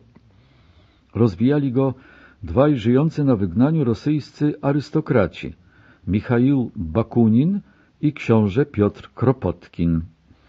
Bakunin, który swego czasu oświadczył, że destrukcyjna namiętność jest także twórczym impulsem, rozbił pierwszą międzynarodówkę Marksa. Komuniści są przekonani, że muszą zorganizować klasę robotniczą po to, aby przejąć władzę w państwach, oświadczył. Rewolucyjni socjaliści, czyli anarchiści, organizują się po to, aby państwo zniszczyć. Jego poglądy stały się inspiracją do powstania kolektywistycznego wariantu anarchizmu, który się przyjął w krajach latynoskich. Kropotkin, wybitny pisarz i geograf, napisał zdobycie chleba, pola, fabryki i warsztaty i pomoc wzajemną jako czynnik rozwoju. Prace stanowiące element jego kampanii na rzecz utworzenia komunistycznego społeczeństwa wolnego od wszelkich form centralnego zarządzania. Wątek czwarty przedstawiony po raz pierwszy w traktacie Der einzige und sein Eigentum, jedyny i jego własność, został zainicjowany przez berlińskiego dziennikarza Maxa Stirnera. Podkreślał absolutne prawo jednostki do wolności od wszelkich form instytucjonalnej kontroli. Okazał się atrakcyjny dla wielu pisarzy i artystów awangardy, od Courbeta i Pissarra po Oscara Wilda. Ukazuje on jednak także przyczyny, dla których zasady przyjmowane przez samych anarchistów wykluczały wszelką możliwość istnienia skutecznych organizacji anarchistycznych. Anarchizm przyniósł szereg praktycznych skutków. Rewolucyjni anarchosyndykaliści zdominowali ruch robotniczy we Francji, we Włoszech, a szczególnie w Hiszpanii, gdzie Confederación Nacional de Trabajo CNT przerodziła się w odgrywający istotną rolę ruch masowy. Ulubioną bronią anarchistów był strajk generalny, mający na celu sparaliżowanie wszystkich działających instytucji. Anarchiści chłopscy wywierali wpływ na mieszkańców okolic rozrzuconych po całej Europie, od Andaluzji po Ukrainę. Anarchizm był też inspiracją narodzin nowożytnego terroryzmu, tego co jeden z wojujących działaczy włoskich, Enrico Malatesta, nazwał propagandą czynu. Istotą tego ruchu było przeświadczenie, że sensacyjne akty mordu czy zniszczenia zwrócą uwagę opinii publicznej na niesprawiedliwość, przełamią stanowczość polityki rządowej i złamią kręgosłup rządzącej elity. Na liście ofiar znaleźli się car Aleksander II w 1881, prezydent Francji Sadi Carnot w 894, cesarzowa Austrii Elżbieta w 898, premier Hiszpanii Canovas de Castillo w 897 oraz król Włoch Humbert I w 1900. Te gwałtowne preludia nigdzie nie przyspieszyły nadejścia owego pokoju i harmonii, w których anarchiści widzieli swój ostateczny cel. Anarchizm miał jeszcze jeden, diametralnie odmienny skutek. Stał się inspiracją doniosłej tradycji moralnego protestu przeciwko wszelkim formom przymusu. Poczynając od powieściopisarza hrabiego Lwa Tolstoja, który uważał, że małżeństwo jest instytucją równie zniewalającą jak carat, Ewangelia niestosowania przemocy znalazła wielu gorliwych zwolenników, od Mahatmy Gandiego w Indiach po Solidarność w Polsce i współczesny ruch na rzecz ochrony środowiska naturalnego. Słynny okrzyk bojowy Belgarika L'anarchie c'est l'ordre Anarchia to porządek dziś powszechnie się odrzuca jako przejaw czysto negatywnych emocji. Tkwi w nim jednak bardzo istotny element moralny, leżący u podstaw wielu dzisiejszych opinii wyrażających zaniepokojenie z powodu działania bezmyślnych molochów władzy w dziedzinie polityki i techniki. W tym właśnie znaczeniu anarchizm zaklasyfikowano jako najatrakcyjniejsze z politycznych wyznań wiary. Znalazło się na przeciwnym końcu skali w stosunku do wyznania wiary tego z polityków Bismarcka, który zajmował w europejskiej polityce pozycję tak centralną, jak marginalna była pozycja anarchistów. Otto von Bismarck 1815-1898 panował nad Niemcami końca XIX wieku, podobnie jak cesarstwo niemieckie, które zaprojektował, panowało nad resztą Europy. To właśnie on, bardziej niż ktokolwiek inny, był architektem europejskiego ładu, wyłaniającego się z zamętu po roku 1848, tym samym roku, w którym wkroczył na arenę polityczną i którego rewolucji tak bardzo nienawidził. Był człowiekiem ogromnych kontrastów, zarówno w usposobieniu, jak i w polityce. Ten żelazny kanclerz o groźnym obliczu, jakie ukazywał światu w Reichstagu i podczas spotkań dyplomatycznych, w życiu prywatnym był cierpiącym na bezsenność histerykiem oraz, jak niedawno odkryto, nałogowym morfinistą. Był zamożnym junkrem przywiązanym do swoich majątków Schönhausen i Warzin, a jednocześnie kierował największymi w Europie programami uprzemysłowienia. Był pruskim konserwatystą starej daty i monarchistą, który pogardzał swoim monarchą, przyjął nacjonalizm liberalnej opozycji i dał Niemcom powszechne prawo głosu oraz system ubezpieczeń społecznych. Był zwycięskim militarystą, nieskończenie sceptycznym wobec owoców zwycięstwa.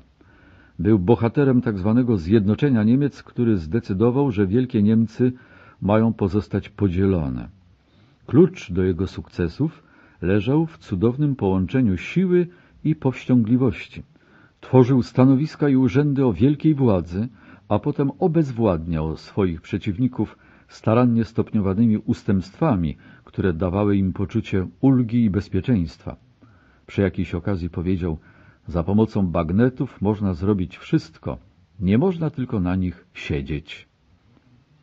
Reputacja Bismarcka jest jednak dość niejednoznaczna. Nikt nie może zaprzeczyć, że był mistrzem politycznej sztuki. Wielu natomiast kwestionuje jego moralność i intencje.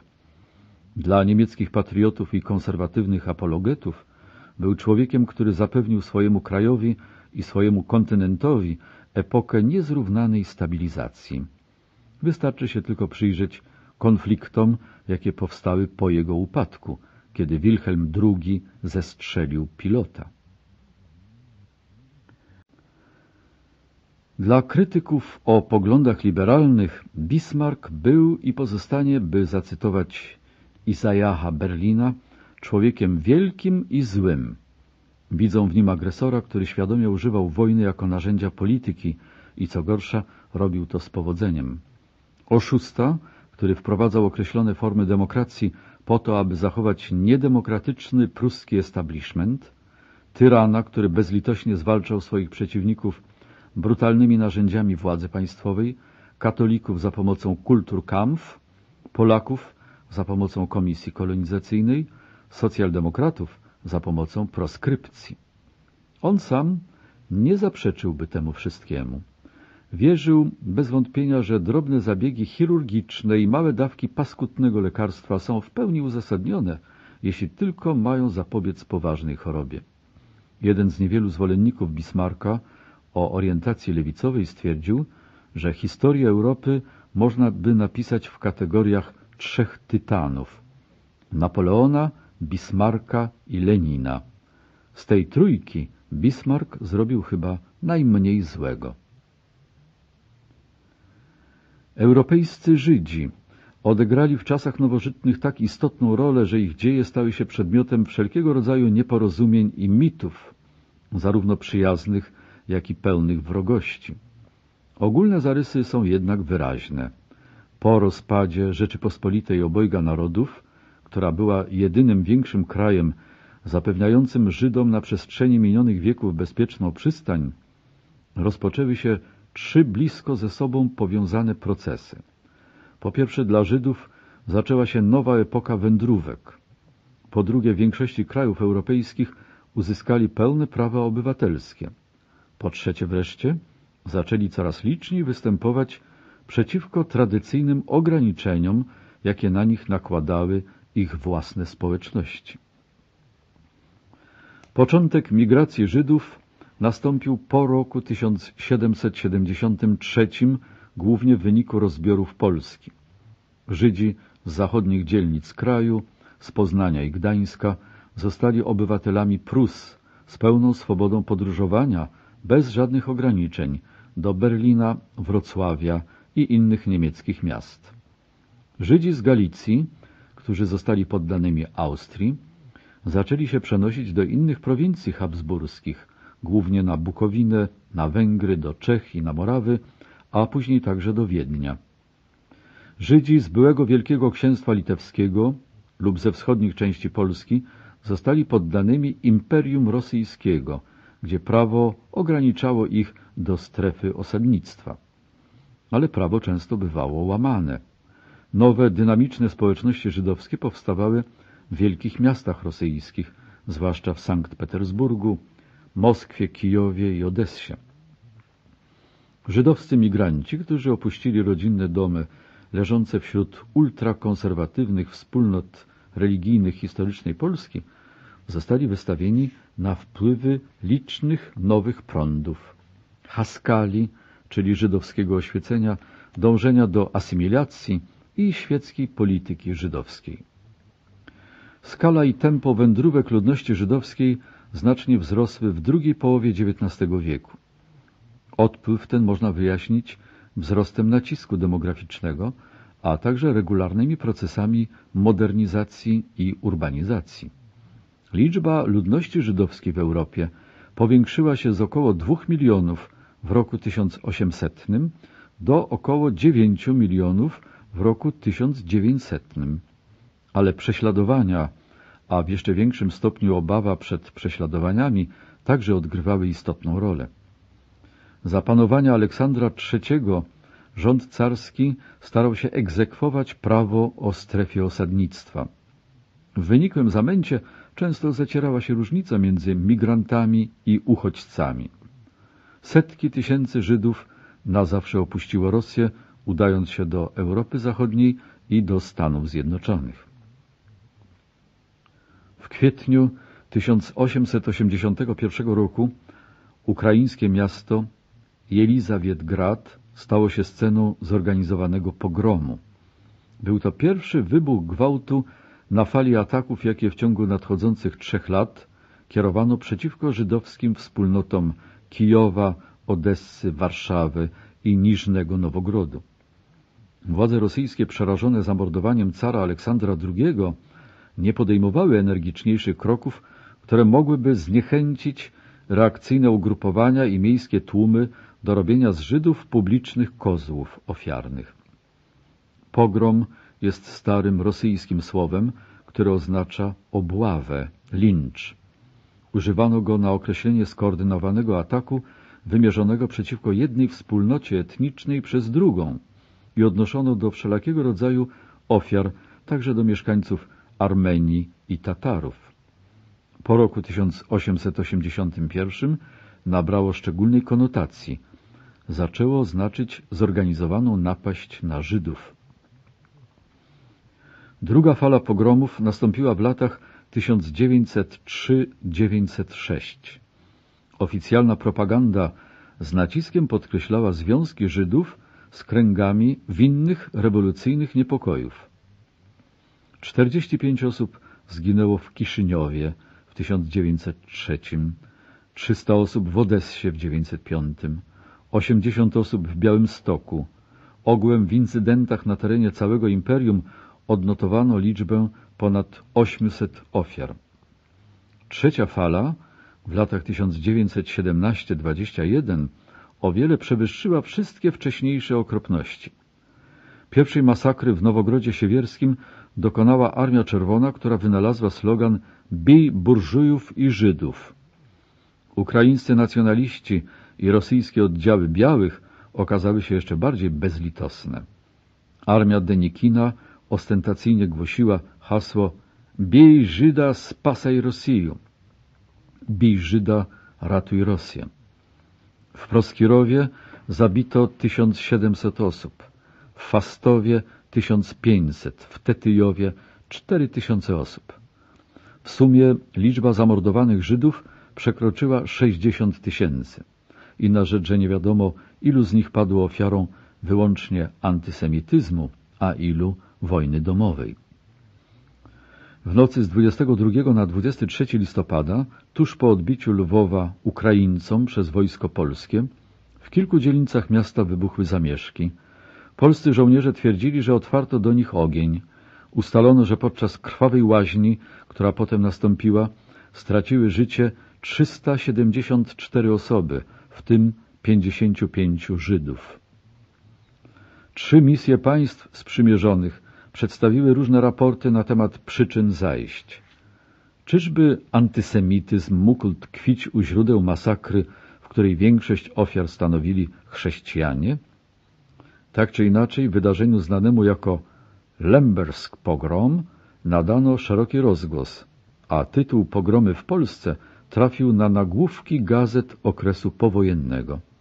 Najgorsze rzeczy działy się gdzie indziej, ale nie po raz ostatni. Ostrze wrogiej propagandy najboleśniej uderzyło w Polskę. Migrację Żydów ułatwiało przyznawanie im przez coraz szerszy krąg państw europejskich pełnych praw obywatelskich. Czołową pozycję zajmowała pod tym względem rewolucyjna Francja, gdzie 27 września 1791 roku konwent przyznał obywatelstwo wszystkim Żydom, którzy złożyli przysięgę lojalności. Inicjatywę objął przewodniczący konwentu ksiądz Gregoire, który równe traktowanie Żydów uważał za jeden ze swoich chrześcijańskich obowiązków. Podczas toczącej się debaty hrabia de Clermont-Tonnerre sformułował słynne rozróżnienie. Żydom należy odmawiać wszystkiego jako narodowi i wszystko dawać jako jednostkom. Od tego czasu prawna emancypacja Żydów stała się jedną ze standardowych pozycji w programach europejskiego liberalizmu i stopniowo wprowadzono ją niemal wszędzie, z wyjątkiem Imperium Rosyjskiego.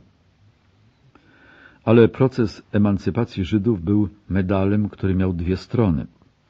Wymagał fundamentalnej zmiany postępowania i postaw zarówno od społeczeństw przyjmujących Żydów, jak i od samych Żydów.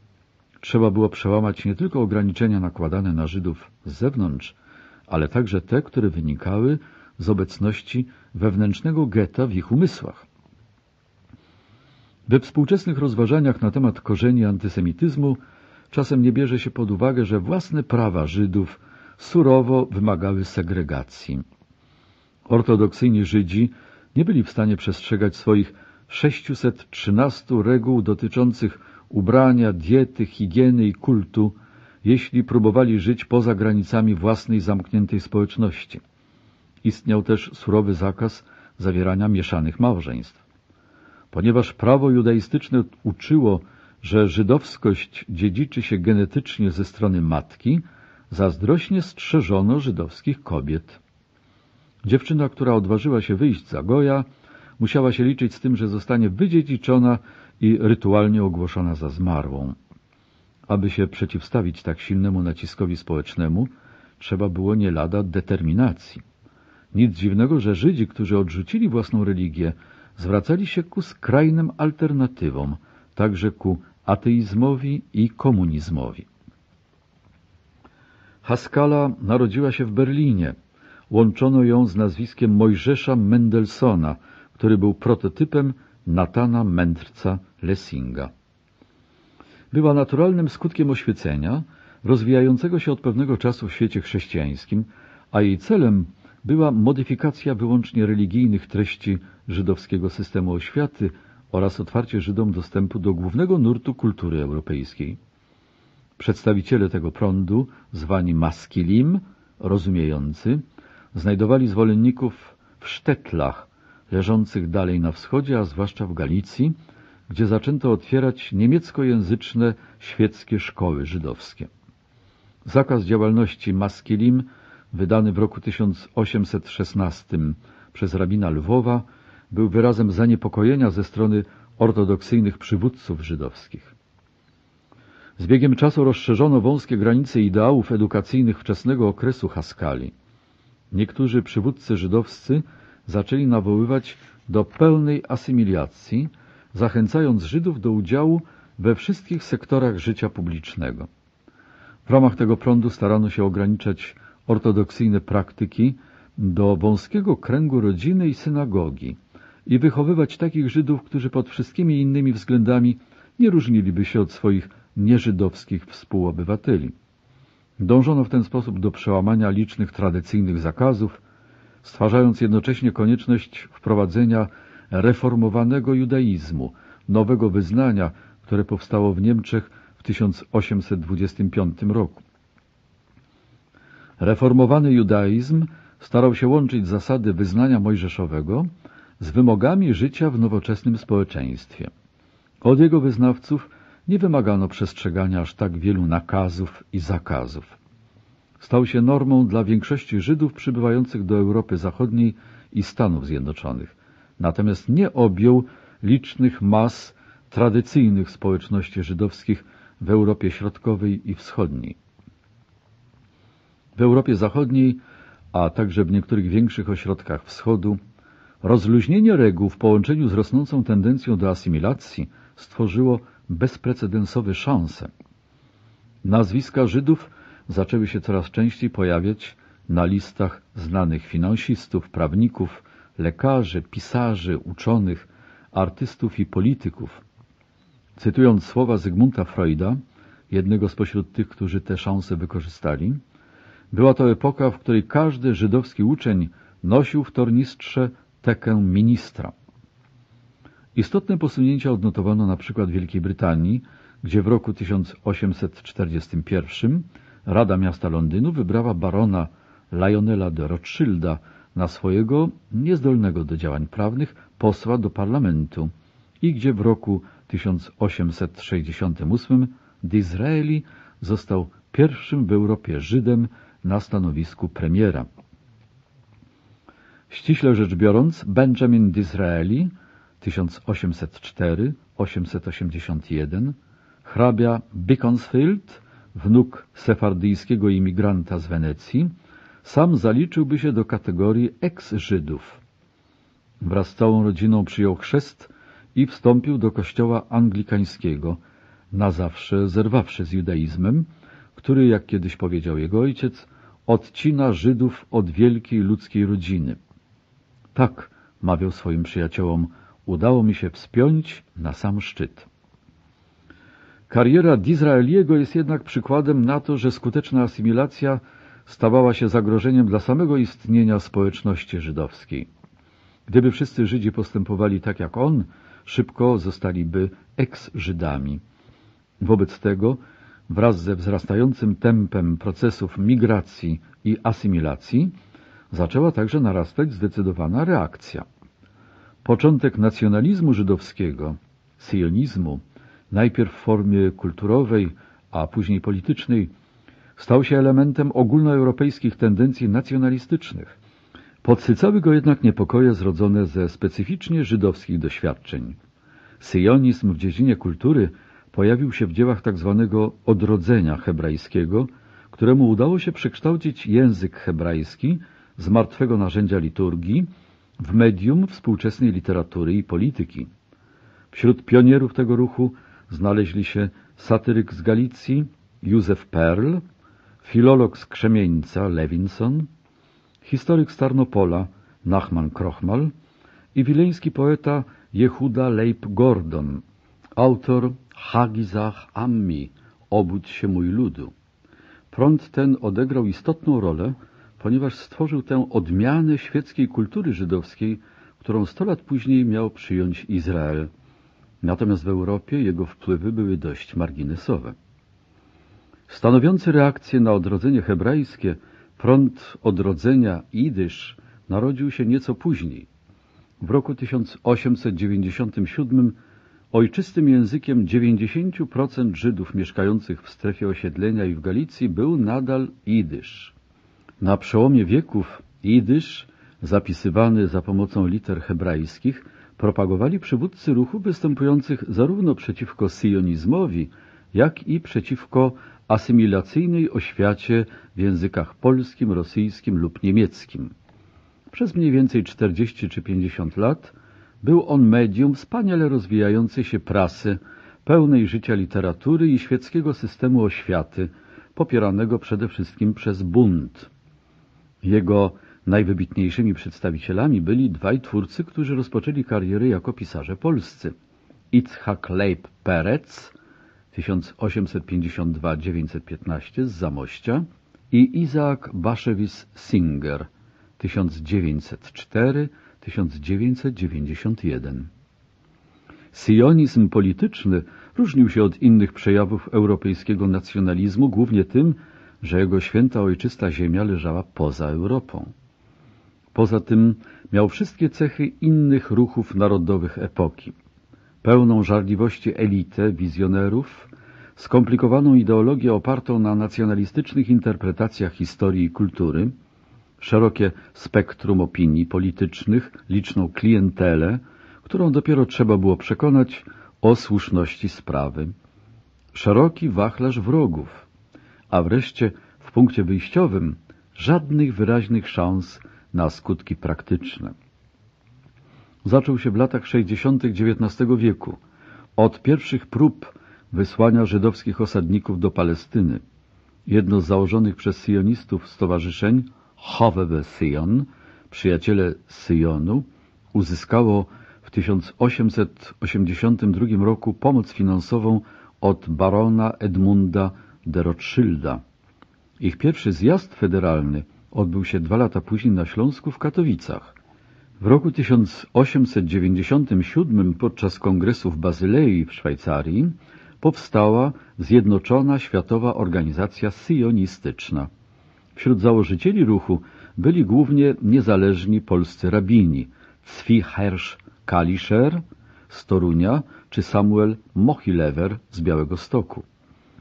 Ale przywództwo tej organizacji znalazło się w rękach laickiego aktywu, na czele którego stali ludzie takiego pokroju, jak urodzony w Budapeszcie dziennikarz Theodor Herzl 1860-904, a później bankier z Kolonii David Wolfson, czy chemik naukowiec z Manchesteru Chaim Weizmann. Zaczątki ideologii syjonistycznej można znaleźć w pracy Krochmala Przewodnik dla Zagubionych, ale w sposób najbardziej przekonywający prezentują ją napisany przez odeskiego lekarza Leo Pinskiera traktat Autoemancypacja z 1882 roku oraz praca Herzla Der Judenstaat, państwo żydowskie. Od samego początku religijny odłam syjonizmu, Mizrahi, czyli centrum duchowe, dzieliła głęboka przepaść od przeważającego nurtu świeckiego nacjonalizmu. Ostry rozłam panował także między skrzydłem socjalistycznym, Poalej Sion, robotnicy Syjonu, skupionym wokół partii urodzonego w Płońsku Dawida Grina, alias Ben Guriona, 1886-973, a skrzydłem żydowskich nacjonalistów o poglądach integracyjnych, którzy wyłonili się w postaci ugrupowania syjonistycznych rewizjonistów pod przywództwem Władimira Żabotyńskiego. Łączyło ich przekonanie, że życie Żydów w Europie staje się coraz mniej znośne. Tymczasem jednak przyszłość syjonizmu zasadzała się na trzech wielkich imponderabiliach zmiennych przypływach antysemityzmu, radykalizacji mas ludności żydowskiej w Europie Wschodniej oraz negocjacjach w sprawie odpowiedniego terytorium.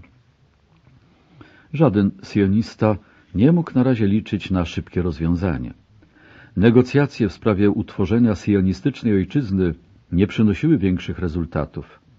Audiencje Herzla u sułtana Turków osmańskich w latach 1901-902 nie okazały się owocne. W roku 903 przedstawiona przez Brytyjczyków oferta nadania rozległych obszarów na kenijskich płaskowyżach w Afryce Wschodniej spowodowała głęboki rozłam w łonie Światowej Organizacji Syjonistycznej. To ostatnie doświadczenie umocniło panujące przekonanie, że marzeń syjonistów nie da się oderwać od historycznych ziem Izraela w Palestynie. Nie można było liczyć na żadne postępy na tym froncie aż do roku 1916, kiedy Brytyjczycy zdobyli Jerozolimę, czego następstwem była deklaracja Balfura.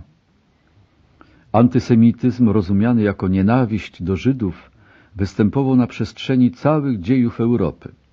Przyczyny dzielono na religijne, gospodarcze, społeczne i kulturalne, ale w swojej istocie był to pełen zaciekłości syndrom psychologiczny ze stereotypem Żyda, leżącym u podstaw późniejszych oskarżeń o spisek i zdradę. Antysemityzm uczynił ze społeczności żydowskiej archetyp kozła ofiarnego, odpowiedzialnego za wszelkie przejawy zła. Żar tlił się zawsze, to buchając płomieniem, to przygasając w zmiennym rytmie, który nie zawsze daje się łatwo wyjaśnić. Pod koniec XIX wieku podsycały go migracje, dzięki którym wielu Europejczyków po raz pierwszy zetknęło się z Żydami. niekorzystne warunki ekonomiczne, zwłaszcza w rozwijających się miastach, oraz przypływ fali nacjonalizmu, który u wielu ludzi powodował spadek tolerancji wobec odmienności etnicznych i kulturowych. Wypłynął na powierzchnię w postaci rosyjskich pogromów, sprawy Dreyfusa we Francji oraz groźnego wynalazku protokołów mędrców Syjonu.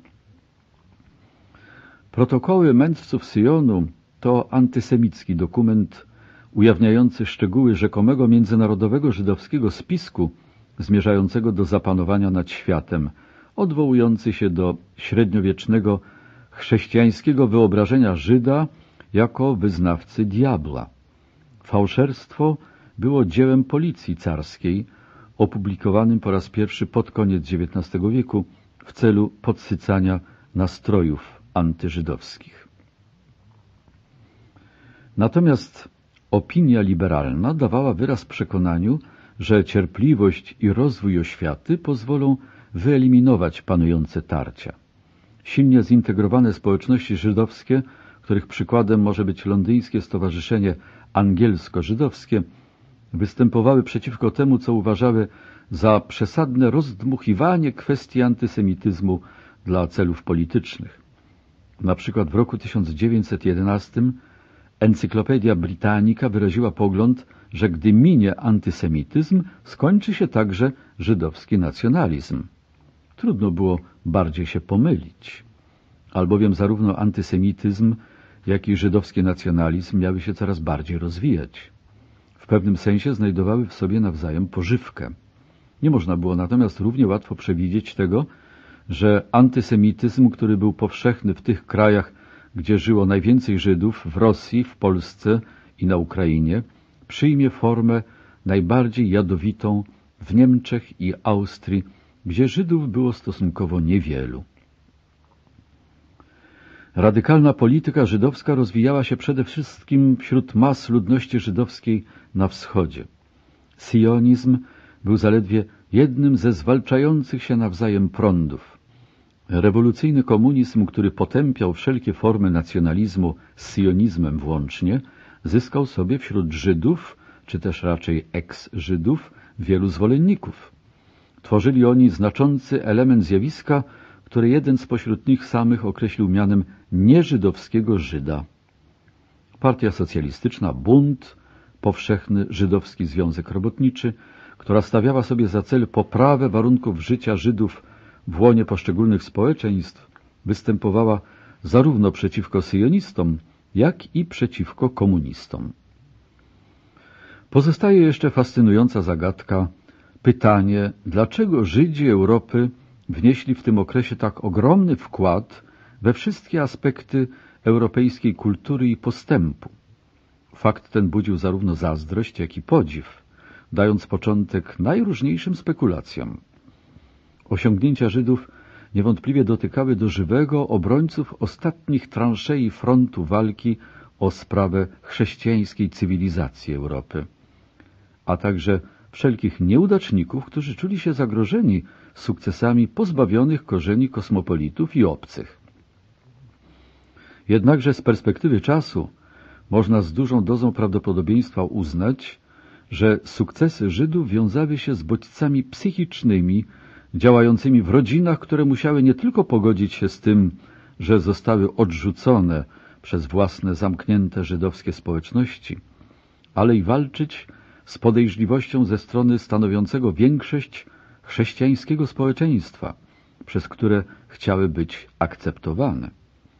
Wiązały się też wyraźnie z pasją Żydów do nauki, której korzenie tkwiły wprawdzie w studiowaniu Tory, ale którą można było łatwo zwekslować na naukę obcych języków w młodym wieku, na zdobywanie znajomości prawa czy poznawanie nauk ścisłych.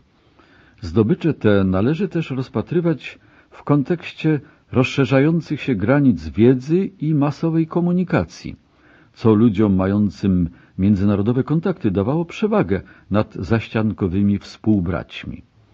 Dla utalentowanych jednostek odpowiednia doza niepewności mogła się okazać błogosławieństwem. W okresie Od roku 1848 do 1914 liczba mieszkańców Wiednia zwiększyła się pięciokrotnie do około dwóch milionów.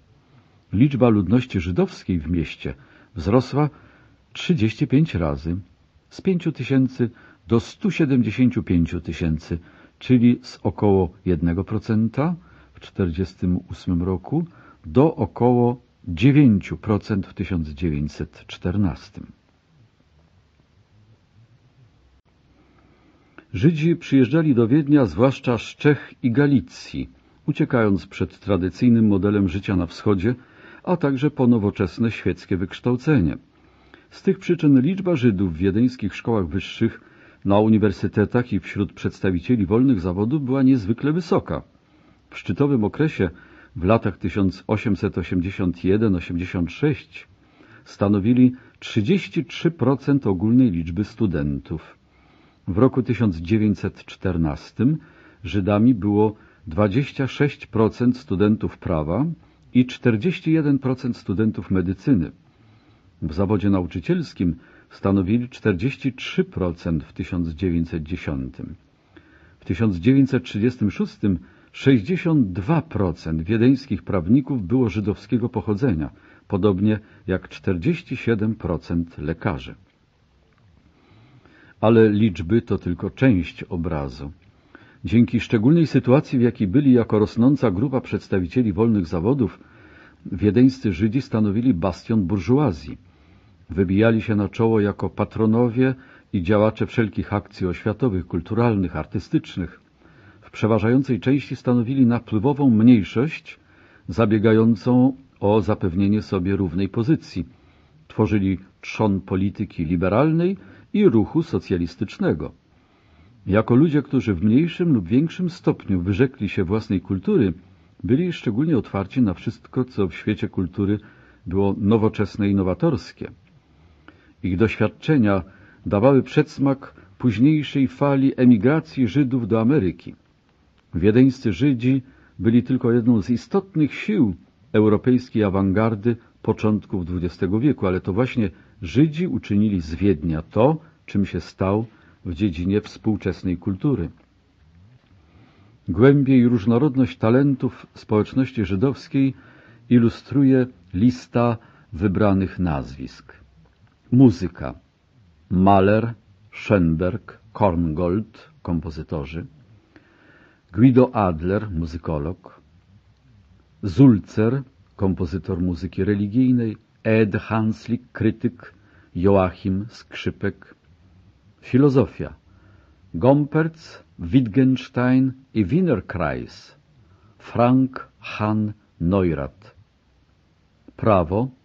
Glaser, Unger, prawnicy. Steinbach i Offner, specjaliści w dziedzinie prawa społecznego. Löffler i Türkel, kryminolodzy. Medycyna Zuckerkandl, anatom Schenk, embriolog Steinach, fizjolog Gruber, higienista Landsteiner, hematolog von Basch, patolog Pick, farmakolog Benedikt, neuropatolog, Karplus, neurolog, Freud i Adler, psychoterapeuci, Kasowic, pediatra, Klein, okulista, Mandl, chirurg, Halban, ginekolog, Neuburger, historyk medycyny. Literatura. Schnitzler, Roth, Zweig, Ber Hoffmann, Herzfeld, pisarze, Szeps, Benedikt, Herzl, Austerlitz, wydawcy i dziennikarze, Kraus, krytyk, polityka, Birnbaum, bojownik o autonomię Żydów, Herzl, sionista, Eugenii Schwarzbach, reformatorka oświaty, Józefin von Werzheimstein, gospodyni liberalnego salonu politycznego. Stosunek wiedeńskich Żydów do judaizmu nie był sprawą prostą. Silne ugrupowanie religijne udzielało poparcia miejskim synagogom, które podlegały niekryjącemu swoich poglądów najwyższemu rabinowi Moricowi Güdenmanowi. Były także wspólnoty sefardyjskie i hasyckie. Natomiast liczni spośród tych, których uważano za Żydów, sami byliby raczej skłonni uznać się za byłych Żydów. Mahler był jednym z wielu, którzy przeszli na katolicyzm. Freud należał do tych, którzy odrzucili wszelką religię. Z radością i dumą przyznaję się do mojej żydowskości, pisał, chociaż moja postawa wobec wszelkiej religii jest krytycznie negatywna. Należy również pamiętać, że Żydzi nie tworzyli ani jedynej, ani też największej grupy imigranckiej Wiednia. Do Wiednia przybywało więcej Słowian i Węgrów niż Żydów, przy czym wielu z nich pochodziło z najniższych szczebli drabiny społecznej. Biorąc pod uwagę antysemityzm Austriaków z okresu na przełomie wieków, nie można zapominać o uogólnionej ksenofobii, której był elementem. Jak tego dowiódł najbardziej znany z wiedeńskich antysemitów Adolf Hitler, nienawiści do Żydów często towarzyszyła pogarda dla Słowian, z którą ją zresztą często mieszano. Paranoja żydowskiego bolszewizmu zapuściła w wiedeńskiej ziemi głębokie korzenie. Trzeba także pamiętać o uprzedzeniach samych Żydów.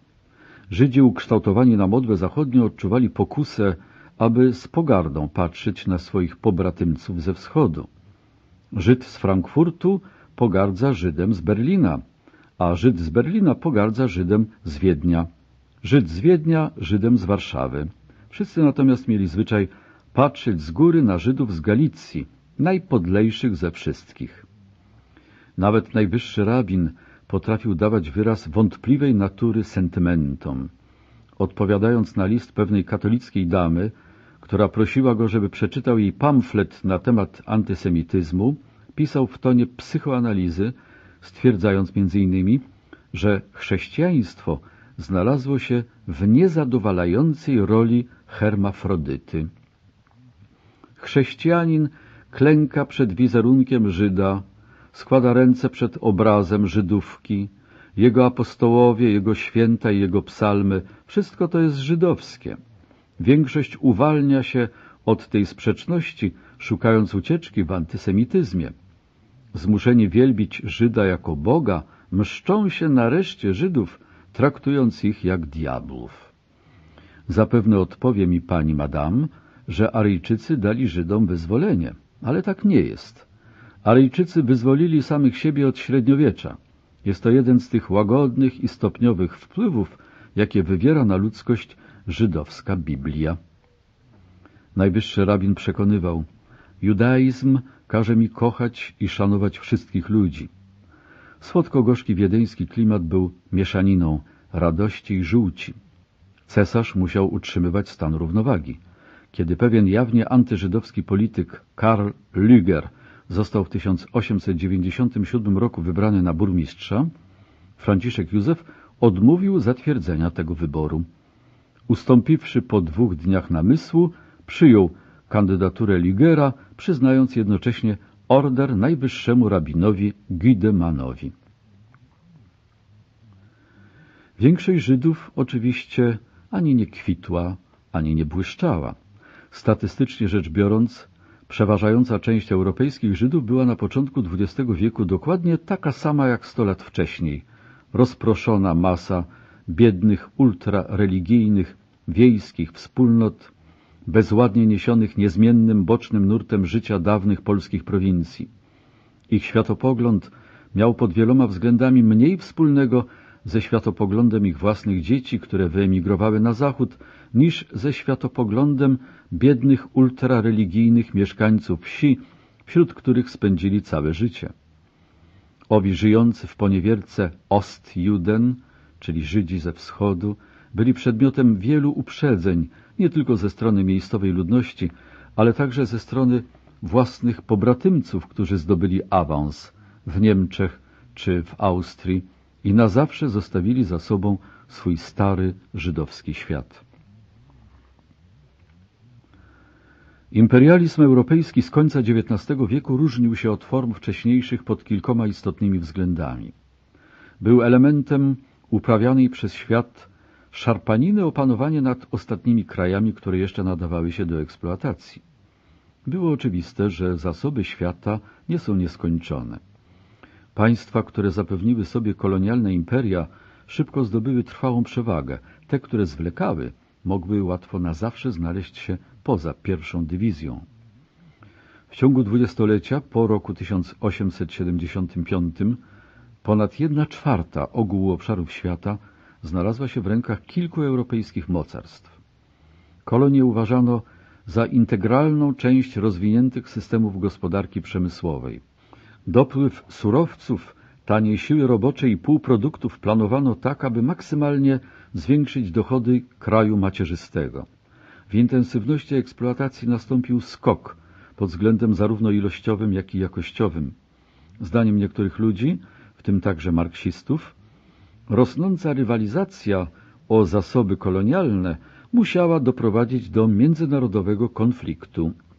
Typowym przykładem tego sposobu myślenia było dzieło Lenina Imperializm jako najwyższe stadium kapitalizmu. Imperializmowi w dziedzinie polityki i gospodarki towarzyszyła świadomie podejmowana kulturalna misja europeizacji kolonii na obraz i podobieństwo macierzystych krajów. Chrześcijańscy misjonarze mieli tu swój istotny udział, mimo że rzadko łączyły ich bezpośrednie powiązania z władzami politycznymi czy spółkami handlowymi.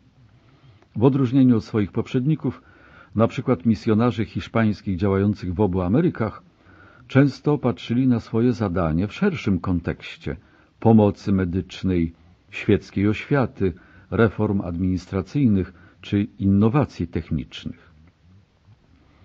Mocarstwa imperialistyczne starały się wykorzystywać potencjał wojskowy kolonii.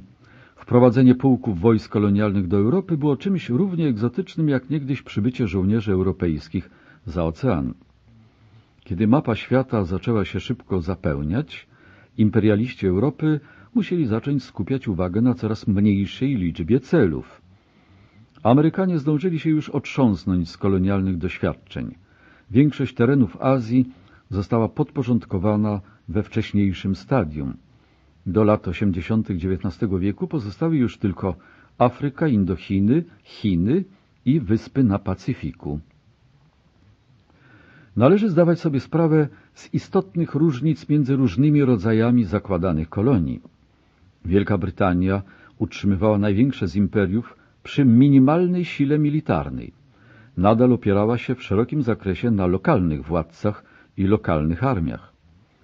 Aparat biurokracji brytyjskiej w Delhi, który zarządzał 400 milionami Hindusów, liczył mniej urzędników niż aparat biurokracji austriackiej w Pradze. Wszystkim większym obszarom zasiedlonym przez brytyjskich imigrantów nadawano status samorządnych dominiów. Kanada otrzymała go w roku 1867, Australia w roku 1901, Nowa Zelandia i Nowa Fundlandia w roku 1907, Afryka Południowa w 1910. Francja natomiast stosowała politykę ściślejszej integracji. Departamenty Algieru i Tunezji dołączono do metropolitalnej administracji Francji. Oficjalnie popierano emigrację Francuzów do Afryki Północnej, zwłaszcza w przypadku mieszkańców Alzacji i Lotaryngii, wysiedlanych w wyniku wojny francusko-pruskiej. Taka tradycyjna centralizacja upodobniała Francję bardziej do Rosji niż do Wielkiej Brytanii. Gdy nadszedł czas, aby przeciąć te więzi, powstały olbrzymie problemy. Afryka, czarny kontynent, zadziwiająco długo zachowała wiele ze swoich geograficznych tajemnic. Na Wybrzeżu Północnym kolonie europejskie zakładano już w starożytności. Natomiast lokalizację źródeł Nilu, który nawadniał ziemię faraonów, poprawnie ustalono dopiero w roku 1888.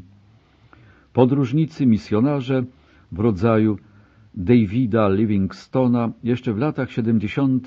XIX wieku potrafili na długie lata zgubić się w dżungli.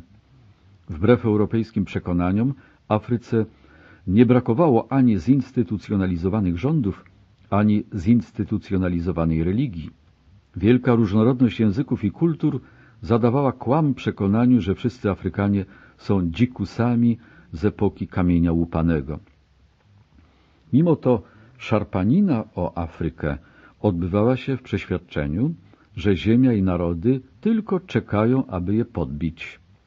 Różnice w poziomie techniki wojennej były tak ogromne, że nawet szacowne królestwa Afryki Zachodniej stawiały równie słaby opór, jak niegdyś plemiona Azteków czy Inków.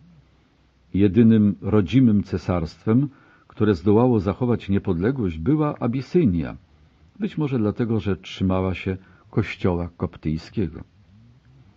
Chiny, których cywilizacja była najstarszą cywilizacją na świecie, także miały cesarza uznawanego przez rządy Europy.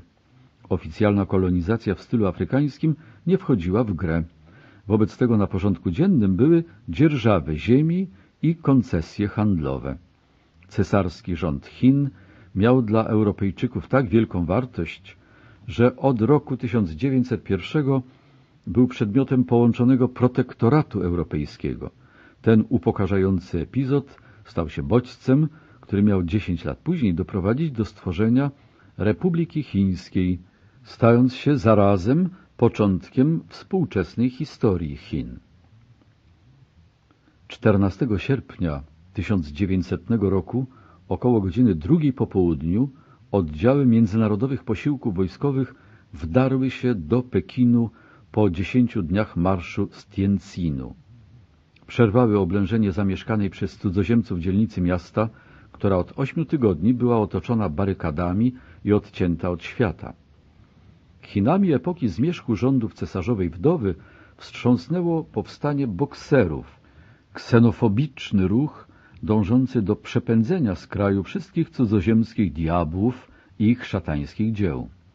Bokserów, których nazwa pochodzi od nazwy stowarzyszenia, pięść w imię sprawiedliwości i pokoju, doprowadzało do wściekłości wszystko, co europejskie, od kolei po chrześcijaństwo.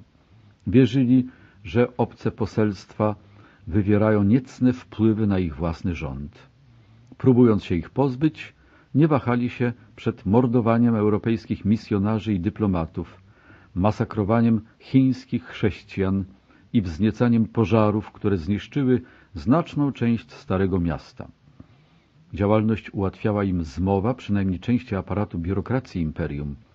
Dołączały też do nich regularne oddziały chińskiego wojska. W historii Europy ekspedycja chińska z 1900 roku była wydarzeniem wyjątkowym, ponieważ na krótko połączyła wszystkie mocarstwa w jednym wspólnym przedsięwzięciu.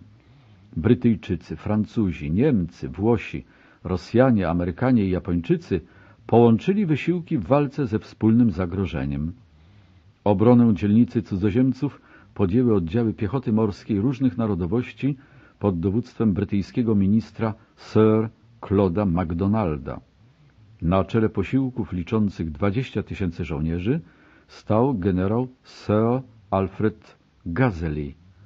Oddziały składały się z Rosjan, Amerykanów, Japończyków oraz brygady wojska hinduskiego.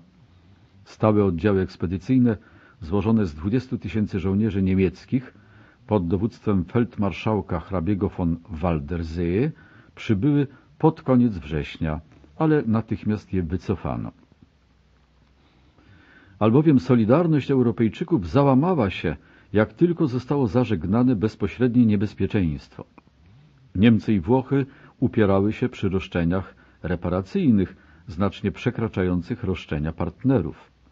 Rosja odmówiła udziału w posunięciach zmierzających do sądowego ścigania Chińczyków odpowiedzialnych za masakry. Zresztą oddziały rosyjskie, które wcześniej opanowały Mandżurię, same urządzały masakry na szeroką skalę. Wielka Brytania i Niemcy zinterpretowały zamykającą całą sprawę konwencję na zupełnie odmienne sposoby. Nie po raz pierwszy i nie po raz ostatni wszyscy uczestnicy akcji dowiedli, że jedność europejską, jeśli coś takiego w ogóle istniało, da się najlepiej określić jednym słowem – klapa. Sąsiadka Chin, Japonia, pozostawała do roku 1855 szczelnie odizolowana od wszelkich wpływów z zewnątrz. Mimo to tak dobrze poznała istotę europejskiego stylu postępowania, że w krótkim czasie zdołała ustanowić własne kolonialne imperium najpierw w Korei, a potem w chińskiej Mandżurii. Pełne zwycięstwo Japonii w wojnie z Rosją z lat 1904-1905, zarówno na lądzie, jak i na wodzie, stało się jednym z sensacyjnych wydarzeń epoki, obalając wiele spośród najukochańszych złudzeń Europy. Wyspy Pacyfiku najdłużej pozostały nietknięte. Ostatnie stadia dziejów imperializmu to zdobycie zachodniego Samoa przez Niemców w 898 roku oraz zdobycie Hawajów przez Stany Zjednoczone w 1900. Na Nowych Hebrydach ustanowiono angielsko-francuskie kondominium w 1906 roku. Za sprawą europeizacji europejski imperializm dostarczył istotnych i doniosłych doświadczeń całemu nowożytnemu światu. Wystawił jednak samą Europę na wiele nacisków i oddziaływań. Dokonał podziału narodów Europy na takie, które dowiodły, że są imperium gültig, czyli uprawomocnione do posiadania imperium, oraz na takie, które tego uprawomocnienia nie miały, dodając w ten sposób jeszcze jedną warstwę do dawniejszego podziału na kategorie narodów historycznych i niehistorycznych. Dla krajów, które stworzyły imperia, stał się wyraźnym bodźcem do rozwoju gospodarki, a więc i potencjału militarnego, przechylając w ten sposób historyczną szalę na stronę Europy Zachodniej. Znacznie poszerzył wiedzę Europy o nieeuropejskich kulturach i egzotycznych towarach kolonialnych, na przykład w przypadku Wielkiej Brytanii spowodował, że ludzie wiedzieli więcej o Tybecie czy Beczuanie niż o swoich europejskich sąsiadach. Umocnił jednak religijne i rasowe uprzedzenia Europy, stwarzając bariery i kompleksy, które miały trwać tak długo, jak długo trwały same imperia. Uprzedzenia te bywały tak skrajne, że w roku 1904 w mieście Hamburgu pokazywano grupkę samoańskich kobiet na wybiegu w miejscowym zoo. Jak przepowiadali pesymiści, konflikty na tle kolonialnym zaczęły się pojawiać na przełomie wieków. W roku 1898 w Sudanie Wielka Brytania i Francja o mało nie przeszły do rękoczynów, kiedy ich siły ekspedycyjne stanęły ze sobą nos w nos w Faszodzie. W latach 1899-902 wojna Wielkiej Brytanii przeciwko dwóm republikom burskim w Afryce Południowej skomplikowała się w wyniku udzielenia burom pomocy przez Niemców. W roku 1906, a następnie ponownie w roku 911 francuskie posunięcia mające na celu zdobycie kontroli nad Marokiem wywołały czynne protesty ze strony Niemców. Ale przy żadnej okazji rywalizacja w koloniach nie doprowadziła do otwartej wojny. Z pewnością podsycała wzajemne urazy. Na ogół jednak konflikty udawało się zażegnywać, stosując ten sam rodzaj polityki otwartych drzwi wobec interesów handlowych, jak przyjęto w Chinach i w Maroku. Kluczem do sukcesów imperialistycznych była potęga na morzu. Okręty wojenne miały na rozwój światowego handlu tak wielki wpływ, jakiego nigdy nie zdołałyby zdobyć wojska lądowe. Klasyczna rozprawa na ten temat, wpływ potęgi morskiej na historię w latach 1660-1783, wydana w roku 1890, jest dziełem amerykańskiego admirała Alfreda Tayera Mahana. Kwestia ta zdecydowanie wysunęła się na pierwszy plan w roku 1898. W tym to właśnie roku podczas wojny hiszpańsko-amerykańskiej marynarka wojenna Stanów Zjednoczonych pozbawiła Hiszpanię łańcucha kolonii, które jej jeszcze zostały, od Kuby po Filipiny.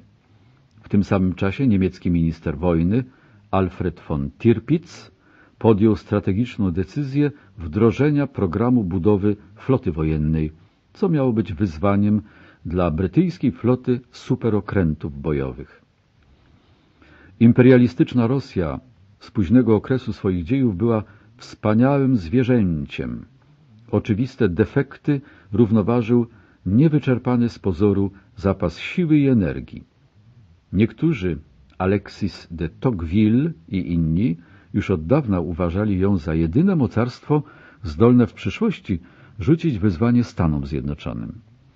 Miała największy na świecie skonsolidowany w ramach jednego państwa obszar, największą w Europie liczbę ludności i największą na świecie armię. Była głównym źródłem eksportu towarów rolniczych w Europie, a jako właściciel nieopisanych bogactw naturalnych także głównym adresatem zagranicznych inwestycji. Pod względem kultury Rosja właśnie zdążyła szybko ruszyć do przodu, stając się jedną z najjaśniejszych gwiazd na europejskim firmamencie. Język rosyjski, który miał dotąd dość ograniczone tradycje literackie, teraz nagle osiągnął dojrzałość. Puszkina, Lermontowa, Tołstoja, Dostojewskiego czy Czechowa można wymienić wśród gigantów literatury światowej. Za sprawą Musorgskiego, Czajkowskiego czy rymskiego Krosakowa muzyka sięgnęła niezrównanych wyżyn. Ballet rys, balet rosyjski i szkoła aktorska Stanisławskiego wysunęły się na czoło sztuki teatralnej. Pod względem społecznym Rosja nadal opierała się na zacofanym wiejskim społeczeństwie byłych chłopów pańszczyźnianych, ale wielu z tych chłopów czyniło postępy. W żadnym innym kraju kwestia chłopska nie przyciągała aż tyle uwagi. Reforma rolna Piotra Stołypina z lat 1906-1911 umożliwiła chłopom wyjście z dawnej wspólnoty wiejskiej i wykup ziemi. Przed oczami Europy rosyjskie zacofanie ukrywał w znacznej mierze jasny blask carskiego dworu oraz szeroki strumień rosyjskich arystokratów, kupców, artystów i uczonych, w pełni zintegrowanych z życiem Europy w jego wszelkich przejawach. Uważano, że pod względem politycznym po roku 1905 Rosja zaczęła robić poważne postępy w kierunku liberalizacji. Problem narodowościowy zszedł w znacznym stopniu na dalszy plan. Nade wszystko trzeba było stabilizacji. Kolejne kryzysy wewnętrzne pojawiały się z powodu skutków ubocznych wojen międzynarodowych. Aby móc zrealizować swój ogromny potencjał, Rosja potrzebowała przedłużania na czas nieokreślony stanu pokoju w Europie. Czarnobyl Oto według słownika geograficznego Królestwa Polskiego i innych krajów słowiańskich z roku 1880 Czarnobyl to miasteczko w powiecie radomyskim, odległe od Kijowa o 120, od Radomyśla o 140 wiorst. Położone jest na wyniosłym brzegu przy zlewie rzeki Uszy z rzeką Prypecią, o 20 wiorst stąd wpadającą do Dniepru. Zamek czarnobylski zaś, położony w malowniczej pozycji na górze, u stóp której połączają się z rozległym, piaszczystym wybrzeżem rzeki Usz, Prypeć i Brachinka. Obecnie Czarnobyl jest w posiadaniu hrabiego Władysława Chodkiewicza. W Czarnobylu mieszkańców obojej płci, prawosławnych 2160, rozkolników 566, katolików 84 i Izraelitów 3683. Środki egzystencji rybołówstwo i najem na bajdaki. W samym tylko miasteczku sieją bardzo dużo cebuli. W przystani wielki ruch handlowy. Polski słownik geograficzny, z którego pochodzą powyższe cytaty, został wydany, jak już wspomniałem, w 880 roku pod tytułem dobranym tak, aby zmylić carską cenzurę. Zawiera hasła dotyczące wszystkich miast i wszystkich wsi, jakie kiedykolwiek należały do Rzeczypospolitej Polskiej. Czarnobyl był miasteczkiem typowym dla tych rozległych terenów, które niegdyś stanowiły część Polski, potem część rosyjskiego imperium, a jeszcze później część ZSRR. Jego żydowscy mieszkańcy nazwaliby je pewnie swoim sztetlem. Polscy właściciele ziemscy, żydowscy mieszczanie i ruscy chłopi żyli w nim zgodnie przez długie wieki. Czarnobyl pojawia się po raz pierwszy w dokumencie z 1193 roku, gdzie figuruje jako nazwa domku myśliwskiego księcia Roryka II Rościsławicza. Jakiś czas później włączono go do Wielkiego Księstwa Litewskiego, gdzie uzyskał status wsi koronnej. Zamek wystawiono dla obrony przed plądrującymi okolice Tatarami. W 1566 roku, na trzy lata przed przyłączeniem ukraińskich prowincji Wielkiego Księstwa do Królestwa Polskiego, Czarnobyl został oddany po wsze czasy rotmistrzowi królewskiej jazdy, niejakiemu Filonowi Kmicie, który odtąd zaczął się nazywać Kmitą Czarnobylskim. W swoim czasie, drogą małżeństwa, Czarnobyl przeszedł w ręce rodu Sapiechów, a w roku 1703 Chodkiewiczów. Do Imperium Rosyjskiego włączono go po drugim rozbiorze Polski w roku 1793. Dzieje życia religijnego Czarnobyla są szczególnie bogate. Żydowskich dzierżawców i arendarzy, zaczątek wspólnoty żydowskiej, która z czasem zaczęła stanowić przeważającą większość ogółu mieszkańców, musiał zapewne sprowadzić do miasta Filon Kmita w ramach polskiej akcji kolonizacyjnej. Później tworzyli ją przedstawiciele zarówno ortodoksyjnych Żydów, jak i Hasydów. Po roku 1596 zamieszkujący te tereny ruscy chłopi masowo przechodzili na wiarę unicką, grecko-katolicką. Natychmiast potem carat mógł się zabrać do nawracania ich przemocą na prawosławie. Budowę kościoła i klasztoru dominikanów rozpoczął w roku 1626 Łukasz Sapiecha. Był to moment szczytowego rozkwitu kontrreformacji. W tamtych czasach Czarnobyl stanowił niewątpliwie przystań tolerancji. Mieszkali tu od końca XVII wieku także raskolnicy, czyli starowiercy z Rosji. Wszyscy umknęli przed straszliwymi okropnościami powstania Chmielnickiego z lat 1648-654, a później kolejnego buntu z lat 1768-69, kiedy to jeden z przywódców rebeliantów, Bondarenko, został pojmany i okrutnie stracony przez husarzy Chodkiewicza. W roku 1832 przeprowadzono kasatę klasztoru dominikanów, a w roku 1852 kościoła raskolników. Po roku 1880 losy Czarnobyla toczyły się zmiennymi torami. W 1915 roku miasto dostało się pod okupację niemiecką, a w czasie wojny domowej, która wybuchła wkrótce potem, walczyli o nie bolszewicy, biali i Ukraińcy.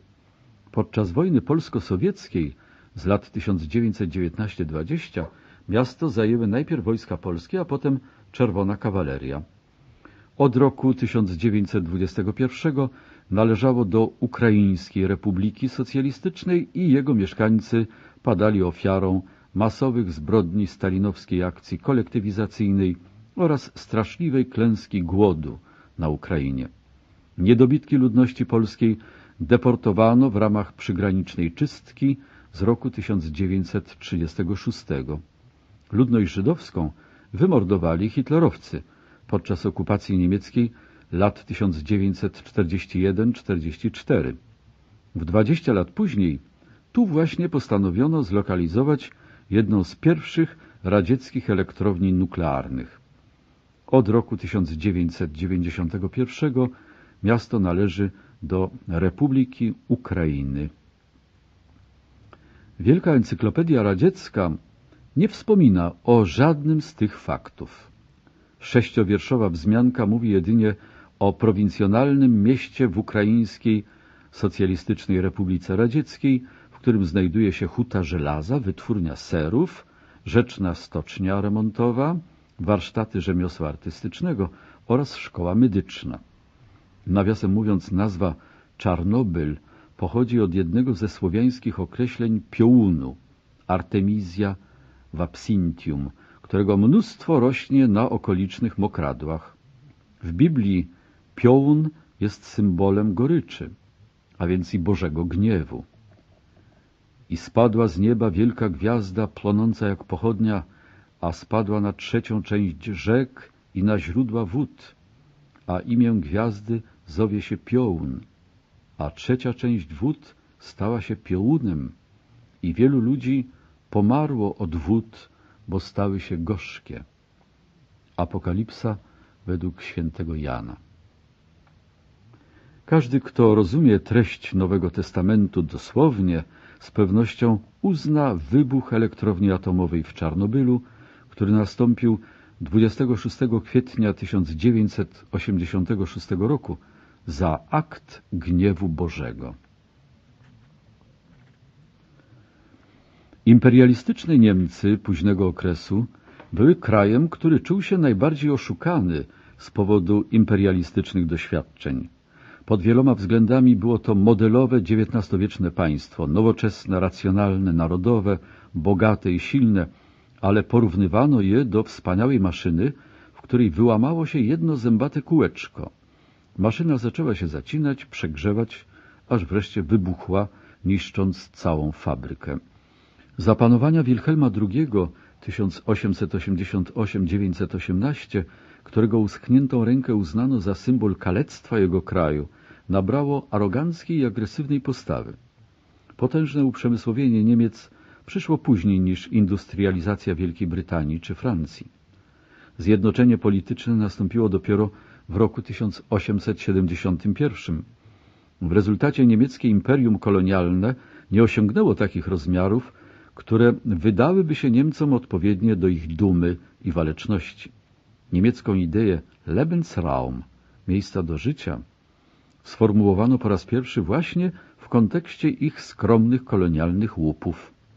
Obiektywnie rzecz biorąc, uszczerbek Niemiec był raczej wyimaginowany niż rzeczywisty. Gospodarcza penetracja przyległych obszarów Europy Wschodniej z nawiązką równoważyła brak dalekich kolonii ale uraz psychiczny okazał się głęboki. Kaiser i jego dwór nie uważali, żeby kluczem do ostatecznej dominacji Niemiec na scenie politycznej i gospodarczej Europy miał być pokój. E równa się mc kwadrat. 28 stycznia 1896 roku Niemieckie Ministerstwo Spraw Wewnętrznych odpowiedziało pozytywnie na dość niezwykłą prośbę o zgodę na zrzeczenie się obywatelstwa. Petent, zamieszkały na stałe w Szwajcarii, liczył sobie zaledwie 16 lat. Oblał egzamin wstępny do Eidgenössische Technische Hochschule w Zurychu i był uczniem szkoły kantonalnej w Arau. Ów uczeń, uchodźca, urodził się w Ulm, a dorastał w Monachium. Nienawidził ostrych rygorów niemieckiej szkoły, nie lubił swojej katolickiej podstawówki, dość wcześnie uciekł z gimnazjum, bardzo niepewnie czuł się w Mediolanie, dokąd przeniosła się jego rodzina. Jak wielu młodych eks-Żydów, był wrogiem religii i pacyfistą oraz pociągały go idee radykalnego socjalizmu.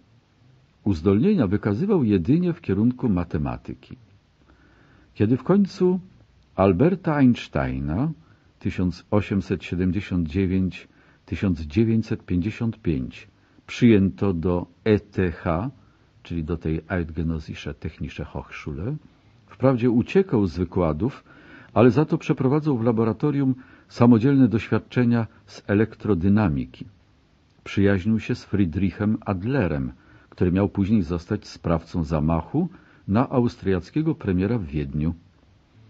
W latach 1901-1905 pracował w szwajcarskim urzędzie patentowym w Bernie, ale nie przestał rozważać możliwych teoretycznych implikacji prac Maxwella, Herza i Macha.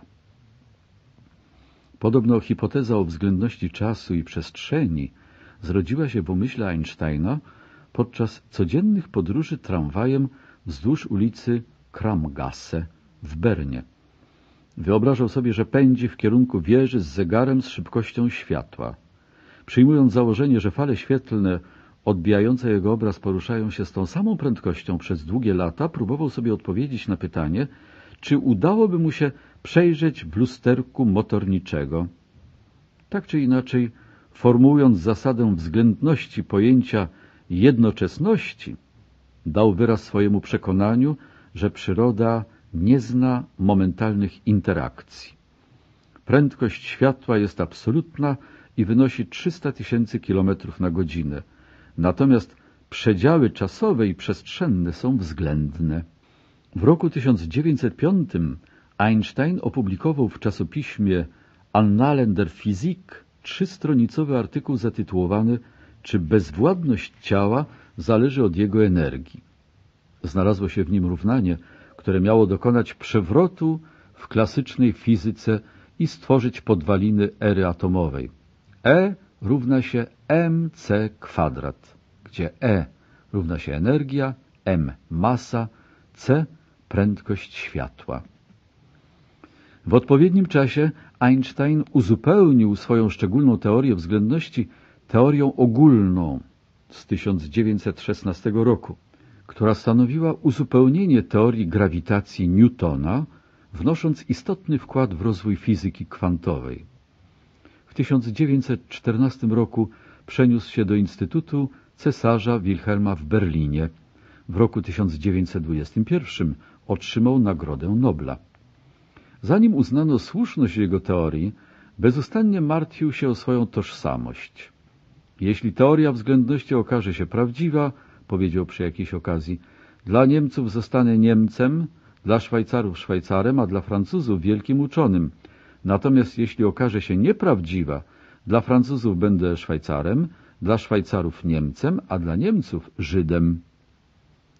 W roku 1933 kiedy uciekł przed hitlerowcami do Paryża, jako Niemcowi odmówiono mu zatrudnienia w Collège de France, zmuszając go w ten sposób do wyjazdu do Stanów Zjednoczonych. Najwybitniejszy umysł Europy został dla Europy stracony. Modernizm Odpowiednikiem atmosfery politycznego niepokoju Europy było wiele spośród prądów kultury epoki fin de siècle, które często obejmuje się wspólną nazwą modernizmu. Modernizm oznaczał serię fundamentalnych odstępstw od przyjętej tradycji, które wykraczały daleko poza zwykłe przypływy i odpływy intelektualnej mody. Jak miał napisać jeden z krytyków, otwarcie porzucono cele pięćsetletnich dążeń Europy.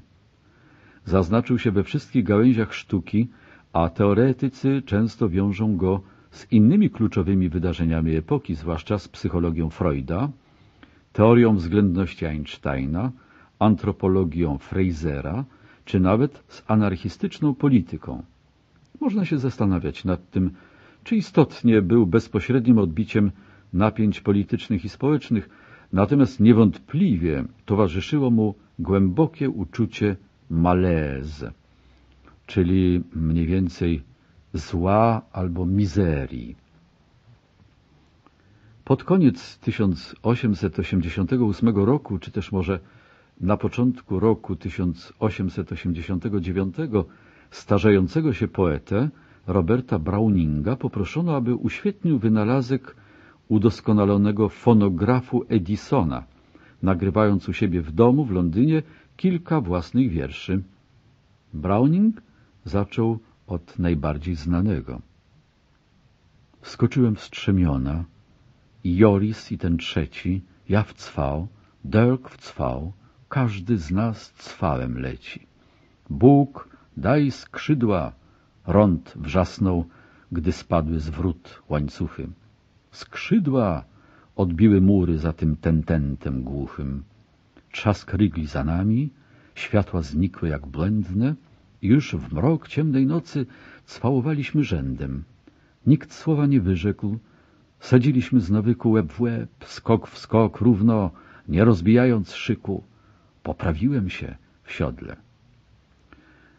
Po kilku linijkach poeta zająknął się, a potem przyznał, że już nie pamięta słów, które napisał przed ponad czterdziestu lat. Przyszedłszy do siebie, oświadczył ku aplauzowi słuchaczy, że nigdy nie zapomni dnia, w którym mówił do słynnej machiny pana Edisona. Ten improwizowany występ, którego dokładna data nie jest znana, jest jednym z najwcześniejszych zachowanych nagrań dźwiękowych. W tym samym roku Niemiec Emil Berliner zademonstrował wynaleziony przez siebie gramofon, w którym zamiast woskowych walców użył łatwiejszych do kopiowania krążków. Produkcję gramofonów podjęła fabryka zabawek Kammerer i Reinhardt w miejscowości Waltershausen w Turyngii. Urządzenie szybko stało się środkiem do produkcji masowych nagrań oraz symbolem nowoczesności. Możliwość zapisywania dźwięku spowodowała przełom w świecie muzyki i jej odbioru. Z okazji dwusetniej rocznicy śmierci Mozarta w 1991 roku zorganizowano wystawę, na której pokazano ewolucję jakości i zróżnicowania dźwięków muzycznych w ciągu minionych 200 lat. W Neuburg w Wiedniu zwiedzającym dawano stereofoniczne słuchawki, które reagowały na podczerwień przy przechodzeniu z jednej strefy dźwięku do drugiej. Dzięki temu można było usłyszeć skrzypce Leopolda Mozarta grające fragmenty z jego słynnej Gründliche Violinschule, wydanej w roku narodzin Wolfganga Amadeusza, albo porównać brzmienie rogów bezwentylowych i trąbek z dźwiękiem współczesnych instrumentów dętych. Można też było posłuchać niezwykle powolnego tempa jednego z pierwszych nagrań operowych z 1900 roku z Wilhelmem Herschem, śpiewającym arię O Isis und Osiris, albo popatrzeć, jak na ekranie komputera elektroniczny sonograf przeprowadza analizę składowych harmonicznych głosu Edyty Gruberowej, śpiewającej Królową Nocy. Natomiast niestety nie dało się posłuchać samego Mozarta, ale nawet ludzie zupełnie nieznający się na muzyce byli sobie w stanie uprzytomnić, jak bardzo wykonanie partytur Mozarta zmieniało się wraz z upływem czasu. Zmieniający się świat dźwięku Mozarta pokazano im jak na dłoni. Umiejętność zapisywania dźwięków na wiele sposobów zrewolucjonizowała także obraz przeszłości w oczach ludzi. Przed rokiem 1888 zapisom historycznym brakowało jednego z podstawowych wymiarów ludzkiego życia. Były nieme. Dokumenty i materialne wytwory ludzkich rąk są głuchonieme. Nie pozostał żaden ślad po huku bitew Napoleona, po rytmie koncertów Beethovena, po intonacji przemówień Kawura. W roku 1888 historia odzyskała ścieżkę dźwiękową i odtąd stała się nieporównanie bogatsza. Narodowe Archiwum Dźwięku przy Bibliotece Brytyjskiej, które ma w swoich zbiorach poetycki recital podekscytowanego Browninga, jest dziś typowym przykładem tego rodzaju kolekcji. Podobne ma dziś każdy kraj w Europie. Pierwszą taką fonotek otwarto w Paryżu w roku 1910. Zbiory zarejestrowane w Międzynarodowym Stowarzyszeniu Archiwów Dźwięku są bardzo zróżnicowane, od ogromnych fonotek państwowych stacji nadawczych po maleńkie, lokalne lub prywatne firmy. Poza działem muzyki są w nich na ogół działy folkloru, literatury, programów radiowych, ustnych przekazów historycznych i dialektologii. W Europie Wschodniej do pierwszych ludzi, których głos zarejestrowano dla potomnych, należał hrabia Tolstoj. Numer pisma Talking Machine News, wiadomości o mówiących maszynach, z marca 1910 roku donosił Wydano zakaz rozpowszechniania płyty Tolstoja na terenie carskiego imperium. Kiedyż wreszcie Słowianie zbuntują się i położą kres podobnej ciasnocie umysłu. Genialny i niezrównoważony Niemiec Friedrich Wilhelm Nietzsche 1844-1900, profesor Uniwersytetu w Bazylei, sformułował na piśmie najbardziej szokujące idee swojej epoki. Przy jakiejś okazji przyrównał filozofa do laski dynamitu, a w swoich pracach, tak orzecze Zaratustra, z genealogii moralności, zmierzch bożyszcz i wola mocy, zajął się wysadzeniem w powietrze panujących postaw. Pomstował na chrześcijaństwo, na demokrację, na przyjęte normy moralne. Twierdził, że moralność jest przejawem instynktu stadnego jednostki. Religia to świat czystej fikcji. Współczesna ludzkość jest godna pogardy. Powinien ją zastąpić Superman, którego, mówił, ja was nauczę. rządzące elity zawsze utrzymywały się przy władzy dzięki przemocy. Jasnowłosa bestia, głodna łupów i zwycięstw, nie może się z niczym pomylić. Wreszcie oświadczył zuchwale, Gott ist tot, Bóg umarł. I dodał, być może w jakiejś jaskini zachował się jeszcze jego cień. Śmierć Boga należało jego zdaniem uznać za wyzwolenie.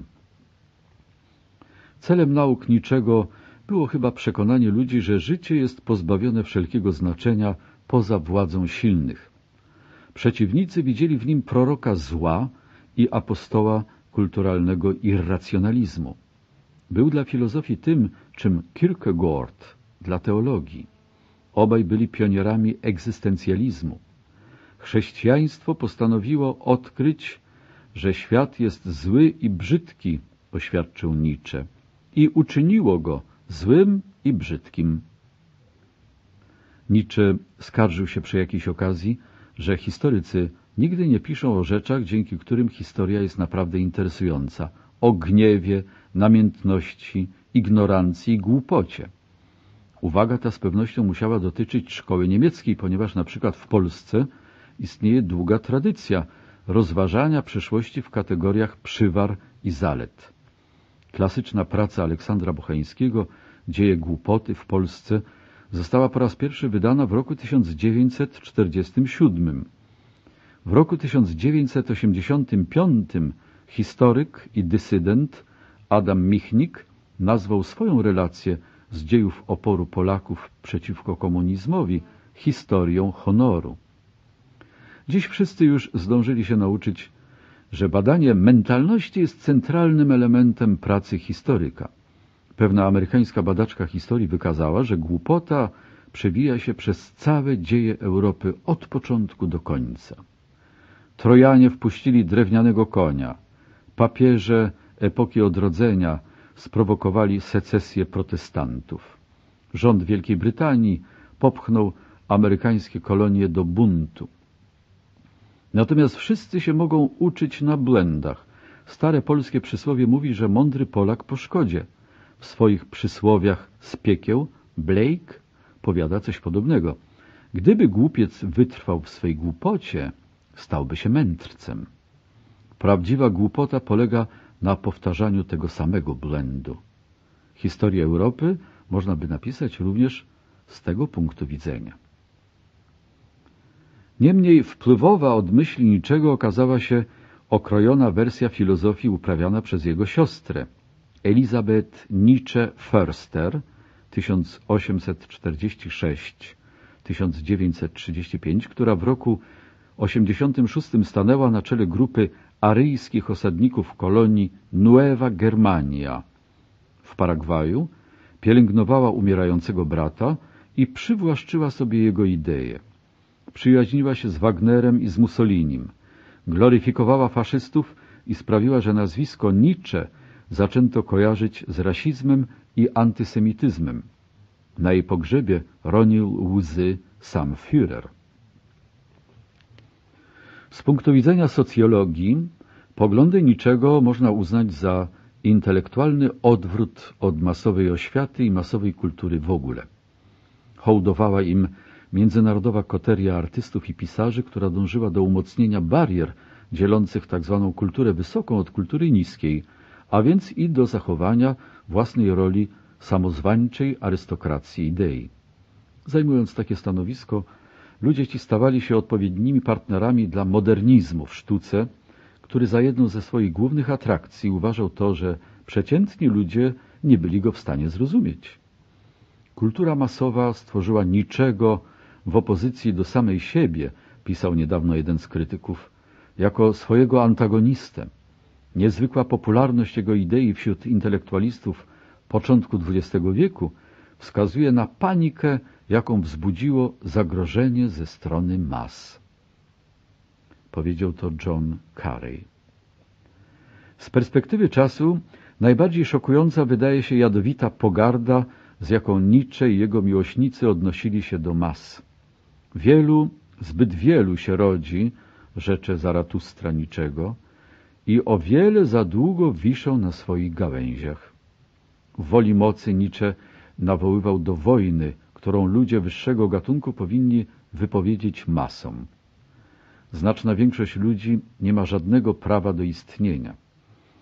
W prywatnym liście napisanym w 1908 roku Lorenz, który właśnie odkrył niczego w bibliotece publicznej w Croydon, opisywał komorę gazową, którą sobie wyobrażał jako sposób na bezbolesne pozbycie się zbędnych ludzi.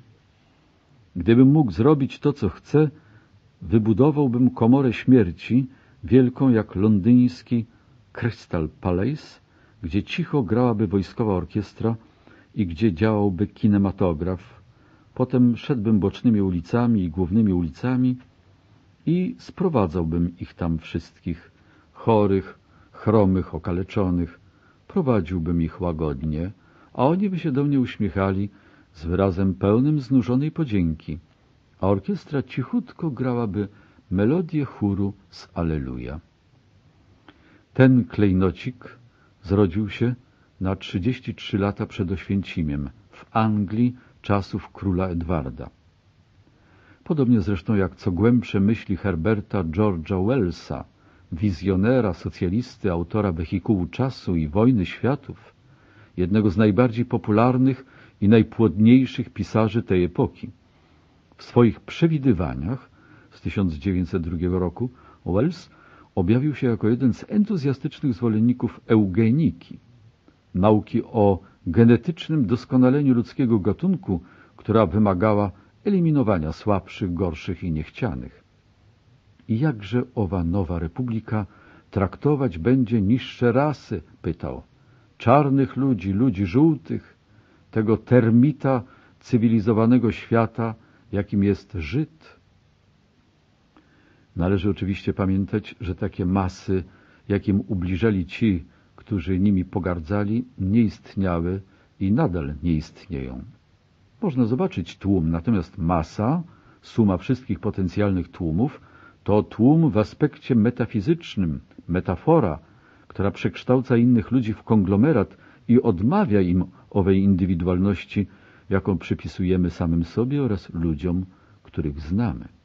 Pisał ten sam Carey. W tym samym okresie wyzwanie, jakie rzucił marksizm, dało początek intelektualnym debatom, które wykroczyły daleko poza wąskie granice polityki.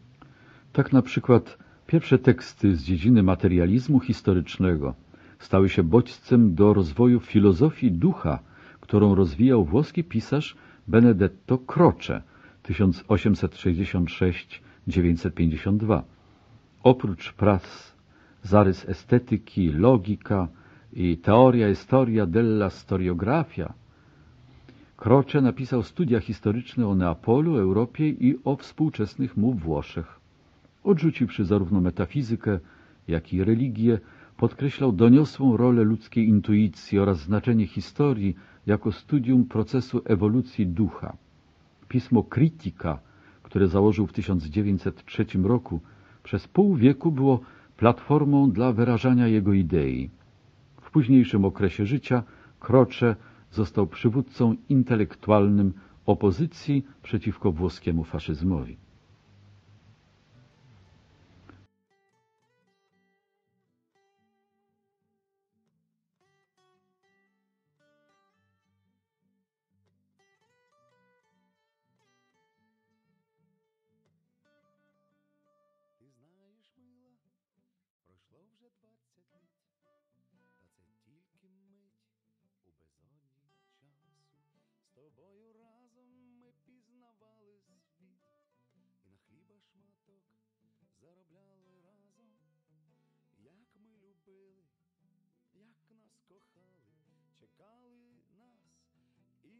Зустрічали.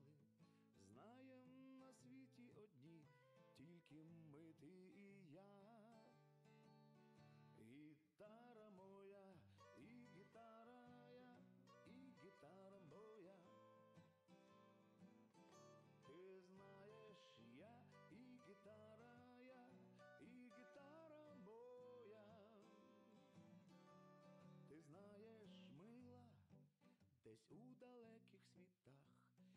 Наші друзі шукає своєї долі.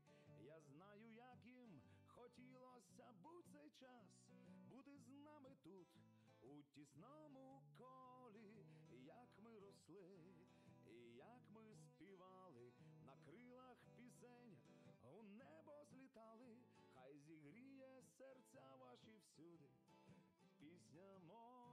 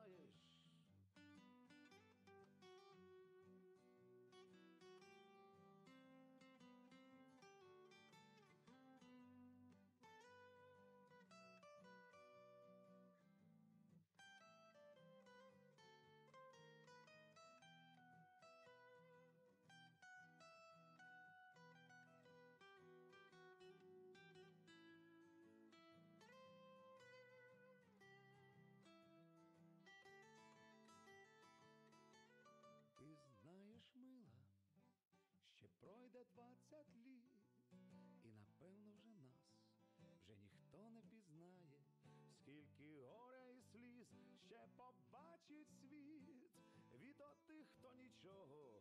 Святого немає, та сонце зійде і розтане лід, і спокій на серці назавжди ляже, і тебе в свої руки візьме кучеряве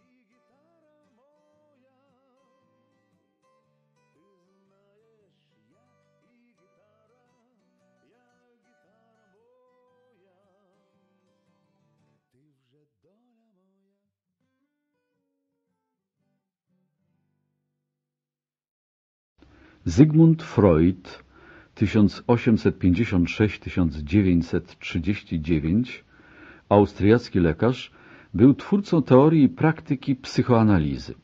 Jego prace wywarły głęboki wpływ nie tylko na rozwój nowo powstających nauk psychologii i psychiatrii, ale także na wszystkie dziedziny humanistyki zajmujące się mechanizmami działania ludzkiego umysłu i badaniem osobowości.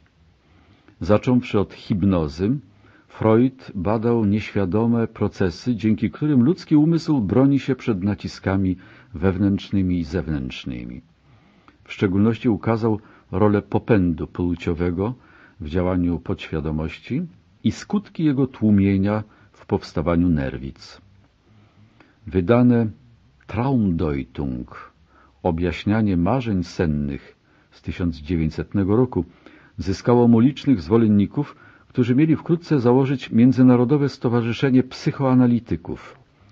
Pojawiły się jednak rozbieżności stanowisk, zwłaszcza gdy jeden z pierwszych współpracowników Freuda, Carl Jung, 1875-961, wprowadził w swojej pracy Psychologia podświadomości pojęcie psychoanalizy zbiorowej oraz rozróżnienie między osobowością introwertyczną i ekstrawertyczną.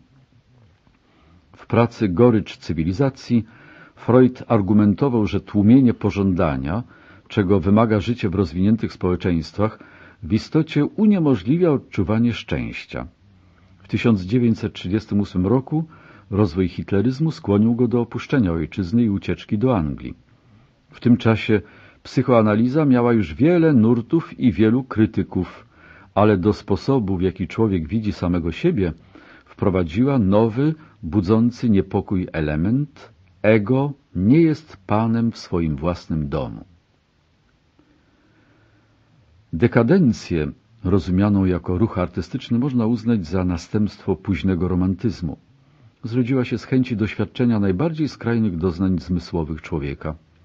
W trakcie tego procesu, mimo nieustannych skandali, zdołała dostarczyć europejskiej kulturze niektórych spośród jej najwspanialszych dzieł.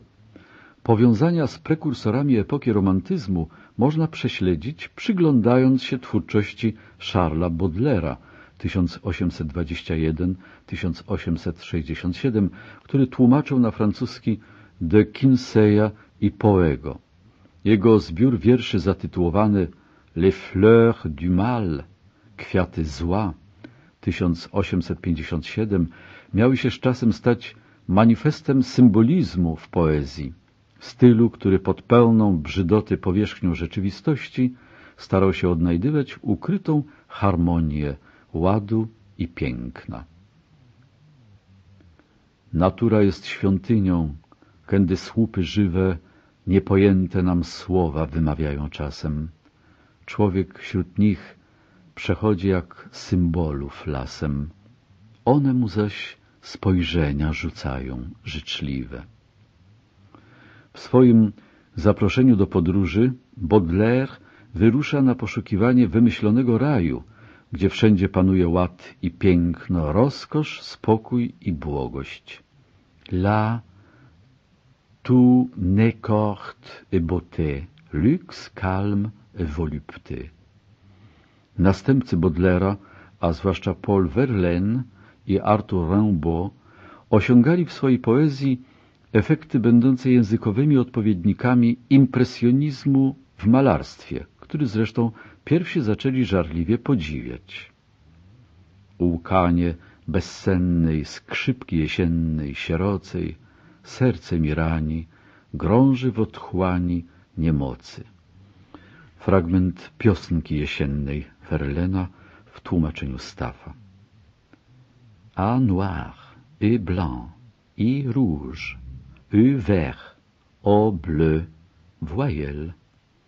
A czerń, e biel i czerwień, u zieleń, o błękity. Rimbaud, samogłoski w tłumaczeniu Jastruna. Dekadenci płacili za swój bunt wysoką cenę. Verlaine wyraził pogląd, że dekadencja to najbardziej wyrafinowana myśl najwyższego stadium cywilizacji, ale niewielu z jego współczesnych było tego samego zdania.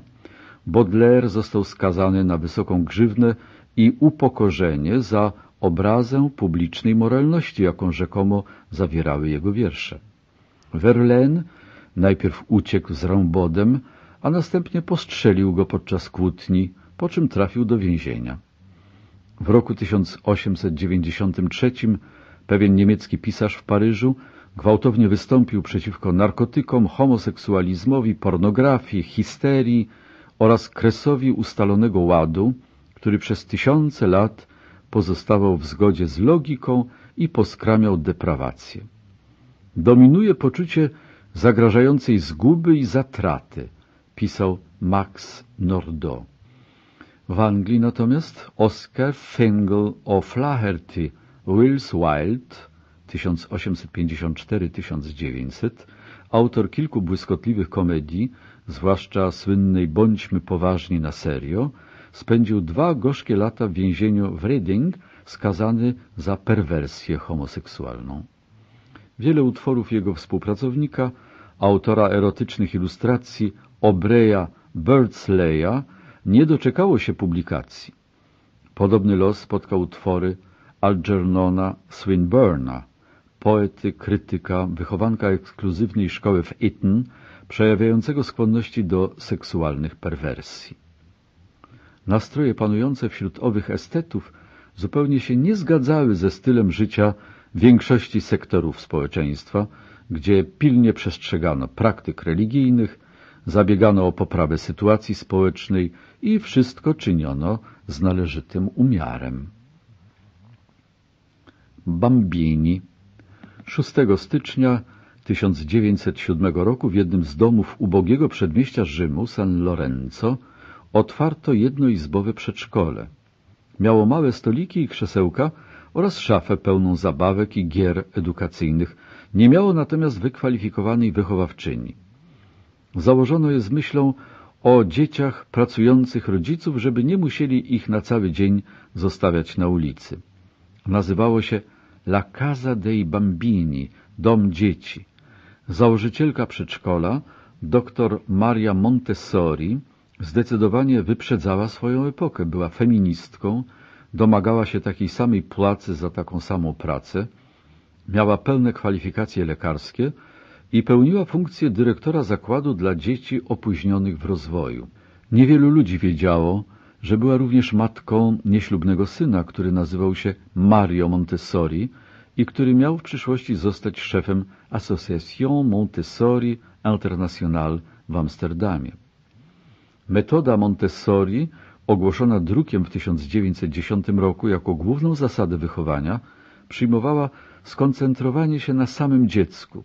Dzieci chcą się uczyć, dzieci mogą być swoimi własnymi nauczycielami, dzieci mają pięć zmysłów i muszą je wszystkie gruntownie poznać. Dzieci muszą mieć swobodę wyboru i same decydować o tym, czego i kiedy będą się uczyć.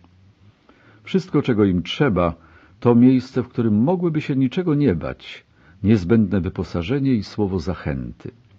Wszystkie te pomysły były anatemą dla większości ówczesnych specjalistów od wychowania, którzy woleli metodę kredy i tablicy, naukę religii, twardą dyscyplinę i sztywny program z nienaruszalnymi rozkładami zajęć.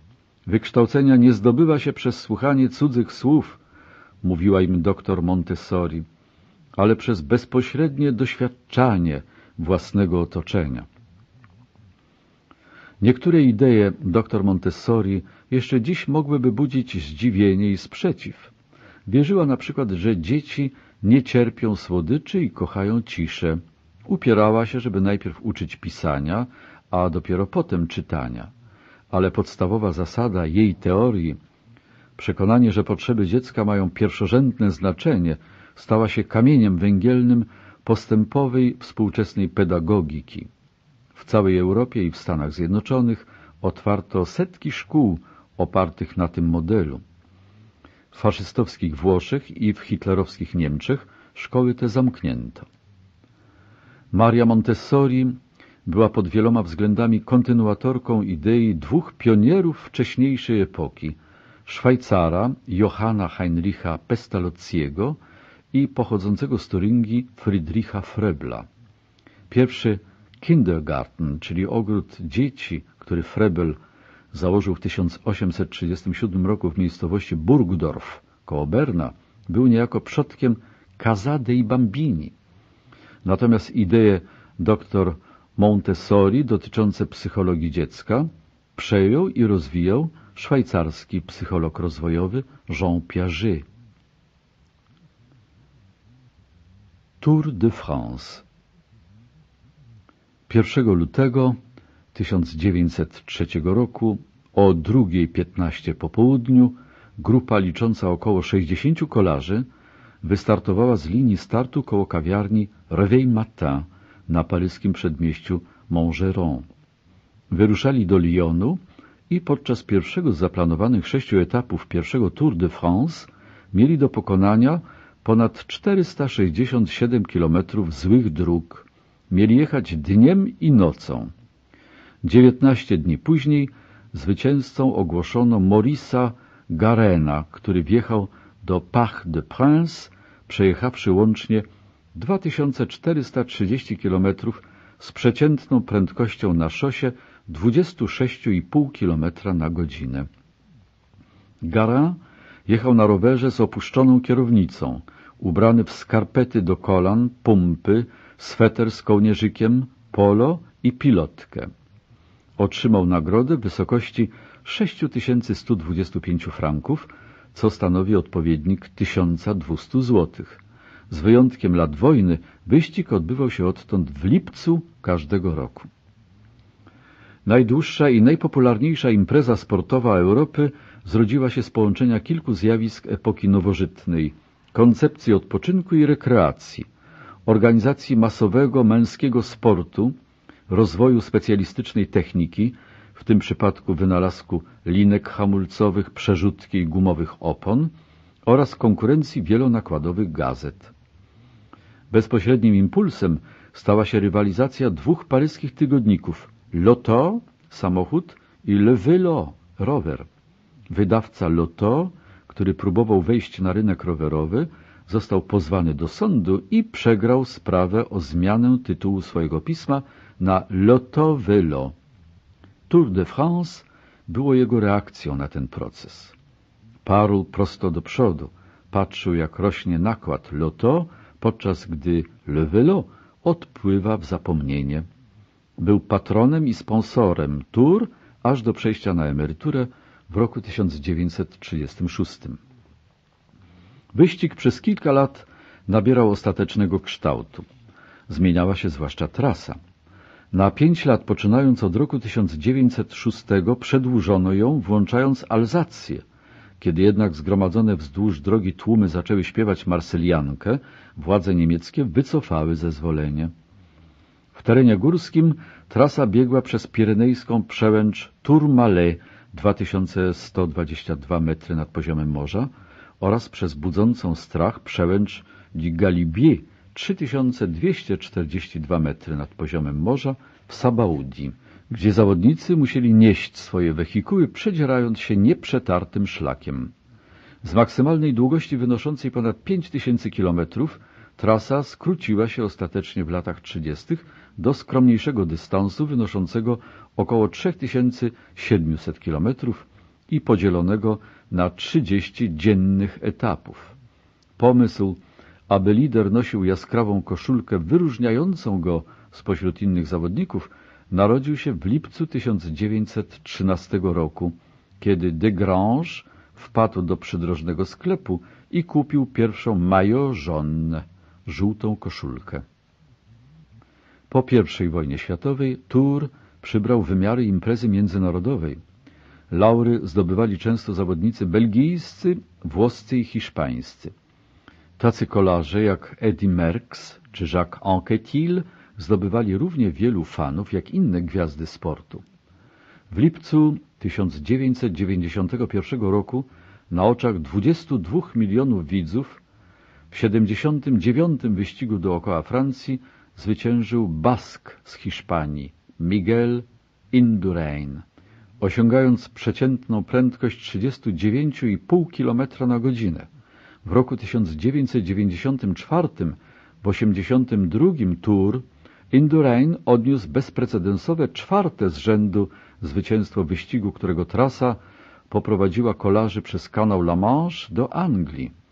Potem czekał, żeby móc pojechać znowu. Nowoczesne malarstwo na zawsze zerwało z realizmem, który panował od czasów odrodzenia i którego rację bytu podważył wynalazek fotografii. Ostateczne rozstanie nastąpiło w roku 1863, kiedy Edouard Manet w przypływie ekshibicjonizmu postanowił pokazać w paryskiej galerii Salon de Refusé swój obraz Śniadanie na trawie. Od tego momentu, żeby nie stracić rozeznania, trzeba było wymyślać niezliczone etykiety, które przyklejano kolejnym prądom i szkołom, bezustannie eksperymentującym z gatunkiem, techniką, kolorem i formą. Po pierwszych impresjonistach, do których należeli Monet, Pissarro, Sisley, Renoir, Cézanne i Degas, i którzy wzięli swoją nazwę od tytułu obrazu Moneta Impresja, Wschód Słońca z 1874 roku, pojawili się pointyliści w 1884 z Seratem na czele, neoimpresjoniści w 885, nabiści trzy lata później ze szkoły Serisiera i Bonarda, syntetycy w 888 inspirowani malarstwem Gogena. I ekspresjoniści z 1905 roku, których pionierami byli Ensor, Van Gogh i niemiecka grupa Die. Most. Po nich zjawili się orfiści, fowiści w 1905, którym przewodzili Matisse, Dufy i Flaming, kubiści w 908 Braka i Picassa, futuryści, Czarny Kot oraz grupa Blaue Reiter w 1912 roku, czyli niebiescy jeźdźcy. W roku 1910 czy 11 wraz z pojawieniem się obrazów osiadłego w Niemczech Rosjanina Wasylii Kandińskiego 1866-944 malarstwo wkroczyło w stadium czystego abstrakcjonizmu.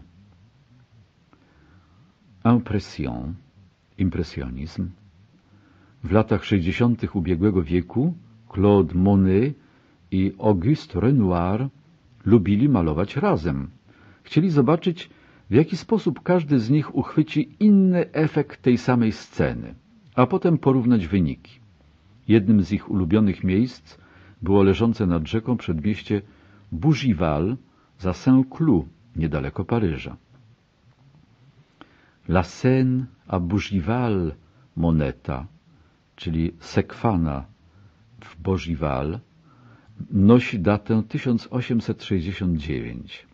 Na pierwszy rzut oka może się wydać, że malarz wybrał scenę przyziemną, żeby nie powiedzieć banalną. Ludzie spacerujący po moście w świetle zachodzącego słońca. Ale w gruncie rzeczy starał się osiągnąć zupełnie nowy efekt. Nie malował świata takim, jakim myślał, że jest, czy też powinien być, to znaczy w sposób realistyczny lub idealistyczny, malował wrażenie, jakie ten świat na nim wywierał. Inne z jego płócien, Impression Levant Soleil, czyli impresję wschód słońca, dało nazwę całemu kierunkowi, który był jawnie i bezwstydnie subiektywny. Jest to obraz malowany w 1874. Monet zapłacił wysoką cenę za upór, z jakim trzymał się wytyczonej przez siebie drogi. Przez długie lata nie sprzedał żadnego obrazu. Współczesnym jego dzieła wydawały się albo bezwartościowe, albo wręcz oburzające. Pewnego razu, kiedy wyjechał z Paryża, żeby zobaczyć swojego nowonarodzonego syna, dłużnicy przechwycili obrazy znajdujące się w jego pracowni i sprzedali je za marne grosze. Malarz próbował popełnić samobójstwo. Impresjonistów interesowały trzy rzeczy. Po pierwsze, starali się zgłębić niedostatki ludzkiego oka, powodujące, że dostrzega ono jedne rzeczy, a nie dostrzega innych. Dlatego zależało im na konstruowaniu obrazu niedokładnego lub wybiórczego.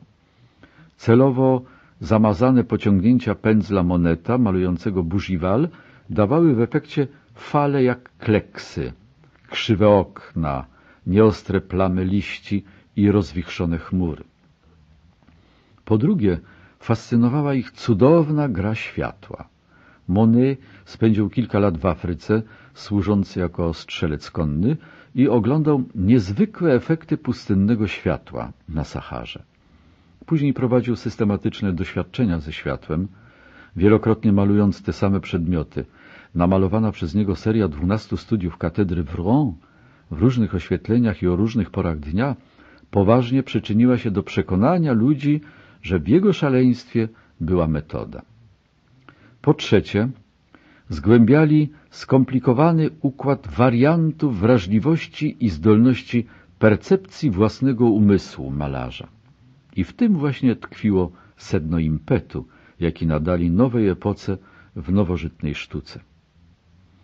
Czasami uważa się, że sztuka nowoczesna, a impresjonizm w szczególności, stanowiła reakcję na realizm, który stał się możliwy dzięki wynalazkowi fotografii.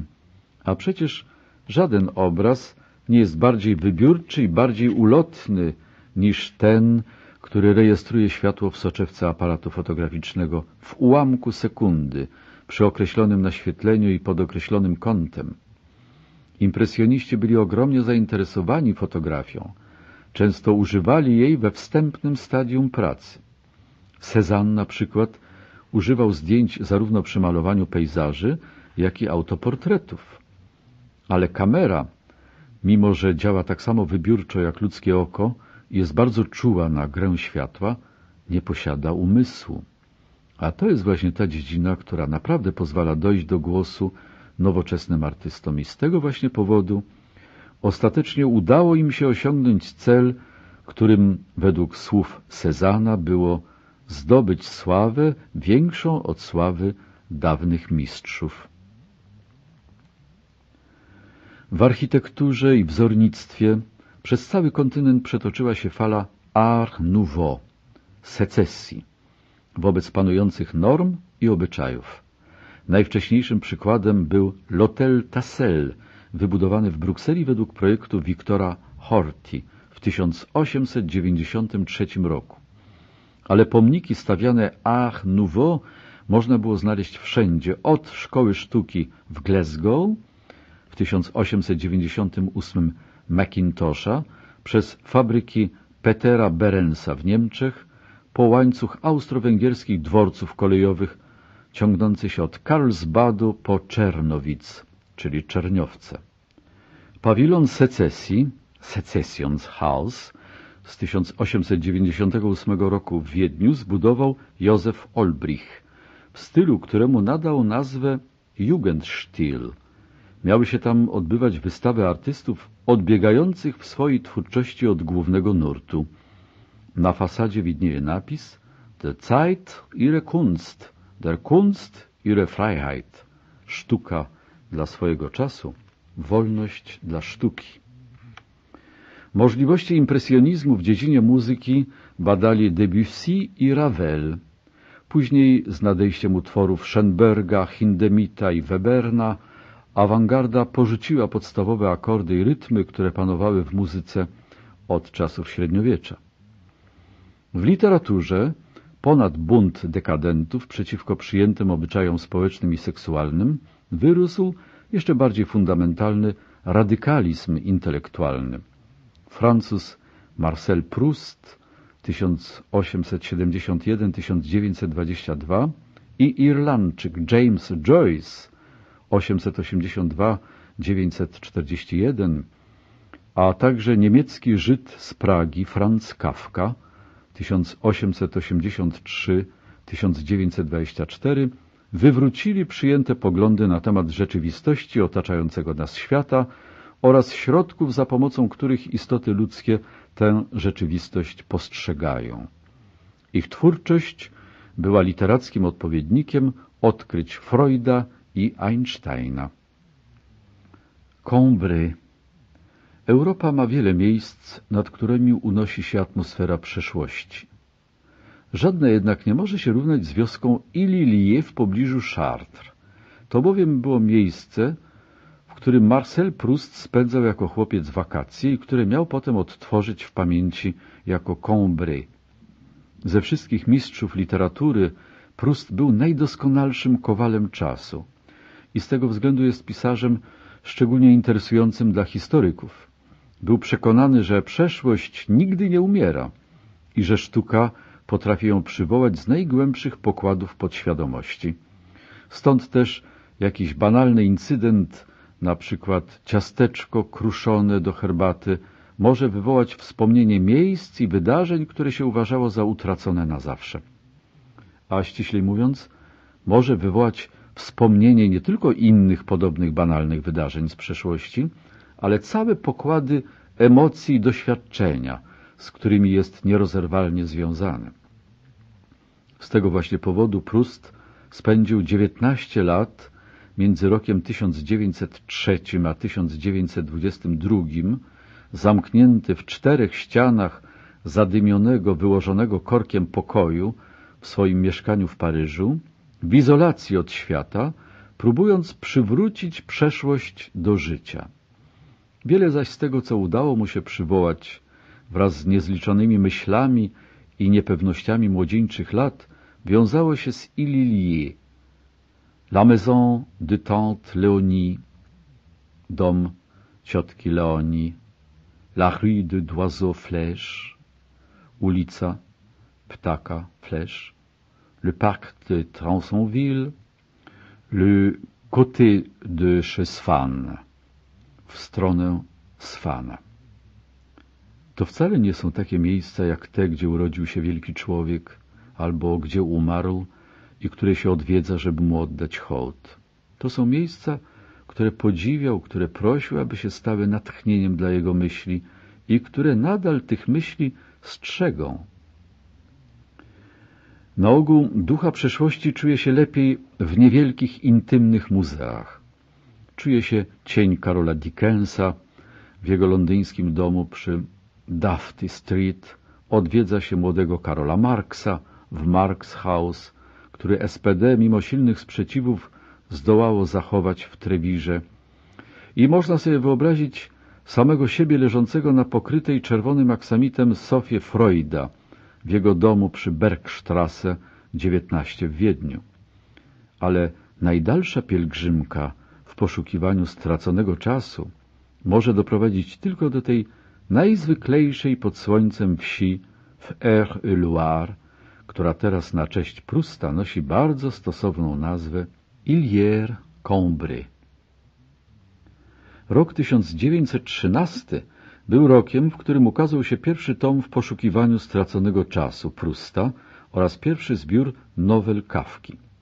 Premiera Święta Wiosny Strawińskiego wywołała zamieszki w Paryżu.